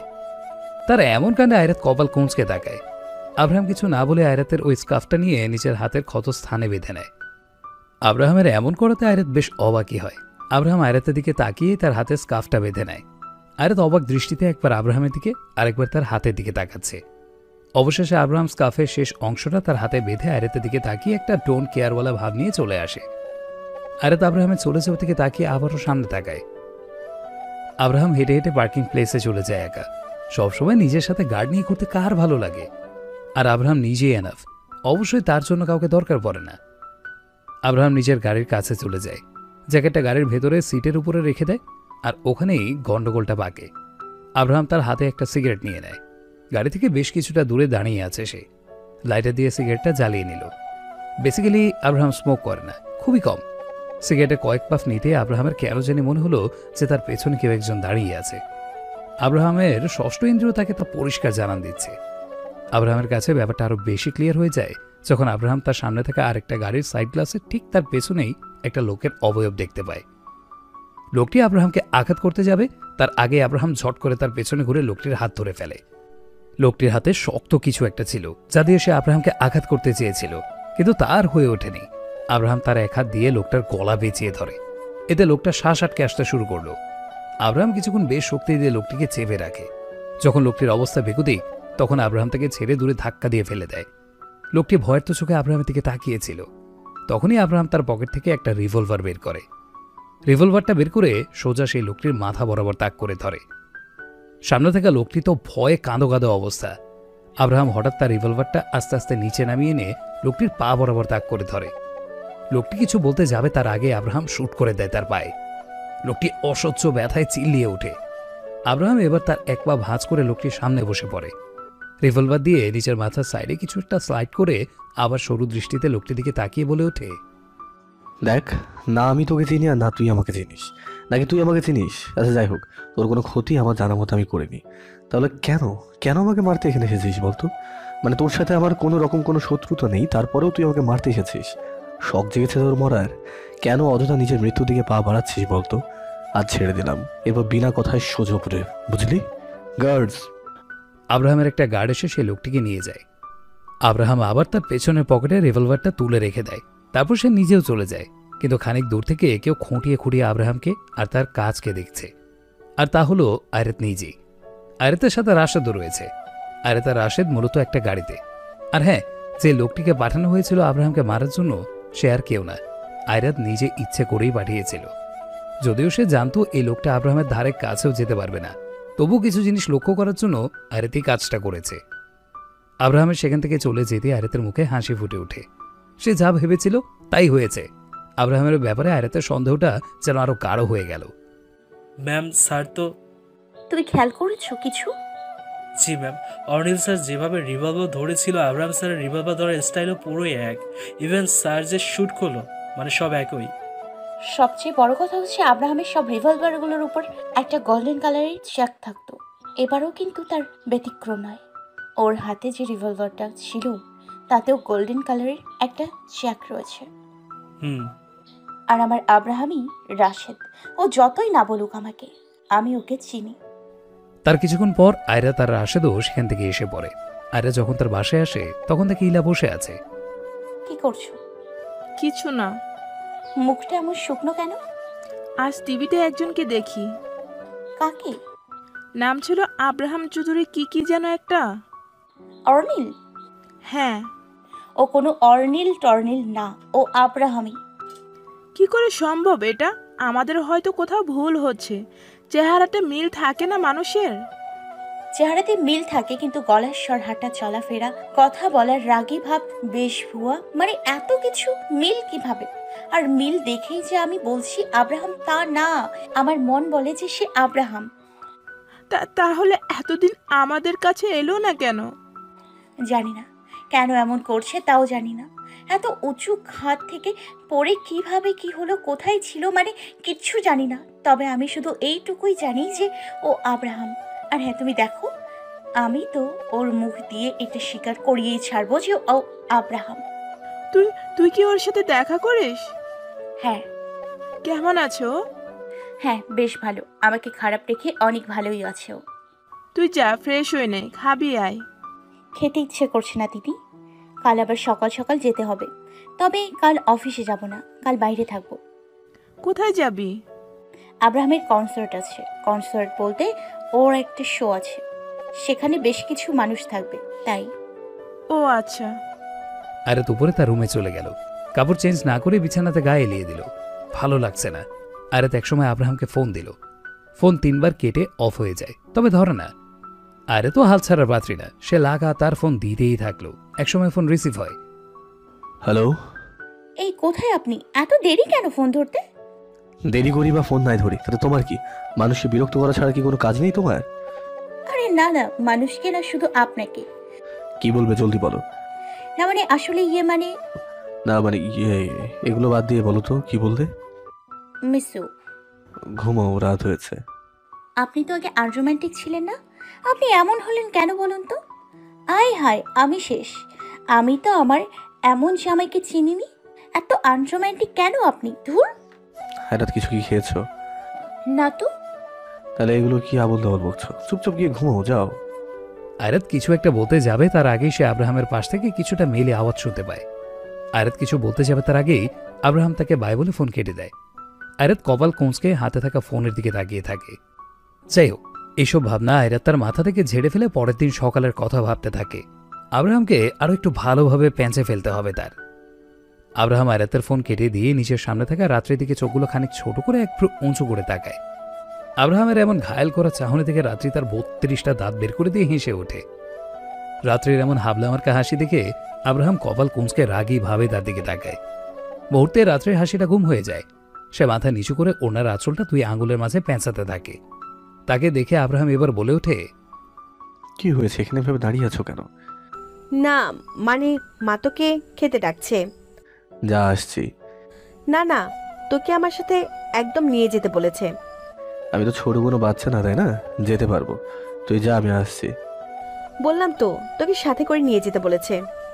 আরে মেরি মা! আচ্ছা চল। আব্রাহাম আর না পেরে রাত্রির সাথে চলে গেল। আসলে আব্রাহাম যে বাড়িতে থাকে তার নিচের অংশে রাত্রিরা থাকে। রাত্রির বাবা একজন বড় পোস্টে সরকারি পুলিশ অফিসার ছিলেন যদিও তিনি এখন আর বেঁচে নেই। রাত্রির মা আর রাত্রি কিছুটা পার্সোনালভাবে আব্রাহামকে চিনে থাকলেও পাবলিক প্লেসে তা প্রকাশ করে না। বাকি আট দশটা মানুষের মতো তারাও আব্রাহামের বিরাট বড় ফ্যান এটাই দেখায়। তবে এই রাত্রি আর আব্রাহাম যে একই বাসার উপনিচে থাকে তা সবারই অজানা। আব্রাহাম রাত্রি আর তার মা লাবণীর সাথে রাতের খাবার খেয়ে উপরে তার রুমে এসে পড়ে। আব্রাহাম তার রুমে গিয়ে কাছের দরজার উপর নিজের হাতটা রেখে দিয়ে দাঁড়িয়ে পড়ে। চোখ দুটো তার বাহিরে স্থির। আব্রাহাম হঠাৎ তার মাথা নিচে নামিয়ে ফেলে। অবশেষে একটা সিগারেট জ্বালিয়ে নেয়। অনেক সময় কষ্ট মুখে ব্যক্ত করতে হয় না। আসলে ব্যক্ত করার প্রয়োজন হয় না। কিছু কষ্ট, কিছু ব্যথা একান্তই নিজের থেকে যায়। মানুষ বলে নিজের মনের কথা কাউকে খুলে বলে দিলে বা শেয়ার করলে নাকি অনেকটাই কমে যায়। নিজেকে হালকা অনুভব হয়। কিন্তু অনেক সময় এই কষ্টগুলো কারোর সাথে ভাগাভাগি করা যায় না, কাউকে বলা যায় না, মন তাতে সায় দেয় না। থাক না, কিছু ব্যর্থতা নিজের নামই। আব্রাহাম নিজের মনের অব্যক্ত যন্ত্রণাগুলো যেন এখন সিগারেটে ধোঁয়ার মাধ্যমে উড়িয়ে দিতে লাগল। ভালো লাগছে না কিছুতেই, কিছুতে ঠিকভাবে মনও বসাতে পারছে না। অথচ কাল একটা শো আছে। আব্রাহাম আর এইভাবে না থাকতে পেরে একদম রুমের ভেতরে চলে গেল। রুমের লাইট সম্পূর্ণ নিভিয়ে দিল। বাইরে থেকে ল্যাম্পপোস্টের কিছু আলো রুমের ভেতরে এসে পড়ছে। হালকা বাতাসে ঘরে বড় বড় সাদা পর্দাগুলো উঠছে। আব্রাহাম ভাবলেশীনভাবে ওপরের দিকে এক নয়নে তাকিয়ে থাকে। এভাবেই রাতটুকু কেটে গেল। অয়ন ভাই গেস করো আমি তোমাকে কি বলতে চাচ্ছি? কি? গেস করো। আমি এই গ্যাস করাতে সব সময় ভুলই হয়। এবারও হব। তো তুমিই বলো। ব্যাপারটা শুনে চারশো চল্লিশ ডিগ্রির ঝাটকা খাবে। এমন কি? অনেক বড় কিছু। আচ্ছা এবার বলো তো। আব্রাহাম। আমি জানি তুমি ওকে অনেক মিস করো। ও ফিরে এসছে। হ্যাঁ আমি। কি? কিন্তু স্বীকার করছে না। ও মরেনি বেঁচে আছে ও। বৌমনি তোমার শরীর ঠিক আছে? জ্বর টর আসেনি তো? ধূত রে ভাইয়া আমি সিরিয়াস না বৌমনি হয়তো তোমার কোথাও ভুল হচ্ছে। এটা কি করে? আমি গত এক সপ্তাহের বেশি হবে তার সাথে আছি। অর্থাৎ কাজ করছি। ভাইয়া তুমি দেখলে সেখানেই পড়ে যাবে। ও হুবহুব আমার আব্রাহাম কিন্তু ও মানতেই চায় না। এখন তো আমার বিশ্বাসই হচ্ছে না। Okay fine. তুমি একটা জায়গায় এসে পড়ো যত জলদি সম্ভব। আচ্ছা বৌমনি আসছি। তুমি মেল করে দাও অ্যাড্রেসটা। আচ্ছা। এই বলেই আয়রাত ফোন কেটে দেয়। তারপর অয়নকে অ্যাড্রেসটা মেইল করে পাঠিয়ে দেয়। এদিকে আজ সকাল থেকে আব্রাহামের কোনো খোঁজ নেই। সে কোথায় আয়রাত জানে না। বারবার আব্রাহামকে ফোন দিয়ে যাচ্ছে বাট নো রেসপন্স আয়রাত একবার ভাবলো যে হয়তো সে তার শোতে কিন্তু ফোন না ধরার সাথে কি কানেকশন অনেক আগে থেকেই তো ফোন করে যাচ্ছে। যাই হোক, আয়রাত অফিসের কিছু কাজ মিটমাট করে সোজা চলে যায় আব্রাহামের শোতে আয়রাত একদম তার মুখে মাস্ক টাস্ক পরে গিয়েছে যেন কেউই না চেনে। তবে আয়রাত সেখানে গিয়ে এই যে আব্রাহামকে খোঁজে, কিন্তু তার দেখা আর মেলে না। তবে আয়রাত হাঁটতে হাঁটতে একটা সময় একটা বেশ বড় আর খোলামেলা জায়গাতে এসে পড়ে। তার কিছু দূর যেতেই বেশ কিছু মানুষের চিল্লাপালার আওয়াজ আয়রাতের কানে আসে। আয়রাত ভাবে হয়তো কোনো ঝামেলা পেকেছে, তাই আয়রাত আগেই তার প্যান্টের পকেটে থাকা রিভলভারটা হাতে নিয়ে খামচিয়ে ধরে। কিন্তু সামনে এগুতেই দেখে খোলা আকাশের নিচে আর ঘন সবুজ গাছের উপরে বেশ কিছু মানুষ জড়ো হয়ে আছে। আর তাদের সামনে আব্রাহাম হাতে গিটা নিয়ে মুখে হাসির রেস্ট টেনে নিয়ে বসে আছে। আয়রাত এগুলো দেখে নিজের আনমনেই হেসে ওঠে। ছা বাবা, নিজে ভাবলো কি আর হলো কি? আয়রাত সবার পেছনে দাঁড়িয়েই দেখতে লাগল। পরিবেশটা সুন্দর। একদম খোলা আকাশের নিচেই সবাইকে নিয়ে বসেছে। শোয়ের যে হোস্ট ছিল, উনি বেশ হাইফাই একটা স্টেজ অ্যারেঞ্জ করেছিল। কিন্তু আব্রাহামের সেটা পছন্দ হয়নি। সামনে এত বড় একটা জায়গা থাকতে আর এগুলো কেন? আশেপাশে বেশ কিছু গাছ রয়েছে। সেগুলো কিছুটা আর্টিফিশিয়াল ভাবেই সাজানো হয়েছে। মানে সবকিছু মিলিয়ে বেশ সুন্দর। সবাই যেন আব্রাহামকে পেয়ে ড্যাব ড্যাব করে তাকিয়ে আছে। অনেকেই তাদের গালে হাত ঠেকিয়ে আব্রাহামকে দেখছে। মাঝে মধ্যে হালকাভাবে চিল্লিয়ে উঠছে। হঠাৎ করে আব্রাহাম তখন গান ধরে, তুমি বোঝনি, আমি বলিনি, তুমি স্বপ্নতে কেন শুনি আমার অভিমান তোমাকে নিয়ে সব জেনেছি। আমি জানি কোনো একদিন, কোনো এক নতুন ভোরে দেখা হবে আমাদের আবার এক স্বপ্নে শহরে। আমি জানি কোনো একদিন, কোনো এক নতুন ভোরে দেখা হবে আমাদের আবার এক স্বপ্নে শহরে। मुझे खोने के बाद एक दिन तुम मुझे याद करोगे फिर देखना मिलने की मुझसे तुम फरियाद करोगे ओ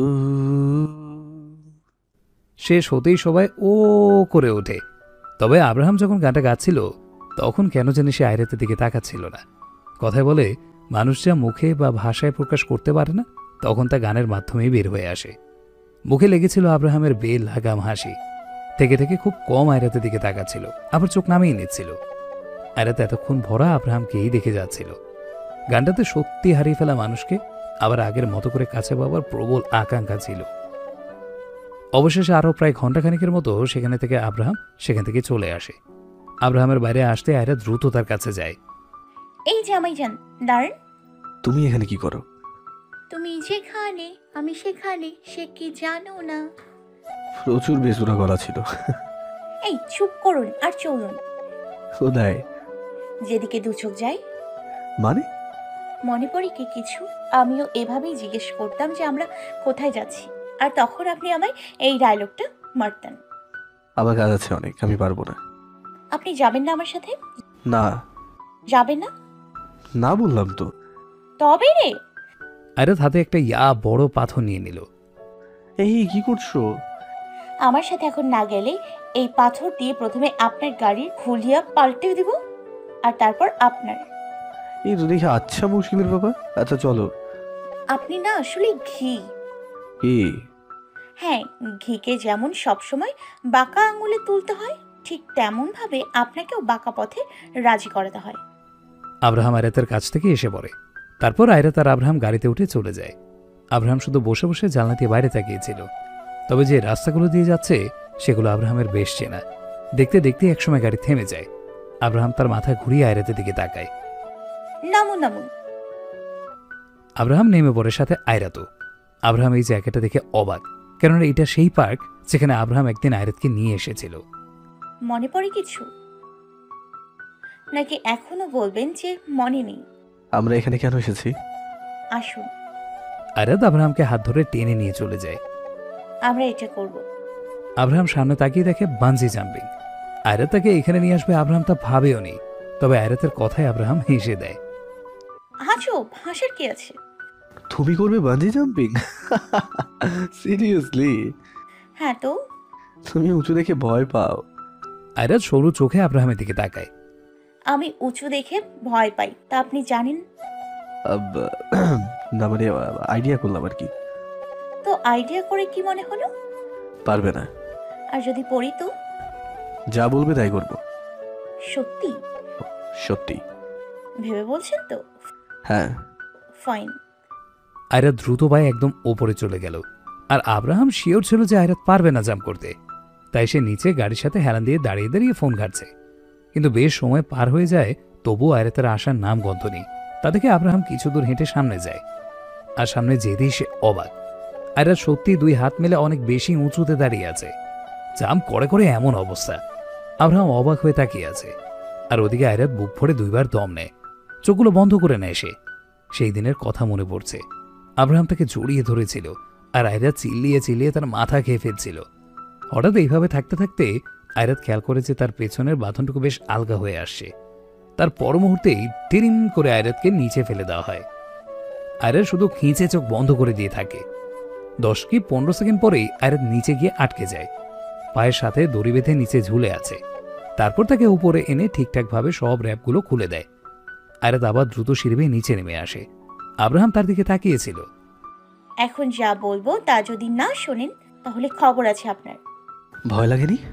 ভয় ভয় কাকে বলে? কেউ তা আমার কাছ থেকে শেখো তাহলে? আচ্ছা ছাড়ুন না। এখন আমি যা চাইব তা দেবেন? আচ্ছা কি চাই বলো? আপনাকে চাই আমার। হায়রাত লিসন আমি জানি না কীভাবে আর বোঝাবো তোমাকে। আমি তোমার হাজবেন্ড না। আমি মিথ্যে কথা ধরতে পারি Abraham.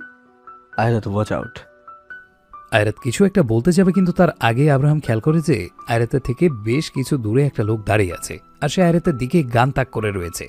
ইনফ্যাক্ট শুটু করে দিয়েছে। আব্রাহাম দ্রুত আয়রাতের মাথার পেছনে হাত নিয়ে তাকে নিচের দিকে ঝুঁকিয়ে দেয়।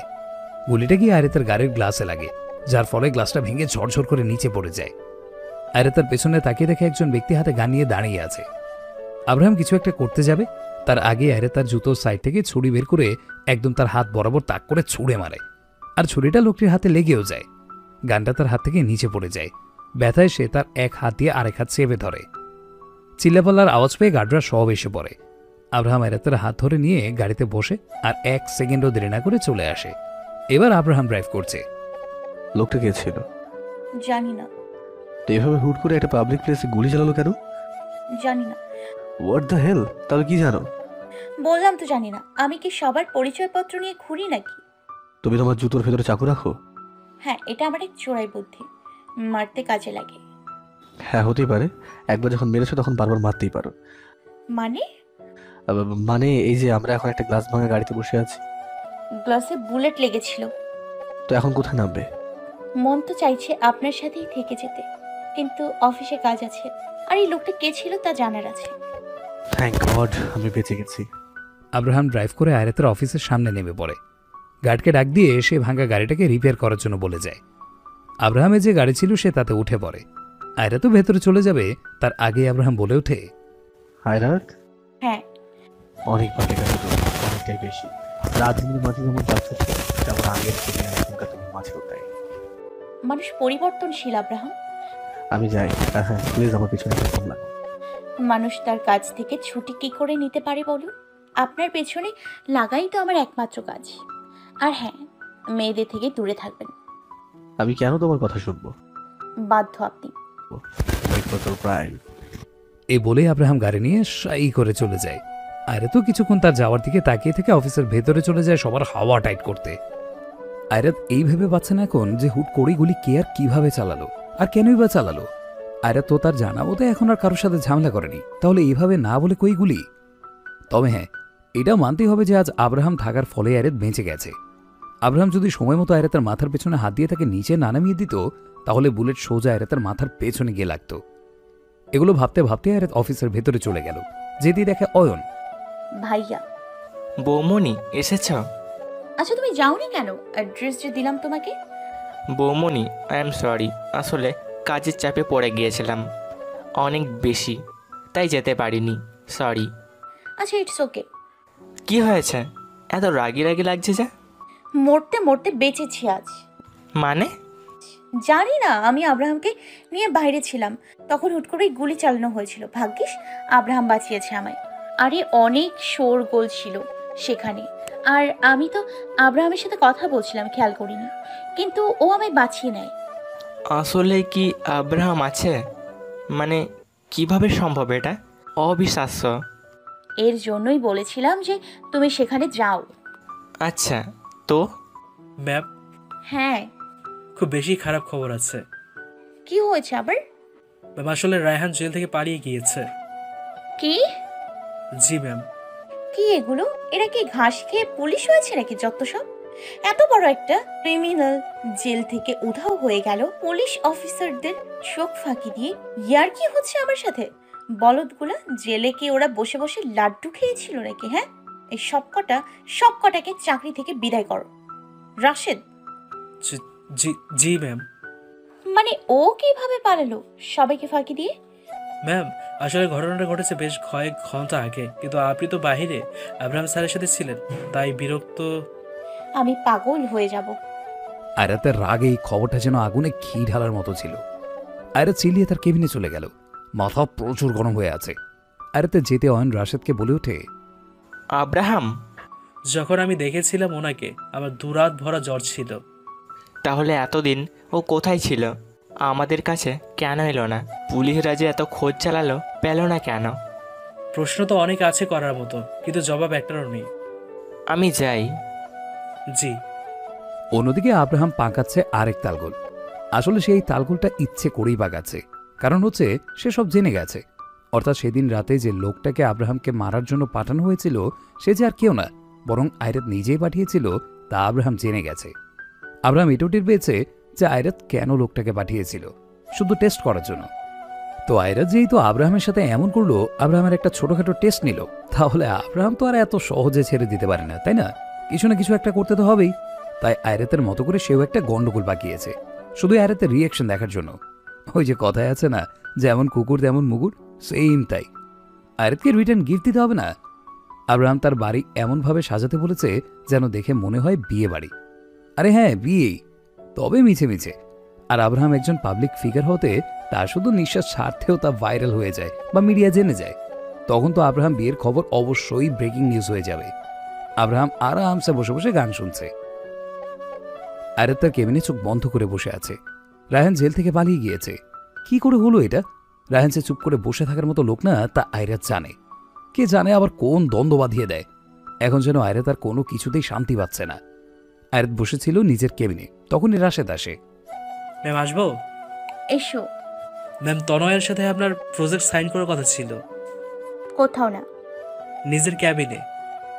আমি যাচ্ছি। আয়রাত সোজা চলে গেল তনয়ের কাছে। রাশেদ বেশ বুঝতে পারছে যে একে তো নিজের উপরে এমন একটা জনমানব জায়গায় গুলি চলেছে তার মধ্যে আবার এই রায়হানের জেলে থেকে পালিয়ে যাওয়ার খবর। সব মিলিয়ে যেন আয়রাত খুব টেনশনে আছে। আয়রাত তনয়ের কাছে গিয়ে দেখে তনয়ের মুখটা কেমন গোমরা। কিরে কি হয়েছে তোর? দিল টুট গায়া। ছ্যাঁকা খাইছোস? কেডাই দিল? কিচ্ছু না।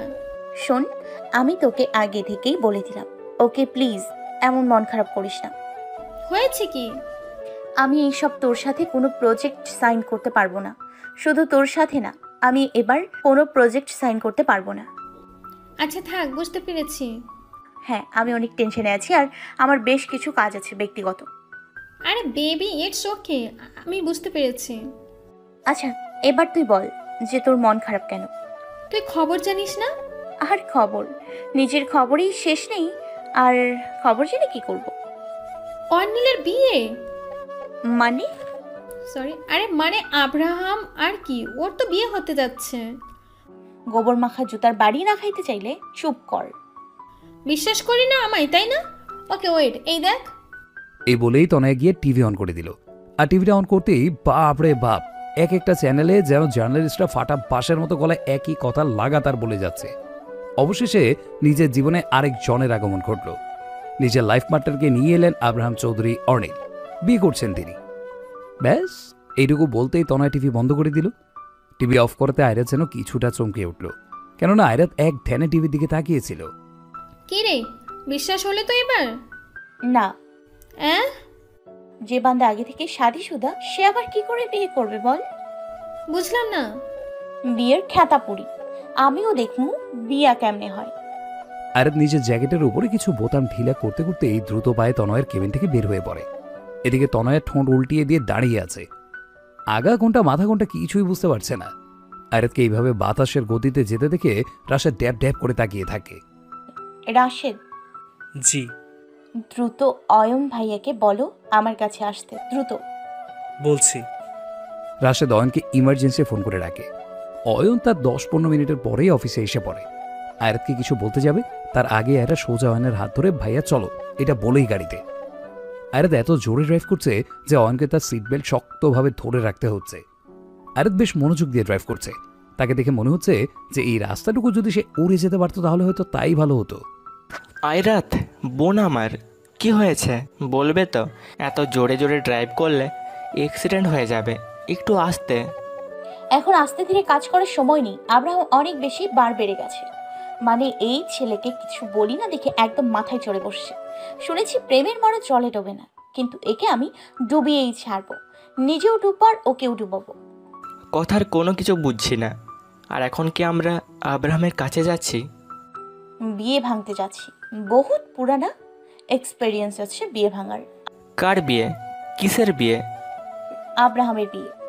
বিয়ে তো আব্রাহামের হয়ে গেছে তাও তোমার সাথে। কত বড় খচ্চর ঘরে বউ থাকতে আরেকবার বিয়ে করতে যাচ্ছে নিকুচি করেছে ওর বিয়ের।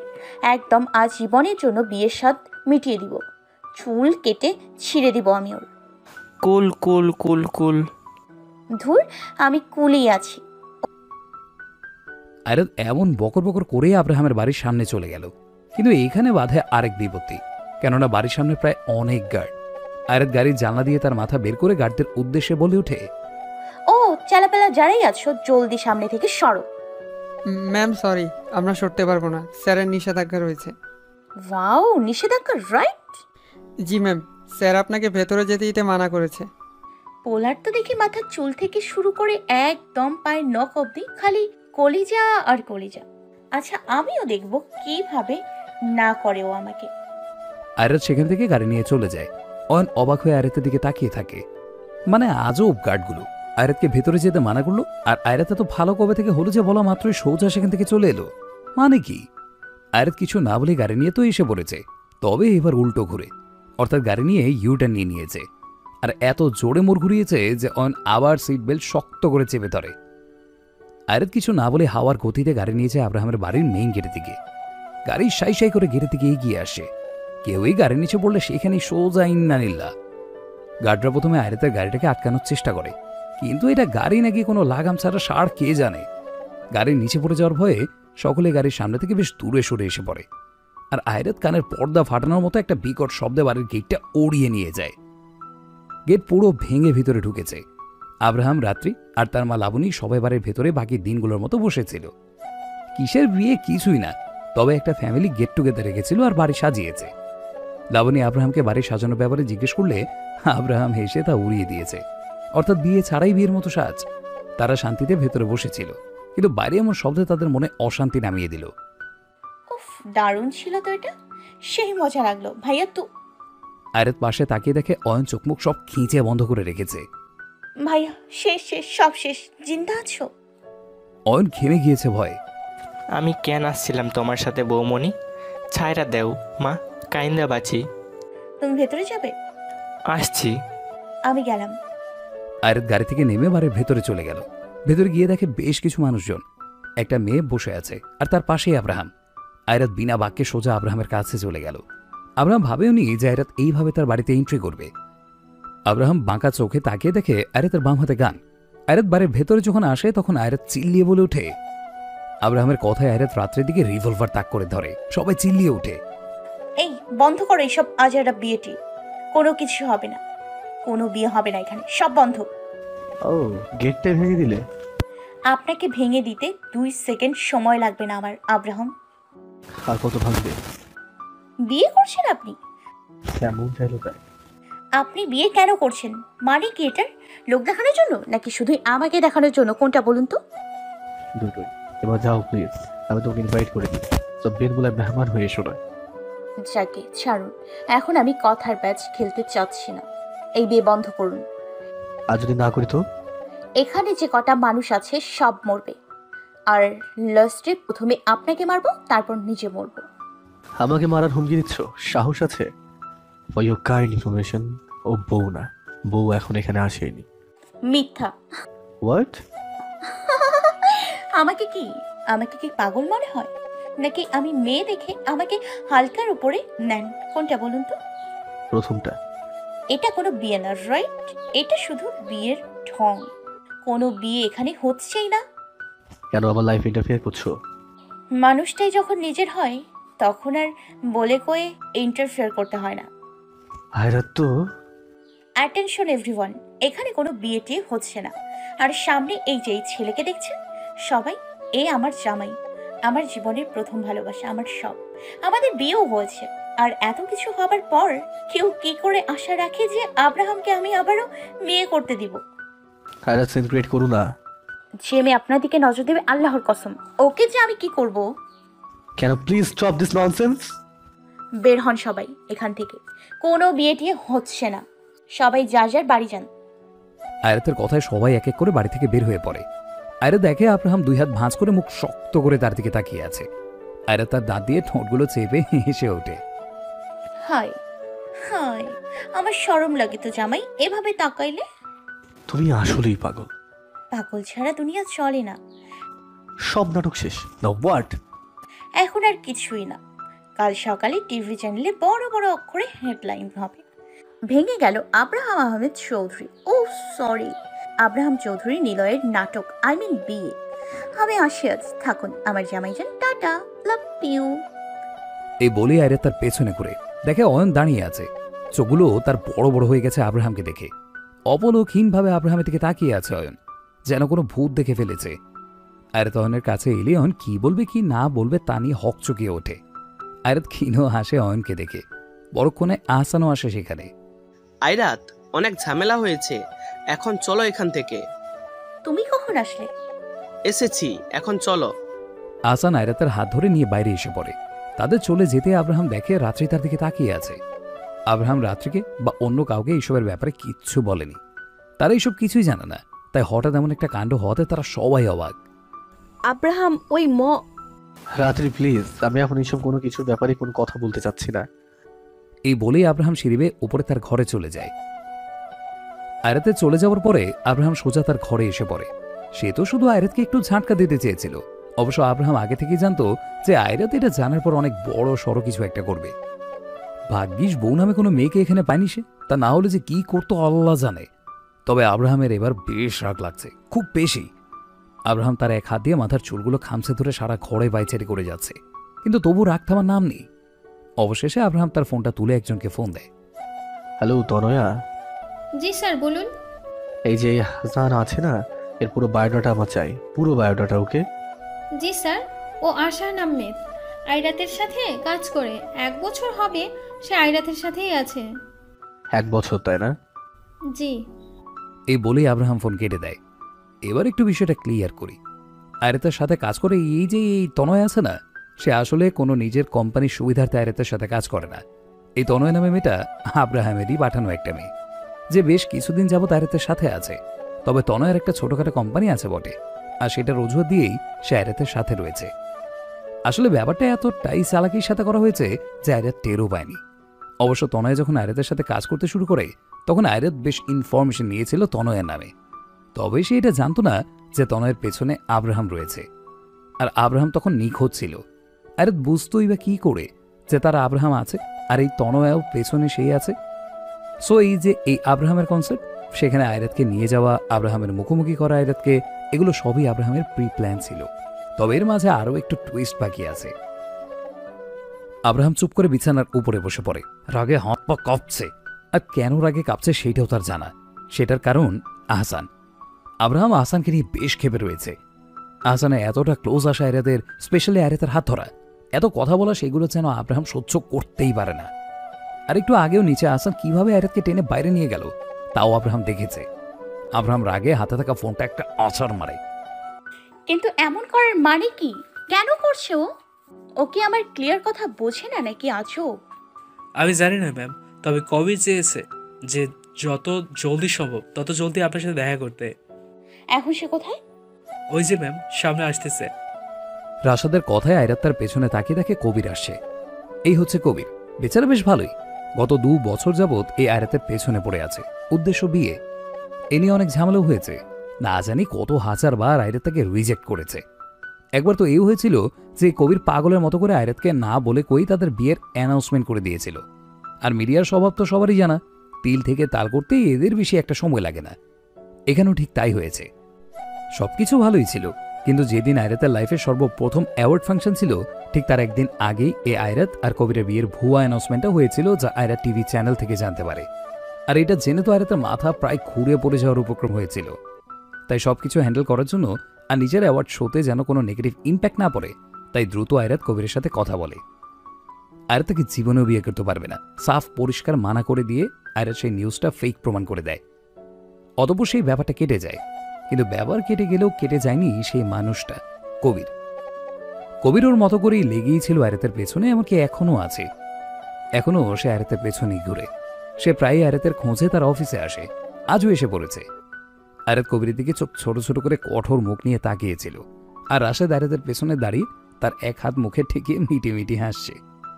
কেমন আছো আইরু? বর্তমানে টক ঝাল মিষ্টি সবই আছে। ও না না সরি মিষ্টি না এটা আমি পছন্দ করি না আর আমার স্যুটও করে না। কবিরের কথায় রাশেদ ঠিক করেই হেসে দেয়। আয়রা চোখ কিছুটা গরম করে দিয়ে রাশেদের দিকে তাকায়। কবির লিসেন আমিও পারব না সম্ভব না। আমি অন্য একজনকে ভালোবাসি আমি ম্যারিড কবির। কিন্তু আব্রাহিম তো আর বেঁচে নেই তাহলে তু ব্যাস ওখানেই থেমে যাও। যেটুকু বলেছ সেখানেই থেমে যাও আর বলো না। কে বলেছে? আব্রাহাম নেই? ও আছে। একটা লাস্ট চান্স দেওয়া যায় না। ও for god stop what do you mean by last chance hmm আমাদের কি আগে কোনো সম্পর্ক ছিল নাকি? যে তার মাঝে ভেঙে গেছিল আর এখন আমি তোমাকে লাস্ট চান্স দিব? যেখানে কোনো কিছু ছিলই না সেখানে লাস্ট চান্স মানে কি? এটা আসে কোথা থেকে? আমি তোমাকে ফার্স্ট চান্সে কবে দিয়েছিলাম? যে লাস্ট দিব? আয়রাত কয়েক কদম কবিরের দিকে এগিয়ে যায়। ভালো লাগা আর ভালোবাসা দুইটা দুই আলাদা আলাদা জিনিস। এদের একসাথে মিশায় না। এর আগেও তুমি আমাকে না বলেই আমাকে নিয়ে এত বড় একটা নিউজ করে দিয়েছিলে। বেশি কিছু বলিনি। আমি তোমাকে সেদিন। কিন্তু প্লিজ এইবার না কবির, আমি অন্য কাউকে ভালোবাসি। আমি অনেক আগেই একজনের নামে লেখা হয়ে গিয়েছি। আল্লাহ হাফেজ। এই বলেই আয়রাত সেখান থেকে দ্রুত বাইক কেটে পড়ে। সত্যি এখন এইসব তার কাছে প্রচুর বিরক্তিকর লাগছে। একে তো আব্রাহামের এমন হঠাৎ বিয়ের কথা শুনে আয়রাতের পায়ের রক্ত একদম মাথায় উঠে গিয়েছিল। আর এখন? এখন কিনা অত নিজেরই বিয়ে? ছেলেটা বুঝে না নাকি? আয়রাত সেখান থেকে সোজা নিজের কেবিনে চলে যায়। তারপর একটা কোল্ড কফি অর্ডার দেয় কেননা এখন তার মাথা বেশি গরম। আর এই মুহূর্তে তার ঠান্ডা কিছু দরকার। আয়রাত কিছু ফাইল চেক করছিল। তখন কেবিনে তনয় আসে। আসব? আয়। কি রে তখন ওভাবে চলে গেলি যে? আর কোথায় গিয়েছিলি? তা আগামীকাল টের পাবি। মানে? আগামীকাল সব টিভি চ্যানেলেই দেখাবে তো তুইও দেখে নিস। বাই দ্য ওয়ে কবির কি বলে আবার? বিয়ে? হ্যাঁ তো করে নে না। কি মাথা খারাপ হয়ে গেছে নাকি কিছু উল্টাপাল্টা খেয়ে এসছিস? কোনটা? আরে না তা হতে যাবে কেন? আমি বলছি যে যখন তোদের এঙ্গেজমেন্টটা হয়েই গেছে তাহলে বিয়েটা জলদি করে নে। তনয়ের কথায় আয়রাত হাত থেকে ফাইলটা ঠাস করে টেবিলের উপরে রেখে এক ঝটকায় বসা থেকে উঠে দাঁড়ায়। কপাল কোঁচকে অবিশ্বাস্য কণ্ঠে বলে ওঠে হোয়াট আসতে। এই তুই কি বললি? এঙ্গেজমেন্ট কাদের? তোর আর কবিরের। কানের ঠিক তিন ইঞ্চি নিচে এমন একটা থাপ্পড় খাবি যে পরে আর কিচ্ছু শুনতে পারবি না বলে দিলাম। তিন দিন অবধি ছন করবে। আমার কি দোষ? তো কি বলছিস তুই এসব? হ্যাঁ এঙ্গেজমেন্ট মানে? আরে কবিরের মাথা খারাপ হয়ে গিয়েছিল যে সে আমার পেছনে পড়ছে। আর সেদিন ডিরেক্ট বিয়ের কথা সবাইকে জানিয়ে দিয়েছিল। তাও ফেক ভুয়া কিছুই না। ও আচ্ছা আচ্ছা। আয়রাত তার কিছু না বলে কয়েই কেবিন থেকে বের হয়ে পড়ে। বাকিতে সব কিছু দেখতে বলে আয়রাত নিজে বাসায় চলে যায়। আয়রাতকে এখন বিকেলের সময় বাসায় আসতে দেখে ইলা বেশ অবাক হয়। কেননা আয়রাত বিকেলে কখনোই বাসায় আসে না। আয়রাত এসে সোফাতে ধপ করে বসে পড়ে।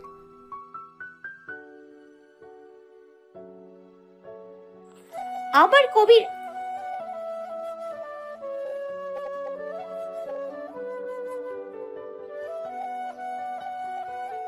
হ্যাঁ তুমি জানো না দাদি, আমাকে এই নিয়ে ঠিক কতটা ঝামেলায় পড়তে হয়েছে। সবাই তো সিরিয়াসলি নিয়ে নিয়েছিল। কবির আজও এসেছিল আর এগুলো বলছে।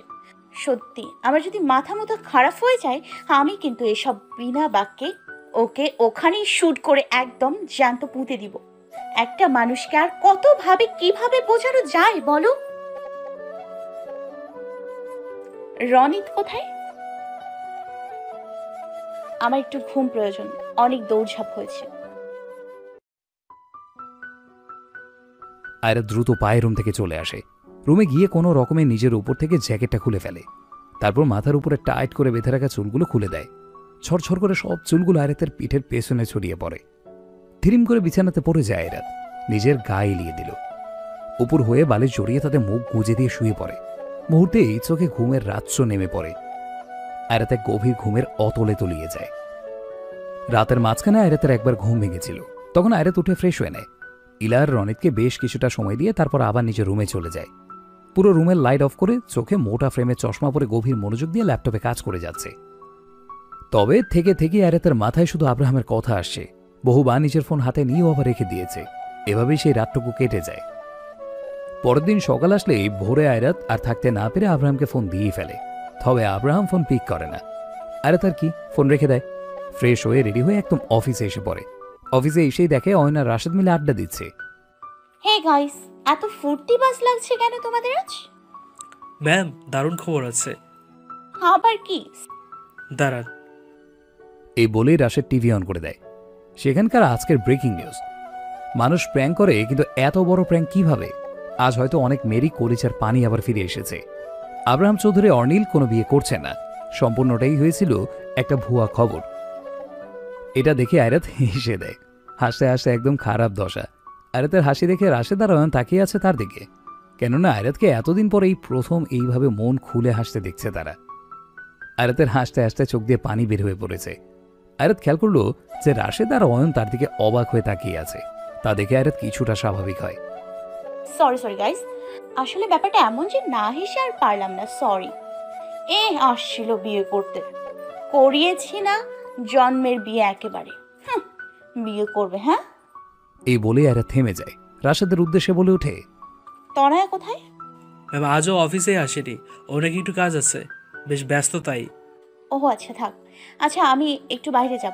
ভালো লাগছে না আমার। এখন একটু টাইম নিজের দেওয়া প্রয়োজন। জি আচ্ছা ম্যাম অফিসে প্রায় ঘণ্টা একের মতো থেকে আয়রাত এসে পড়ে। আব্রাহামকে কল, মেসেজ দিচ্ছে কিন্তু সে নেই। আয়রাত গাড়ি নিয়ে বের হয়ে পড়ে। কোথায় যাচ্ছে তাও সে জানে না। শুধু নিজের মন মতো করে গাড়ি ড্রাইভ করেই যাচ্ছে। একবার ভেবেছিল যে সে সোজা আব্রাহামের বাড়িতে চলে যাবে। কিন্তু কেন যেন আয়রাতের মন বলছে যে আব্রাহাম এখন তার বাসায় নেই। যাই হোক, আয়রাত এগুলো ভাবছে আর গাড়ি ড্রাইভ করে যাচ্ছে, গন্তব্যহীনভাবে। দেখতে দেখতে একসময় হাইওয়েতে এসে পড়ে আয়রাত।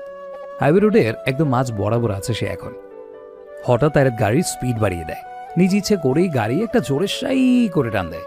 আয়রাত ড্রাইভ করতে করতে রাস্তার একটা সাইড দিয়ে বাতাসের গতিতে চলে যায়। কিন্তু তার কিছু দূর গিয়েই আয়রাত জোরে ব্রেক কষে। তার মনে হলো সে কিছু দেখেছে।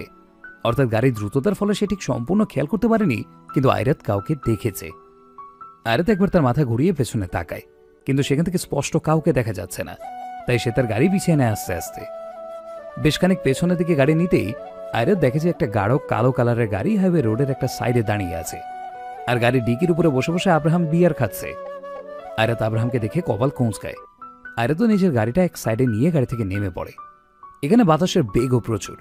আয়রাত আব্রাহামের সামনে গিয়ে কিছুটা রাগ নিয়ে বলে ওঠে, এই, আপনি এখানে বসে আছেন?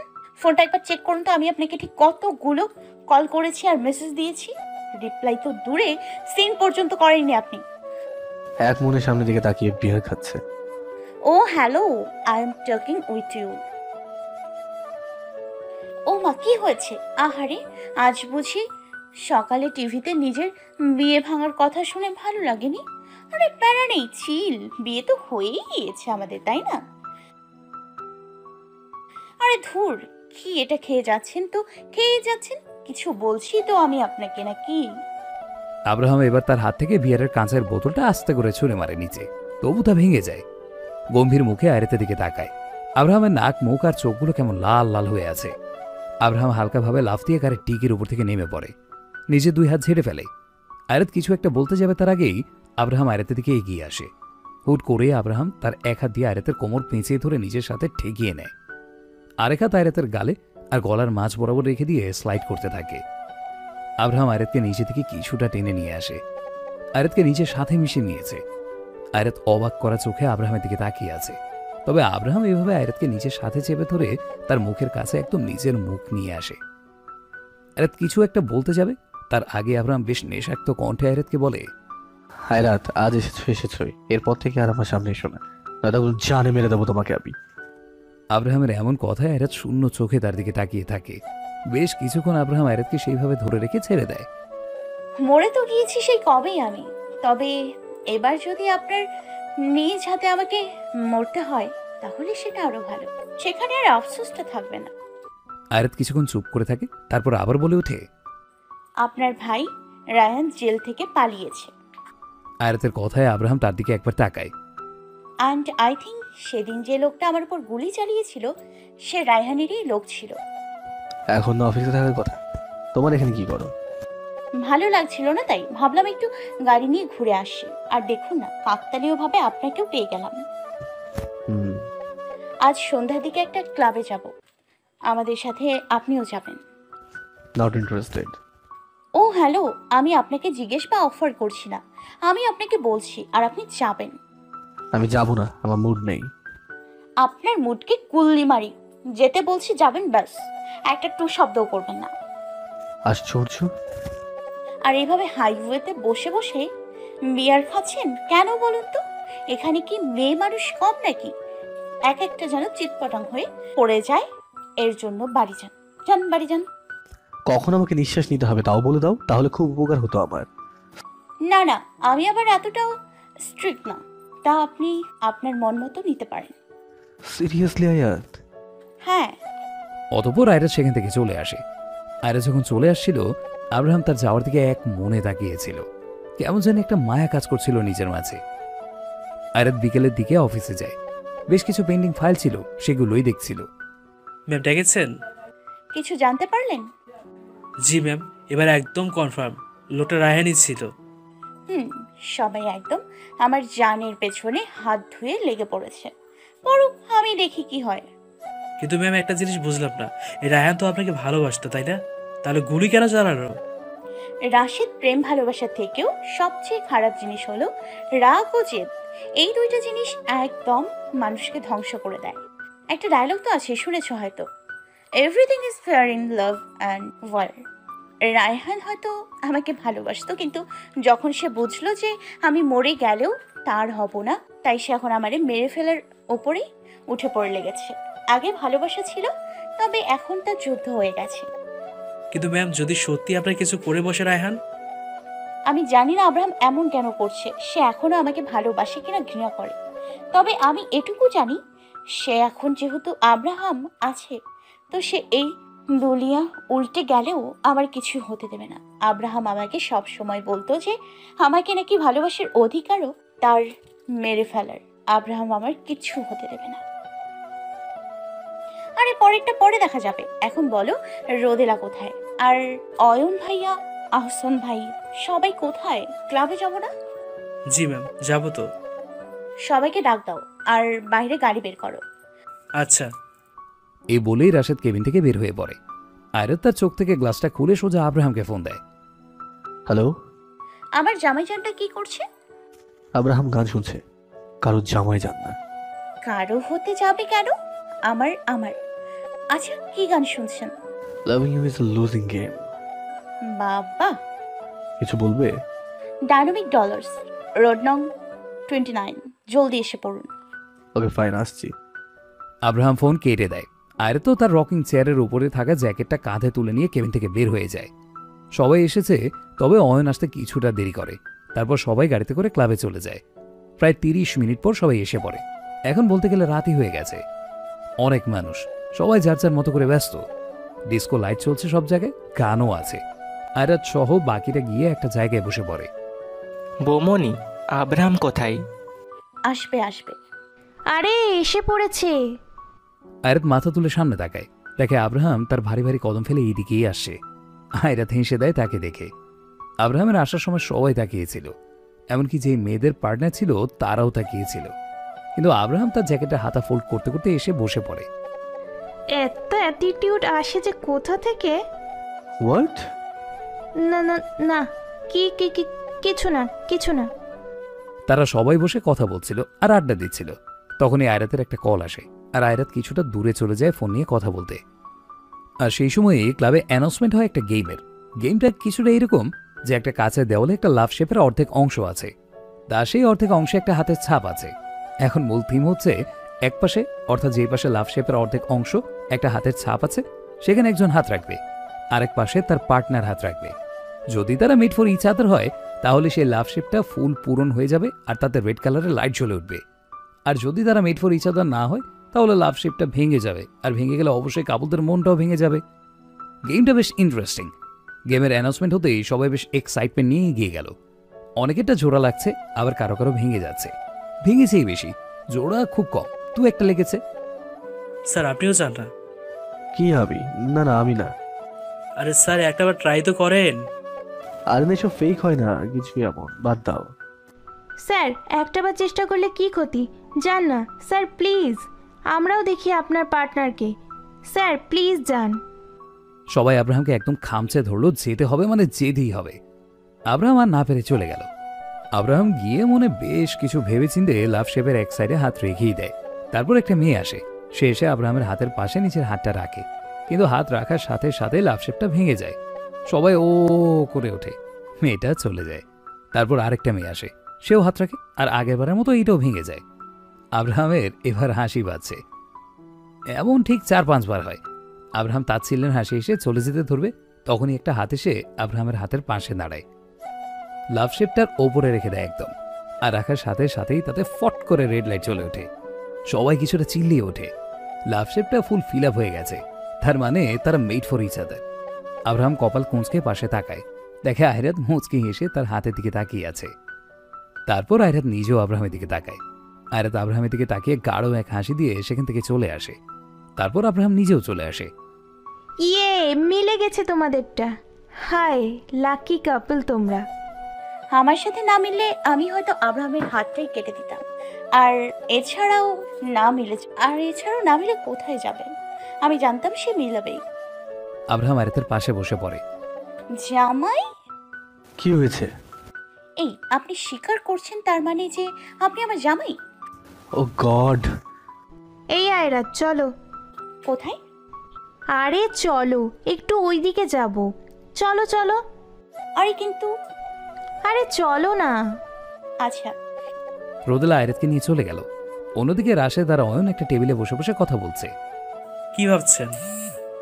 ও আমাদের আব্রাহামই তো। হ্যাঁ অবশ্যই।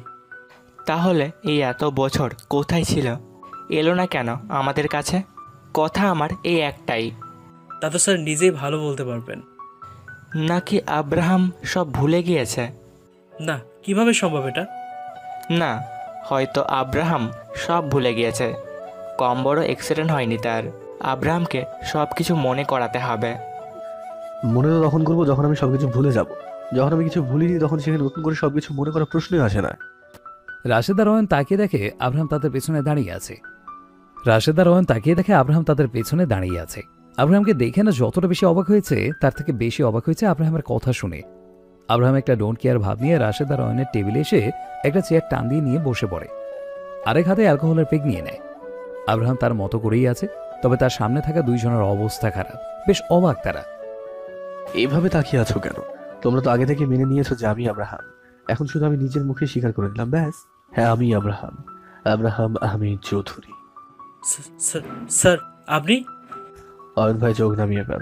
নয়তো তোর কোর্টার থেকে খুলে পড়ে যাবে চোখ দুটো। অয়ন আব্রাহামের কথায় ভেবাচাকে খেয়ে যায়। আব্রাহাম ভাই মানে আমি কি বলব এখন? আমি খুঁজে পাচ্ছি না। তুই আসলেই ঠিক আছিস তাহলে? মানে কিছু হয়নি। মানে কিছু হয়নি তোর। আমি জাস্ট ভাবতে পারছি না। আর তুই? তুই তাহলে এতগুলো বছর আমাদের সবার থেকে দূরে কেন ছিলি বল? কেন আমাদের কারও কাছে আসিসনি? আমাদের কথা কি তোর একটা বারের জন্য মনে পড়েনি? ছিলাম কোথাও না কোথাও তো ছিলামই। তুই অনেক পাল্টে গেছিস। আহা আগের আমি আছি। সামান্য পাল্টাতে বাধ্য ছিলাম। এই যা। আমি আর কিছুই ভাবতে পারছি না। কি থেকে কি হলো এসব? তুই ভাবিসও আগে জানলাম না তো? তবে যা হওয়া তাই হয়েছে। সিরিয়াসলি এখনও লেগ পুল করিস তুই আমার। এত সব কিছু হয়ে যাওয়ার পরও এত শান্ত। কীভাবে ভাই? মাথা গরম করে সবসময় কাজ করতে হয় না। আই আয়রাতকে আর বলি বা কি হবে। তো এমনিতেই আমাকে আব্রাহাম ভেবে নিয়েছে। ও কারও কথা ধার ধারে না। ওকে হাজার না করলে ও আমাকে আব্রাহামই ভাববে। আয়রা জানে। বৌমণি তোকে ছাড়া কতটা নরক যন্ত্রণা সহ্য করেছে তুই জানিস? নরক যন্ত্রণা? আমাকে ছাড়া? ও তো ভালো থাকার কথা না? হ্যাঁ মুখে বলাটা খুবই সহজ। বৌমণি তোকে ছাড়া কি সাপার করেছে তা আমরা জানি। হঠাৎ সেখানে আগমন ঘটে আহসানের। যাকে দেখে আব্রাহাম কিছুটা বিরক্ত প্রকাশ করে। আহসান অয়নের সাথে কিছু কথা বলে। আচ্ছা আয়রাত কোথায়? দেখছি না যে। কেন? ওকে খুব মিস করছ বুঝি? হ্যাঁ করারই কথা। হুম করবেই তো। কেউ কি আর সুযোগ ছাড়ে? What do you mean I mean ভালোই তো তাই না? তুমিও আয়রাতের সাথে আছো আর আয়রা তো তোমাকে ভালোই পাত্তা দেয়। তো ভালোই তো। হাসালে আমায়। তোমাকে জানিয়ে দিই যে আমি আয়রাতকে আমার বোনের চোখে দেখি আর সেও আমাকে ভাই বলেই ডাকে। আচ্ছা। হ্যাঁ। গুড তাদের কথার মাঝে রোদলা আর আয়রাত এসে পড়ে। আয়রাত এসে দেখে আব্রাহাম অয়ন রাশেদ এরা তিনজন বেশ গম্ভীর মোড়ে বসে রয়েছে। আয়রাত এসে আব্রাহামের পাশেই বসে পড়ে। হে গাইস কি হয়েছে? সবাই এমন সিরিয়াস মুডে কেন? না এমনি। হ্যাঁ। খাবে? এসব সাইপাস আপনি খান এখন মুড নেই আমার। হুম। হঠাৎ সেখান থেকে রাশেদ অয়ন রোদলা আর আহসান উঠে চলে যায়। থেকে যায় শুধু আব্রাহাম আয়রাত। আব্রাহাম আয়রাতের দিকে তাকায়।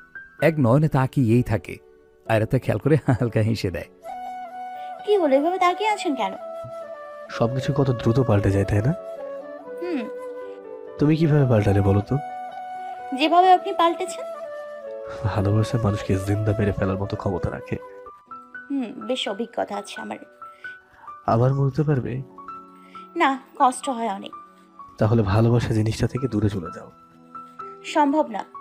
এটার উপর আমার নিজের কোনো হাত নেই। আমার ক্ষমতা নেই বের হবার। আমি আপনাকে ভালোবাসি। Stop loving me I can't Hayrat Abraham আমার কাছে সব ছিল। সব ছিল আমার কাছে। টাকা পয়সা property bank balance publicity popularity সব। কিন্তু এই সব কিছু থেকেও আমার কিচ্ছু ছিল না। কিন্তু এখন আমার কাছে সব আছে কারণ এখন আমার কাছে আপনি আছেন। এখন যদি কেউ আমার কাছ থেকে আমার জীবনটাও চায় তাহলে আমি হাসি মুখে দিতে রাজি হব। আব্রাহাম আয়রাতের বেশ কাছে এসে পড়ে। তাহলে সেই দিন আমার জীবন কেন নিয়েছিলে আব্রাহামের কথায় আয়রাতের মুখের হাসিটা উড়ে গিয়ে কিছুটা কালো হয়ে আসে। বুকের ভেতরটা থক করে ওঠে। মামু মানে? মাঝে মাঝে দেখে মনে হয় যে তুমি এমনটা করতেই পারো না কখনোই না। এটা মাত্রই আমার ভুল। কেননা তোমার চোখে মুখে আমি নিজের জন্য গাঢ় ভালোবাসা খুঁজে পাই। আমাকে পাওয়ার আকাঙ্ক্ষা খুঁজে পাই কিন্তু পরক্ষণে আমার পুরনো সবকিছু মনে পড়ে সব এলোমেলো হয়ে যায়। আমি কি বাদ দাও সব প্লিজ আমি আর কথা বলতে চাচ্ছি না। তো নতুন লাইফ পার্টনারের সাথে জীবন কীভাবে কাটাতে ভাবলে কিছু? আব্রাহাম কি বলছেন এসব? কবি। আরে কবির ফেক নিউজ বানিয়েছিল আমার নামে। আমাকে না বলে কই? ওটা ভুয়া। কিসের লাইফ পার্টনার আমার বিয়ে বছর কয়েক আগে হয়ে গিয়েছে। আপনার সাথে। আব্রাহাম তার এক হাত কপালের সাইডে ঠেকিয়ে আয়রাতের দিকে পলকহীনভাবে তাকিয়ে থাকে। হ্যাঁ কথা শুনেছ? নিজে বিয়ের আসর অবধি চলে গেছিল। আমি কিছু বললাম না অবশ্য করে দিয়েছিলাম। আর সে আসছে আমার বিয়ের খবর নিতে। অনেক রাত হয়েছে বাড়ি যাও। আর আপনি এখানে একা একা ক্লাবে থেকে কি করবেন? আপনাকে আমি এখানে রেখে যাই যেন আপনি অন্য মেয়েদের সাথে ফ্লার্ট করতে পারেন তাই না? ও ম্যাডাম ক্যারেক্টারটা ঢিলা না আমার ওকে? হ্যাঁ জানি জানি। এই জন্যই তো আপনাকে এত এত ভালোবাসি আমি। আয়রাত আব্রাহাম আর বাকিরা সবাই ক্লাব থেকে এসে পড়ে। সবাই যা যা গাড়িতে উঠে বসে পড়ে। আব্রাহাম চলে যেতে ধরবে কিন্তু আয়রাত তার সামনে এসে পথ আটকে দাঁড়ায়। আব্রাহাম তার দিকে কপাল কুঁচকে তাকায়। হোয়াট আপনাকে না অনেক কিউট লাগছে। থ্যাঙ্কস গার্ল ফেভারিট কি? আমার চাপা দাড়িগুলো এবার কি আমি যাব? যান ওকে সামনে থেকে সরো। যান যান সরলে তো যাব নাকি? আরে ওই যান বলিনি বলেছি যান ইয়া খোদা। আয়রাত প্লিজ বাড়ি যাও। অনেক রাত হয়েছে পাগলামি করো না ওকে? প্লিজ বাড়ি যাও। যাচ্ছি যাচ্ছি হ্যাঁ। তারা সবাই যার যার বাড়ি চলে যায়। আর আব্রাহামও আর বাইরে আজ বেশি একটা থাকে না সেও বাড়ি চলে যায়। তবে বাড়ি গিয়ে আব্রাহাম সোজা নিজের রুমে চলে যায়। ফুল পাওয়ারে এসে অন করে দেয়। ভালো লাগছে না কিছুতেই। সে এক প্রকার কনফিউশনে আছে। একবার মনে হয় আরেতের সব দোষ, আবার মনে হয় যে আরেতের মতো মেয়ে এমন কিছু একটা করতেই পারে না। আরেত আব্রাহামকে মারতেই পারে না। দুই রকম দুই দ্বিধার মাঝে ঝুলে রয়েছে আব্রাহাম। আব্রাহাম তার জ্যাকেটটা খুলে ফেলে। আয়নার সামনে দাঁড়িয়ে কতক্ষণ নিজে দিকে তাকিয়ে থেকে হুট করেই মাথা অন্য পাশে ঘুরিয়ে ফেলে। পরনের শার্টের বোদামগুলো খুলে গায়ের ওপর থেকে শার্টটা খুলে ফেলে। এক হাত কোমরের সাইডে ঠেকিয়ে আরেক হাত ঘাড়ের পেছনে নিয়ে ক্লান্ত ভঙ্গিতে চোখগুলো বন্ধ করে ফেলে। কতক্ষণ পর নিচের চোখগুলো মেলে তাকায়, আর তখনই আয়নাতে আব্রাহামের গায়ের একটা জিনিস লক্ষ্য হয়, আর সেটা হচ্ছে আব্রাহামের বাম পাশের বাহুতে থাকা ডার্ক ব্ল্যাক কালারের ট্যাটু। আব্রাহামের বাম বাহুতে গাঢ় কালো কালার দিয়ে আয়রেত নামে ট্যাটু করা। আয়রেত নামের সাথেই আবার একটা গোলাপ ফুলের মতো গাঢ় নকশা আঁকা। এটা ঠিক অনেক বছর আগে করেছিল সে। আব্রাহাম হাত দিয়ে তাদের কিছুটা ছুঁয়ে দেয়, সে ওয়াশরুমে চলে যায়। শাওয়ার ছেড়ে দিয়ে এক হাত দেওয়ালে ঠেকিয়ে মাথা নিচু করে থাকে। ওপর থেকে ঠান্ডা বড় বড় পানির বিন্দুগুলো সব আব্রাহামের গায়ের উপরে পড়ছে। ফর্সা গায়ে পানি বিন্দুগুলো সব বেয়ে বেয়ে নিচে পড়ছে। আব্রাহাম বেশ সময় পর মাথাটা তুলে দাঁড়ায়। হাত দিয়ে সামনে আসা চুলগুলো ঠেলে পেছনে দিয়ে দেয়। আব্রাহাম আর চোখ বন্ধ করে থাকতে পারছে না, কারণ চোখ বন্ধ করলে আরেতে সে হাসি মাখা চেহারাটা বর বর তার সামনে এসে পড়ে। আব্রাহাম হঠাৎ ফট করে নিজের চোখ মেলে তাকায়। প্রায় বেশ এক লম্বা শাওয়ারের পর আব্রাহাম বের হয়ে আসে।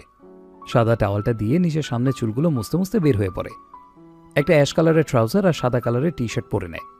টি শার্টটা যেন বডির সাথে একদম লেগে ধরেছে। একজন সার্ভেন্টকে দিয়ে গরম গরম এক কাপ কফি আনতে বলে। কয়েক মিনিট পরে এসেও যায়। আব্রাহামের রুমে ভালো লাগছে না, দেখে সে করিডোরে চলে যায়। চাঁদের আবছা আলো করিডোরে সম্পূর্ণ অংশে পড়েছে। সেখানে দাঁড়িয়ে দাঁড়িয়ে রেলিংয়ের ওপরে হাত রেখে গরম ধোয়া ওঠা কফিতে চুমুক দিয়ে যাচ্ছে সে। কিছু সময় সেখানে কাটিয়ে আবার ফিরে আসে রুমে। বিছানার সাথে গা ঠেকিয়ে ফ্লোরে বসে পড়ে। ঘাটটা কিছুটা এলিয়ে দিয়ে ওপরের দিকে এক মনে তাকিয়ে থাকে। হঠাৎ চোখগুলো বন্ধ করে নেয়। আমি না আপনাকে অনেক ভালোবাসি, অনেকটাই বেশি। জামাই জান আমার। আব্রাহাম, প্লিজ, কোনো মেয়ের দিকে তাকাবেন না। আর আমি জানি আপনি তাকাবেনই না। আচ্ছা আব্রাহাম, আপনি আমাকে কতটুকু ভালোবাসেন? শুনুন না, আব্রাহাম। প্লিজ, আপনি আর কখনো আমাকে ছেড়ে যাবেন না, ওকে? প্রমিস করুন, আব্রাহাম, আয়রাতের একটা ছোট্ট দুনিয়া হবে। যেখানে শুধু ভালোবাসা থাকবে।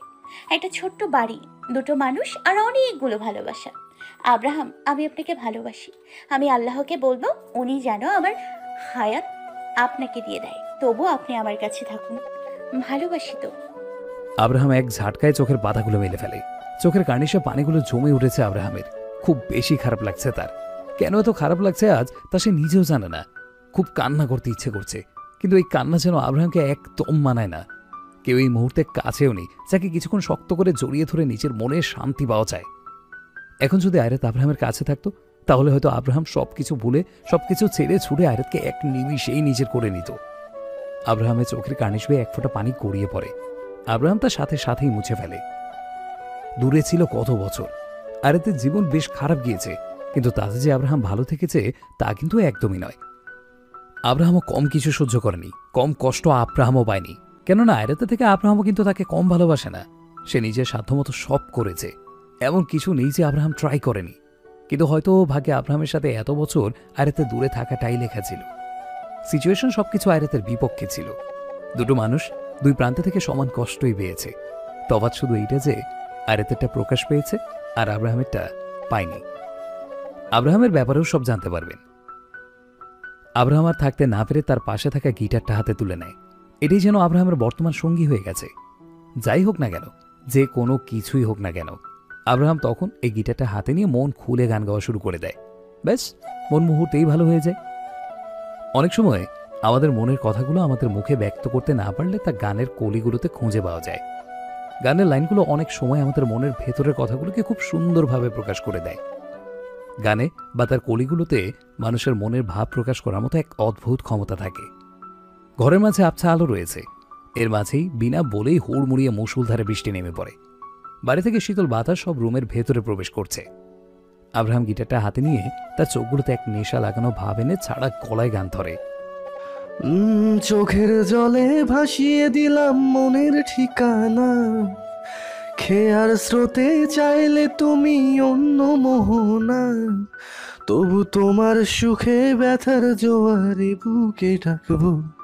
শুধু তোমারই থাকব আমি তোমারই থাকব আমি তোমারই থাকব শুধু তোমারই থাকব। মুহূর্তেই বাইরে একটা বিকট বজ্রপাতের শব্দ শোনা গেল। আব্রাহাম আস্তে করে গিটারটা নামিয়ে সাইডে রেখে দিল। তখনই দরজাতে কারও কড়া নাড়া শব্দ আসে।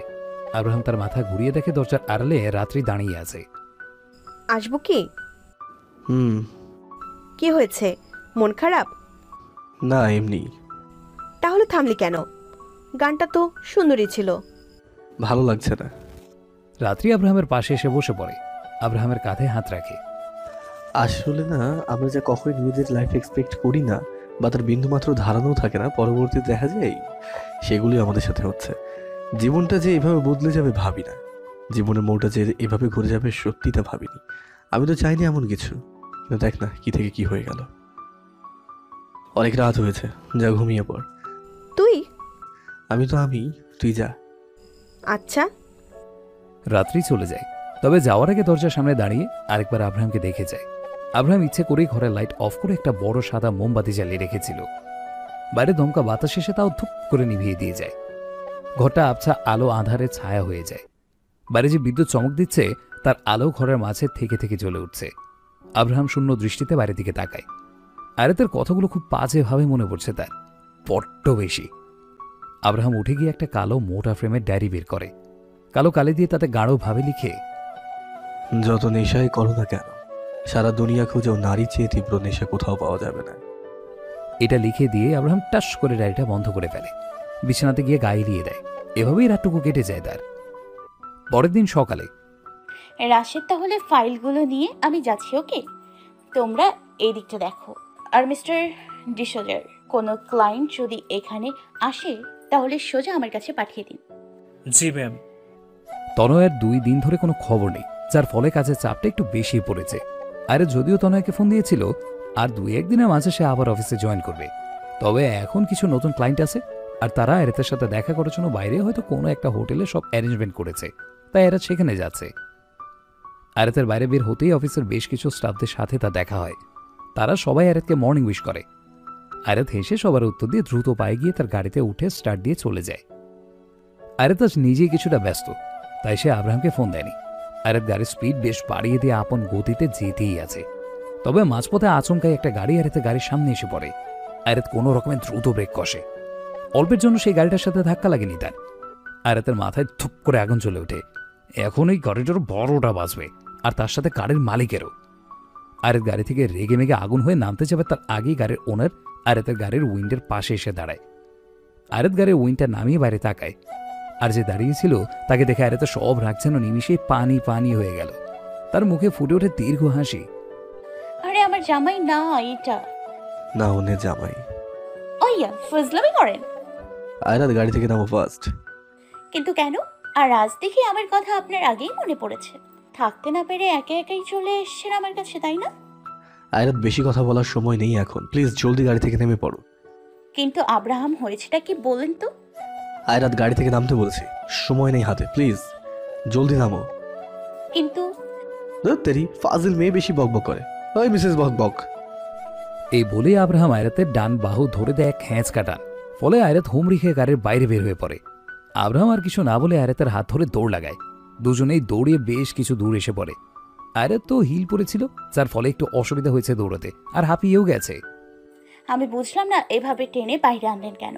আর আমরা দৌড়ালামই বা কেন? আব্রাহাম তার জ্যাকেটের হাতা গুটিয়ে নিয়ে আয়রাতের দিকে কপাল কোঁচকে তাকায় আর তার সাথে সাথেই এক গগন ফাটানো আওয়াজ করে আয়রাতের গাড়িটা ব্লাস্ট হয়ে যায় অর্থাৎ বিস্ফোরণ। আয়রাতের মুখ হা হয়ে গেছে সে ফাটা চোখে তার গাড়ি থেকে তাকিয়ে আছে আর আব্রাহাম আয়রাতের দিকে তাকিয়েই রয়েছে। এর জন্য টেনে এনেছি। এই বলে আব্রাহাম চলে আসে। আর আয়রাত অবাকের চরম পর্যায়ে এখন। মানে কি, তার গাড়িতে কি বোম টোম ফিট করা ছিল নাকি? আয়রাত এইসবের কিছু ভুল করেও জানতো না। অল্পের জন্য আজ বেঁচে গেছে। ভাগ্যিস আব্রাহাম সময় মতো এসেছিল। তবে আব্রাহাম এটা জানলো কি করে? আয়রাত তার পাশে তাকিয়ে দেখে আব্রাহাম নেই। আয়রাত ঘুরে তাকায়। দেখে যে আব্রাহাম তার গাড়ির সাথে হেলান দিয়ে ফোন কাটছে এগুলো কোন কথা? মাত্র একটা এত বড় বিস্ফোরণ হয়ে গেল চোখের সামনে। আর আব্রাহাম এখন এমন একটা ভাব ধরছে যেন এখানে কিছুই হয়নি।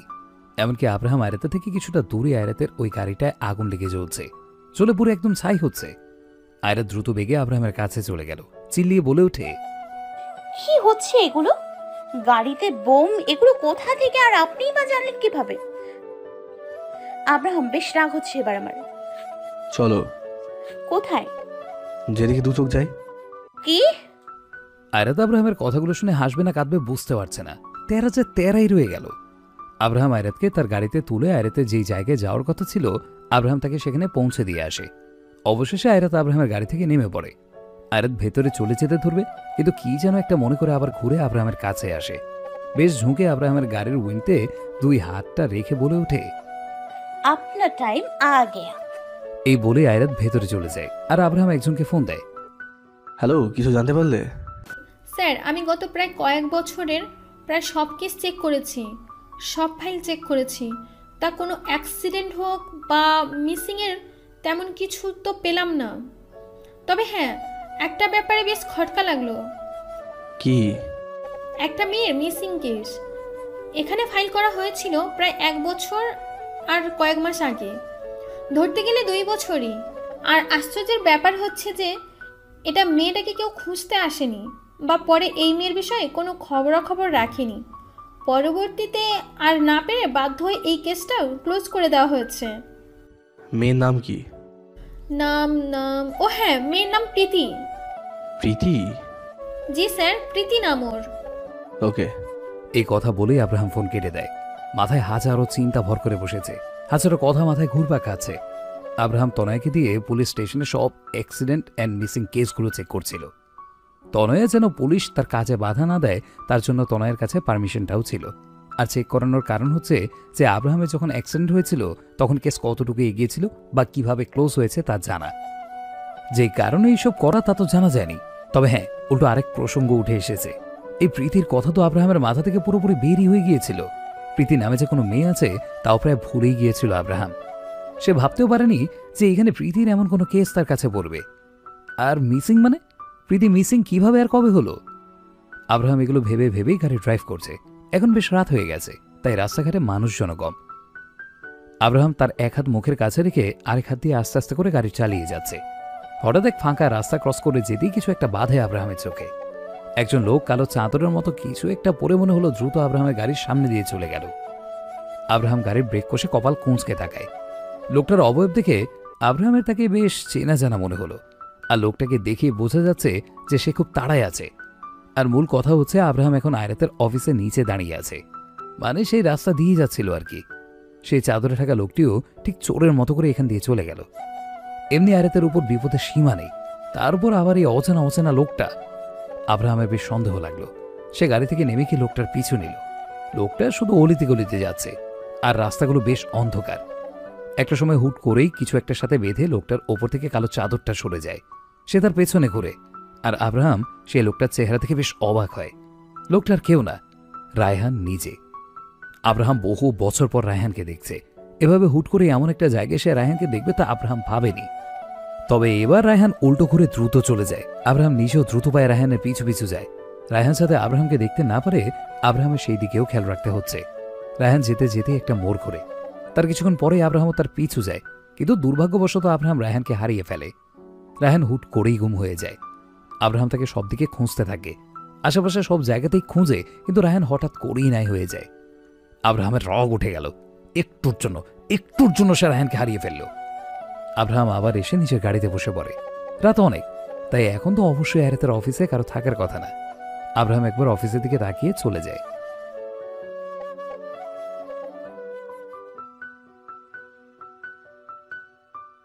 জানি না। আমি কিচ্ছু জানি না।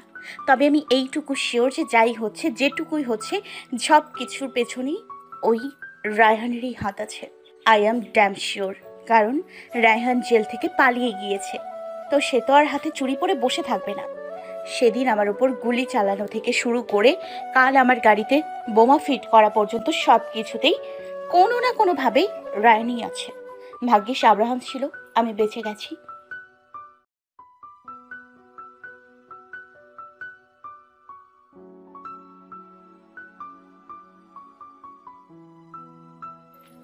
দেখি কি করা যায়। তনয়া কোথায়? ও এসছে? ওকে আমার কেবিনে পাঠাও এই বলেই রাশেদ চলে গেল। তার কিছুক্ষণ পর আরেতের কেবিনে তনয় আসে। বেবি আমাকে ডাকছিস? ভেতরে আয়। এলাম কিন্তু হয়েছে কি? এই দুই তিন দিন তোর এমন কি ইম্পর্টেন্ট কাজ ছিল শুনি? আয়াতের কথায় তনয় কিছুটা আটকে যায়। না মানে আসলে এমনি কিছু কাজ ছিল আর কি। কাল রাতে কোথায় ছিলি? হ্যাঁ। হ্যাঁ কোথায় ছিলি? আরে ছিলাম কিছু কাজে। তুই বল না কিছু বলবি আমায়? কিছু জানিস না তুই? না কেন? কিছু জানিস না তুই? রায়ান জেল থেকে পালিয়েছে। রায়ান জেল থেকে পালিয়েছে প্লাস আমার ওপর গুলি চালিয়ে প্লাস আমার গাড়িতে বোম ফিট করেছিল। ভাগ্য ভালো বেঁচে গেছি। হোয়াট? ইয়েস। কীভাবে কি? জানিস মাঝে মাঝে ভয় লাগে। আমিও মানুষ খুব তো স্ট্রং থাকার ভং ধরি কিন্তু মাঝে মাঝে আমারও ভয় হয়। প্লিজ অনেক হয়েছে আর চাই না আমি। আমার মাঝে আর সহ্য করার ক্ষমতা নেই। আমি এখন একটু হ্যাপি থাকতে চাই একটু হ্যাপি আব্রাহামের সাথে। সব ঠিক হয়ে যাবে চিন্তা করিস না। সব এলোমেলো হয়ে গেলেই যা তার শেষ হয় বা শুরুর কোনো পদ নেই তা তো একদমই নয়। না? আর এখানে এখানে তো কিছুই শেষ হয়নি। সব ঠিক আছে। তুই শুধু আর একটু ধৈর্য ধর ভরসা রাখ আশা ছাড়িস না ব্যাস। আরে তনয়ের দিকে তাকিয়ে মুচকি হেসে দেয়। তারপর আরও বেশ কিছুক্ষণ সময় তনয় আয়াতের কেবিনের থেকে বের হয়ে পড়ে। তনয় চলে যেতে আয়াত আব্রাহামকে ফোন করে। আব্রাহাম প্রথমবারেই তা রিসিভ করে নেয়। হ্যালো? আব্রাহাম ফোনের অপর পাশ থেকে আয়াতের মিষ্টি কণ্ঠস্বরটা পেয়েই তার চোখ দুটো বন্ধ করে ফেলে। আব্রাহাম কিছু বলছে না দেখে আয়াত আবার বলে ওঠে হ্যালো আব্রাহাম? আমি জানি আপনি শুনছেন সবই। হুম। কোথায় আপনি? বাসায় আছি। কি করছেন? ভাবছি। কি? সব থেকে বেশি ঘৃণিত ব্যক্তি কে তোমার কাছে? বলাটা কি জরুরি? হয়তো। যদি বলি আমি নিজে? আমি মানবো না। কেন? তোমার নিজেরই কোনো অধিকার নেই নিজেকে ঘৃণা করার। অধিকার খাটানোর মানুষটা কাছে থেকেও বেশ দূরে যে আমার। প্রীতির সাথে লাস্ট কবে কথা হয়েছিল তোমার? প্রীতি? হ্যাঁ মনে আছে। হ্যাঁ থাকবে আবার না। ও তো আপনার পেছনেই ঘুরঘুর করতো যত সব লুচি মাইয়া। ও মিসিং ইনফ্যাক্ট বছরের ওপর হবে সে মিসিং কোনো খবরই নেই। ও। রায়হানের কোনো খবর পেলে? আপাতত না। ও আচ্ছা। তো কি করছ? এই তো বসে বসে ফাইল চেক করছি। করো। আর হ্যাঁ ওই হাসানের কাছ থেকে দূরে থাকো প্লিজ কেন? পছন্দ না আমার ওকে। ওফো আমার জামাই জানে চলছে বুঝি? মোটেও না। আচ্ছা বুঝলাম। এবার রাখি। বাই। এই বলে আব্রাহাম ফোনটা কেটে দেয়। সে করিডোরে একটা বেতের চেয়ারে বসে রয়েছে। পরনে অ্যাশ কালারের টি শার্ট চুলগুলো বেশ এলোমেলো হয়ে কপালে পড়ে রয়েছে। প্রচুর খোলা বাতাস রয়েছে। ছোট ছোট বেশ কিছু গাছপালা রয়েছে। পরিবেশটা সুন্দর। আব্রাহামের আজকে এমন যেন মনে হচ্ছে। তার কাল রাতের রায়হানের কথা মনে পড়ছে। রায়হান লুকিয়েছিল তা মানা যায়। গা ঢাকা দিয়ে আছে মানা যায় কেননা সে ছিল পলাতক আসামি। কিন্তু সে আয়রাতের অফিসের নিচে কি করছিল? অবশ্যই তাহলে আয়রাতের কোনো না কোনো ক্ষতি করার জন্য এসেছিল। আব্রাহাম বসে বসে এগুলোই ভাবছিল। তখন হঠাৎ একান্ন নাম্বার থেকে আব্রাহামের কাছে একটা ফোন আসে। আর ফোনের অপর পাশে থাকা ব্যক্তিটার কণ্ঠস্বর শুনে মুহূর্তেই যেন আব্রাহামের পায়ের রক্ত মাথায় উঠে যায়। কেমন আছিস ভাই? নির্লজ্জের মতো কেন ফোন করেছিস? হায়াত অনেক লম্বা রে তোর। তাই তো এত উঁচু থেকে পড়ে গিয়েও বেঁচে ফিরেছিস। কিন্তু এখন হয়তো তুই আর বাঁচবি না। কে মারবে আমাকে? তুই? তোকে মেরে আমি আমার হাত অপবিত্র করতে চাই না। আর আমি যদি তোর আইরাতকে মেরে দিই তো? রায়হান নিজের লিমিটে থাক। আয়রাতের উপর একটা আচর অব্দি এলেও আমি তোকে জ্যান্ত পুঁতে দেবো। তাই না? আচ্ছা আসলে কি এটার মানে এটাই হবে যে তোরা দুজন দুজনের জন্য অনেক বেশি লাগে নয়তো তুই চলে যাওয়ার পর আমি আয়রাতের কাছে গিয়েছিলাম ওকে সুন্দর করে বুঝিয়ে নিচের করে নিতে। কিন্তু না তোর বউদের জন্যই তেরা। আমার কাছ থেকে পাখির মতো পালিয়ে গেল। আমাকে শুট অবধি করল। তারপর আমাকে জেলের পেছনে বন্দি করে দিল। বিশ্বাস কর ভাই তারপর আয়রাতকে মেরে ফেলার কত কিছুই না করেছি আমি কিন্তু মাইয়া হ্যাভি স্মার্ট কাল রাত চোরের মতো আয়রাতে অফিসে নিজে কি করছিলি? ও তো ওইটা তুই ছিলি? আমার কোনো আমার কেন যেন মনে হচ্ছিল যে কেউ আমাকে ফলো করছে বা আমার পেছনে কেউ আছে। তাহলে সেটা তুই ছিলি? কথা না ঘুরিয়ে যা জিজ্ঞেস করছি তাই বল। আয়রাতকে দেখতে গিয়েছিলাম। মেয়েটার মাঝে এক আলাদা ভালো লাগা কাজ করে। অন্য জিনিসে নজর দেওয়ার স্বভাব বন্ধ কর যদিও তোর এই স্বভাবটা পুরনো। আমার বাড়ির গ্যারেজে এসে পড়িস। বেশ কিছু সত্য বলার আছে তোকে। আর কতদিন আবছা ঘোরের মাঝে থাকবি বল। জানিস সত্যি জানিস তুই কিন্তু সত্যি জানিস তুই কিন্তু অর্ধেক। আয় দেখা করি। কথা মিটমাট করি। নিজের মরণকে নিজে আমন্ত্রণ জানাস না রায়হান আগে তুই আয় তো। দেখি কে কাকে মারে। আব্রাহাম ফোনটা কেটে দেয়। রাগ যখন আউট অফ কন্ট্রোল চলে যায়, তখন মানুষ স্বাভাবিকের থেকে আরও বেশ চুপচাপ থাকে। আব্রাহামের ক্ষেত্রেও তাই। আব্রাহাম এখন একদম চুপ করে বসে আছে। রাগের সীমা একদম অতিক্রম করে গেছে। যাই হোক, আব্রাহাম উঠে পড়ে। রুমে এসে নিজের ব্ল্যাক প্লাস ব্রাউন কালারের জ্যাকেটটা নিজের সাথে জড়িয়ে নেয়। এক্ষেত্রে আব্রাহাম একটু চালাকি করে। নিজের জ্যাকেটের বাটনের সাথে একটা ছোট্ট ক্যামেরা ফিট করে নেয়। অর্থাৎ বাটন ক্যামেরা এটা করার কারণ হলো রায়হান সেখানে যাই করবে বা যাই হবে সেগুলো রেকর্ড হয়ে যাবে। আব্রাহাম তার কাভার থেকে রিভলভারটা হাতে নিয়ে নেয়। বুলেটস একদম লোড করা তাদের। তবে পরক্ষণে আবার কি যেন একটা ভেবে আব্রাহাম রিভলভারটা কাভার্টের ভেতরে আবার ছুঁড়ে মারে। নিজের সাথে কিচ্ছু নেয় না। সোজা বাইরে বের হয়ে গাড়িতে করে চলে যায়। গাড়িতে বসেই আব্রাহাম তার কানে এয়ারপোর্ট লাগিয়ে নেয়। তনয়ের সাথে কানেক্ট করে নেয়। Hello hello Tanaya? জি স্যার? লিসেন মি কেয়ারফুলি আমি রায়হানের কাছে যাচ্ছি ওকে? আর হ্যাঁ আমার সাথে ক্যামেরাও আছে। আর এই ক্যামেরা কানেকশন তোমার ফোনের সাথেই করা। মনে আছে তো জি স্যার আছে। আমি সেখানে গেলে সেখানকার সব কিছু এখানে রেকর্ড হবে যা তোমার ফোনে দেখা যাবে। সেটাকে ওভাবেই রেখে দেবে। আমি যখন তোমায় কিছু করতে বলব দেন কিছু করবে বুঝলে? ওকে। এই বলেই আব্রাহাম কল কেটে দেয়। প্রায় চল্লিশ কি পঁয়তাল্লিশ মিনিট সময় পর আব্রাহাম রায়হানের কাছে এসে পড়ে। এই তো এটাই রায়হানের দ্বিতীয় নম্বর বাড়ি। আর এটা শেষের দিকে একটা গ্যারেজ আছে, বেশ বড় সড়ো। আব্রাহাম এসে দেখে বাড়ির সামনে না আছে কোনো গার্ড আর নাই আছে অন্য কোনো কিছু। আব্রাহাম বাড়ির একদম পেছনে গিয়ে রেখে গ্যারেজটা একদম খোলা, সে ভেতরে চলে যায়। বেশ অন্ধকারাচ্ছন্ন ঘরটা। ঘরটা ঠিক মাঝ বরাবর জ্বলছে একটা হলুদ কালারের বাতি। পাশেই ওপর থেকে বেশ কিছু ইলেকট্রিকের তার ঝুলে আছে। সেগুলো থেকে কিছুটা আগুনের ফুলকির মতো বের হচ্ছে। আব্রাহাম গিয়ে একদম ঘরের মাঝ বরাবর দাঁড়িয়ে পড়ে। ওপরে কিছুর কিচির মিচির আওয়াজ শুনে আব্রাহাম ওপরের দিকে তাকায়। দেখেছে একটা লোহার ফ্যান বেশ জোরে জোরে দুলছে যেন এই নিচে পড়ে গেল এমন। বেশ বিরক্তিকর একটা অবস্থা। আব্রাহাম সেখান থেকে চলে আসতে ধরলেই তার পেছনে ডাকে সে থেমে যায়। আব্রাহাম কোথায় যাচ্ছিস ভাই? আমার সাথে দেখা না করেই চলে যাচ্ছিস। আব্রাহাম তার পেছনে ঘুরে তাকায়। দেখে রায়হান দাঁড়িয়ে আছে।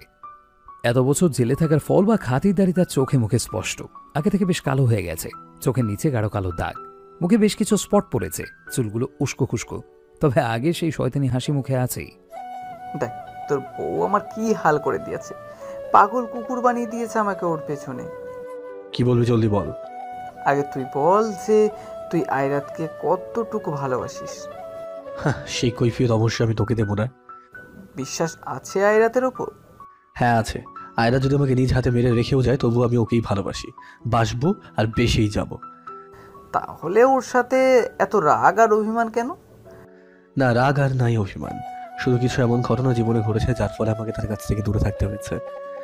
মনে পড়ে কি সেদিন সেই রাতের কথা যখন তোর অ্যাক্সিডেন্ট হয়েছিল? সেই অভিশপ্ত ঘটনায় আমার জীবনের চেহারা পুরো পাল্টে দিয়েছে। আমি কি করে ভুলি তা? আইরাত তোকে মেরেছে?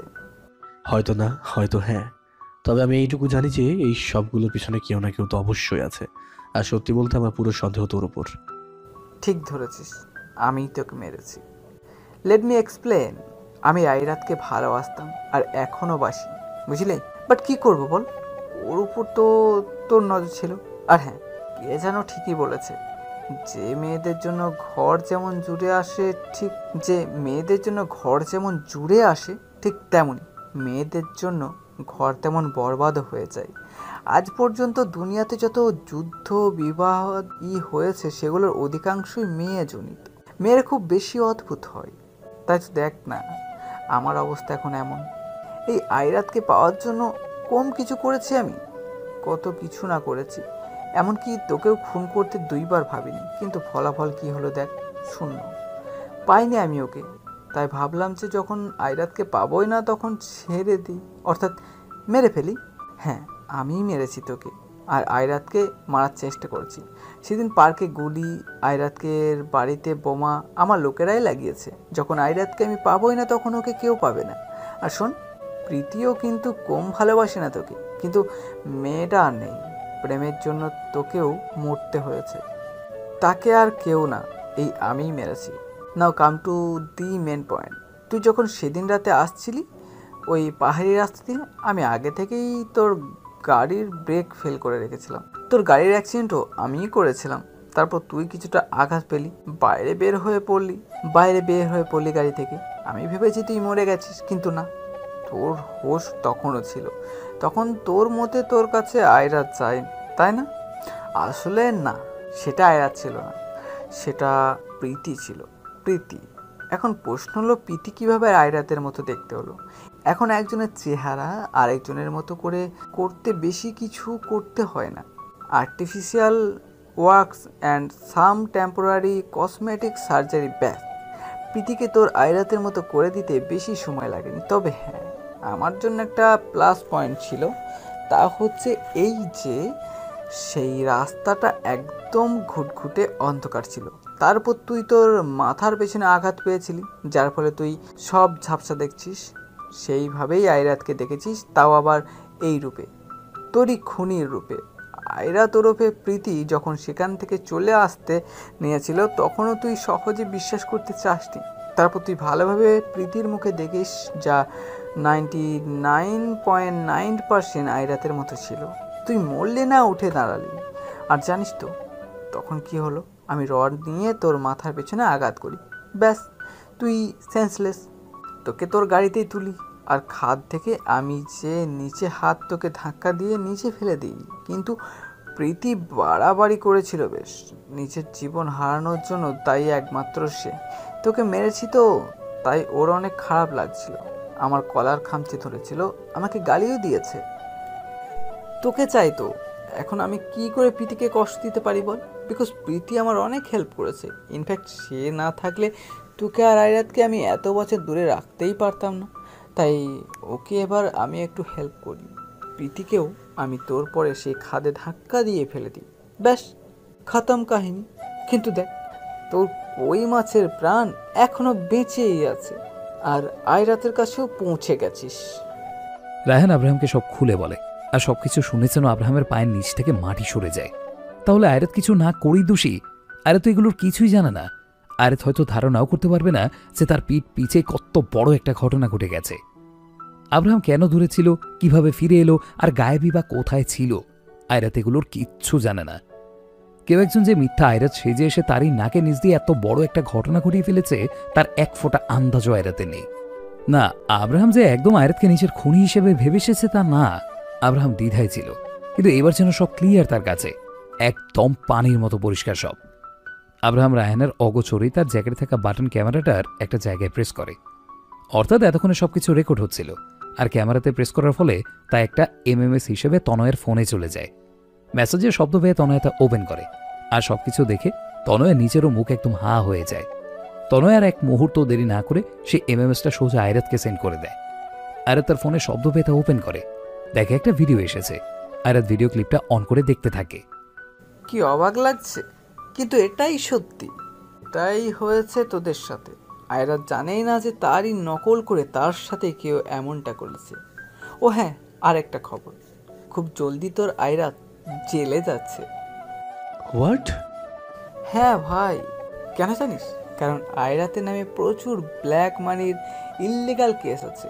আয়রাত তার বাড়িতে ইভেন অফিসেও অনেক ব্ল্যাক মানি জড়ো করে রেখেছে যেগুলো সরকার কর্তৃক নিষিদ্ধ। আর হ্যাঁ চিন্তা করিস না সেগুলো ভুয়া ফেক ভুল নিউজ কিন্তু সত্য। কেননা সেখানে টাকার মানে ব্ল্যাক মানির হিসেবে যে ফাইলগুলো আছে সেগুলো সবগুলোতেই আয়রাতের সিগনেচার আছে। আয়রা জেনে শুনে এমন কোনো পেপারে সিগনেচার কখনোই করবে না। হ্যাঁ তা তো আমিও জানি। আর তার জন্যই তো আমাকে উল্টো পথ বেছে নিতে হয়েছে। আমার যে দু একজন লোক আয়রাতের পেছনে জাসুস হয়ে আছে, তারাই আয়রাতের সাইন কপি করেছে। কিন্তু আয়রাত এত বড় একজন বিজনেস ওম্যান আর সিগনেচার তো আর এত সহজে কপি করা যায় না, তাই না? তাই একজন লোককে আমি আয়রাতের অফিসে এস এ স্টাফ হিসেবে পাঠিয়েছি। আর আয়রাত তো অনেক ব্যস্ত মেয়ে। তার এত সময় কয় যে সবার বায়োডাটা নিয়ে ঘুরবে। আর সেটাই আমার সুবিধা হয়েছে। স্টাফটা মানে যে কিনা আমার লোক, সে ফাইলগুলো কালেক্ট করে কোনো না কোনো কাজের ফলে আর তখনই সেটা ফাইলগুলো থেকে আয়রাতের সিগনেচার কপি করে নেয়। এই তো, হয়ে গেল। এখন এই যে ব্ল্যাক মানি সব পেপার্স আছে, সেখানেও আয়রাতের সাইন মানে কপি আর কপি। তবে সবাই তো এই ভাববে এখন যে আয়রাত ব্ল্যাক মানির সাথে জড়িত আছে। এতক্ষণে পুলিশের কাছে এই খবর চলেও গিয়েছে। আর কিছু সময়ের মাঝে তারা আয়রাতকে অ্যারেস্ট করে নিয়েও যাবে। নে, সব হয়ে গেল। মরার আগে তোকে সব সত্য আমি জানিয়ে দিলাম। এবার বল, আমার প্ল্যানটা কেমন হয়েছে? একদম মাস্টারপিস না?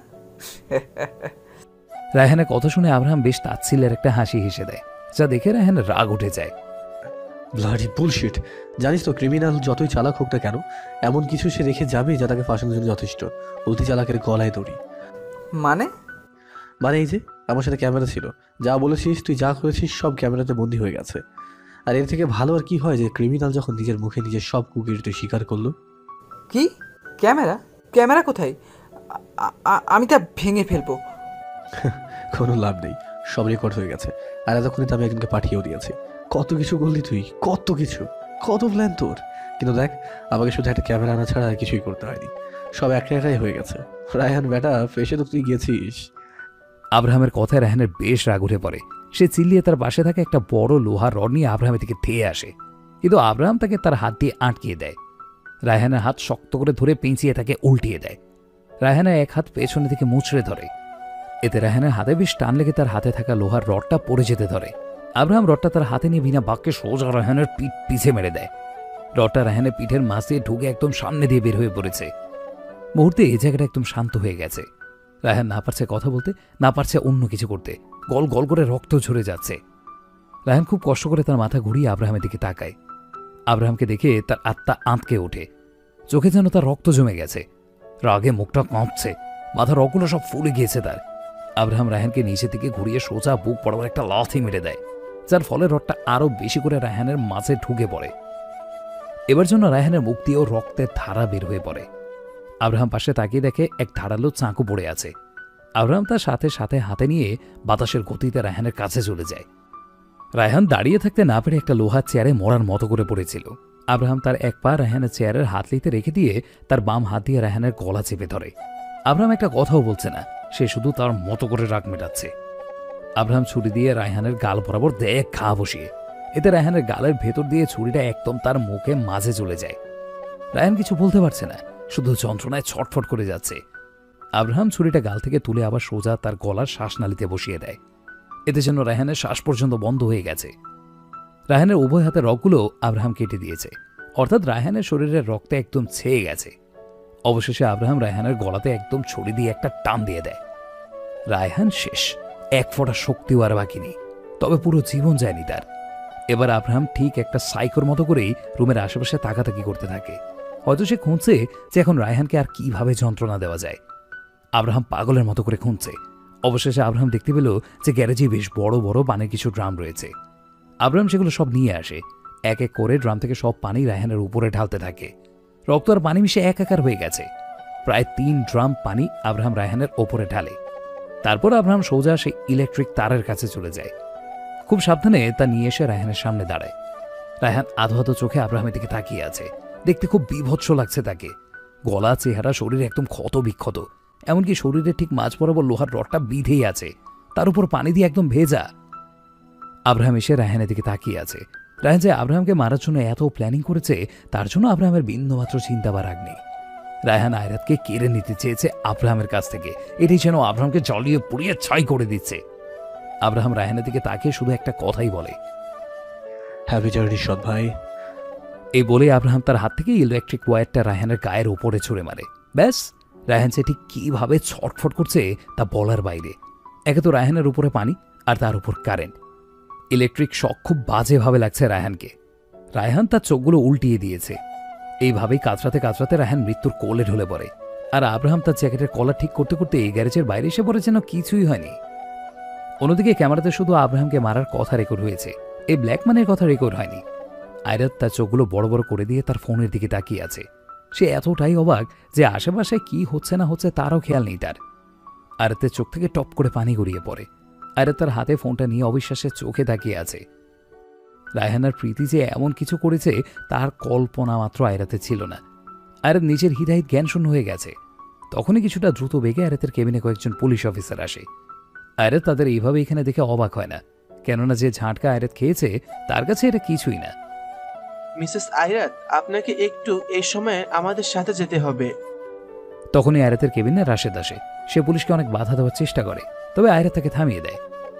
দেখুন মিসেস আইরাত আমরা কিছু ব্ল্যাক মানির পেপারসের উপরে আপনার সাইন পেয়েছি যেগুলো ইলিগাল তাই আপনাকে আমাদের সাথে থানায় যেতে হবে। চলুন।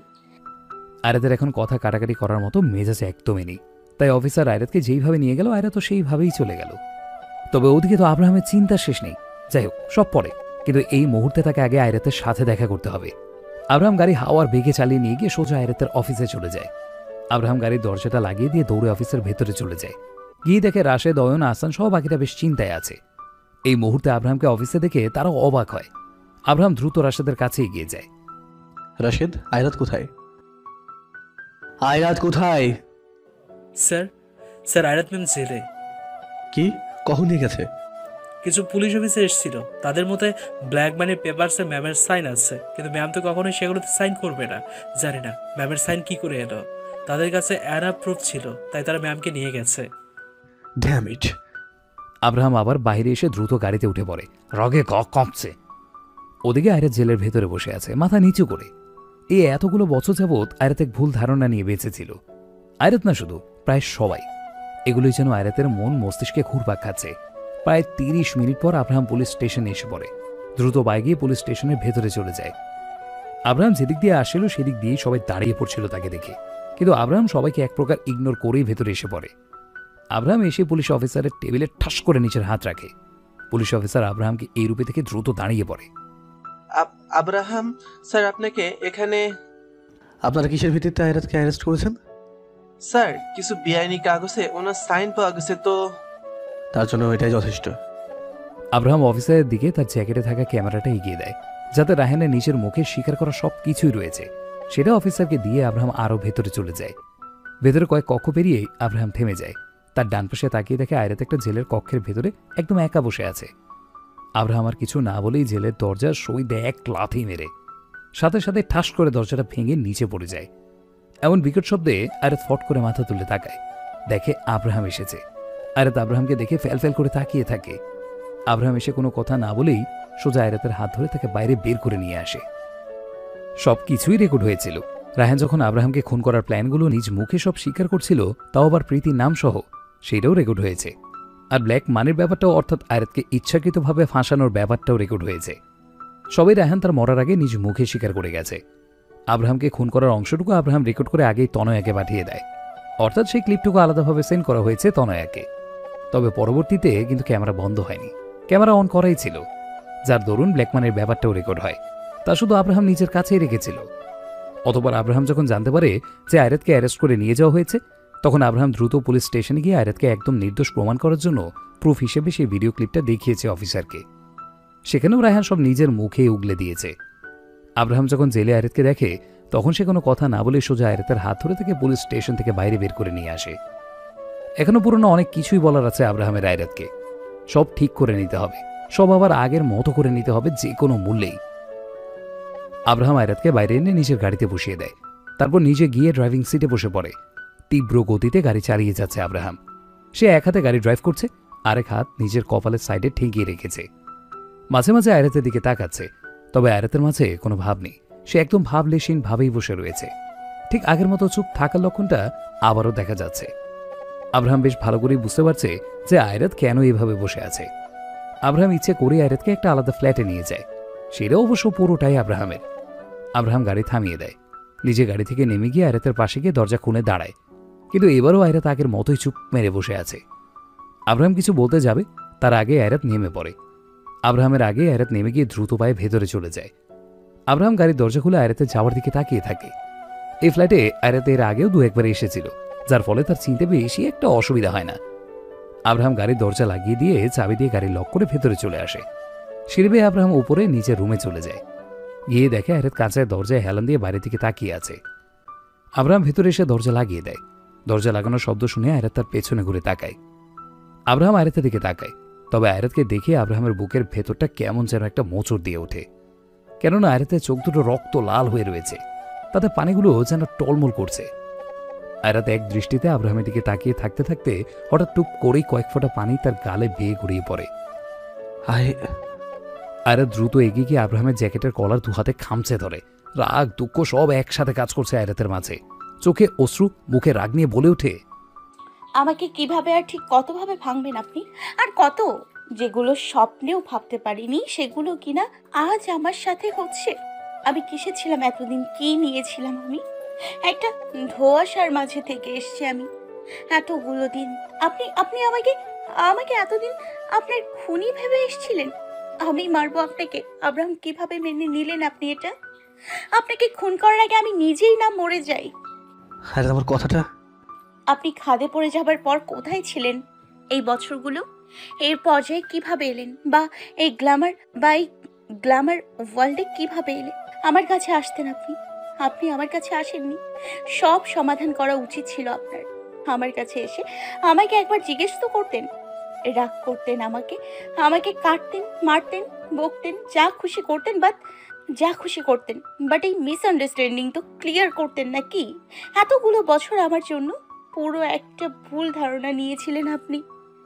আমি তোমাকে দোষী বলছি না। আমি তোমাকে কোনো দোষী এখানে দিচ্ছি না। আমার কথা তো শুনবে, তুমি যে এভাবে এত সহজে বলছো না, ব্যাপারটা ঠিক এতটা সহজ ছিল না এরাত আমি জানি যে আমি কিসের মাঝে ছিলাম তা কেবল সেটা আমি জানি। তুমি কি ভেবেছো যে নিজের উপর দিয়ে এত বড় একটা ঝড় বয়ে যাবার পরও আমি খুব ভালো ছিলাম, খুশি ছিলাম? ভুল তুমি। অনেক বেশি আঘাত পেয়েছিলাম আমি। মাথার পেছনে অনেক ভারী আঘাত লেগেছিল। আমার অ্যাক্সিডেন্ট হওয়ার পর কত কিছু হয়েছে তার বিন্দুমাত্র ধারণাও তোমার নেই। আব্রাহামকে খাত থেকে ধাক্কা দিয়ে নিচে ফেলে দেওয়া হয়। গাড়ি সহ একদম নিচে আছড়ে পড়েছিল সে। এক পর্যায়ে আব্রাহাম গাড়ি থেকে ছিটকে গিয়ে বেশ দূরে পড়ে যায়। আর গাড়িটার অবস্থা একেবারে বাজে হওয়ার ফলে তা ক্র্যাশ হয়ে যায়। তবে আব্রাহামের তখনও কোনো সেন্স ছিল না। কপালের অংশ বেশ খানিক কেটে গিয়ে রক্ত জমাট বেঁধে গিয়েছিল। গায়ের শার্টটাতেও রক্ত লেগেছিল। সেই খাদের অন্ধকার জায়গাতেই আব্রাহাম পড়েছিল। এখনও সেই রাত্রিকে আর রাত্রির সাথে আব্রাহামের দেখা কি করে হলো তাতে? তাবাসুম আলম রাত্রি। পেশাগতভাবে রাত্রি একজন ডক্টর। পড়াশোনা শেষ করে দেশেই কাজ করছে। বাবা সরকারি পুলিশ কর্মকর্তা ছিলেন। তিনি গত হয়েছেন। রাত্রিরা দুই বোন ছিল। রাত্রি বড় বোন তমা আর রাত্রি। মোট তিনজনের সংসার ছিল তাদের। রাত্রি বড় বোন তমা ছিলেন একজন ফ্যাশন ডিজাইনার। তমার বিয়ে ঠিক হয়। সবাই খুশি ছিল এই বিয়েতে। আর বিয়ে হয়েও গিয়েছিল। তবে তমার বিয়ের পর যখন সে তার হাজবেন্ডের সাথে গাড়িতে করে আসছিল, তখন দুর্ভাগ্যবশত একটা দানব আকৃতির ট্রাকের সাথে তাদের গাড়ির ধাক্কা লাগে। গাড়িতে ছিল তারা বরকনে এবং গাড়ির ড্রাইভার আর কাকতালীয়ভাবে তমা আর তার বর সেই পাহাড়ি রাস্তা দিয়েই যাচ্ছিল। তাদের গাড়ি এক ধাক্কায় নিচে খাঁদে গিয়ে পড়ে। এদিকে তো রাত্রি তার মা নিশ্চিন্তে ছিল তমাকে নিয়ে, যে সে তার শ্বশুরবাড়ি চলে গিয়েছে। তবে বেশ ঘণ্টা পেরিয়ে যায়, তাদের আসার আর নাম নেই। দেখতে দেখতে যখন প্রায় সকালই হয়ে গেল, তখন তোমার শ্বশুরবাড়ির লোকজন সবাই রাত্রির কাছে ফোন দেয়। তমা বা কেউই এখনও বাড়ি আসেনি। বিয়ের পরের দিনই এমন খবর পেয়ে রাত্রি তো চিন্তায় যেন মাথায় আকাশ ভেঙে পড়ল। সবার মাঝে একটা দুশ্চিন্তা আর ভয় এসে ভর করল। রাত্রির বাবা যেহেতু একজন সিনিয়র পুলিশ অফিসার ছিলেন, তাই পুলিশ ডিপার্টমেন্ট তাদের বেশ কিছু চেনা জানা লোক রয়েছে। সেখান থেকেই রাত্রির কাছে ফোন আসে। রাত্রি পুরো ফ্যামিলিকেই প্রায় সেই ডিপার্টমেন্টে সবাই চিনত। এক অফিসার রাত্রিকে ফোন করে বলে যে, খাদে একটা গাড়ি বাজেভাবে কিছু অংশ পাওয়া গেছে। গাড়িটা সাজানো ছিল, হয়তো বিয়ের, আর দুটো লাশ পাওয়া গেছে। একদম বরকনের বেশে, তবে চেহারা বিগড়ে গেছে খুব খারাপভাবে, তাই চেনা যাচ্ছে না। রাত্রির হাত থেকে ফোন পড়ে যায়, কি বলবে খুঁজে পায় না। তার মাকে কি করে সামলাবে তাও জানা নেই তার। অতপর রাত্রি আর তার মা সেই অ্যাক্সিডেন্ট স্পটে যায়। লাশগুলোকে চেক করতে হবে, না করে উপায় নেই, তাই লাশগুলোর উপরে হাত দেওয়া বা ধরা নিষেধ। তাই বাধ্য হয়ে খাতের একদম নিচে নামতে হয়েছিল রাত্রিকে। রাত্রি সেদিন মনে হচ্ছিল যে নিজের চোখের সামনে নিচের বড় বোনের এমন নির্মম মরণ দেখাচ্ছে ভালো, সে এর আগেই মরে যেত। সবকিছু দেখে শুনে অবশেষে রাত্রি বলে যে হ্যাঁ এরাই তার বড় বোন আর বোনের স্বামী, তারা মারা গিয়েছে। রাত্রি তো সেখান থেকে এসেই পড়তো, কিন্তু হঠাৎ তার চোখ যায় কিছু একটার উপর। পুলিশরা অন্যদিকে আর রাত্রি অন্যদিক দিয়ে যাচ্ছিল। আর এছাড়াও এখানে বেশ বন্য পশু আছে, তাই সহজে কেউই আসতে চায় না। রাত্রি তার কপাল কোঁচকে সেদিকে এগিয়ে যায়। আর যেতে অবাক কারণ এখানে আরও একটা লাশ। রাত্রি ভেবেছিল যে এইটাও লাশ, তাই রাত্রি দ্রুত সেদিকে এগিয়ে যায়। রাত্রি ভয় যেই না পুলিশকে ডাক দিতে যাবে, তখনই সে খেয়াল করে যে লোকটার হাত নড়ছে। রাত্রি তার হাঁটু ভাঁজ করে বসে পড়ে। কান কিছুটা সে ব্যক্তিটার মুখের কাছে নেয়। শ্বাস চলছে। সে আব্রাহাম ছিল। রাত্রি তার হাতের পাস চেক করে দেখে সে জীবিত আছে। রাত্রি আব্রাহামকে খেয়াল করে দেখে বেশ চেনা চেনা লাগছে। কোথাও তো দেখেছে। রাত্রি তখনই সেই খাত থেকে আব্রাহামকে নিয়ে আসে। আব্রাহামকে বাসায় এনে রাত্রির পক্ষে যতটুকু সম্ভব সে তার সাধ্যমতো সব করে। আব্রাহামে যখন জ্ঞান ফিরে তখন সে বুঝতে পারে আর রাত্রিও বুঝে যে এই আব্রাহাম। রাত্রির মারও কোনো রকম সমস্যা ছিল না, তবে রাত্রি পরবর্তীতে এই ভেবে অবাক হয়ে যে এত বড় একজন মানুষ এইভাবে অ্যাক্সিডেন্ট হয়েছে তার আর পুলিশরা টের অবধি পেল না। আশ্চর্য। রাত্রি অনেক ট্রাই করেছে পুলিশকে ইনফর্ম করার, কিন্তু প্রত্যেকবারই আব্রাহাম তাকে বাধা দিয়েছে, তাকে মানা করেছে। আর রাত্রি যেদিন আব্রাহামকে নিয়ে এসে পড়ে, তার পরের দিনই পুলিশরা সেই খাদে গিয়ে তদন্ত করে আব্রাহামকে পাওয়ার জন্য। কিন্তু আব্রাহাম যখন সেখানে ছিলই না, তাহলে পাবে কোথা থেকে? কারণ তার আগেই রাত্রে আব্রাহামকে নিয়ে এসে পড়েছিল। আব্রাহাম সুস্থ হয়ে যায় মোটামুটি, আর সে তো আর হাতে হাত রেখে বসে থাকবে না।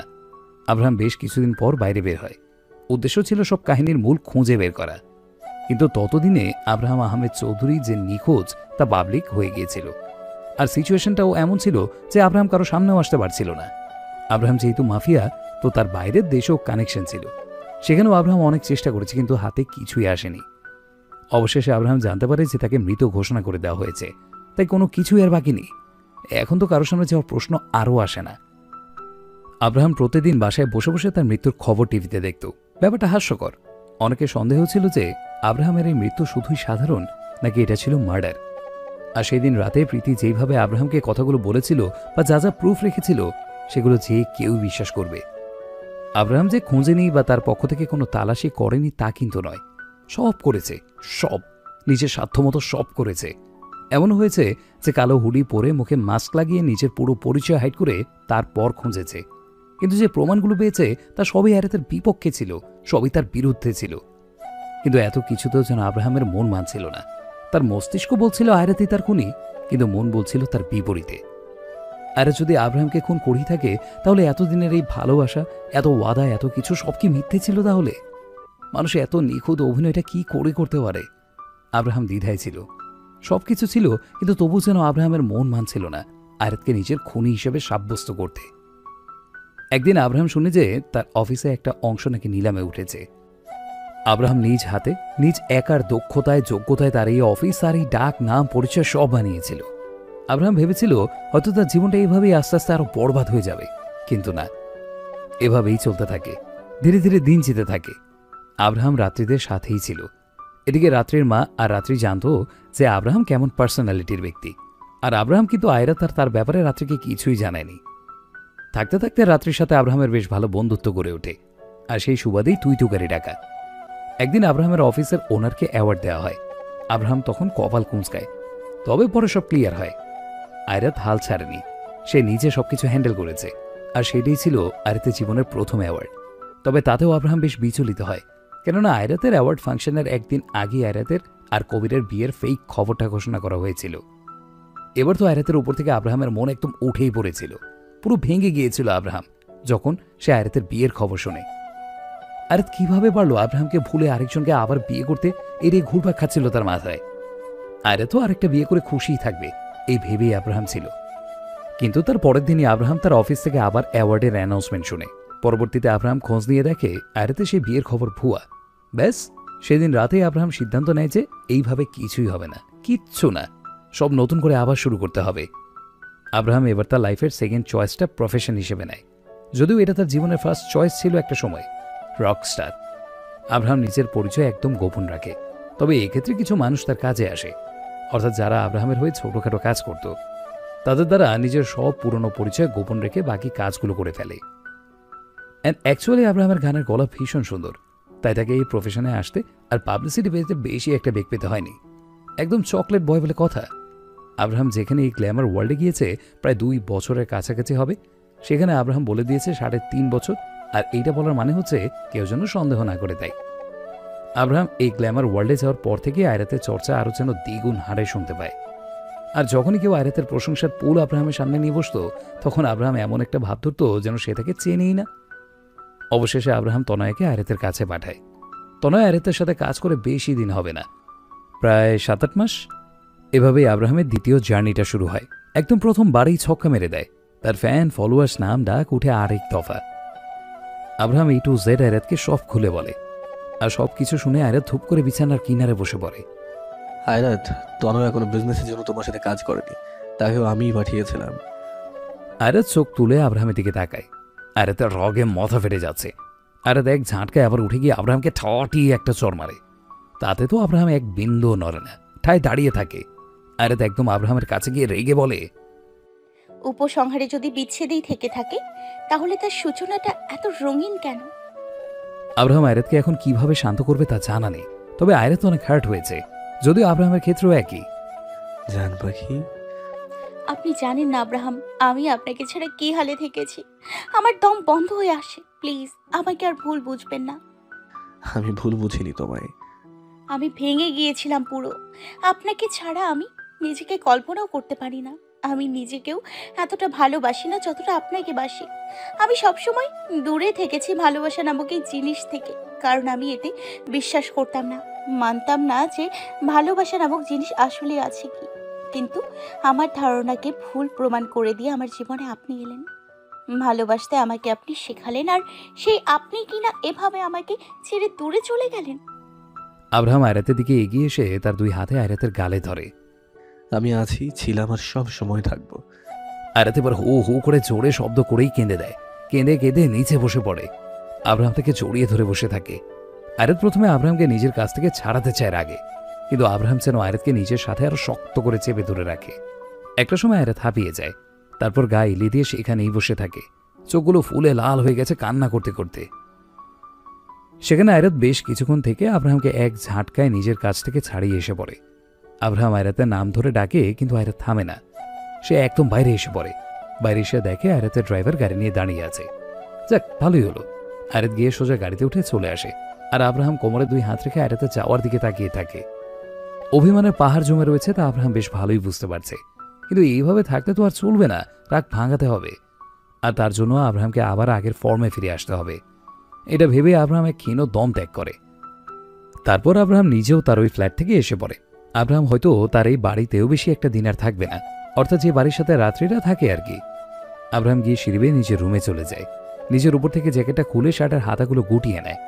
তখন আব্রাহামের রুমের দরজাতে রাত্রি করে না রে। কিরে রাত্রি বাইরে দাঁড়িয়ে আছিস কেন? আয় ভিতরে। আজ তোকে অনেক খুশি খুশি লাগছে। ঘটনা কি? হুম হুম। আব্রাহাম রাত্রিকে বিছানার উপরে বসিয়ে দিয়ে সে তার সামনে বসে পড়ে। দেখ অনেক কিছুই আমি তোকে বলিনি আমার ব্যাপারে আমার পার্সোনাল লাইফের ব্যাপারে। আমি ম্যারিড রাত্রি। সেদিন যে মেয়েটা এসেছিল না সে আয়রাত আমার বউ ওকে তো চিনিসই। ওর জন্যই আমার এত কিছু করা। আর আমার ওই আব্রাহাম আহমেদ চৌধুরী থেকে আব্রাহাম চৌধুরী অর্নিল হওয়ার কাহিনীটা তুই জানিসই। অর্নিল শুধু একটা ছদ্মনাম। আমি আব্রাহাম আহমেদ চৌধুরী আর মিসেস চৌধুরী। আরে হ্যাঁ আমি। আম, আমি যা জানি আমার সেদিনই সন্দেহ হয়েছিল তোর ওপরে। আর ঠিকই আছে তোর বউ তোর থেকেও বেশি সুন্দর। আর তুই যে রাফ অ্যান্ড টাফ মুন্ডা তাতে আইরাত তোর বউ হিসেবে একদমই পারফেক্ট একেবারে মানানসই। আর তুই ফ্রেন্ড হিসেবে। রাত্রি আর আব্রাহাম কিছুক্ষণ চুপ করে থাকে তারপর রাত্রি নিজেই বলে ওঠে চলে যাবে কি এখান থেকে? হ্যাঁ রে যেতেই হবে। সেখানে সব ঠিক করতে হবে। আমি আয়রাতকে ছাড়া থাকতে পারব না। ওকে আমার লাগবে। সেখানে সব আগের মতো করে নিতে হবে। আমি করব।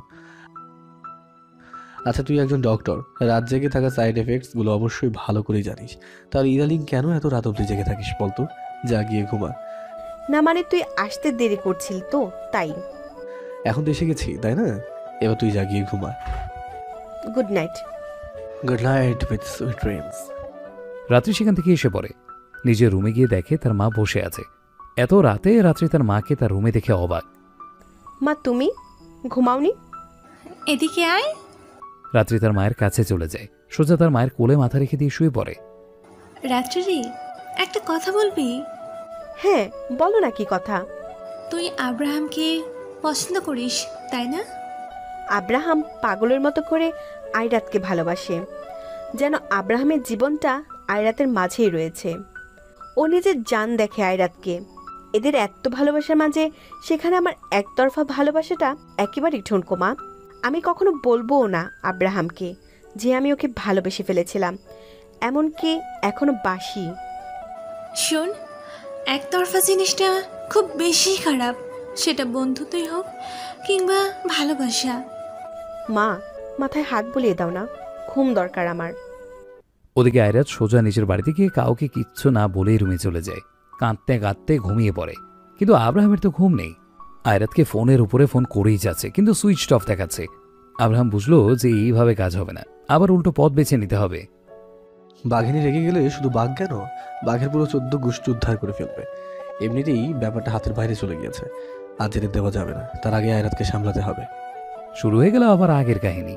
আগামীকাল থেকে আব্রাহামের সাইকোগিরি আবার শুরু। পরের দিন সকাল হতে না হতেই আব্রাহাম বের হয়ে পড়ে গাড়ি নিয়ে সোজা আয়রাতের বাসার উদ্দেশ্যে। আব্রাহাম বাড়ির বাইরে গাড়ি থামে। গার্ডরা গেট খুলে দিলেই তারপর ভেতরে চলে যায়। তবে কেন যেন আব্রাহামের একটু অস্থির অস্থির লাগছে। অ্যাক্সিডেন্টের পর সেই প্রথম আবার নিজের বাসায় যাচ্ছে। আব্রাহামের দাদি তো অবশ্যই ভেতরে আছে। না জানি আব্রাহামকে দেখে কেমন রিয়াকশন দেয়। যাই হোক, আব্রাহাম সব চিন্তা বাদ দিয়ে বাড়ির একদম ভেতরে চলে যায়। আর আব্রাহামের যেতেই ইলার সাথে তার একদম মুখোমুখি হয়ে যায়। ইলা তো স্তব্ধ হয়ে দাঁড়িয়ে আছে। অবাক লাগা নয়নে আব্রাহামের দিকে তাকিয়ে আছে। ইলার হাতে মেডিসিনের বক্স ছিল, তার ধীরিম করে হাত থেকে নিচে পড়ে যায়। ইলা হু হু করে কেঁদে দিয়ে ছুটে আব্রাহামের কাছে এসে তাকে জড়িয়ে ধরে। আব্রাহামের কপালে কালে হাঁচ আরও চুমু দিচ্ছে আর তাকে জড়িয়ে ধরে রেখেছে। আব্রাহাম নিজেও কিছুটা ঝুঁকে তার দাদিকে জড়িয়ে ধরে আছে। আসলে দাদি নানিরা হয়ই এমন। তাদের কাছে যেন তাদের সন্তানের থেকেও তাদের নাতি নাতনিদের কদরটা অনেক বড়। তাদের উপর দাদি নানিদের একটা আলাদা টান থাকে, একটা আলাদা মায়া থাকে। এমনও আছে যে নিজের পেটের সন্তান দেখতে না পারলেও একমাত্র তাদের নাতি নাতনিদের জন্য বারবার ছুটে আসে তারা।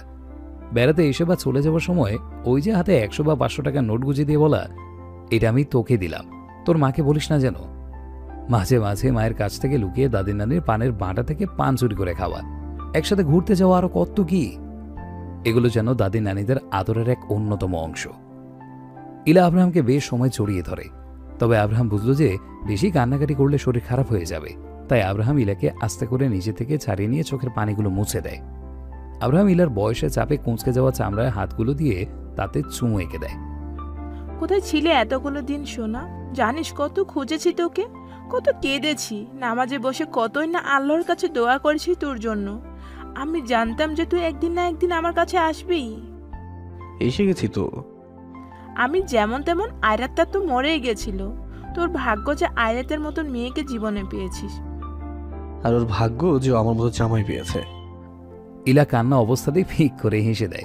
তখনই আব্রাহাম খেয়াল করেছে দরজার এক কিনারে রনিত হাতে একটা পুতুল নিয়ে দাঁড়িয়ে আছে। মুখে কেমন একটা মায়া মায়া ভাব। আব্রাহামের হঠাৎ নিজের ছেলেবেলার কথা মনে পড়ে গেল।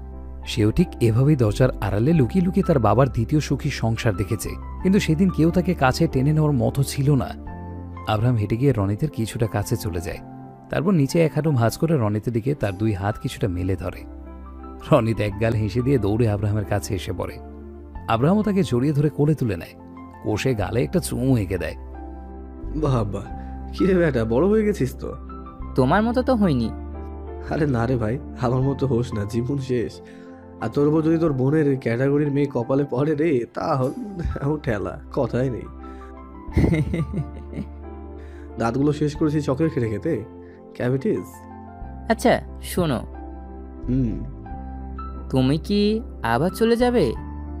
না তো একদম না। এভাবেই সময় ঢুকে যায়। না রনি আর নাই ইলা। কেউ যেন আব্রাহামকে ছাড়ার নাম অবধি নিচ্ছে না।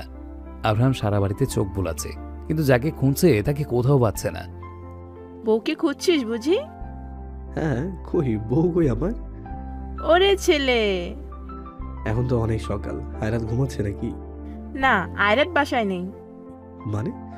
ও জিমে গিয়েছে সাথে তনয়াও হয়তো আছে। আমাকে শুধু দাদি যাই এই কথা বলেই হাতে ওয়াটার পটটা নিয়ে বেরিয়ে গেল। ও আচ্ছা। এখন কি? আমিও যাব মানে জিম করতে না তবে ওর কাছে। আরেট এসে পড়বে তো আর বেশি সময় হয়তো থাকবে না। তবুও যাই। আচ্ছা। আব্রাহাম বাড়ি থেকে আবার বের হয়ে পড়ে। অন্যদিকে আয়রাত মুখে এক কঠোর ভাব এনে ট্রেড মিলের উপরে দৌড়েই যাচ্ছে। কপালের সাইডে বুক দিয়ে ঘাড় পিঠ দিয়ে খাম ঝরে যাচ্ছে। বেশ হাবিয়ে গিয়েছে সে কিন্তু তবুও তার থামার নাম নেই। জোরে জোরে দম নিচ্ছে এক প্রকার ফুসছে তবুও দৌড়েই যাচ্ছে। তনয় আয়রাতের দিকে অবাক হয়ে তাকিয়ে আছে। সে তার দুই হাত ভাঁজ করে অবাক চোখে আয়রাতের কাছে এসে পড়ে। আয়রাতের তাতেও যেন ভ্রুক্ষেপ নেই। সে আনমনের সামনে তাকে দৌড়েই যাচ্ছে। এবার তনয়া নিজে আয়রাতে ট্রেডমিলের স্পিডটা কমিয়ে দিল। আয়রাতের দৌড়ের বেগ আস্তে আস্তে কমে আসে। এবার আয়রাত হাঁটছে। আচ্ছা কি হয়েছে? রাগ? মোটেও না। তাহলে এত স্পিড বাড়িয়ে দিয়ে এমন করছিস যে? কেন? মানুষ দৌড়ায় না দ্রুত গতিতে? দৌড়াই কিন্তু তোকে দেখে মনে হচ্ছে রেগে আছিস। না রেগে নেই আমি। সত্যি বলতে আমি খুশি জানিস? তবে হ্যাঁ একজনের উপর রেগে আছি ভীষণ। কে? তোর ওপরে। ও মা কেন? আমি কি করলাম আবার? আয়রাত ট্রেডমিলের উপর থেমে নেমে পড়ে। তনয়ের পিঠে দুই একটা মেরে দিয়ে বলে ওঠে হারামি তুই আব্রাহামের সাথে ছিলি তাও আমাকে বলিসনি। ওহ এই কথা? আরে স্যার যা স্ট্রিক্ট মানুষ জানিসও তো। আমি যদি তোকে বলে দিতাম তাহলে স্যার হয়তো আমাকেই শ্যুট করে দিত। কীভাবে বলতাম বল? হুম তোর সিচুয়েশনও বুঝি। আয়রা তার হাতে একটা ছোট টাওয়াল নিয়ে ঘাড় গলা মুছতে থাকে। অ্যাশ অ্যান্ড ব্ল্যাক কালারের একটা জিম আউটফিট পরে এসেছিল আয়রাত খামে তার আউটফিটের অ্যাশ কালারের অংশটাও যেন ব্ল্যাক হয়ে গেছে। গলা শুকিয়ে কাঠ হয়ে গেল। এই পানি দে। আয়রাতা তনয়ে কথা বলছিল তখন একটা ছেলে আসে। অ্যাকচুয়ালি জিমের ট্রেনার কিন্তু আয়রাত ওকে দুই চোখে দেখতে পারে না। আয়রাত যতটা দূরে দূরে থাকে এই ছেলের থেকে এই ছেলে ততই আয়রাতের সাথে মিশতে চায়। Hey Airat what? অনেক দৌড়িয়েছো মনে হচ্ছে? ক্লান্ত নিশ্চয়ই। Mind your own business by the way আজকে তোমার মুখটা অনেক মলিন লাগছে। মিষ্টি কুমড়া খেয়ে এসছি তো তাই মলিন লাগছে। হোয়াট এ জোক আইরাত গাধা? আয়রাত এগুলোই বলছিল তখনই আব্রাহাম আসে। একদম ব্ল্যাক কালারের প্যান্ট পরে জ্যাকেট ট্যাকেট পরে চোখে চশমা দিয়ে। বেশ অনেক মেয়ে জিম করছিল। কেউ কেউ হাতে ভারী বস্তু নিয়ে আপ ডাউন করছে। আব্রাহাম যখন ভেতরে আসে তখন সবাই তাকিয়েছিল। একটা মেয়ের হাত থেকে তো সোজা ভারী ডাম্বেলটা নিচে পড়ে যায় আব্রাহামকে দেখতে গিয়ে। তবে আব্রাহাম এসেই দেখে আদি বাইরাতের সাথে ফ্ল্যাট করার ট্রাই করছে। তনয়া দেখে আব্রাহাম দুই হাত ভাঁজ করে সরু চোখে তাকিয়ে আছে। একবার আব্রাহাম রেগে গেলে শেষ। তনয়া আয়রাতকে ইশারা করে। আয়রাত সেখান থেকে চলে আসে বিরক্তি একটা ভাব নিয়ে। চাপ বাবা চলে গেল? না না সে তো তোমার কাছে থাকার জন্য এখানে এসেছে তাই না? আব্রাম স্যার বউ হয় আমার। Just stay away for do you get that জি আদিব দ্রুত চলে যায়। এবার আব্রাহাম আয়রাতের কাছে যায়। আয়রাতের বাহু ধরে দেয় এক টান। আয়রাত পানি খাচ্ছিল এভাবে টান দেওয়াতে পানি পড়ে যায়। হোয়াট দ্য হেল আব্রাহাম আয়রাতের বাহু ধরে চেপে নিজের বেশ কাছে এনে রেগে বলে ওঠে কসম লাগে খোদা যদি কোনো পোলা তোর দিকে তাকায় আমি চান নিয়ে নেব। তো জাননি জান। আপনার দিকে যে এত মেয়েরা ড্যাব ড্যাব করে তাকিয়েছিল আমি কি কিছু বলেছি নাকি? কিন্তু আমি তো তোমার দিকে তাকাই শুধু। তো আমিও তো আপনার দিকে শ- হ্যাঁ? কি কি? আ- আ- আবার বলো। না মানে হুম হুম, কি কি? বলো বলো কি? আমাকে কথার ফাঁদে ফেলা বন্ধ করুন। চলো। কোথায়? জিমে কি সারাদিন থাকবে নাকি? র্যামস আপ চলো। আয়রাত নিজের উপরে জ্যাকেটটা জড়িয়ে নেয় তারপর আব্রাহামের সাথে গাড়িতে করে চলে যায় তবে আব্রাহাম আয়রাতকে বাড়ির সামনে নামিয়ে দিয়ে সে নিজে তার বাড়িতে চলে যায়, যেখানে রাত্রি রাও থাকে। আজ হয়তো আব্রাহাম সেখান থেকে চলে আসবে। আব্রাহাম সেখানে গিয়ে নিজের সব প্যাকিং শুরু করে দেয়। ঘণ্টাখানিক পর আব্রাহাম তার রুম থেকে বের হয়ে হলরুমে আসে। রাত্রির মা লাবণীর সাথে আব্রাহাম অনেক কথা বলে। একটা সময় আব্রাহাম বাড়ির বাইরে বের হয়ে পড়ে। আব্রাহাম খেয়াল করল যে রাত্রি অনেক বেশি চুপচাপ। আব্রাহাম তার গার্ডকে দিয়ে নিজের সব লাগেজগুলো গাড়ির ডিকিতে তুলে ফেলে। তারপর সে নিজে রাত্রির দিকে এগিয়ে আসে। রাত্রি রাত্রি রাগ শুনে বাড়ির গেটের পাশে এসে দাঁড়ায়। মন খারাপ? একদম না। আমাকে মিস করবি তুই? একদম না। সত্যি তো। আব্রাহাম রাত্রির দিকে এমনভাবে তাকিয়ে আছে যেন সেই চোখে যে কেউ তাকালেই মায়া পড়ে যাবে। রাত্রি। রাত্রি তার চোখ তুলে আব্রাহামের দিকে তাকায়। অনেক মিস করব। শোন। হুম। আব্রাহাম রাত্রির দিকে কয়েক কদম এগিয়ে আসে। আমাদেরকে হাজার গুণে ভালো ছেলে পাবি তুই। যে তোকে ভালোবাসবে পর আগলেও রাখবে। রাত্রি অবাক হয়ে আব্রাহামের দিকে তাকায়। না মানে উম, আমি জানি সবই। একজনের মন কখন কীভাবে আরেকজনের ওপর এসে পড়ে তা জানা নেই কারোরই। আর আমি সত্যি বলতে এতটা ভালো একজন না। দেখিস তুই তোর লাইফে এমন একজনকে পাবি যে কিনা তোকে নিজের নয়নের মুড়ি বানিয়ে রাখবে। তোকে অনেক অনেক ভালোবাসবে আর তুইও। হুম এখানে মাঝে মাঝে আসবি তো? অবশ্যই। আইরাতকে নিয়ে আসিস। আমার জাস্ট এক কথায় ওকে অনেক ভালো লাগে। হ্যাঁ আমি বুঝি মাসে কয়দিন হয় আর বছরে কয়দিন। ওই তো তোর জন্য ঠিক আছে। আচ্ছা আমি যাই রে তুই নিজের খেয়াল রাখিস। আর আন্টিকেও দেখে রাখবি। আর হ্যাঁ যাই হোক যে কোনো সময়ই হোক না কেন যা কিছুই হোক না কেন সবার আগে আমাকে ডাকবি ওকে? কোনো প্রবলেম হলে আমাকে আগে ডাকবি। অবশ্যই তোকে জ্বালানো ছাড়ছি না। আমি যাই। যাই বলতে নেই বল আমি আসি। আমি আসি রে আল্লাহ হাফেজ। আল্লাহ হাফেজ। আব্রাহাম রাত্রের দিকে এক নজর তাকিয়ে এসে পড়ে। রাত্রিও আব্রাহাম চলে গেলে বাড়ির ভেতরে এসে পড়ে। বেশ কিছু সময় পর আব্রাহাম তার নিজ বাড়িতে এসে পড়ে। গাড়িতে যা কিছুই ছিল সব গার্ডরা ভেতরে নিয়ে এসেছে। এখন সব ঠিক, সবকিছু একদম আগের মতো। আব্রাহাম, আয়রা, দাদি আর রনিত, একটা ছোট্ট হ্যাপি ফ্যামিলি। আব্রাহাম সিঁড়ি বেয়ে নিচে রুমে চলে যায়। তবে রুমে গিয়ে আব্রাহাম তো অবাক। একটা শুধু অবধি নরেনি রুমের। বেশ বছর আগেও যেমন ছিল, এখনও ঠিক তাই। শুধু রুমের দেওয়ালগুলোতে আব্রাহাম আয়রাতের আরও বেশ কিছু ছবি যুক্ত হয়েছে। আব্রাহামের চোখে আয়রাতের একটা ছবি বাঁধে। সেখানে শুধু আয়রাত একাই দাঁড়িয়ে আছে। লাল সাদা কালারের হাজারো বেলুনের মাঝে আয়রাত একটা সাদা গোল জামা পরে দুই হাতে দুইটা বেলুন নিয়ে একগাল হেসে বসে আছে। আব্রাহাম দেওয়ালে এক হাত রেখে আয়রাতের সেই ছবিটার দিকে ঝুঁকে পড়ে কিছুটা। ডান হাত দিয়ে ছবিতে থাকা আয়রাতের ওপরে হাত বুলিয়ে দেয়। তখনই ওয়াশরুম থেকে শাওয়ারের আওয়াজ আসে। অর্থাৎ ঝরে যাওয়ার পানির শব্দ। আব্রাহাম তার ঘাড় ঘুরিয়ে সেদিকে তাকায়। সে বুঝলো যে আয়রাত ওয়াশরুমে।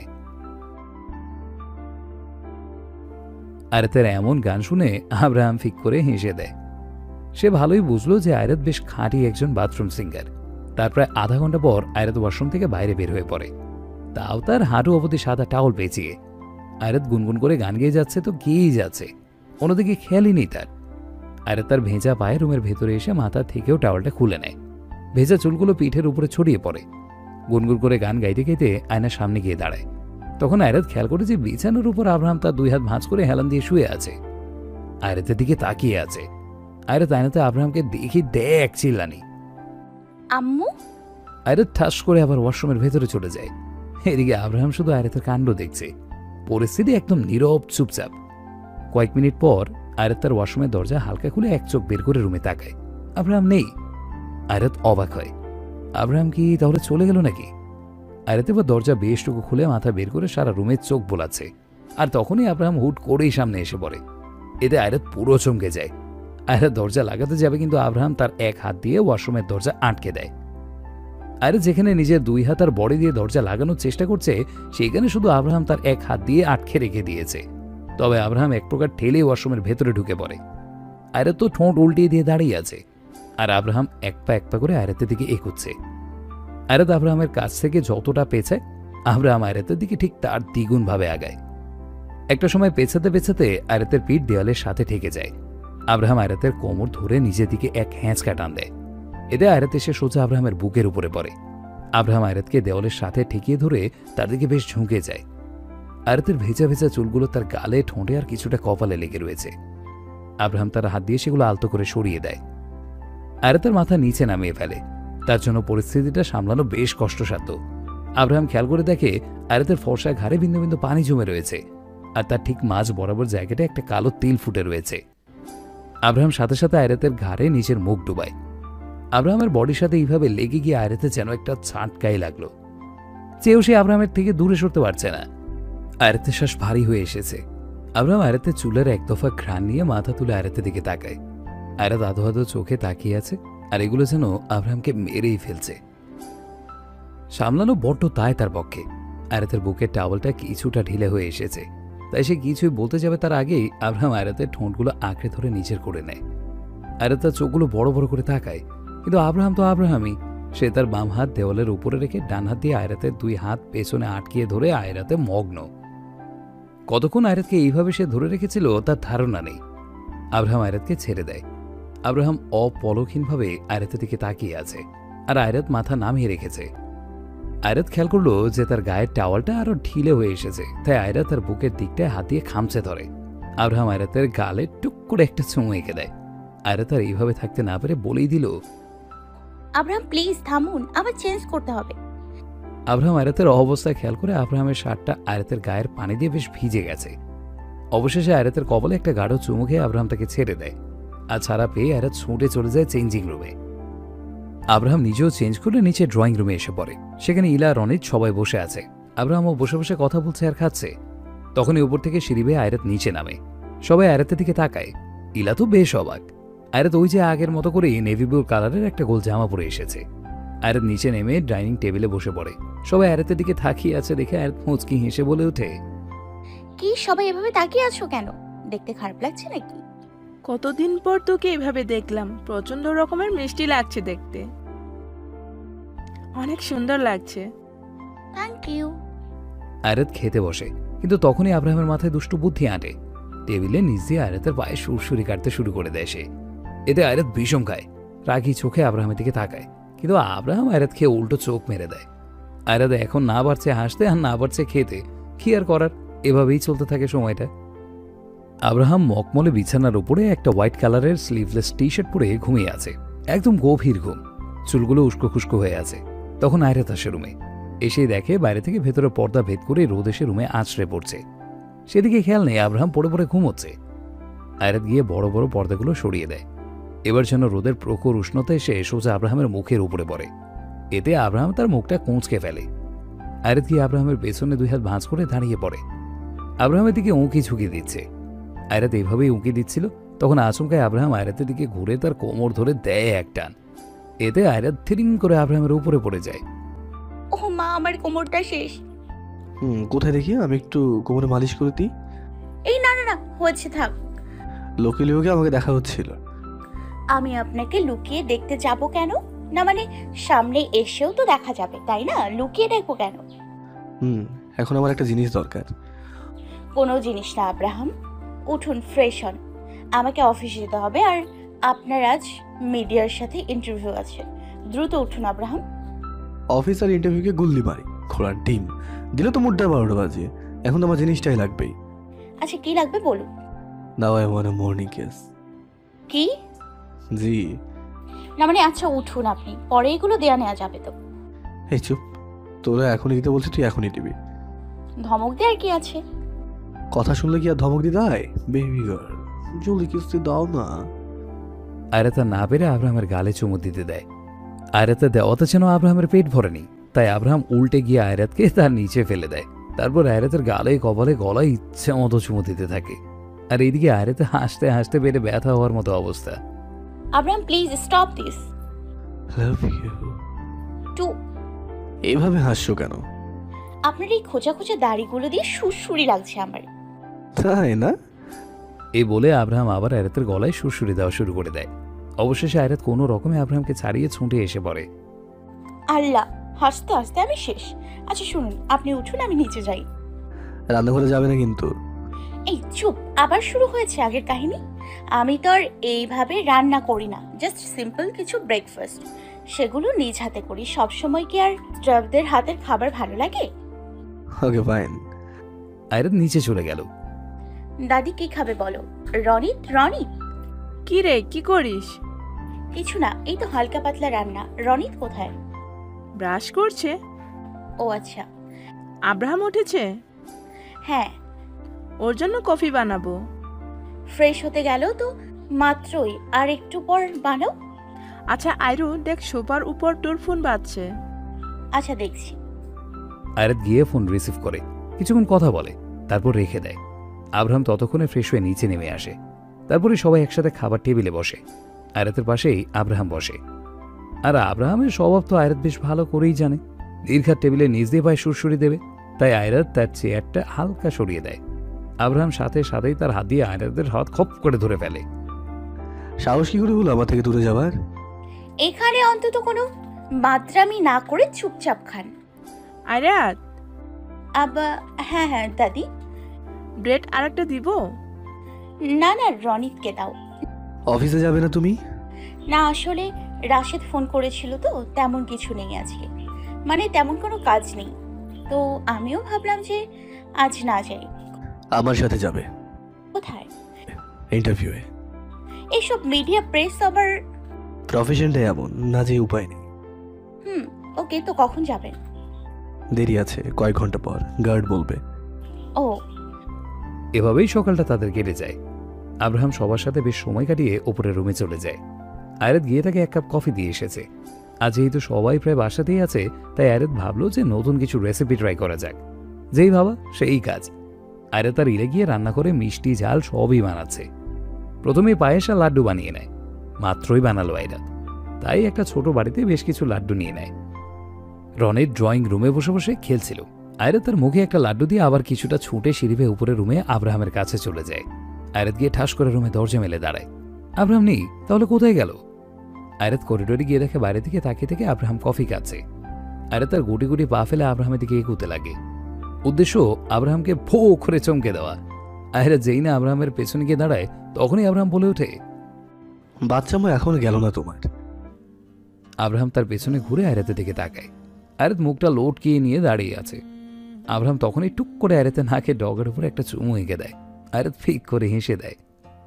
আচ্ছা শুনুন এটা খান। আমি নিজে হাতে বানিয়েছি। কি? দিল্লি কা লাড্ডু। দিল্লি? তুমি ইন্ডিয়া কবে গেলে? আরে না না আমি ইন্ডিয়া যাইনি। আসলে এই লাড্ডুর নামই দিল্লি কা লাড্ডু। হুম তো? আরে আগে ধরুন মুখ খুলুন। আয়রাত ঠেসে একটা লাড্ডু আব্রাহামের মুখে পড়ে দেয়। আর আব্রাহামের তো চাবানো মুশকিল হয়ে গেছে। গালগুলো ফুলে গেছে কোনো রকমে চিপুচ্ছে আর আব্রাহামের এমন হাল থেকে আয়রাত হেসে দেয়। আব্রাহাম তা কোনো রকমে খেয়ে ফেলে। এইভাবে কেউ খাওয়ায়?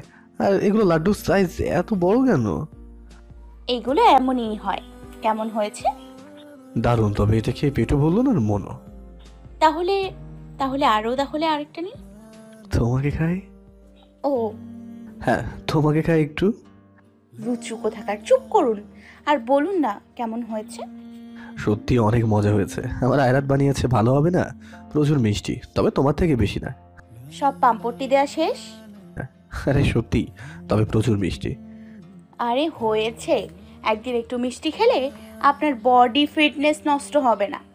হুম রেডি হয়ে নাও বের হব আমরা। আচ্ছা। আয়াত গিয়ে সবকিছু ঠিকঠাক করে ফেলল। তারপরে সে রেডি হয়ে নেয়। আব্রাহাম ব্ল্যাক কালারের রিপ প্যান্ট পরে ওপরে অ্যাশ কালারের শার্ট পরে তারপরে জ্যাকেট জড়িয়ে নেয়। এদিকে আয়রাত এই যে চেঞ্জিং রুমে ঢুকেছে, তার আর বের হওয়ার নামই নেই।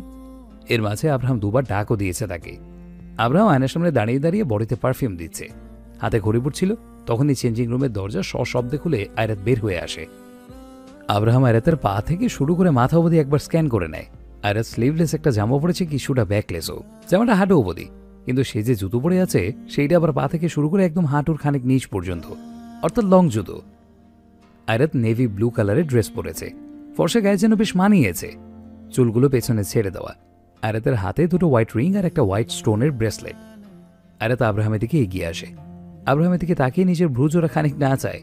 আব্রাহাম মুচকি হেসে দিয়ে নিজের আঙুল দিয়ে কপালের সাইডে কিছুটা স্লাইড করে।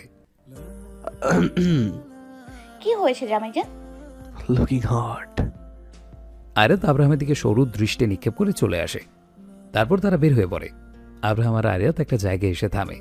এখানে অনেক বেশি মানুষের ভিড়, আর সবগুলোই প্রায় মিডিয়া লোক। অনেকগুলো গার্ড আব্রাহাম আয়রাতের গাড়িকে প্রোটেকশন দিয়ে রেখেছে। সবাই সাইড দেয়। তখনই আব্রাহাম আয়রাত গাড়ি থেকে নেমে গিয়ে সামনে এগোয়। চারিপাশে তাদের অনেক গার্ড। ক্যামেরাম্যানরা ছবির উপরে ছবি তুলছে তাদের। অবশেষে আব্রাহাম আয়রাত এসে সবার সামনে স্টেজে গিয়ে বসে। তাদের সামনে মিডিয়া প্রেসের অভাব নেই। মাঝে মাঝে আব্রাহাম আয়রাতের কানের কাছে গিয়ে কথা বলছে আর আয়রাত হাসছে। অতপর একজন ইন্টারভিউর গিয়ে আব্রাহাম আয়রাতের সামনে গিয়ে বসে। বেশ সময় কুশল বিনিময় করে। তো mister Abraham Ahmed Chowdhury and Mrs Chowdhury আপনাদের নিয়ে এক প্রকার তোলপাড় চলছে মিডিয়া জগতে। আপনাদের নিয়ে বেশ কিছু প্রশ্নও আছে। জি যা কিছু আছে জিজ্ঞেস করতে পারেন। আগে আমি আমার নিজের ডাউট ক্লিয়ার করি। এই আব্রাহাম চৌধুরী অর্নিল আর আব্রাহাম আহমেদ। চৌধুরীর কাহিনী কি? কাহিনী কিছুই না দুজন একই ব্যক্তি এই আমি। থাকে না মানুষের নাম দুইটা আমারও হলো। এখন মেইন প্রফেশন হিসেবে কি চুজ করে নিয়েছেন আপনি? এই গ্ল্যামার ওয়ার্ড নাকি মাফিয়া দুটোই আছে যখন যার প্রয়োজন পড়ে। তার মানে বেসিক্যালি এই মাফিয়া বা গ্যাংস্টার যে শব্দগুলো আছে না এগুলো হলো মানুষ তার সবার সামনে অস্বীকার করে লুকোনোর চেষ্টা করে। কিন্তু না আমার এই ক্ষেত্রে কোনো দ্বিধাই নেই। I can proudly say that I am a mafia এদের যে যাই ভাবুক বলুক I really don't care about that this is call attitude আমার থেকে বড় একজন আমার পাশে বসে আছে। অ্যাটিটিউডে গোডাউন। আব্রাহামের এমন কথা সবাই হেসে দেয়। হায়রাত ম্যামের তো কথাই নেই। সিরিয়াসলি এত কম সময়ে এসে এত বড় অ্যাচিভ করাটা বেশ টাফ আপনারা কতটুকু সাকসেসফুল তা বলার আর কোনো দরকারই পড়ে না। এবার আসি আপনাদের লাভ লাইফে মানে কেউ শুধু আব্রাহাম বা শুধু আইরাত এদের আলাদা আলাদা নাম নেয় না? আব্রাহাম আইরাত এই দুটো নাম সব সময় একসাথে উচ্চারণ করা হয়। Best couple I have ever seen thank you আচ্ছা আব্রাহাম স্যার আপনি কখনো নিজের রিলেশনশিপ স্ট্যাটাস পাবলিক করেননি কেন? মানে আপনি সিঙ্গার পেশাটার ক্ষেত্রে হাইরাত ম্যামের সাথে আপনার সম্পর্কটা পাবলিক করেননি কেন? এর পেছনে অনেক বড় লম্বা কাহিনী আছে। বলতে বলতে তার রাত হয়ে যাবে। অনেক কাঠ খড় পোড়াতে হয়েছে তাকে। না আয়রাতের সাথে আমার বিয়ে হয়েছে বেশ কয়েক বছর আগে আমি ম্যারিড। আপনি জানেন আপনার এই কথায় আজ কতগুলো মেয়ের মন খান খান হয়েছে? করার কিছুই নেই আমার আয়রাত আছে। আচ্ছা তো আব্রাহাম স্যার আপনার আর ম্যামের প্রথম দেখা কোথায় হয়? আব্রাহাম এমন প্রশ্নে আয়রাতের দিকে হেসে দিয়ে তাকায়। আয়রাত নিজেও বুঝতে পেরেছে যে আব্রাহাম কেন তার দিকে তাকিয়ে হাসে কি থামলেন কেন? বলুন। আমাদের কোথায় দেখা হয়েছিল প্রথম আব্রাহাম বলুন। এমন কোথায় দেখা হয়েছিল? Okay fine. আয়রাতের সাথে প্রথম দেখা হয় আমার একটা বারে। আব্রাহামের এমন কথায় সব পাবলিকও ও ঘুরে ওঠে। না না তেমন কিছু না। আয়রাত তার বেস্ট ফ্রেন্ডের বার্থডে সেলিব্রেট করার জন্য সেখানে যায়। আর কাকতালীয়ভাবে আমার নজরে পড়ে যায়। জানি না ওর মাঝে কী এমন ছিল বাট বিলিভ মি আয়রাতকে দেখার পর থেকে আমার দু রাতের ঘুম পুরো হারাম ছিল। কথা বলা কীভাবে স্টার্ট হয়? আয়রাত এবার আব্রাহামের হাত ধরে হেসেই দেয়। আব্রাহাম বুঝেছে যে কেন আয়রাত হাসছে। মানে আমাদের লাভ লাইফ নিয়ে এত বেশি ইন্টারেস্ট কেন আপনার? স্যার শুধু আমার না আপনাদের সবারই। অ্যাজ ইউজুয়াল আয়রাত খুব সিম্পল একটা মেয়ে ছিল চুপচাপ দাঁড়িয়েছিল তার মাঝে মাঝে আমি হুট করে তাকে বলে দিই হেই বিউটিফুল এক রাতের জন্য আমার বউ হবে? আব্রাহামের কথায় সবাই হেসেও দেয় আবার সেই সাথে অবাকও হয়। হোয়াট এক্স্যাক্টলি ও গড ম্যামের রিয়াকশন কেমন ছিল? আয়রাত অবাকে চরম পর্যায়ে গিয়ে আমাকে অবাক করে দিয়ে আমার দিকে তাকিয়েছিল। ম্যাম মানে ব্যাপারটা কিছুটা এমন যে আমি যেতে চাইনি কিন্তু আমার ফ্রেন্ড জোর করে নিয়ে গেছে। আমি আমার মতোই ছিলাম তার মধ্যে হুট করে আমার কথা। মানে কি যে একটা অবস্থা ছিল তবু আমি অনেক কথা শুনিয়ে এসে পড়ে। তবে আমি ওর পিছু ছাড়িনি। আর সেই দিন থেকে আয়রাতের পিছু ছাড়িনি বলে আজ এই পর্যন্ত আসতে পেরেছি।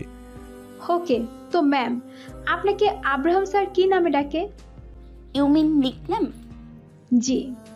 জান পাখি বেবি গার্ল মানে এই দুটো নাম আব্রাহামের একদম মার্ক করা। এগুলো আব্রাহামের দেয়া নাম।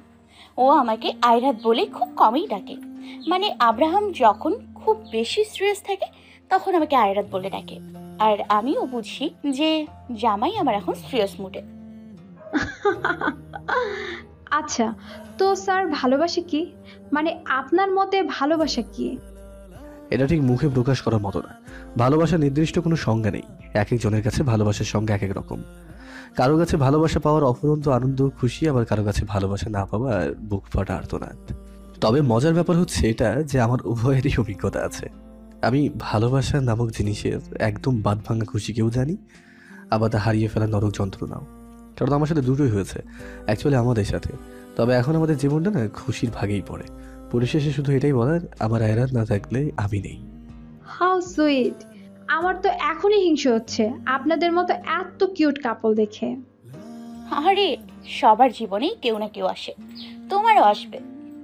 আচ্ছা লাভ স্টোরিতে যেমন বাবা ভাইরা শত্রু হয়ে দাঁড়ায় মানে মেয়েদের ক্ষেত্রে এই আর কি। তো আইরাত ম্যামের ক্ষেত্রে কি এমন কিছু হয়েছে কখনো? না আমার চাচু যখন বেঁচে ছিলেন তখন তিনি কিছুটা আপত্তি জানান। কিন্তু পরক্ষণে আবার সব ঠিক। তেমনভাবে ফ্যামিলি থেকে কোনো শত্রু ছিল না। আচ্ছা তো দুইজনের মাঝে কে বেশি ডেয়ারিং মানে স্যার নাকি ম্যাম এবার আব্রাহাম আয়রাতের দিকে আঙুল দিয়ে দেখায় আর আয়রাত আব্রাহামের দিকে তার আঙুল দিয়ে দেখায়। সামিয়া হেসে দেয় সাথে বাকি সবাইও। ম্যাম আব্রাহাম স্যার কি ভালোবাসা পাগলামি করে? ভালোবাসার আরেক নাম পাগলামি। প্রচুর আর কিছু বললাম না শুধু প্রচুরটাই বলে দিলাম। এখন বাকিটুকু বুঝে নাও। মানে আমি বলতে পারব না যে ও ঠিক কি কি করেছে। কে বেশি ভালোবাসা প্রকাশ করে? আব্রাহাম। আমার বেবি গার্ল আচ্ছা বুঝলাম। সামিয়ার বেশ সময় কথা বলে তাদের সাথে। একটা সময় আব্রাহাম আয়রাত এসে পড়ে। আয়রাত আব্রাহাম হাইওয়ে দিয়ে আসছিল। আব্রাহাম ড্রাইভ করছে আর আয়রাত উইন্ড দিয়ে বাইরে তাকিয়ে আছে গালে হাত দিয়ে। আয়রাত গাড়ির সামনে তাকায়। তারপর একটা বাটন প্রেস করে। তাতে গাড়ির উপরের রুফটা আপনা আপনিই খুলে নেমে পড়ে। এবার যেন বাইরে সব হাওয়া ভেতরে আসে আয়রাত এক পাশ হয়ে বসে আছে আব্রাহামের দিকে তাকিয়ে। আব্রাহাম সামনে তাকিয়ে থাকলেও আয়রাত যে তার দিকে তাকিয়ে আছে তা সে অবশ্য ভালোই বুঝতে পেরেছে। আব্রাহাম ড্রাইভ করতে করতেই বলে বেবি গার্ল এভাবে তাকিয়ে থাকলে কিন্তু অ্যাক্সিডেন্ট হয়ে যাবে। হোক।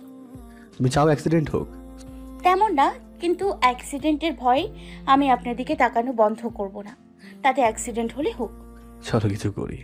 মানে? ফ্লাই বোর্ডিং এখন? হ্যাঁ। সব অ্যারেঞ্জ করতে হবে। আর অবশ্যই আমরা এই গেট আপে ফ্লাই বোর্ডিং করতে পারব না। সব কিছুর অ্যারেঞ্জমেন্ট করতে মাত্র দু মিনিট লাগবে। ওকে ডান আব্রাহাম প্রায় আরও এক ঘণ্টার মতো ড্রাইভ করে। তারপর একটা বিচ সাইডে নিয়ে এসে পড়ে। গাডরে গিয়ে ফ্লাইবোর্ডিং এর মেশিনটা নিয়ে আসে। আসলে এটা একটা ওয়াটার রাইডের মতো। এটা বেশিরভাগ বিচ সাইডেই করা হয়। ফ্লাইবোর্ডিং এর ক্ষেত্রে পায়ের নিচে একটা ভারী লম্বা বস্তুর মতো জিনিস রেখে দেওয়া হয়। তার ঠিক মাঝ বরাবর একটা মোটা পানি নির্বাহীর মতো যন্ত্র থাকে। এই ফ্লাইবোর্ডিং একা বা দুজনে মিলে করা যায়। এটা সমুদ্রে বা যেখানে প্রচুর পরিমাণে পানি রয়েছে, সেইখানে করা যায়। পানির উপরে শূন্যে ভাসা যায়। অর্থাৎ এক প্রকার স্কাই ডাইভিং এর মতোই। কিন্তু পায়ের নিচে দিয়ে পানির দ্রুত স্রোত থাকে। এই ফ্লাই বোর্ডিং দিয়ে অনেক উঁচুতে ওঠা যায়। পায়ের জায়গায় বেশ কিছু প্রসেস থাকে। সেখানে নিজের ইচ্ছে মতো কন্ট্রোল করা যায়। যেইভাবে খুশি মন মতো হাওয়াতে ভেসে ড্রাইভ করা যায়। উপরে যে ব্যক্তি থাকে, সে পানির মাধ্যমে উপরেই ভেসে বেড়াতে থাকে। তবে নিচে সমুদ্রতে বেশ কিছু স্পিড বোর্ড থাকে যেগুলোর সাথে পানির কানেকশন থাকে। আর উপরে থাকা ব্যক্তিটাকে সাপোর্ট দিতে থাকে। চাইলে কেউ সার্চ করে দেখতে পারেন। আয়াত আর আব্রাহাম এখন যেখানে আছে, সেখানে এক প্রকার বিচ সাইডই তাদের সাথে সাথে অনেক মানুষও রয়েছে। আব্রাহাম তো তার ফর্মাল গিরাবেই ছিল। তাই তার চেঞ্জ করতে হয়নি। আয়রাত গিয়ে একটা প্যান্ট আর টি শার্ট পরে আসে। আয়রাত বের হয়ে দেখে আব্রাহাম গার্ডদের সাথে কথা বলছে। আয়রাতকে আসতে দেখে আব্রাহাম একদম রেডি হয়ে গেল। বোর্ডের সাথে অর্থাৎ যে জায়গায় দাঁড়িয়ে ড্রাইভিং করা হয়, সেখানে একটা জোড়া জুতা থাকে। ভারী আর খুব মজবুত। আব্রাহাম সেগুলো পায়ে পড়ে নেয়। আয়রাত দেশে আব্রাহামের পাশে কোমরে দুই হাত রেখে দাঁড়ায়। আমার কিন্তু নার্ভাস লাগছে। ওই যে সামনে যে সমুদ্র দেখছ তোমার নার্ভাসগুলো সব সেখানে ছুঁড়ে মারো। যদি আমি উঁচু থেকে পড়ে যাই? আয়রা তুমি আমার বাহুতে আবদ্ধ থাকবে। না মানে? আমি কিন্তু ফেলে দেবো। এ! আব্রাহাম হাতে গ্লাভস পরে নেয়। কোমরে একটা বেল্টের মতো পরে নেয়। তারপর আয়রাতে কোমর জড়িয়ে ধরে নিজের সাথে মিশিয়ে নেয়। এই ফ্লাই বোর্ডিংয়ের যে ট্রেনার আছে সে আস্তে করে তাদের পানিতে নামিয়ে দেয়। পানিগুলো কি ঠান্ডা? পানির বেশ মাঝ বরাবর আব্রাহাম আয়রাত গিয়ে থামে। তখন তিন চারটা স্পিডবোট পানিতে নামে। আস্তে আস্তে আব্রাহাম আয়রাত ওপরে উঠে পড়ে। আর আব্রাহামের দুই পায়ের নিচ দিয়ে তীব্র বেগে পানির ধারা বয়ে যাচ্ছে। আস্তে আস্তে তারা দুজন বেশ উপরে উঠে পড়ে। আয়রাত আব্রাহামের শার্ট খামচে ধরে চোখ কিঁচে বন্ধ করে আছে। বেবি গার্ল দেখো উঁচু থেকে সবকিছু কত সুন্দর লাগে। মানুষগুলোকে লিলিপুটের মতো লাগছে দেখতে। তুমি আস্তে আস্তে চোখ করো একদম নিচে তাকিও না শুধু আশেপাশে তাকিয়েও দেখো। হুম রেডি কেন? তখনই আব্রাহাম আয়রাতকে নিজের সাথে চেপে ধরে একটা ঘোড়ানটি দেয়। আয়রাত আব্রাহামকে জড়িয়ে ধরে শক্ত করে। আর এদিকে আব্রাহাম মিটিমিটি করে হাসছে। মাঝে মাঝে আব্রাহাম আয়রাতের কোমর ধরে নিচে থেকে কিছুটা আলগা করে ঘুরিয়ে দিচ্ছে। প্রথমে আয়রাতের ভয় লাগলেও এখন সে একদম নর্মাল আব্রাহাম আয়রাতের হাত ধরে এবার একটু জোরেই ঘুরিয়ে দেয়। তারপর আবার আয়রাতকে নিজের বুকের উপরে ফেলে। আয়রাত হেসে দেয় দূর থেকে কি যে সুন্দর লাগছে আব্রাহাম আয়রাতকে। সব কিছুর ঊর্ধ্বে আব্রাহাম আর আয়রাত একসাথে উপরে ভাসছে আব্রাহাম তার মাথা আয়রাতের মাথার সাথে লাগিয়ে দেয়। তারপর তারা ঘুরতে থাকে। তারপর থামিয়ে দেয়। এভাবেই প্রায় তিরিশ মিনিটের মতো উপরে ভেসে আব্রাহাম আয়রাত আস্তে আস্তে নিচে নেমে আসে। ইটস কল ফ্লাই বোর্ডিং নিচে নেমে এসে আয়রাত আগেই নেমে পড়ে। তারপর আব্রাহাম তার উপর থেকে জ্যাকেটটা খুলে হাতের গ্লাভসগুলো খুলে গাছের হাতে দিয়ে দেয়। কেমন লাগল? ইটস রিয়েলি অসম দারুণ ছিল। এবার বাসায় যাই? হ্যাঁ চলুন। আব্রাহাম আয়রাত বাসায় চলে যায়। সারাটা দিন এভাবেই চলে যায়। এখন রাত বাজছে প্রায় এগারোটার মতো। আব্রাহাম হেলান দিয়ে বিছানাতে বসে আছে আর আয়রাত আব্রাহামের কোলে মাথা দিয়ে শুয়ে আছে। আব্রাহাম এক হাতে ল্যাপটপ চালাচ্ছে, আরেক হাত দিয়ে আয়রাতের মাথায় বিলি কেটে দিচ্ছে। আর আয়রাত তো আয়রাতি সে তার মতো করে বক বক করেই যাচ্ছে। আর আব্রাহাম শুধু হুম হুম করে যাচ্ছে। এবার যেন আয়রাতের রাগ উঠে পড়ে, তাই আয়রাত এক লাফে উঠে বসে পড়ে। আব্রাহামের দিকে কপাল কুঁচকে তাকায়। তারপর আয়রাত আব্রাহামের চোখ থেকে চশমাটা খুলে নিয়ে ল্যাপটপটা বন্ধ করে দেয়। আব্রাহামের সামনে একদম থুম মেরে বসে আব্রাহামকে বলে ওঠে আমি বিয়ে করব। ও আচ্ছা হ্যাঁ কি বললা? আমি বিয়ে করব। আমাদের বিয়ে হয়ে গেছে তো? না না আমি আপনাকে আবার বিয়ে করব। আব্রাহাম নিজে দুই হাত দিয়ে আয়রাতকে নিজের কাছে টেনে নেয়।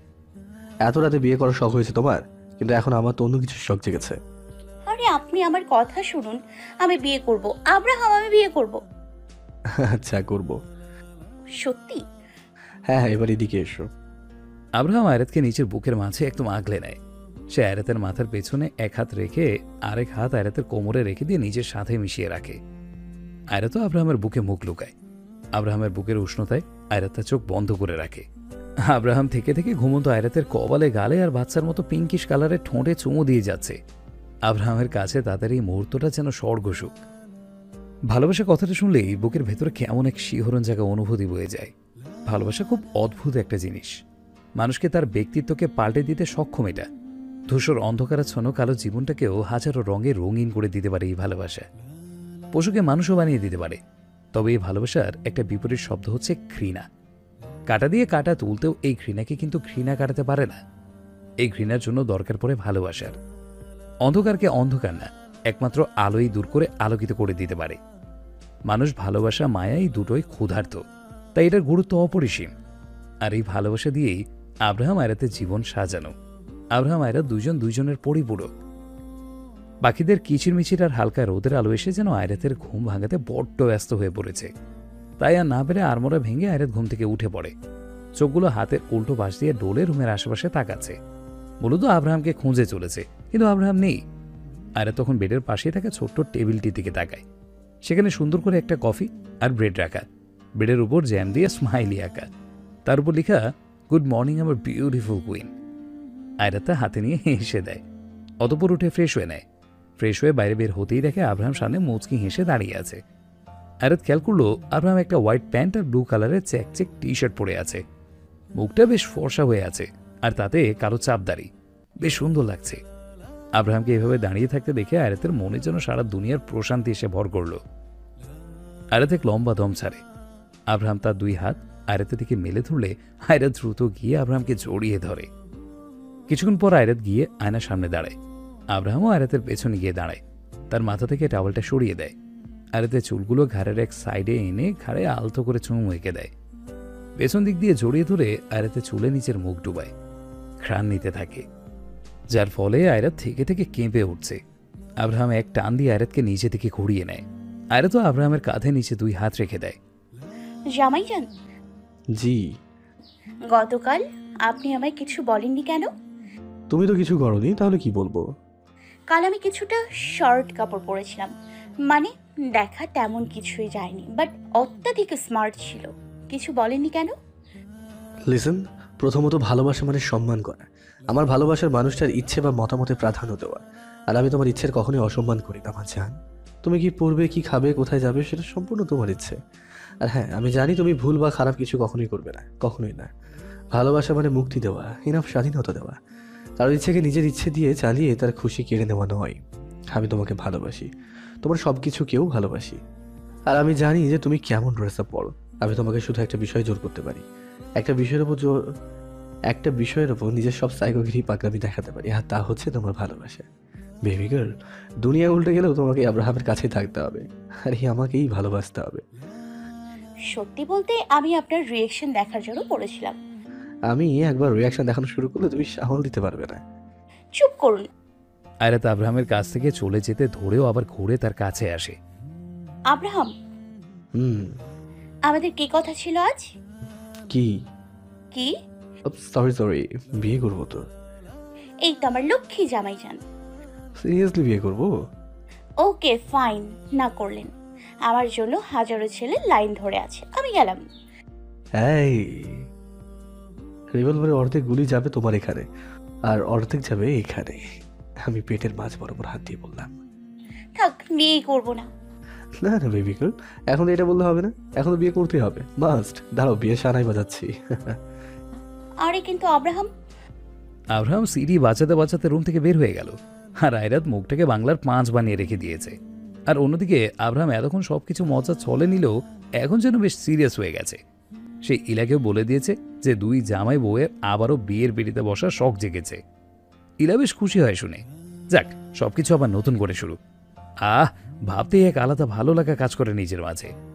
আব্রাহাম নিজে দিয়া অয়ন রোহিত আরশি কৌশল অবনী তনয়া রোদেলা রাশেদ আসান সবাইকে ডাকে। বিয়েটা ঘরোয়াভাবেই হবে এবার। শুধু ঘরের মানুষজন তবে যাক চমক প্রচুর। অবশেষে অনেক আয়োজন করা হয়। তবে মেয়েরা সবাই বাহানা ধরল যে মেহেদি পড়বে তাই মেয়েরা সবাই হল রুমেই ছিল আর ছেলেরা সবাই ছাদে আড্ডা দিচ্ছিল। আরে তার হাতে যেই না মেহেদি পড়াতে যাবে তখনই আব্রাহামের আগমন। হেই ওয়ার্ড সবার নজর সামনে আব্রাহামের দিকে। আব্রাহাম এগিয়ে আসে। আয়রাত নিজেও ড্যাব ড্যাব করে তাকিয়ে আছে।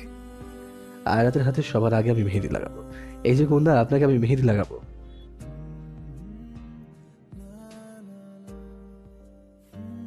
তা তোমরা কি কম প্রেম করো নাকি? হয়েছে আর ভোলা সাজতে হবে না। আমরা সবাই জানি যে আপনি আর অয়ন ভাই ডুবে ডুবে জল খাচ্ছেন। বহু আগে থেকেই শুধু তাই না অবনী আর কৌশলও ভাই হাটে একদম হাড়ি ভেঙে গেল। সবাই হেসে দেয়। আর আব্রাহাম আয়রাতের কাছে বসতেই মেয়েরা সেখান থেকে উঠে দূরে সরে যায়। আব্রাহাম তার দুই পা গুটিয়ে বসে আয়রাতের হাতে মেহেদি দিয়ে দেয়। আর আয়রাত এক মনে আব্রাহামের দিকে তাকিয়ে থাকে। প্রায় দশ থেকে পনেরো মিনিট পর একদম আয়রাতের দুই হাত ভরে মেহেদি লাগানো শেষ হয়ে গেল। আব্রাহাম এতক্ষণ একেবারের জন্য অন্যদিকে তাকায়নি। এক মনে মেহেদি লাগাচ্ছিল মেহেদি লাগানো শেষ হলে আব্রাহাম আয়রাতের দিকে তাকায়। আয়রাতকে ইশারা দেয় যেন সে নিজের হাতের দিকে তাকায়। আর আয়রাত তাকাতেই থ। আব- আব্রাহাম এটা এটা পাঠিয়েছেন? হ্যাঁ মাত্রই তো লাগিয়ে দিলাম। এর আগে কি মেহেদি পড়ানোর কাজ করতেন? এই মেয়ে জুতের ফালুদা করো না তো। এত সুন্দর না মানে এত সুন্দর? আর এভাবে তো পার্লারের মেয়েরাও দেয় না। সিরিয়াসলি অনেক সুন্দর হয়েছে। আচ্ছা রহস্য কি হ্যাঁ? এই যে এত সুন্দর করে শাড়ি পরানো মেহেদি লাগানো রেডি করিয়ে দেয়া। এগুলো কোথায় শিখলেন বলুন তো? শিখিনি শেখার প্রয়োজন পড়েনি।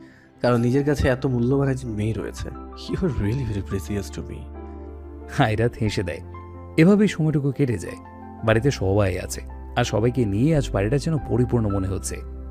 একটা সময় কাজীকে রাখা হয় সবাই নিচে বসে আছে আব্রাহামও সেখানে আব্রাহাম একটা গ্রে আর হোয়াইট কালারের কম্বিনেশনের শেরওয়ানি পরেছে সোফাতে বসে বসে ফোন কাটছে আয়রাত তো নেমে আসে। পরনে হালকা মিষ্টি ও সাদা কালারের মিক্স লেহেঙ্গা। আয়রাত এসে সোজা আব্রাহামের পাশে বসে পড়ে। আব্রাহাম দুই গালে হাত রেখে আয়রাতের দিকে তাকিয়ে আছে। এভাবে তাকিয়ে আছেন কেন? আয়রাত হেসে অন্যদিকে তাকায়। এই যে কন্যা আর কতবার ঘায়েল করবে? আর কত মারবে? আর কত? যতদিন আছি মেরেই যাব। তাদের কথা বলার মাঝেই কাজে আসে। এসে তাদের সামনে বসে। কাজে আব্রাহামকে কবুল বলতে বলে। আব্রাহাম সাথে সাথে ফট করে কবুল বলে দেয়। আয়রাতকে বললে আয়রাতও বলে। কবুল কবুল কবুল। আয়রাতের কবুল বলতেই সবাই একসাথে বেশ চিল্লিয়ে ওঠে কবুল হ্যাঁ এই বলে। আব্রাহাম আয়রাতে ঠিক সামনে একটা সুন্দর আয়না রেখে দেওয়া হয়। তার দিকে আয়রাত তাকায়। আয়নাতে আব্রাহামকে দেখা যাচ্ছে। আয়রাত সাথে সাথে একটা চোখ মেরে দেয়। আব্রাহাম হেসে দেয় সাথে আয়রাতও। আব্রাহাম আয়রাতের বিয়েটা কিন্তু হলো কিছুটা বিকেল বিকেল এমন দিকে। তাই আব্রাহাম আয়রাত চেঞ্জ করে এসে আবার সবার সাথে হলরুমে বসে আড্ডা দিতে লাগে। বেশ মজা হয়। এবার যেন ফ্যামিলিটা একদম খুশিতে ভরা লাগছে। একটা সময় সবাই বিদায় নিয়ে চলে যায়। এখনও বিকেল পুরোপুরিভাবে কাটেনি। সময়টা সন্ধে আর বিকেলের মাঝামাঝি। বাইরে মেঘ সাজ করে এসেছে। মেঘলা ভাব। আয়রা দেশে রুমের বড় থাই গ্লাসটা সরিয়ে দেয়। তখনই বিকট শব্দ করে বিদ্যুৎ গর্জে ওঠে আর দু এক বিন্দু বৃষ্টি ফোঁটা আয়রাতের মুখের উপরে পড়ে। স্নিগ্ধ শীতল বাতাস গায়ে এসে দোলা দিয়ে যাচ্ছে। বাতাসে আয়রাতের চুলগুলো উড়ে উড়ে যাচ্ছে। হঠাৎ নিজের কোমরে কারও হাতে স্পর্শ পায়। আয়রাত কিচ্ছু বলে না কেননা এই স্পর্শটা তার খুবই চেনা। স্পর্শটা আয়রাতের আব্রাহামের। আব্রাহাম আয়রাতকে জড়িয়ে ধরে তার কাঁধে নিজের থুতনি রেখে দেয়। অমনি বাইরে ঝিরি ঝিরি শব্দের বৃষ্টি নেমে পড়ে। পরিবেশটা ভারী সুন্দর না? আমার কাছে কি আর ওগুলো দেখার টাইম আছে তোমাকে রেখে? বাবা আব্রাহাম খানিক আয়রাতকে ছেড়ে দিয়ে দূরে সরে পড়ে। তারপর আবার আয়রাতের কাছে গিয়ে তার দিকে একটা গরম চায়ের কাপে গিয়ে দেয়। ওয়াও আমি আরও আপনাকে বলতে চাচ্ছি যে কফি বানিয়ে আনব নাকি? বাই দ্য আপনি আজ কফি বাদ দিয়ে চা কেন? চা মানেই ভালোবাসা। এটার কোনো তুলনা হয় না। আর বৃষ্টির দিনে তো কোনো কথাই নেই। বাহ আমার ডায়লগ আমাকে? বউ তো আমারই তাই না? হুম। তখনই ধূপ করে ইলেকট্রিসিটি চলে যায়। আরে অবাক কেননা এইভাবে ইলেকট্রিসিটি যাওয়ার কোনো কারণ নেই। আর আব্রাহামের বাসায় তো নয় অন্যান্য দিন হলে হয়তো আয়রাতের রাগ করতো কিন্তু আজ আর রাগ নেই। বরং কারেন্ট চলে যাওয়াতে ভালোই লাগছে। আয়রাত এই সবই ভাবছিল, তখনই আব্রাহাম একটা মোটা মোম জ্বালিয়ে দেয়। আবছা আধারে রুমে মোমের আলোটা জলচল করছে। আব্রাহাম আরও দ্রুত আলো জ্বালিয়ে দেয়, কেননা সে জানে যে আয়রাত ভয় পায়। আয়রাত ঘুরে আব্রাহামের দিকে তাকায়। আয়রাত গিয়ে আস্তে করে আব্রাহামের দিকে এগিয়ে যায়। বাইরে থেকে এক দমকা বাতাস এসে মোমবাতিকে নিভিয়ে দিতে চাইলে আব্রাহাম এক পাশ দিয়ে হাত দিয়ে আগলে ধরে। তারই আরেক পাশে আয়রাত ধরে। দুজনের হাতের আড়ালে যেন বাতিটা আরও স্পষ্টভাবে জ্বলে ওঠে। আব্রাহাম আয়রাতের দিকে তাকিয়ে দেখে আয়রাত এক নয়নে আলোর দিকে তাকিয়ে আছে। মোহের আলোতে আয়রাতের মুখখানা যেন আরও আকর্ষণীয় হয়ে উঠেছে। অপূর্ব লাগছে আয়রাতকে। মুখের যে এক মাধুর্যতা রয়েছে, তা ফুটে উঠেছে। আয়রাত আব্রাহামের দিকে তাকায়। তখনই আরও একবার মেঘ জোরে ডেকে ওঠে। আব্রাহাম মোমটাকে কিছুটা দূরে সরিয়ে রেখে এসে পড়ে। নিজের গিটারটা নিয়ে সোজা করিডোরে চলে যায়। এখানকার পরিবেশটা আরও গাঢ়ভাবে মন কেড়ে নেওয়ার মতো। বৃষ্টির ছিঁটে পড়ে এসে হালকা ভেজা ভেজা ভাব। আবছা অন্ধকার তার মাঝে বিদ্যুৎ চমকের আলো। পরিবেশটা দুর্দান্ত। আব্রাহাম গিয়ে করিডোরের থাই গ্লাসটা সরিয়ে দিয়ে তার পাশেই বসে পড়ে গিটার নিয়ে। জান পাখি। এদিকে এসো। আয়রাত আব্রাহামের কাছে চলে যায়। আব্রাহাম আয়রাতের হাত ধরে টেনে নিয়ে নিজের সামনে বসিয়ে দেয়। অর্থাৎ আয়রাতের পিঠটা আব্রাহামের বুকের সাথে লেগে আছে। আব্রাহাম তার গিটারটা আয়রাতের কাছে দিয়ে নিজে আয়রাতের পেছন দিয়ে গিটারটা ধরে। অর্থাৎ আয়রাতকে সাথে নিয়ে এসে গিটারে সুর তুলেছে। নিজের বাম হাতটা আয়রাতের হাতের উপরে রেখে দেয় আর নিচের মুখটা আয়রাতের খারে আয়রাতের হাতের উপর নিজের হাত দিয়ে ধরেই গিটারে সুর তুলে আব্রাহাম दुआ भी लगे ना मुझे दवा भी लगे ना मुझे जब से दिल को मेरे तू लगा है नींद रातों की मेरी चाहत बातों की मेरी چین کو بھی میرے تو نے یوں ٹھگا ہے۔ جب سانسیں بھروں میں بند، آنکھیں کروں میں نظر جو مجھے تو یاد آیا۔ دل کو کرارا تجھ پہ ہی پیارا पहली पहली बार आया ओ यारा दिल को करार आया तुझ पे ही प्यार आया पहली पहली बार आया ओ यारा শেষ হতেই আব্রাহাম গিটারটা রেখে দিয়ে আয়রাতকে নিচের দুই হাত দিয়ে পেছন থেকে একেবারে আষ্টে পৃষ্ঠে জড়িয়ে ধরে আয়রাত খিলখিল করে হেসে দেয় এভাবে কিছুক্ষণ বসে থেকে আয়রাত খেয়াল করে দেখে যে রাত হয়ে গেছে। তখন ইলেকট্রিসিটিও এসে পড়ে। আয়রাত হুট করে আব্রাহামের দিকে ঘুরে বলে ওঠে আব্রাহাম আজ না আমাদের বিয়ের রাত? ওহো আজ তো বাসো রাত। হ্যাঁ আ ওয়েট কোথায় যাচ্ছেন? আসছি just give me two minutes এই বলে আব্রাহাম চলে গেল আর আয়রাত বসে রইল সেইখানেই। আব্রাহাম গিয়েই সবার আগে তার কালেকশনে যেসব অ্যালকোহলের বোতল ছিল বা যাই ছিল সব সব এক এক করে সরিয়ে ফেলে। কারণ আয়রাত তাদের প্রথমবারের বিয়ে রাতে যা করেছিল ইয়া আল্লাহ আব্রাহাম তা পুনরায় দেখতে চায় না। ঘাট হয়েছে তার আর না বউয়ের এমন রূপ আর সে দেখতে চায় না। কিছুক্ষণ পর আব্রাহাম এসে পড়ে। কোথায় গিয়েছিলেন? খুব বেশি ইম্পর্টেন্ট কাজ করতে। এমনি ইম্পর্টেন্ট কাজ? তা তোমার না জানলেও চলবে। আচ্ছা শুনুন আমার কিছু দেওয়ার আছে আপনাকে। তো দাও। এই ধরুন। আয়রাত আব্রাহামের হাতে একটা লম্বা চড়া কাগজ দিয়ে দেয়। আব্রাহাম কাগজটা মিলতেই তা গড়িয়ে নিচে পড়ে যায়। মানে আয়রাত তাকে এমন বড় একটা কাগজ দিয়েছে যা বলার বাইরে। বাজারে লিস্ট হয়তো এত বড় হয় না। এটা কি? পড়ে দেখুন পড়ে দেখুন। আব্রাহাম সবার উপরে দেখে লেখা কন্ডিশনস অর্থাৎ শর্ত। কন্ডিশন হ্যাঁ এগুলো আমার কিছু আবদার যা আপনাকে পূরণ করতেই হবে। আব্রাহাম পড়তে শুরু করে দেয়। তো আয়রাতের শর্ত হচ্ছে নাম্বার ওয়ান সকালে প্রতিদিন মর্নিং কিস দিতে হবে।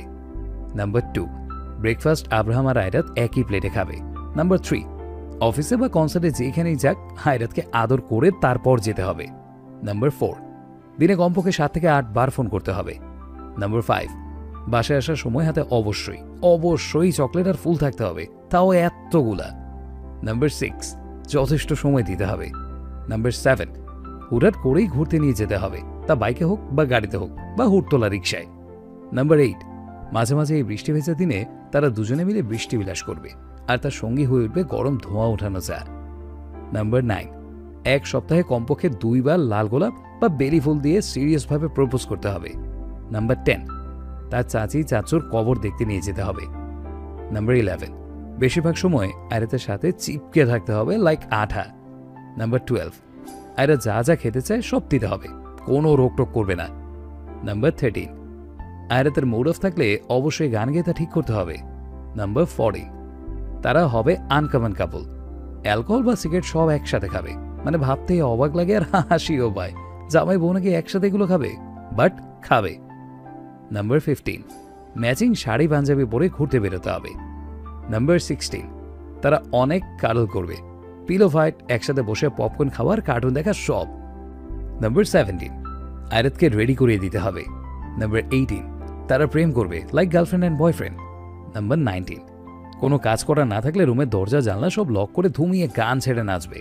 নাম্বার টোয়েন্টি মাঝে মাঝে তার পছন্দের ফুলের গাছ এনে মাথার পেছনে গুজে দিতে হবে। নাম্বার টোয়েন্টি ওয়ান আয়রাতকে কপালে চুমু দিতে হবে বেশি বেশি। নাম্বার টোয়েন্টি টু তাকে অনেক অনেক অনেক অনেক অনেক অনেক অনেক বেশির থেকেও অনেক বেশি ভালোবাসতে হবে। শেষ হলো আয়রাতের কন্ডিশনস এগুলো পড়ে আব্রাহাম লাইক এগুলো তোমার কন্ডিশন ছিল? আবার জিগায় তবে আরও একটা আছে। কি? এত বেশি হ্যান্ডসাম হওয়া চলবে না নয়তো সবাই তাকিয়ে থাকে। আব্রাহাম লেটারটা রেখে দিয়ে আয়রাতের হাত ধরে হ্যাঁচকা টান দিয়ে নিজের কাছে আনে। নিচে দুই হাত আয়রাতের কোমরে পেঁচিয়ে বলে ওঠে এগুলো আমাকে না বললেও আমি নিজেই করতাম। মানে এগুলো আবার বলতে হয়?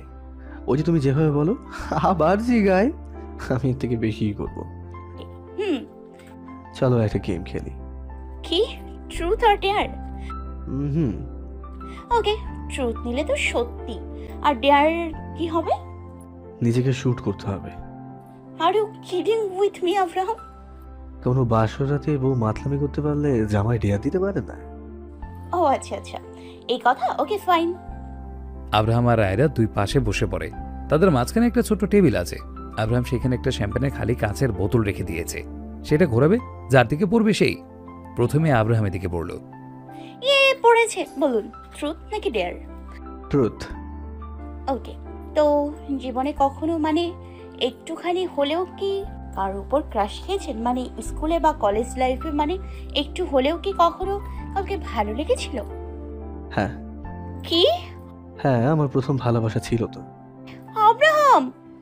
কুসুম নাম ছিল ওর। হোয়াট কিন্তু এটা তো আম্মুর নাম। আমার প্রথম ভালোবাসা বা ভালো লাগার সবটাই আমার মা ছিল। হারামি আয়রাত উঠে গিয়ে ঠাস ঠুস হাতে যত কুলায় সব আব্রাহামের উপর ঝাড়তে লাগে।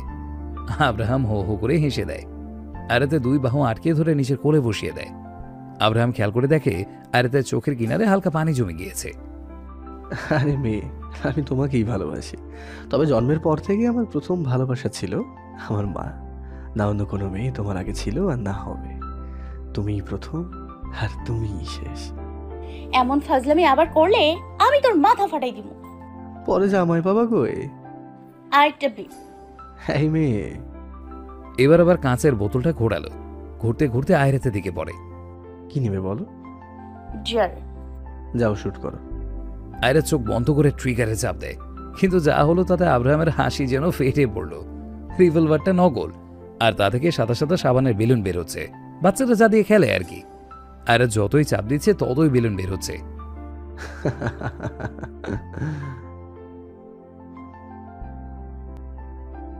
অবশেষে রাত বেশ ভারী হয়ে গেল। আয়রাত আয়নার সামনে দাঁড়িয়ে নিজের চুল বাঁধছিল। তখনই আব্রাহাম এসে আয়রাতের চুলে হাত দেয়। সে নিজে আয়রাতের চুলগুলো বেঁধে দেয়। বাধা শেষ হলে আয়রাতের কানের পাশে নিজের মুখ নিয়ে আলতো করে বলে ওঠে বেবি গার্ল। হুম প্রথম দিন তো এক রাতে বউ হওয়ার অফার করেছিলাম। রাজি হলে না। এজন্য সারা জীবনের জন্যই বউ বানিয়ে দিলাম আব্রাহাম আয়রাতকে ফট করে নিজের কোলে তুলে নেয়। আয়রাত প্রথমে অবাক হলো আব্রাহাম তাকে চুপ করিয়ে দেয়। আব্রাহাম গিয়ে আয়রাতকে সোজা বিছানার উপরে ফেলে দেয়। ধীরে ধীরে আয়রাতের দিকে এগিয়ে আসে। আব্রাহাম বেবি গার্ল আমি আমার বিয়ের সেই প্রথম রাত্রে তোমার পাগলামির জন্য নষ্ট করেছিলাম। কিন্তু আজ আজ আমি আর পারব না সেটা। আজ তোমাকে আমার লাগবে। I need you and I want you Ayrat আর কিচ্ছু বলে না। আব্রাহাম আয়রাতের হাত দুটো বিছানার সাথে চেপে ধরে ঠোঁট জোড়া নিজের করে নেয়। পরক্ষণে আবার আয়রাতের ঘাড়ে নিচের মুখ ডুবায়। সেই রাতটা তারা দুজন দুজনাকে ভালোবাসার চাদরে মরিয়ে নিল। পরের দিন সকালে আয়রাত ঘুম থেকে উঠে আরমোনা ভাঙছে। তখনই আয়রাত সামনে তাকিয়ে দেখে খুব সুন্দর করে লেখা happy third marriage anniversary Ayrat দেখে অবাক। আয়রাতের মনেই ছিল না প্রায় আজকের দিনটা। আর মনে না থাকার আরও একটা কারণ হচ্ছে যে গতকাল আবার আব্রাহাম আয়রাত বিয়ে করেছে। তার মানে তারা যখন একদম প্রথম বিয়ে করেছে এটা তখনের মানে আজকের দিনটাই। আয়রাত উঠে গিয়ে ফুলানো বেলুন দিয়ে সুন্দর করে লেখাটার কাছে গিয়ে দাঁড়ায়। আয়রাত এক গালে হেসে দাঁড়িয়েছিল। তখনই আব্রাহাম এসে পেছন থেকে আয়রাতকে জড়িয়ে ধরে তার কানে নিচে ঠোঁট লাগিয়ে বলে ওঠে happy third marriage anniversary baby girl আপনার মনে ছিল? আরে তো মনে থাকবে না। কি মজার ব্যাপার তাই না? গতকালই আমাদের বিয়ে হলো আর আছি কিনা অ্যানিভার্সারি আরে কাল তো তুমি বলেছ তাই। নয়তো আমরা আমাদের একদম প্রথম বিয়ের অ্যানিভার্সারি সেলিব্রেট করব ওকে? ওকে তবে আপনি তো আমাদের সেকেন্ড অ্যানিভার্সারিতে ছিলেন না। এখন তো আছি। হ্যাঁ। তখনই আয়রাতের ডাক পড়ে তার দাদির কাছ থেকে। আয়রা দ্রুত নিচে চলে যায়। তবে আয়রাত এই যে গেল নিচে ইলের কাছে আর আয়রাতের খবরই নেই। আব্রাহাম কিছু কাজ করছিল। কিন্তু প্রায় ঘণ্টা খানিক হয়ে যাবে আয়রাত নেই। এটা মনে পড়তে আব্রাহাম দ্রুত নিচে চলে যায়। আয়রাতকে খুঁজছে। রান্নাঘরের দিকে যেতে আব্রাহামের চোখ কপালে আয়রাত একদম শাড়ি পরে শাড়ির আঁচলটা কোনো রকমে কোমরে গুজে চুলগুলো খোপা করে রান্না করছে। ইলা হয়তো পরিয়ে দিয়েছে তা। আব্রাহাম রান্নাঘরের কিনারে এসে দুই হাত ভাঁজ করে আয়রাতকে দেখছে। আর আয়রাত এতই কাজে ব্যস্ত যে সে আব্রাহামকে খেয়ালই করেনি। আব্রাহাম আয়রাতকে আপাতমস্তক দেখতে লাগে। আয়রাত একটা অ্যাশ কালারের শাড়ি পরে আছে। আঁচল কোমরে কিছুটা গুঁজে দেওয়াতে কোমরে বেশ খানিক অংশ দেখা যাচ্ছে। চুলগুলো সামনে কিছুটা বের হয়ে আছে। গরমে ঘেমে গেছে। ফর্সা মুখে ঘাম কিছুটা মুক্তর মতো জল জল করছে। মাঝে মাঝে বেশ বিরক্ত হয়ে আয়রাত তার হাতের উল্টো পাশ দিয়ে কপাল মুছছে আর চুলগুলো পেছনে ঠেলে দিচ্ছে। ওদিকে আব্রাহাম যেন নিজেকে আর ধরে রাখতে না পেরে আয়রাতের পেছনে গিয়ে দাঁড়ায়। কোমরে শীতল স্পর্শ পেয়ে আয়রাত চমকে যায়। আব্রাহাম আয়রাতকে নিজের বুকের সাথে ঠেকিয়ে শাড়ির আঁচলটা আরও ভালোভাবে তার কোমরে গুঁজে দেয়। তারপর আয়রাতের কানে লতিতে একটা চুমু এঁকে দেয়। আব্রাহাম যান এখান থেকে কাজ করতে দিন। তুমি এই অবস্থায় কেন? যদি অনেক বেশি সুন্দর লাগছে তবে এই হাল কেন এই গরমে? আব্রাহামের এই কথা বলতে আয়রাত ঘুরে তার হাতে একটা বড় পাত্র নিয়ে আব্রাহামের দিকে ধরে। আব্রাহাম তাকে দেখে তাতে গরম ধোয়া ওঠানো বিরিয়ানি। না বেশি ভালো না বেশি খারাপ। ওই তো ওই আগের মতো। আপনি যেভাবে পছন্দ করেন আমার হাতে। বিরিয়ানি দিলে তাই আর কিছু বললাম না। থাক নয়তো এখন তোমার বারোটা বাজাইতাম। তুমি আমার আগে বের হও রান্নাঘর থেকে। আরে কো- আয়রা যাও। না না যাচ্ছি। আয়রাত সুরসুর করে বের হয়ে পড়ে রান্নাঘর থেকে। তারপর সবাই একসাথে বসে। অনেক আনন্দ খুশির ভেতর দিয়ে কেটে যায় সময়টা। এই তো এভাবেই চলছে আব্রাহাম আয়রাতের জীবন। আব্রাহাম যেন আয়রাতকে নিজের চোখে হারায়। আয়রাত রোজ অফিসে যায়। আব্রাহামও আবার তার অফিস সামলাচ্ছে সাথে নিজের দ্বিতীয় ক্যারিয়ারও। অর্থাৎ এখন অফিসের বস দুইজন। কাজ অনেক কিন্তু যাই করুক না কেন রাত দিন চব্বিশ ঘন্টাই তারা একসাথে থাকে। অফিসেও একই সাথে আর বাড়িতেও। তাদের যেন কোনো কিছুরই কমতি নেই। ভালোবাসা কাকে বলে? কেউ এদের কাছ থেকে শিখুক। অনেকেই বলে এই অত্যাধুনিক জেনারেশন নাকি ভালোবাসা নিতান্তই ঠুনকো। কিন্তু আব্রাহাম আয়রাত এই ধারণাকে একদম ভুল প্রমাণ করে দিয়েছে। আয়রাতের আব্রাহাম আর আব্রাহামের আয়রাত। একদিন বিকেলবেলায় গোধূলি লগ্নে আব্রাহাম আয়রাত বাগানের দোলনাতে বসেছিল। আয়রাত বসে আছে, তবে তার কোলে আব্রাহাম মাথা রেখে শুয়ে আছে। আকাশটা লাল কমলা রঙের রঙিন। পাখিরা তাদের কিঞ্চির মিচির ডাক তুলে তাদের নিরে ফিরে যাচ্ছে। মন মাতানো হাওয়া বইছে চারিদিকে। তার উপরে বাগানের সব ফুলের এক মাতোয়ার সুগন্ধি মিশে আছে। এই মনোমুগ্ধকর বেলায় আব্রাহাম আয়রাতের নেশাক্ত ভালোবাসা যেন নেশা ধরিয়ে দিচ্ছে। আব্রাহাম উঠে বসে পড়ে। আয়রাতের ঠোঁটে আলতো করে চুমো দিয়ে দেয়। তারপরে আয়রাতকে নিজের বুকে জড়িয়ে ধরে শক্ত করে আয়রাতও জড়িয়ে ধরে। আব্রাহাম তার এক হাত আয়রাতের কোমরে আরেক হাত দিয়ে মাথার পেছনে চুলের মাঝে মিশিয়ে দিয়ে রেখেছে। আব্রাহাম জামাইজান হুম বেবি গার্ল ভালোবাসি। ভালোবাসি। অনেক বেশি। এই বলে আব্রাহাম আয়রাতের মাথার উপরে একটা চুমু দিয়ে দেয়। তারা দুজন হয়ে রইল একে অপরের জন্ম, জন্মান্তরে চির সাথী হয়ে। পরিপূর্ণতা পেল আব্রাহাম আয়রাতের নেশাক্ত ভালোবাসা